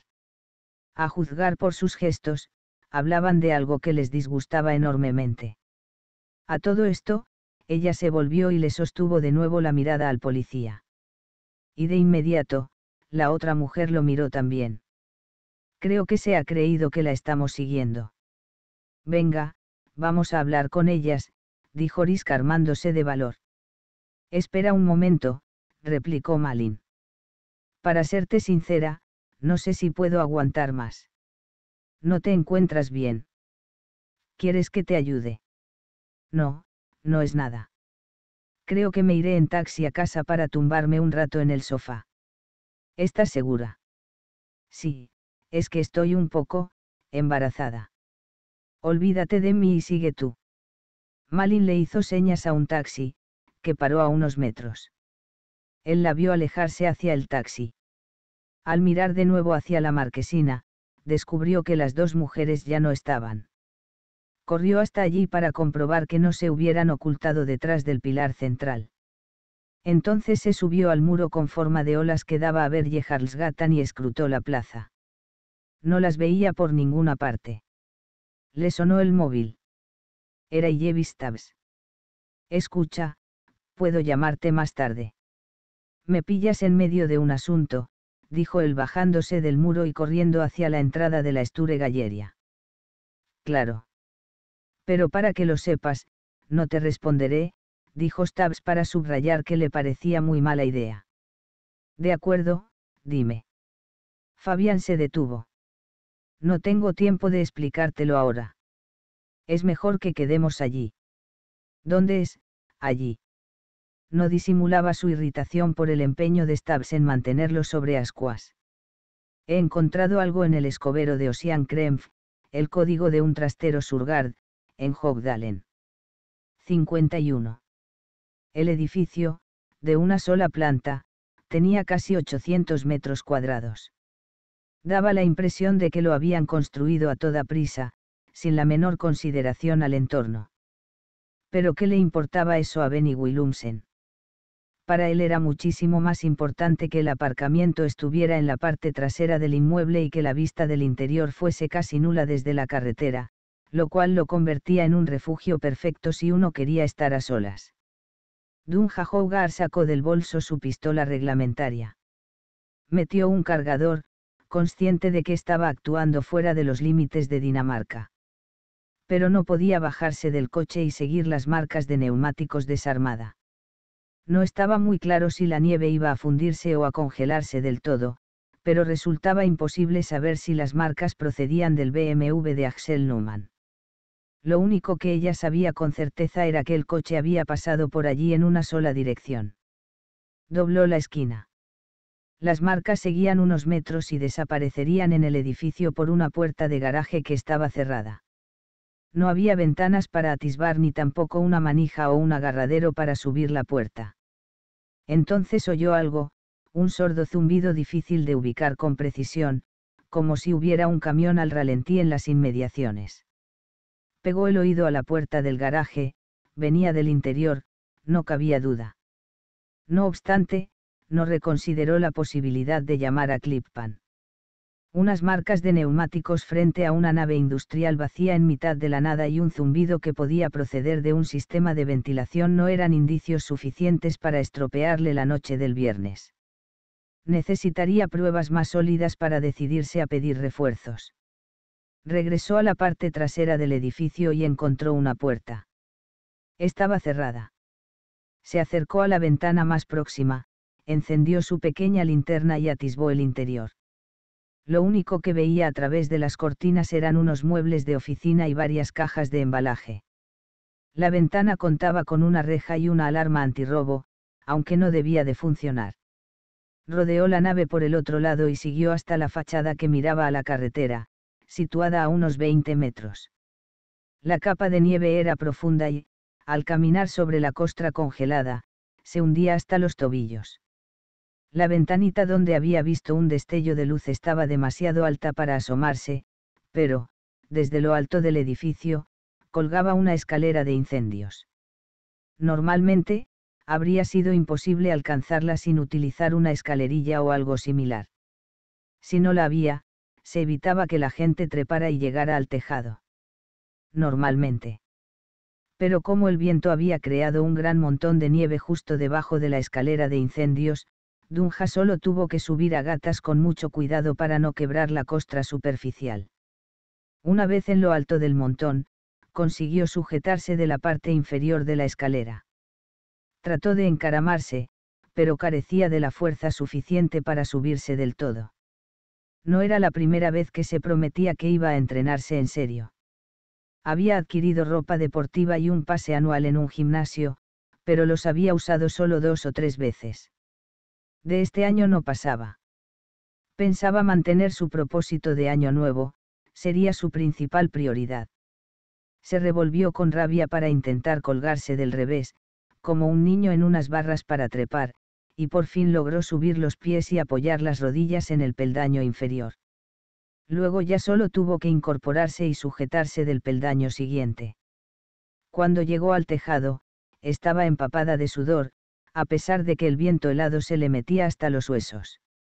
Algunos amigos que habían pasado sus vacaciones en las llanuras de Escania le habían dicho que el viento marítimo del oeste era más frío y más intenso que el viento de la costa danesa. Pero esa era la primera vez que lo experimentaba por sí misma, y si no conseguía guarecerse pronto, se arriesgaba a convertirse en un bloque de hielo y a resquebrajarse en mil pedazos se arrastró a gatas a lo largo del tramo horizontal de la escalera hasta el borde del tejado, que quedaba a unos pocos metros. Apartó la nieve, y quedó a la vista una claraboya. Dio unas cuantas patadas certeras y abrió un buen agujero para colarse dentro. Estaba todo tan oscuro que era imposible distinguir lo que había abajo, en la nave. Y por fin se soltó. 52. Sofía Leander ya había dejado de intentar comprender lo que sucedía. Durante cierto tiempo había creído entenderlo. Pensaba que cuanto le había ocurrido era lógico en cierto modo, como una consecuencia razonable de sus actos. Cuando se despertó y descubrió que la mantenían viva, la incertidumbre había reaparecido y se había adueñado de ella. Y en contra de lo que resultaría natural, no sintió alivio ni calma ya había abandonado la esperanza de salir viva de allí. Hacía unos minutos, había oído que se abría un gran portón en alguna parte del edificio. No era la primera vez que oía ese crujido característico que atravesaba las delgadas paredes metálicas. El corazón se le aceleraba en cada ocasión, y ella intentaba atraer por todos los medios la atención de quienquiera que hubiera entrado. Pero todos pasaban de largo, de manera que había abandonado esos intentos. Esa vez no era como las otras, sin embargo, aunque hubiese sonado el mismo crujido. Eran los demás ruidos los que volvieron a darle esperanzas, habían entrado varios coches y frenado con un chirrido, las portezuelas se habían abierto y cerrado violentamente, unas voces habían resonado en un amplio espacio y también los pitidos e interferencias de unos valquietalquies. Tenía que ser la policía. Al fin habían conseguido localizarla. Es decir, que no se habían olvidado de ella. En realidad nunca había creído tal cosa, pero no fue hasta ese instante en que se le ocurrió que debía de haber gente investigando exclusivamente su caso e incluso trabajando por turnos para localizarla. Y si conocía un poco a su marido, seguro que él no los había dejado en paz ni un momento hasta que habían obtenido algún logro. Una vez más, imaginó su fotografía en todos los carteles de los kioscos y supuso que su misteriosa desaparición debía de haberse convertido en el principal tema de conversación en torno a cada máquina de café de Suecia. Quizá en ese preciso momento los periodistas se agolpaban afuera, esperando para colarse o para entrevistarla cuando la sacaran en camilla hacia la ambulancia que abría en la entrada. Dejó que sus pensamientos volaran, aunque era consciente de que todo aquello no pasaban de ser especulaciones. Porque no tenía ni idea del grado de interés que habría suscitado su caso, ni sabía si la policía habría decidido informar de los avances de la investigación. Era más probable que actuaran con discreción para que el médico no pudiera saber lo cerca que estaban de localizar el edificio. De lo único que estaba segura era de que estaban ahí fuera, preparándose para entrar a rescatarla de un momento a otro oyó que depositaban pesados cajones en el suelo, que sacaban herramientas y las enchufaban. Todo ese alboroto la llenó de tal vivacidad y energía que ya no le importaba no entender por qué le había ocurrido aquello. Fuera cual fuese el motivo, la policía había llegado primero. Confió en que su marido también estuviera ahí, a punto para abrazarla y recogerla. Al fin y al cabo, era él quien había avisado a la policía en cierto modo, pues, la había rescatado él, otra vez. Su corazón latió más deprisa en cuanto pensó en él. Ella ya sabía que lo amaba, pero esto solo podía significar que él también la amaba aún. Lo había dudado, lo había dudado de verdad, pero ahora estaba segura. En ese preciso momento, afuera, se puso en marcha una amoladora radial, pero el estridente y desagradable ruido sonó en los oídos de Sofía como una música celestial. Quizá nunca había sido tan feliz. 53. Las parpadeantes luces azules se divisaban desde muy lejos en la oscuridad y convertían en superfluas las indicaciones del GPS. Están llamando demasiado la atención, pensó Fabián mientras se alejaba de Juddingewagen y seguía hacia el sur por Magelunwagen no entendía por qué tantos agentes mantenían las luces azules encendidas después de aparcar los coches. Volvió a llamar a casa, pero ni Matilda ni Teodor respondieron tampoco esta vez. Tal vez el chico no había llegado aún, porque eran las siete menos veinte. Matilda, por su parte, debía de estar enfadada, cosa que comprendía, puesto que le había prometido que llegaría con unas exquisiteces antes de que la canguro tuviera que irse, para pasar juntos una agradable noche de viernes, pero el hecho era que él se encontraba en el otro extremo de la ciudad. Le habría gustado pisar el freno, dar media vuelta y dirigirse a casa, pero no era posible después de su conversación con Stubbs. Entró en el aparcamiento situado frente al trastero Surgard y se detuvo junto a la ambulancia y los coches patrulla.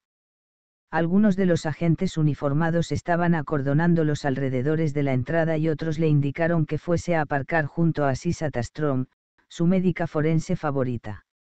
Asisa había llegado como refugiada a Suecia cuando era adolescente. Un año o dos después hablaba el sueco con fluidez y se había casado con su profesor.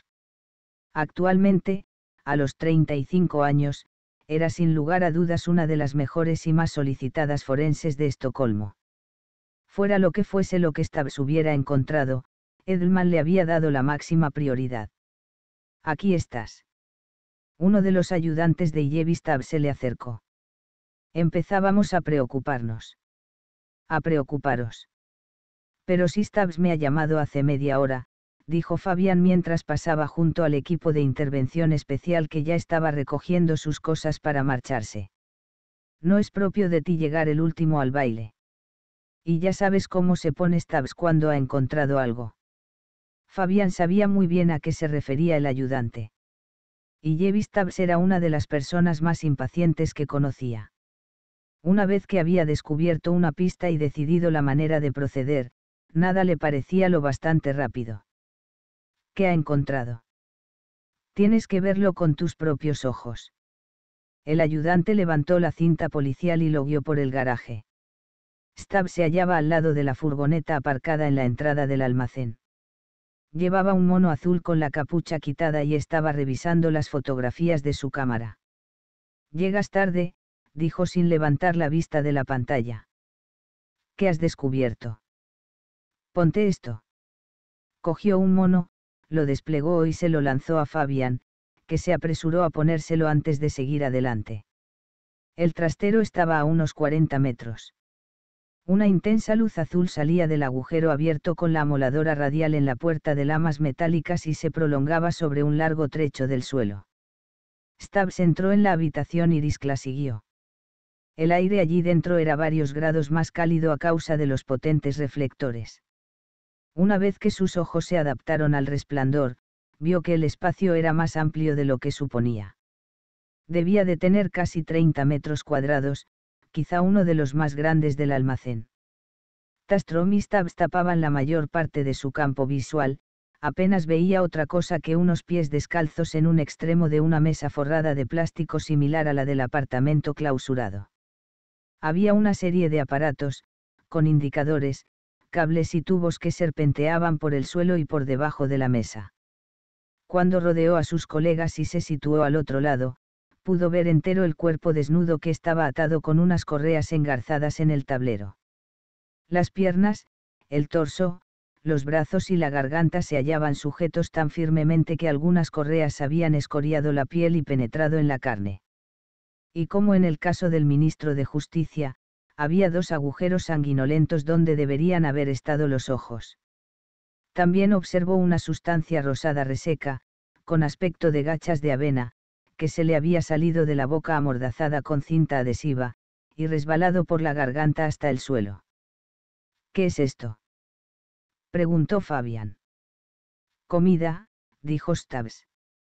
Como puedes ver, lo han alimentado con esa sonda. Señaló el tubo que tenía metido en la boca.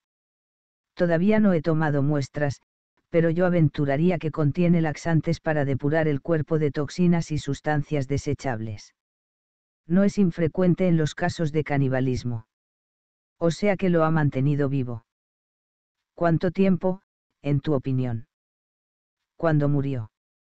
Fabián no cesaba de pensar en cuánto dolor habría sufrido Adam Fisher antes de fallecer. Tendré que examinar el cuerpo más a fondo para darte una respuesta precisa, dijo Tastrom. Pero si tuviera que hacer una estimación, diría que murió hace unos tres días de modo que había permanecido allí amarrado más de una semana, sin la menor idea de lo que le esperaba, preguntándose si la policía lo encontraría a tiempo, o si le estaban buscando siquiera. Fabián especuló sobre el tiempo que él mismo sería capaz de mantener la fe en una situación parecida, antes de desear que le llegara la muerte. Supongo que murió a raíz de esta incisión. Tastrom señaló la parte izquierda del pecho, donde había un gran agujero vacío, igual que en el abdomen de Carl Eric Grimas. Era redondo, de unos 10 centímetros. Parecía como si un enorme sacabocados le hubiera arrancado un pedazo de carne. ¿Por qué el corazón? Risk miró a Stubbs y a Tastrom. Me imagino que tenía que empezar por alguna parte, dijo Stubbs. Había un corazón en el congelador del apartamento clausurado, donde encontramos los órganos de Grimas. No, masculló Stubbs. Y tampoco en el congelador del apartamento del propio Krempf. Quizá ya se lo había comido, insinuó Tastrom. Quizá, dijo Stubbs. Pero nada indica que lo haya hecho aquí, ni tampoco en ninguno de los dos apartamentos.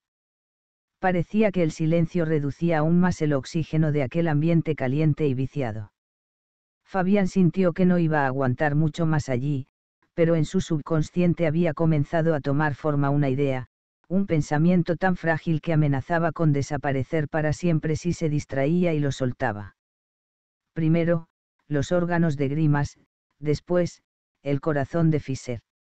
Quizá no se trataba de los ojos, ya los habían encontrado en el tarro de cristal, el corazón, en cambio, no había aparecido. La cuestión era por qué no estaba en el congelador del apartamento clausurado. No lograba aclarar todavía la cuestión. Por cierto, esos órganos del congelador. Dijo Fabián procurando que sonara como un comentario informal, has tenido tiempo de examinarlos. Acababa de descongelarlos y ya iba a trabajar con ellos cuando ha surgido esto, dijo Tastrom. ¿Te intriga algo en particular? Me parece que podemos estar casi seguros de que son de grimas, dijo Stubbs. No me refiero a eso. Quiero saber si le falta algún órgano más. 54. Dunja no sintió ningún dolor de entrada, aunque no sabía si eso era buena o mala señal. Lo mejor que podía hacer era permanecer lo más inmóvil posible y esperar a que llegase ayuda dudaba de si debía hacer siquiera el intento de moverse, porque le constaba que en esos casos podías sufrir una lesión aún más grave de lo que creías. Suponiendo, claro, que consiguiera moverse. La luz de las farolas de la calle se colaba a través de la claraboya rota, junto con el rumor de algún que otro coche. Calculaba que debía de haber caído desde una altura de cuatro o cinco metros, y no ignoraba que el golpe podría haber sido peor si no lo hubieran amortiguado las cajas vacías de un equipo estéreo amontonadas en el suelo.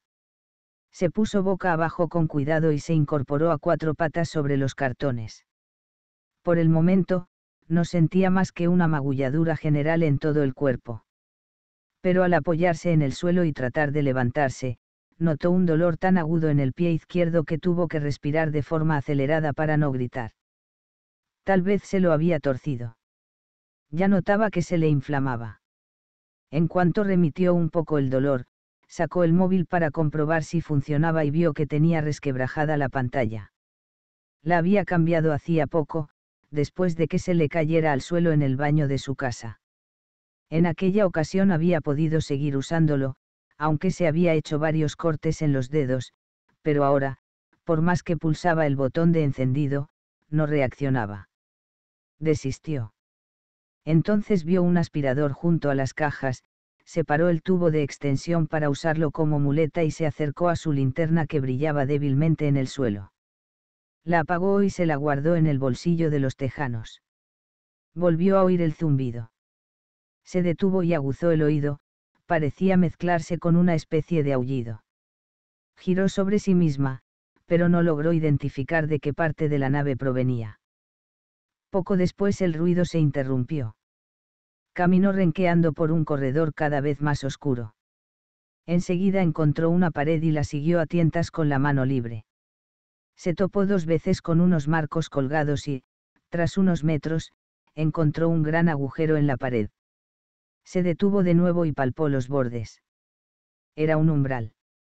Lo cruzó apoyado en el tubo del aspirador, y respiró hondo trató de pensar en otra cosa que no fuera el intenso dolor del pie.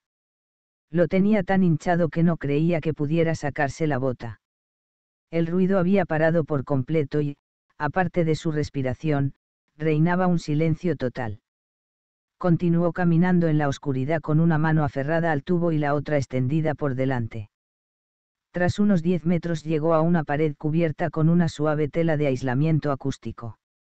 La pared terminaba unos metros más a la izquierda, dobló la esquina y accedió al otro lado de la habitación, desde donde por fin vio algo, había un débil resplandor al fondo que daba la impresión de ser una puerta abierta. Entonces oyó otra vez el ruido. Sonaba como un tractor lejano con el motor al ralentí. Pero ¿para qué se podía usar un tractor en el interior de una nave? Cuando sonó de nuevo aquel aullido furioso se dio cuenta de que no era la primera vez que oía algo parecido. Reconocía el sonido que percibía en sus visitas al taller mecánico de su abuelo. Este le había explicado que aquella herramienta era una sierra de sable, también llamada, sierra tigre, porque los dientes eran como los de un tigre y cortaban casi cualquier cosa. Sacó la pistola, metió una bala en la recámara y, pese al dolor ardiente del pie, avanzó con celeridad hacia el lugar de donde procedía el ruido. En el camino, tropezó con un soporte de micrófono, pero enseguida se enderezó. Entonces lo vio. El BMW de Axel Newman. Benny Willumsen estaba ahí, tal como había sospechado desde el principio. En el maletero, que tenía la puerta abierta, había varias bolsas de basura cerradas sobre una lámina de plástico que colgaba por fuera como una lengua transparente. Al lado del coche, zumbaba un generador de gasolina. El cable se alejaba serpenteando por el suelo. Dunja lo siguió, siempre con la pistola en una mano y el tubo de extensión en la otra, y se fue acercando a aquel sonido que conjuraba por anticipado unas imágenes que no deseaba ver. El cable desaparecía por el resquicio de la puerta, de donde vio que salía el débil resplandor. Pegó el oído a la pared. El aullido sonaba de modo intermitente, como si la sierra se abriera paso a ráfagas, pero sonaba tan cerca que no logró reprimir un movimiento instintivo de retroceso. Una serie de pensamientos sobre lo que debía hacer y lo que le esperaba al otro lado de la puerta le cruzaron por la mente como un torrente embravecido pero era como si su cuerpo poseyera voluntad propia, porque se sorprendió al ver que estaba deslizando una mano a tientas sobre la puerta. Al no hallar ningún pomo, introdujo los dedos en la rendija y tiró hacia afuera. Debería haber cerrado los ojos. Debería haber dado media vuelta y echado a correr. Pero ya no estaba a tiempo. Lo que vio quedaría grabado para siempre en su memoria. Él estaba de espaldas en medio de la habitación insonorizada, iluminado por la luz de una única bombilla que colgaba del techo. Al fin, ahí se hallaba el hombre que impunemente había violado y torturado a un sinnúmero de inocentes mujeres hasta matarlas. Se había puesto tapones para los oídos y una máscara antigás echada hacia atrás sobre la cabeza, que parecía mirarla fijamente. Era más bajo de lo que había imaginado. Encima de sus gruesas ropas oscuras llevaba un delantal de plástico transparente que recibía la mayor parte de las salpicaduras de sangre. Sujetaba una sierra tigre con ambas manos.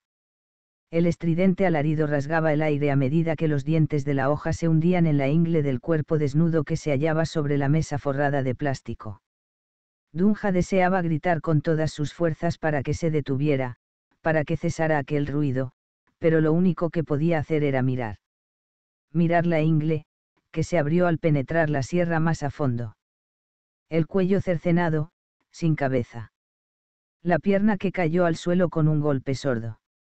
La sangre que salpicaba. Mirarla a ella. A Kat Haskov.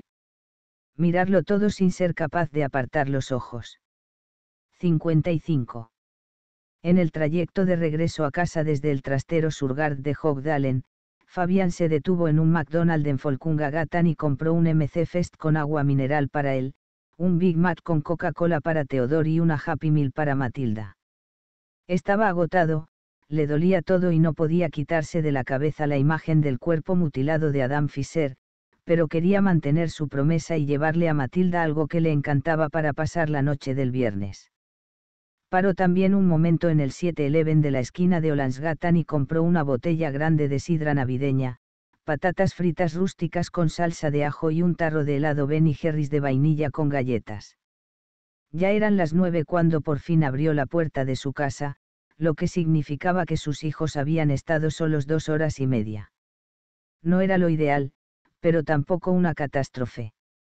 Además, ya oía el sonido de un programa especial de Navidades en la tele, o sea que la cosa no era tan grave. Colgó el abrigo, entró en la cocina, puso las hamburguesas en platos de verdad y guardó el helado en el congelador. Observó que todas las luces de la casa estaban encendidas. Matilda. Teodor. Ya estoy aquí. Ya podemos cenar, gritó sin obtener respuesta. Entró en la sala de estar. En la televisión pasaban un anuncio de Coca-Cola que trataba desesperadamente de competir con la sidra navideña. Rodeó el sofá y se encontró a Matilda dormida junto a su osito de peluche rojo. Ya no recordaba la última vez que había llorado. Quizá había derramado unas lágrimas alguna vez al mirar una película triste, como Magnolias de acero, pero, por lo demás, él casi nunca lloraba. No es que se negara, a veces incluso lo intentaba con ganas para dar rienda suelta a sus sentimientos, aunque solo conseguía que se le hiciera un nudo en la garganta. No estaba demasiado preparado, pues, para las lágrimas que le brotaron de pronto y gotearon en el suelo. La imagen de Matilda acurrucada en posición fetal en el sofá con su osito era de las más bellas que había visto jamás y también de las más tristes. Se enjugó la cara con el dorso de una mano y se tapó los ojos con la otra, pero las lágrimas seguían fluyendo y notó que le temblaba todo el cuerpo. Las cosas no podían seguir así, él, volcado en un trabajo que lo consumía todo a su paso, y Sonia, viviendo prácticamente en el estudio. Tenían que hablar pero no sabía bien qué debía decir, o si ni siquiera quería resolverlo. Llamó a Teodor, aunque no esperaba que estuviera en casa. Eran poco más de las nueve, pero al fin y al cabo no tenía más que trece años y no debería andar por ahí toda la noche. Lo telefoneó y saltó el buzón de voz, una grabación en la que su hijo fingía que contestaba antes de sonar el pitido. Optó por enviarle un mensaje de texto, pidiéndole que volviera lo antes posible. Apagó la televisión, inspiró hondo varias veces, se sentó junto a Matilda e intentó despertarla. Pero aunque la tentó con la comida de McDonald's, las patatas fritas y el helado, ella se negó a levantarse. Al fin renunció y la llevó en brazos a su habitación. La arropó bajo las mantas, le dio un beso en la frente y le susurró una disculpa al oído. Entonces se sentó a la mesa de la cocina y se comió una hamburguesa fría e insípida, cuestionándose si debía llamar a Sonia. Decidió esperar y tiró a la basura los tristes restos del banquete fallido. Recorrió la casa apagando las luces mientras se cepillaba los dientes, y se fue directo a la cama. Su cuerpo temblaba de pura fatiga. Tenía la sensación de no haber dormido desde hacía una semana. Ahuecó las almohadas, se tumbó boca arriba y cerró los ojos. Pero no consiguió conciliar el sueño. Los acontecimientos de los últimos días desfilaban una y otra vez por su mente. No cesaba de preguntarse de qué debían de estar hablando con tanta seriedad la mujer del autobús y su amiga, bajo la marquesina de Estureplan, y qué relación podía tener ella con los órganos de Grimas y el corazón desaparecido de Fischer, suponiendo que hubiese alguna relación. Al cabo de una hora, claudicó, fue a la habitación de Matilda, la cogió junto con el osito de peluche y la trasladó a su propia cama para estrecharla entre sus brazos, para sentir aquel calor y escuchar aquella respiración profunda y tranquila. Solo llegó a contar hasta tres. 56. El eco de las campanas de la iglesia se propagó por el cementerio Catarina y por las manzanas colindantes, e incluso llegó por el sur hasta Ostgotagatan, donde Fabián estaba cerrando su coche frente a unas elegantes oficinas de diseño que habían recibido numerosas distinciones, todas ellas enmarcadas y expuestas en una pared del interior. Era sábado, y a pesar de que solo eran las tres la tarde, ya empezaba a oscurecer. A las diez de la mañana, Malin lo había llamado y le había dicho que había conseguido convencer al terapeuta para que autorizara una visita de Ocean Krempf a la escena del crimen. Cinco horas más tarde, todos los papeles y permisos estaban firmados, lo cual era bastante rápido teniendo en cuenta la cantidad de gente que intervenía en el proceso. Arisk le había parecido una eternidad. Las diez horas seguidas de sueño le habían sentado bien. Aquella idea escurridiza que le había asaltado en el trastero Surgard se había transformado durante la noche en una teoría definida presentía que estaba tras una pista importante y confiaba en que la visita de Krempf a la escena del crimen sirviera para confirmar que estaba bien encaminado. Aún no les había dicho nada a los demás, ni siquiera a Malin, lo cual era insólito. Una buena teoría no era suficiente para involucrarlos por el momento. No tenía que quedar ninguna duda, las consecuencias eran demasiado graves y acababa resultando que estaba equivocado. De todos modos, no había permanecido ocioso en casa. Mientras esperaba a que les dieran luz verde, había tenido tiempo para jugar una partida de Monopoly con Matilda y Teodor. También había llamado a Sisa Tastrom y la había convencido para que interrumpiera los preparativos navideños y reanudara el análisis de los órganos de Grimas. Y tal como sospechaba, faltaba un órgano, el hígado. Quizá Ossian Krempf se lo había cocinado y comido. Para la mayoría de especies, ese órgano era una exquisitez. Junto con el corazón desaparecido de Fischer, debía de haberse dado un verdadero banquete a no ser que detrás de los asesinatos hubiera algo que no era la voracidad de un caníbal, algo que situaría la investigación bajo otro foco y obligaría a todo el mundo a reconocer que todavía faltaba mucho para concluirla. Le hizo una seña a Malin, que acababa de doblar la esquina de Blekingegatan y estaba buscando con frenesí una plaza de aparcamiento vacía. Thomas y Harmo aparecieron a pie desde Catarina Bangata, ambos con una pita en la mano, mientras que la furgoneta del equipo antidisturbios ya estaba aparcada junto al contenedor situado frente a la entrada. Desde luego, no habían escatimado en seguridad. La unidad estaba integrada por seis hombres, todos llevaban armas automáticas, chalecos antibalas y cascos con la visera bajada. Dos de ellos se apostaron a cada lado de la furgoneta y examinaron la zona antes de que otros dos desaparecieran con rapidez en el interior del edificio clausurado de Ostgotagatan. Ellos habrían preferido llevar a Krempf al trastero Surgard de Hogdalen, donde acababan de encontrar a Adam Fischer, pero Stubbs todavía estaba allí trabajando, y llevarlo a la habitación de descanso del edificio del Parlamento habría llamado demasiado la atención. Quedaba la opción del apartamento clausurado, cuya existencia seguía siendo un secreto bien guardado para la opinión pública. Aunque en su interior no habían encontrado restos de ninguna mutilación, no les cabía ninguna duda de que la mesa forrada de plástico estaba montada exclusivamente con ese objetivo. Había llegado el momento de escuchar a Ossian Krempf, a quien ayudaron a bajar de la furgoneta los dos últimos agentes antidisturbios. Llevaba grilletes en las manos y en los pies, como un condenado a muerte, y mantenía la cabeza gacha. La cadena de medio metro entre los grilletes de los pies rechinó sobre el asfalto helado mientras pasaban junto al contenedor y bajo el andamio. Por Dios, no sé cómo soportas vivir en la ciudad. exclamó Malin deteniéndose para recobrar el aliento. He tenido que irme hasta la iglesia de todos los santos para encontrar un.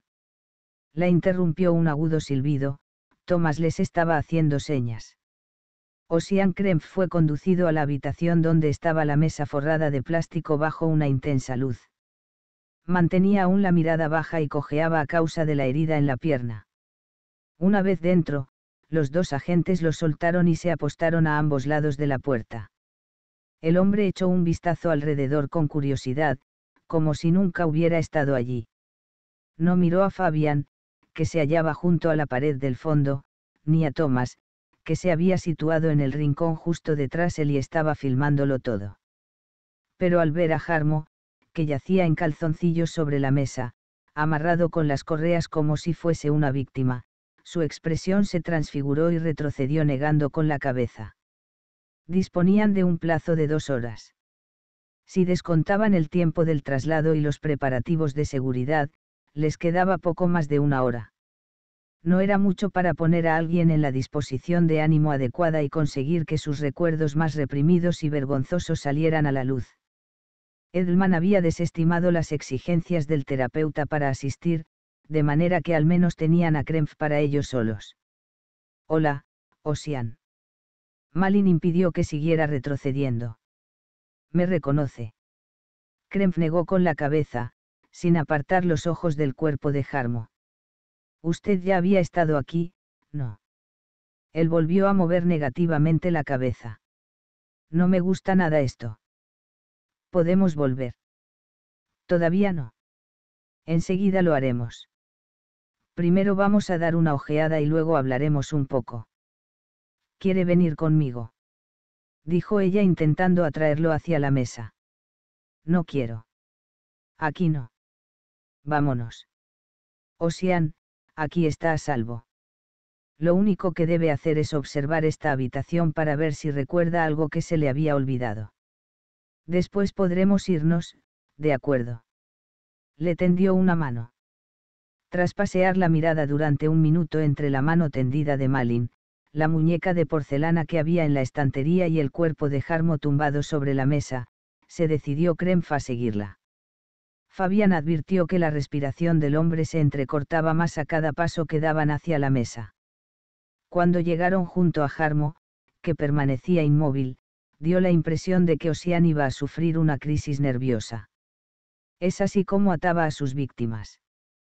Preguntó Malin señalando la correa que sujetaba a Jarmo por el cuello. Yo no, dijo Krempf, que recorrió con la mirada el cuerpo del policía. Yo solo quiero escuchar la radio. Quizá es el otro Osian. Él negó con la cabeza y dijo. El informe meteorológico marítimo es excelente. Osian, escúcheme. Sabemos que fue usted. Tenemos un montón de pruebas que lo acusan claramente. Y ahora pretendemos comprender cómo ocurrió. Le sacó los ojos antes o después de empezar a cortar. Que no fui yo, se lo estoy diciendo. Yo no he hecho nada. Negó con violencia con la cabeza.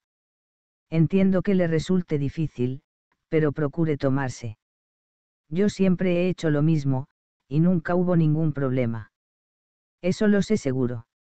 Nunca se quejó nadie. ¿Qué quiere decir? ¿Acaso podían quejarse cuando usted los ataba y los abría en canal? Y el informe marítimo, siempre el informe marítimo, añadió él sin apartar los ojos de Jarmo. Cada mañana. Es lo único, el informe marítimo y el sudoku. Pero en el hospital no tengo una radio. No sé por qué, pero no la tengo. Dicen que no pueden dejarme una, continuó, cada vez más frenético. ¿Por qué no me la pueden dejar? Conteste. ¿Por qué no me contesta? Malin se volvió hacia Fabián, quien le indicó que prosiguiera, aunque se daba cuenta de que ella no quería. Ya había dicho que no deseaba dirigir el interrogatorio, pero esa había sido una de las condiciones del terapeuta. ¿Por qué? insistió Krempf. Osian, la verdad es que no sé por qué no puede tener una radio pero ahora quiero que nos explique con detalle. Entonces, ¿cómo voy a escuchar el informe marítimo? Tengo que hacerlo, porque lo hago todas las mañanas. Osian, ¿puede explicarnos cómo? Y toda la medicación. He de tomarla también. Lo hago todos los días, mañana, tarde y noche. Están en una lata roja. Siempre en una lata roja del botiquín para que no se me olvide, sobre todo a las dos. Entonces es cuando.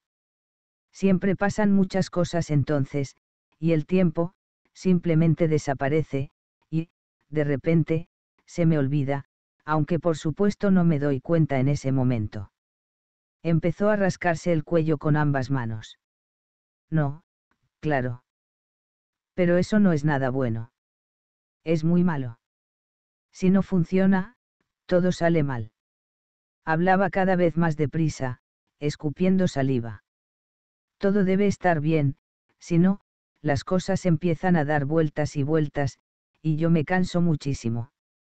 Y de golpe él está allí, el demonio barbudo, aunque yo soy el único, claro. Tragó saliva y siguió rascándose hasta que le saltó una costra y le resbaló un hilo de sangre por el cuello. Tiene las llaves y él está allí, de todos modos repara cosas y echa una mano. Cree que no lo sé, pero lo sé, y luego todo se vuelve oscuro y denso, y es como si yo desapareciera. Osian, procure calmarse y concéntrese en el cuerpo que está tendido aquí. Yo cierro todos los días con llave, incluso he cambiado la cerradura. Cierro y cierro y compruebo que está cerrado. Siempre. Si no, no puedes estar seguro. Osian. No lo soporto. Es horrible. Realmente horrible. Se agarró la cabeza con una mano para recuperar el aliento. Estoy cansado, muy cansado. Ya no aguanto más. Osian, nos queda poco tiempo. Intente. Tengo que descansar y cerrar los ojos un rato, pero no es posible. En cuanto los cierro, vuelvo a estar allí, vuelvo a... Se interrumpió de golpe, jadeante, desprovisto de energía. Vuelve a, ¿qué? Díganos a qué se refiere. Sin previo aviso, Krempf se puso a chillar y se abalanzó sobre Malin, que perdió el equilibrio y cayó al suelo. Ella intentó zafarse dando patadas y arañazos, mientras pedía ayuda a gritos. Risk, Thomas y los dos agentes ya corrían a socorrerla, pero en aquellos pocos segundos, Krempf bajó con calma la cabeza hacia la garganta de Malin y le susurró algo. De inmediato lo separaron de ella y lo arrastraron a la habitación contigua. Fabián ayudó a Malin a levantarse. ¿Estás bien? Ella asintió al tiempo que se arreglaba la ropa. Pero me ha asustado de verdad. Creía que iba. Se cayó para recobrar el aliento. Que estaba a punto de. Se desmoronó y se echó a llorar. Fabián la abrazó y dejó que le apoyara la cabeza en el hombro. Bueno, bueno, Malin. Ya está. Ella asintió, tratando de serenarse. ¿Te ha dicho algo? No. Dijo Fabián. Malin se apartó y lo miró a los ojos. Me ha preguntado cuándo le iban a devolver su radio. Le salió una risa gutural. No es una locura. Después de todo lo ocurrido, él solo piensa en recuperar su radio y escuchar el informe marítimo. ¡Ay, Dios! ¿Qué aspecto tengo? Se me ha corrido el maquillaje. Estás perfecta. Regreso a la comisaría con lo que he grabado, dijo Thomas guardando la cámara. No parece que vaya a suceder mucho más aquí. ¿Alguien sería tan amable de desatarme? Preguntó Jarmo. Pareces muy cómodo ahí, la verdad, dijo Thomas, y se largó. Fabián, ¿cuántos años llevamos trabajando juntos?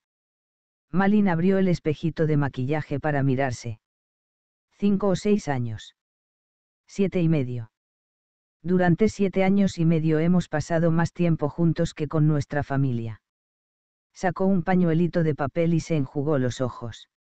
Y esta es la primera vez que me has dado un abrazo. Esperemos que no vuelva a ocurrir nunca más. Ella se echó a reír y cogió el rímel para repasarse los ojos. Pero casi de inmediato se le escurrió de las manos y cayó desmayada al suelo. Malin. Malin. Fabián se arrodilló y trató de reanimarla. Malin, ¿me oyes? No obtuvo ninguna reacción. ¿Qué demonios ocurre? Preguntó Jarmo. No lo sé se ha caído de repente.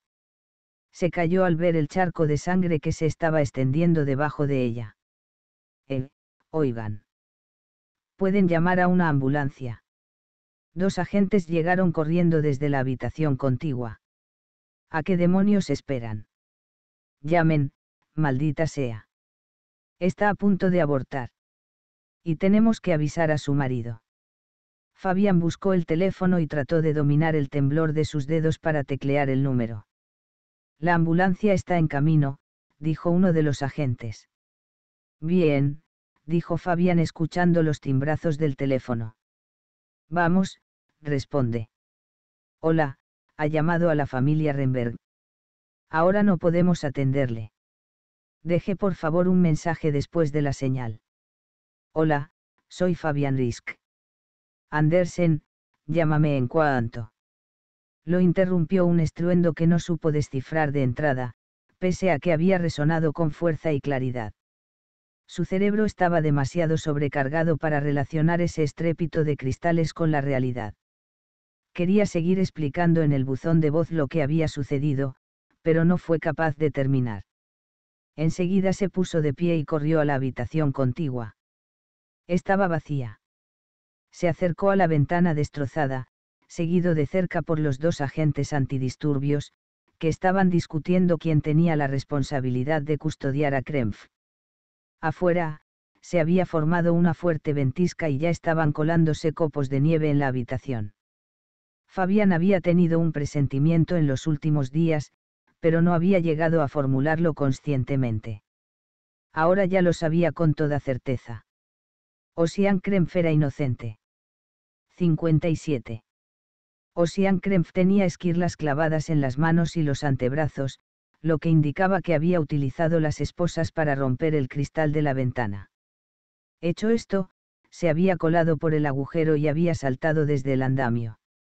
Esa caída, desde una altura de unos 15 metros, habría implicado una muerte segura para cualquiera si no hubiera estado abajo para amortiguarla el contenedor lleno de escombros. Pero Krempf murió inmediatamente de todos modos, pues se golpeó la cabeza contra el borde del contenedor con tanta fuerza que casi todo el cráneo, de la nariz para arriba, le saltó en pedazos y se esparció en un radio de muchos metros. Edelman comentó que no era un desenlace demasiado satisfactorio para una investigación tan compleja, si bien se apresuró a añadir que constituía un desenlace de todas formas. Para Fabian, en cambio, la muerte de Ossian Krempf significaba cualquier cosa menos un final. Todavía quedaban demasiados interrogantes. A primera vista, la investigación parecía haber avanzado sin descanso, se habían realizado descubrimientos, sacado fotos y elaborado informes. Las pruebas descubiertas habían sido etiquetadas, selladas y clasificadas. Todos habían trabajado haciendo turnos dobles y revisado cada posibilidad.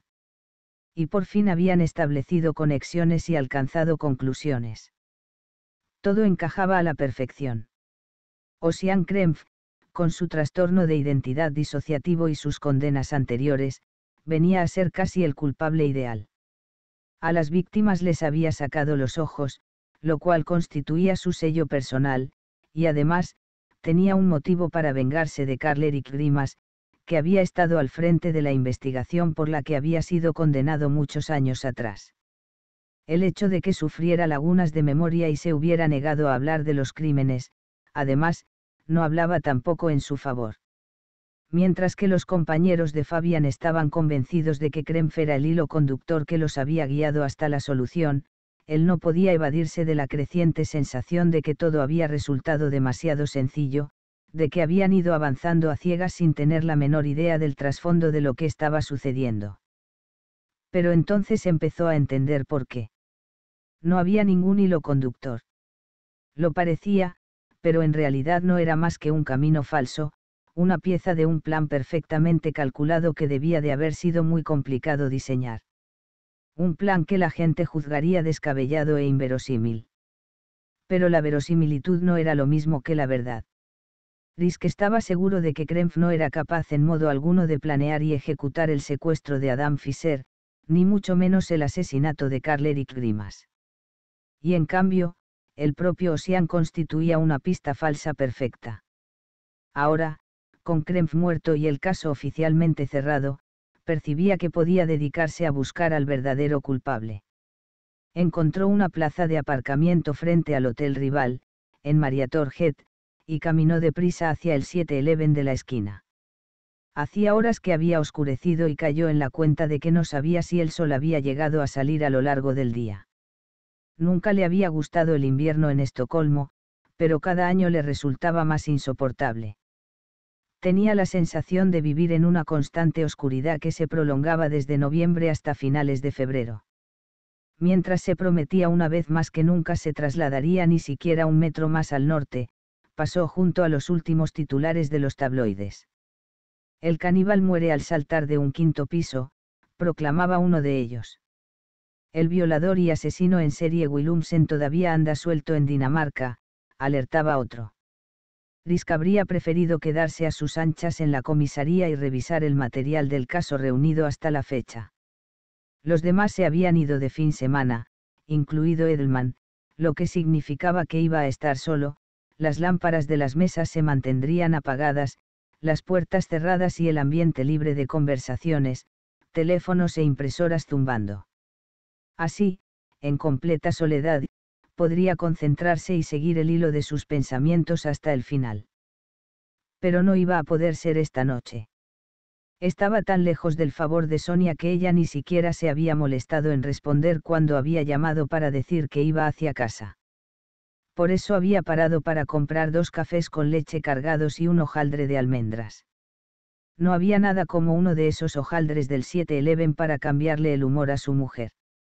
Él, por su parte, prefería la tarta princesa, pero se había jurado solemnemente que reduciría las calorías de su alimentación y resistiría el impulso de detenerse en el café panadería de la esquina de Swedenborg-Gatan. No es que estuviera gordo, ni mucho menos. Pesaba 74 kilos desde hacía mucho tiempo. En los dos últimos años, sin embargo, había notado un cambio evidente, y ya rondaba los 77. A este paso, cuando se jubilara pesaría 100 kilos. Intentó localizar a Malin mientras volvía al coche, pero no obtuvo respuesta. Hizo otro intento telefoneándola al fijo de su casa. Hola, Fabián. La voz arrastrada de Andersen Renberg resultaba inconfundible. Fabián había visto al marido de Malin bastantes veces, pero nunca había hablado de verdad con él. No es que no lo hubiera intentado, pues se había acercado a él exprofeso en cenas y celebraciones diversas para tratar de encontrar algún terreno común, pero se había quedado en cada ocasión con mal sabor de boca. A pesar del esfuerzo, los temas que sacaba desembocaban uno tras otro en vía muerta y, al final, acababa soltando estupideces que más tarde lamentaba.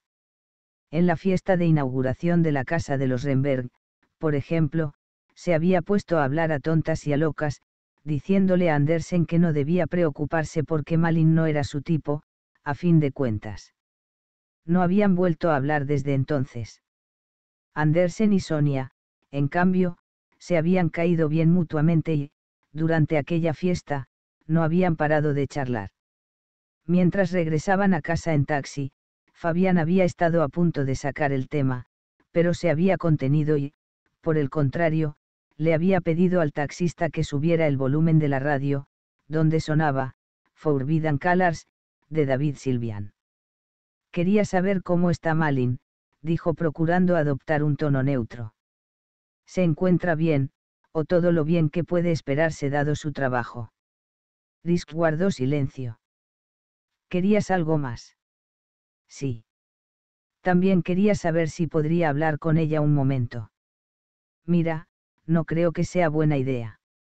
Sufre una preeclampsia tan seria que han decidido internarla. Habrá de estar en tratamiento hasta que dé a luz. Si la situación se agrava, tendrán que inducirle el parto, a pesar que aún le quedan dos meses enteros de embarazo. Lo siento. No sabía que la cosa fuese tan seria. No. Según el médico, debe de haber mostrado claros signos de que no se encontraba bien. Si no hubiera tenido tanta presión en el trabajo, no habría empeorado de este modo. Andersen, lo siento de verdad. Comprendo que estés disgustado. Pero. Escucha, Fabián, Malin necesita paz y tranquilidad. Por tanto, no debes llamarla ni ir a verla. Lo único que has de hacer es mantenerte alejado de ella. De acuerdo. Vale, pero. Puedes decirle que he telefoneado. Andersen ya había colgado. Al llegar a casa encontró a Teodor en su habitación, sentado frente al ordenador. Matilda estaba en el sofá mirando el Rey León con la tele a todo volumen. Sonaba tan fuerte que los vecinos debían haber escuchado a Timón y Pumba cantando el Hakuna Matata. Hola, Matilda. ¿Está mamá en casa? Preguntó sin obtener respuesta cogió el mando y bajó el volumen. No, déjalo. No oigo lo que. Matilda, te he hecho una pregunta. ¿Sabes dónde? Se interrumpió de golpe al ver a una chica en el balcón fumando, con el móvil pegado al oído. Abrió la puerta del balcón y observó que llevaba puestos su calzado de estar por casa y que ya había llenado de colillas un rincón del tiesto de flores. Tú debes de ser Rebeca. Ella se dio la vuelta. Oye, he de dejarte, dijo. Colgó, se guardó el teléfono en el bolsillo de unos tejanos extremadamente ajustados y le tendió la mano. ¿Qué tal? Creía que mi mujer estaría en casa. No, tenía trabajo. Ha dicho algo de una exposición la semana después de Navidad. Apagó el cigarrillo y sacó otro del paquete. ¿Quieres uno? No, y te agradecería que hicieras algo más aparte de salir aquí y pasarte el rato fumando. Supongo que mi mujer te paga. No soy yo la que no tiene tiempo para cuidar de sus hijos. No. Es cierto. Hablando de lo cual, ya puedes irte. Sonia ha dicho que podía contar con la tarifa de toda la noche porque no sabía si tú te presentarías. Te pagaré toda la noche si te vas ahora mismo, dijo él haciendo un gran esfuerzo para no sacarla del balcón de mala manera. Una vez pagadas las mil coronas, se sentó, cogió un post-it y escribió. Querida Sonia. Comprendo que estés estresada, pero todo el mundo necesita un respiro de vez en cuando. Fabián pegó el post-it en el vaso del café con leche y lo puso junto a la bolsa del hojaldre de almendras y a un CD que había grabado con el tema de Prince, y Bout Die 4U, repetido 19 veces, una por cada año que habían pasado juntos.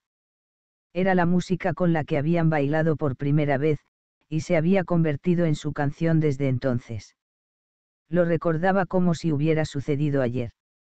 Él había conseguido que le prestaran un carnet del Lido, una discoteca ubicada en un antiguo cine porno de Ornsgatan, cuyos socios eran en su mayoría escritores, músicos y actores. Una vez dentro, se había puesto nervioso pensando que alguien descubriría que él no escribía ni tocaba en un grupo, o, todavía peor, que era de Escania, por lo que evitó a todo el mundo y se apostó en un lado de la pista, con una cerveza en la mano.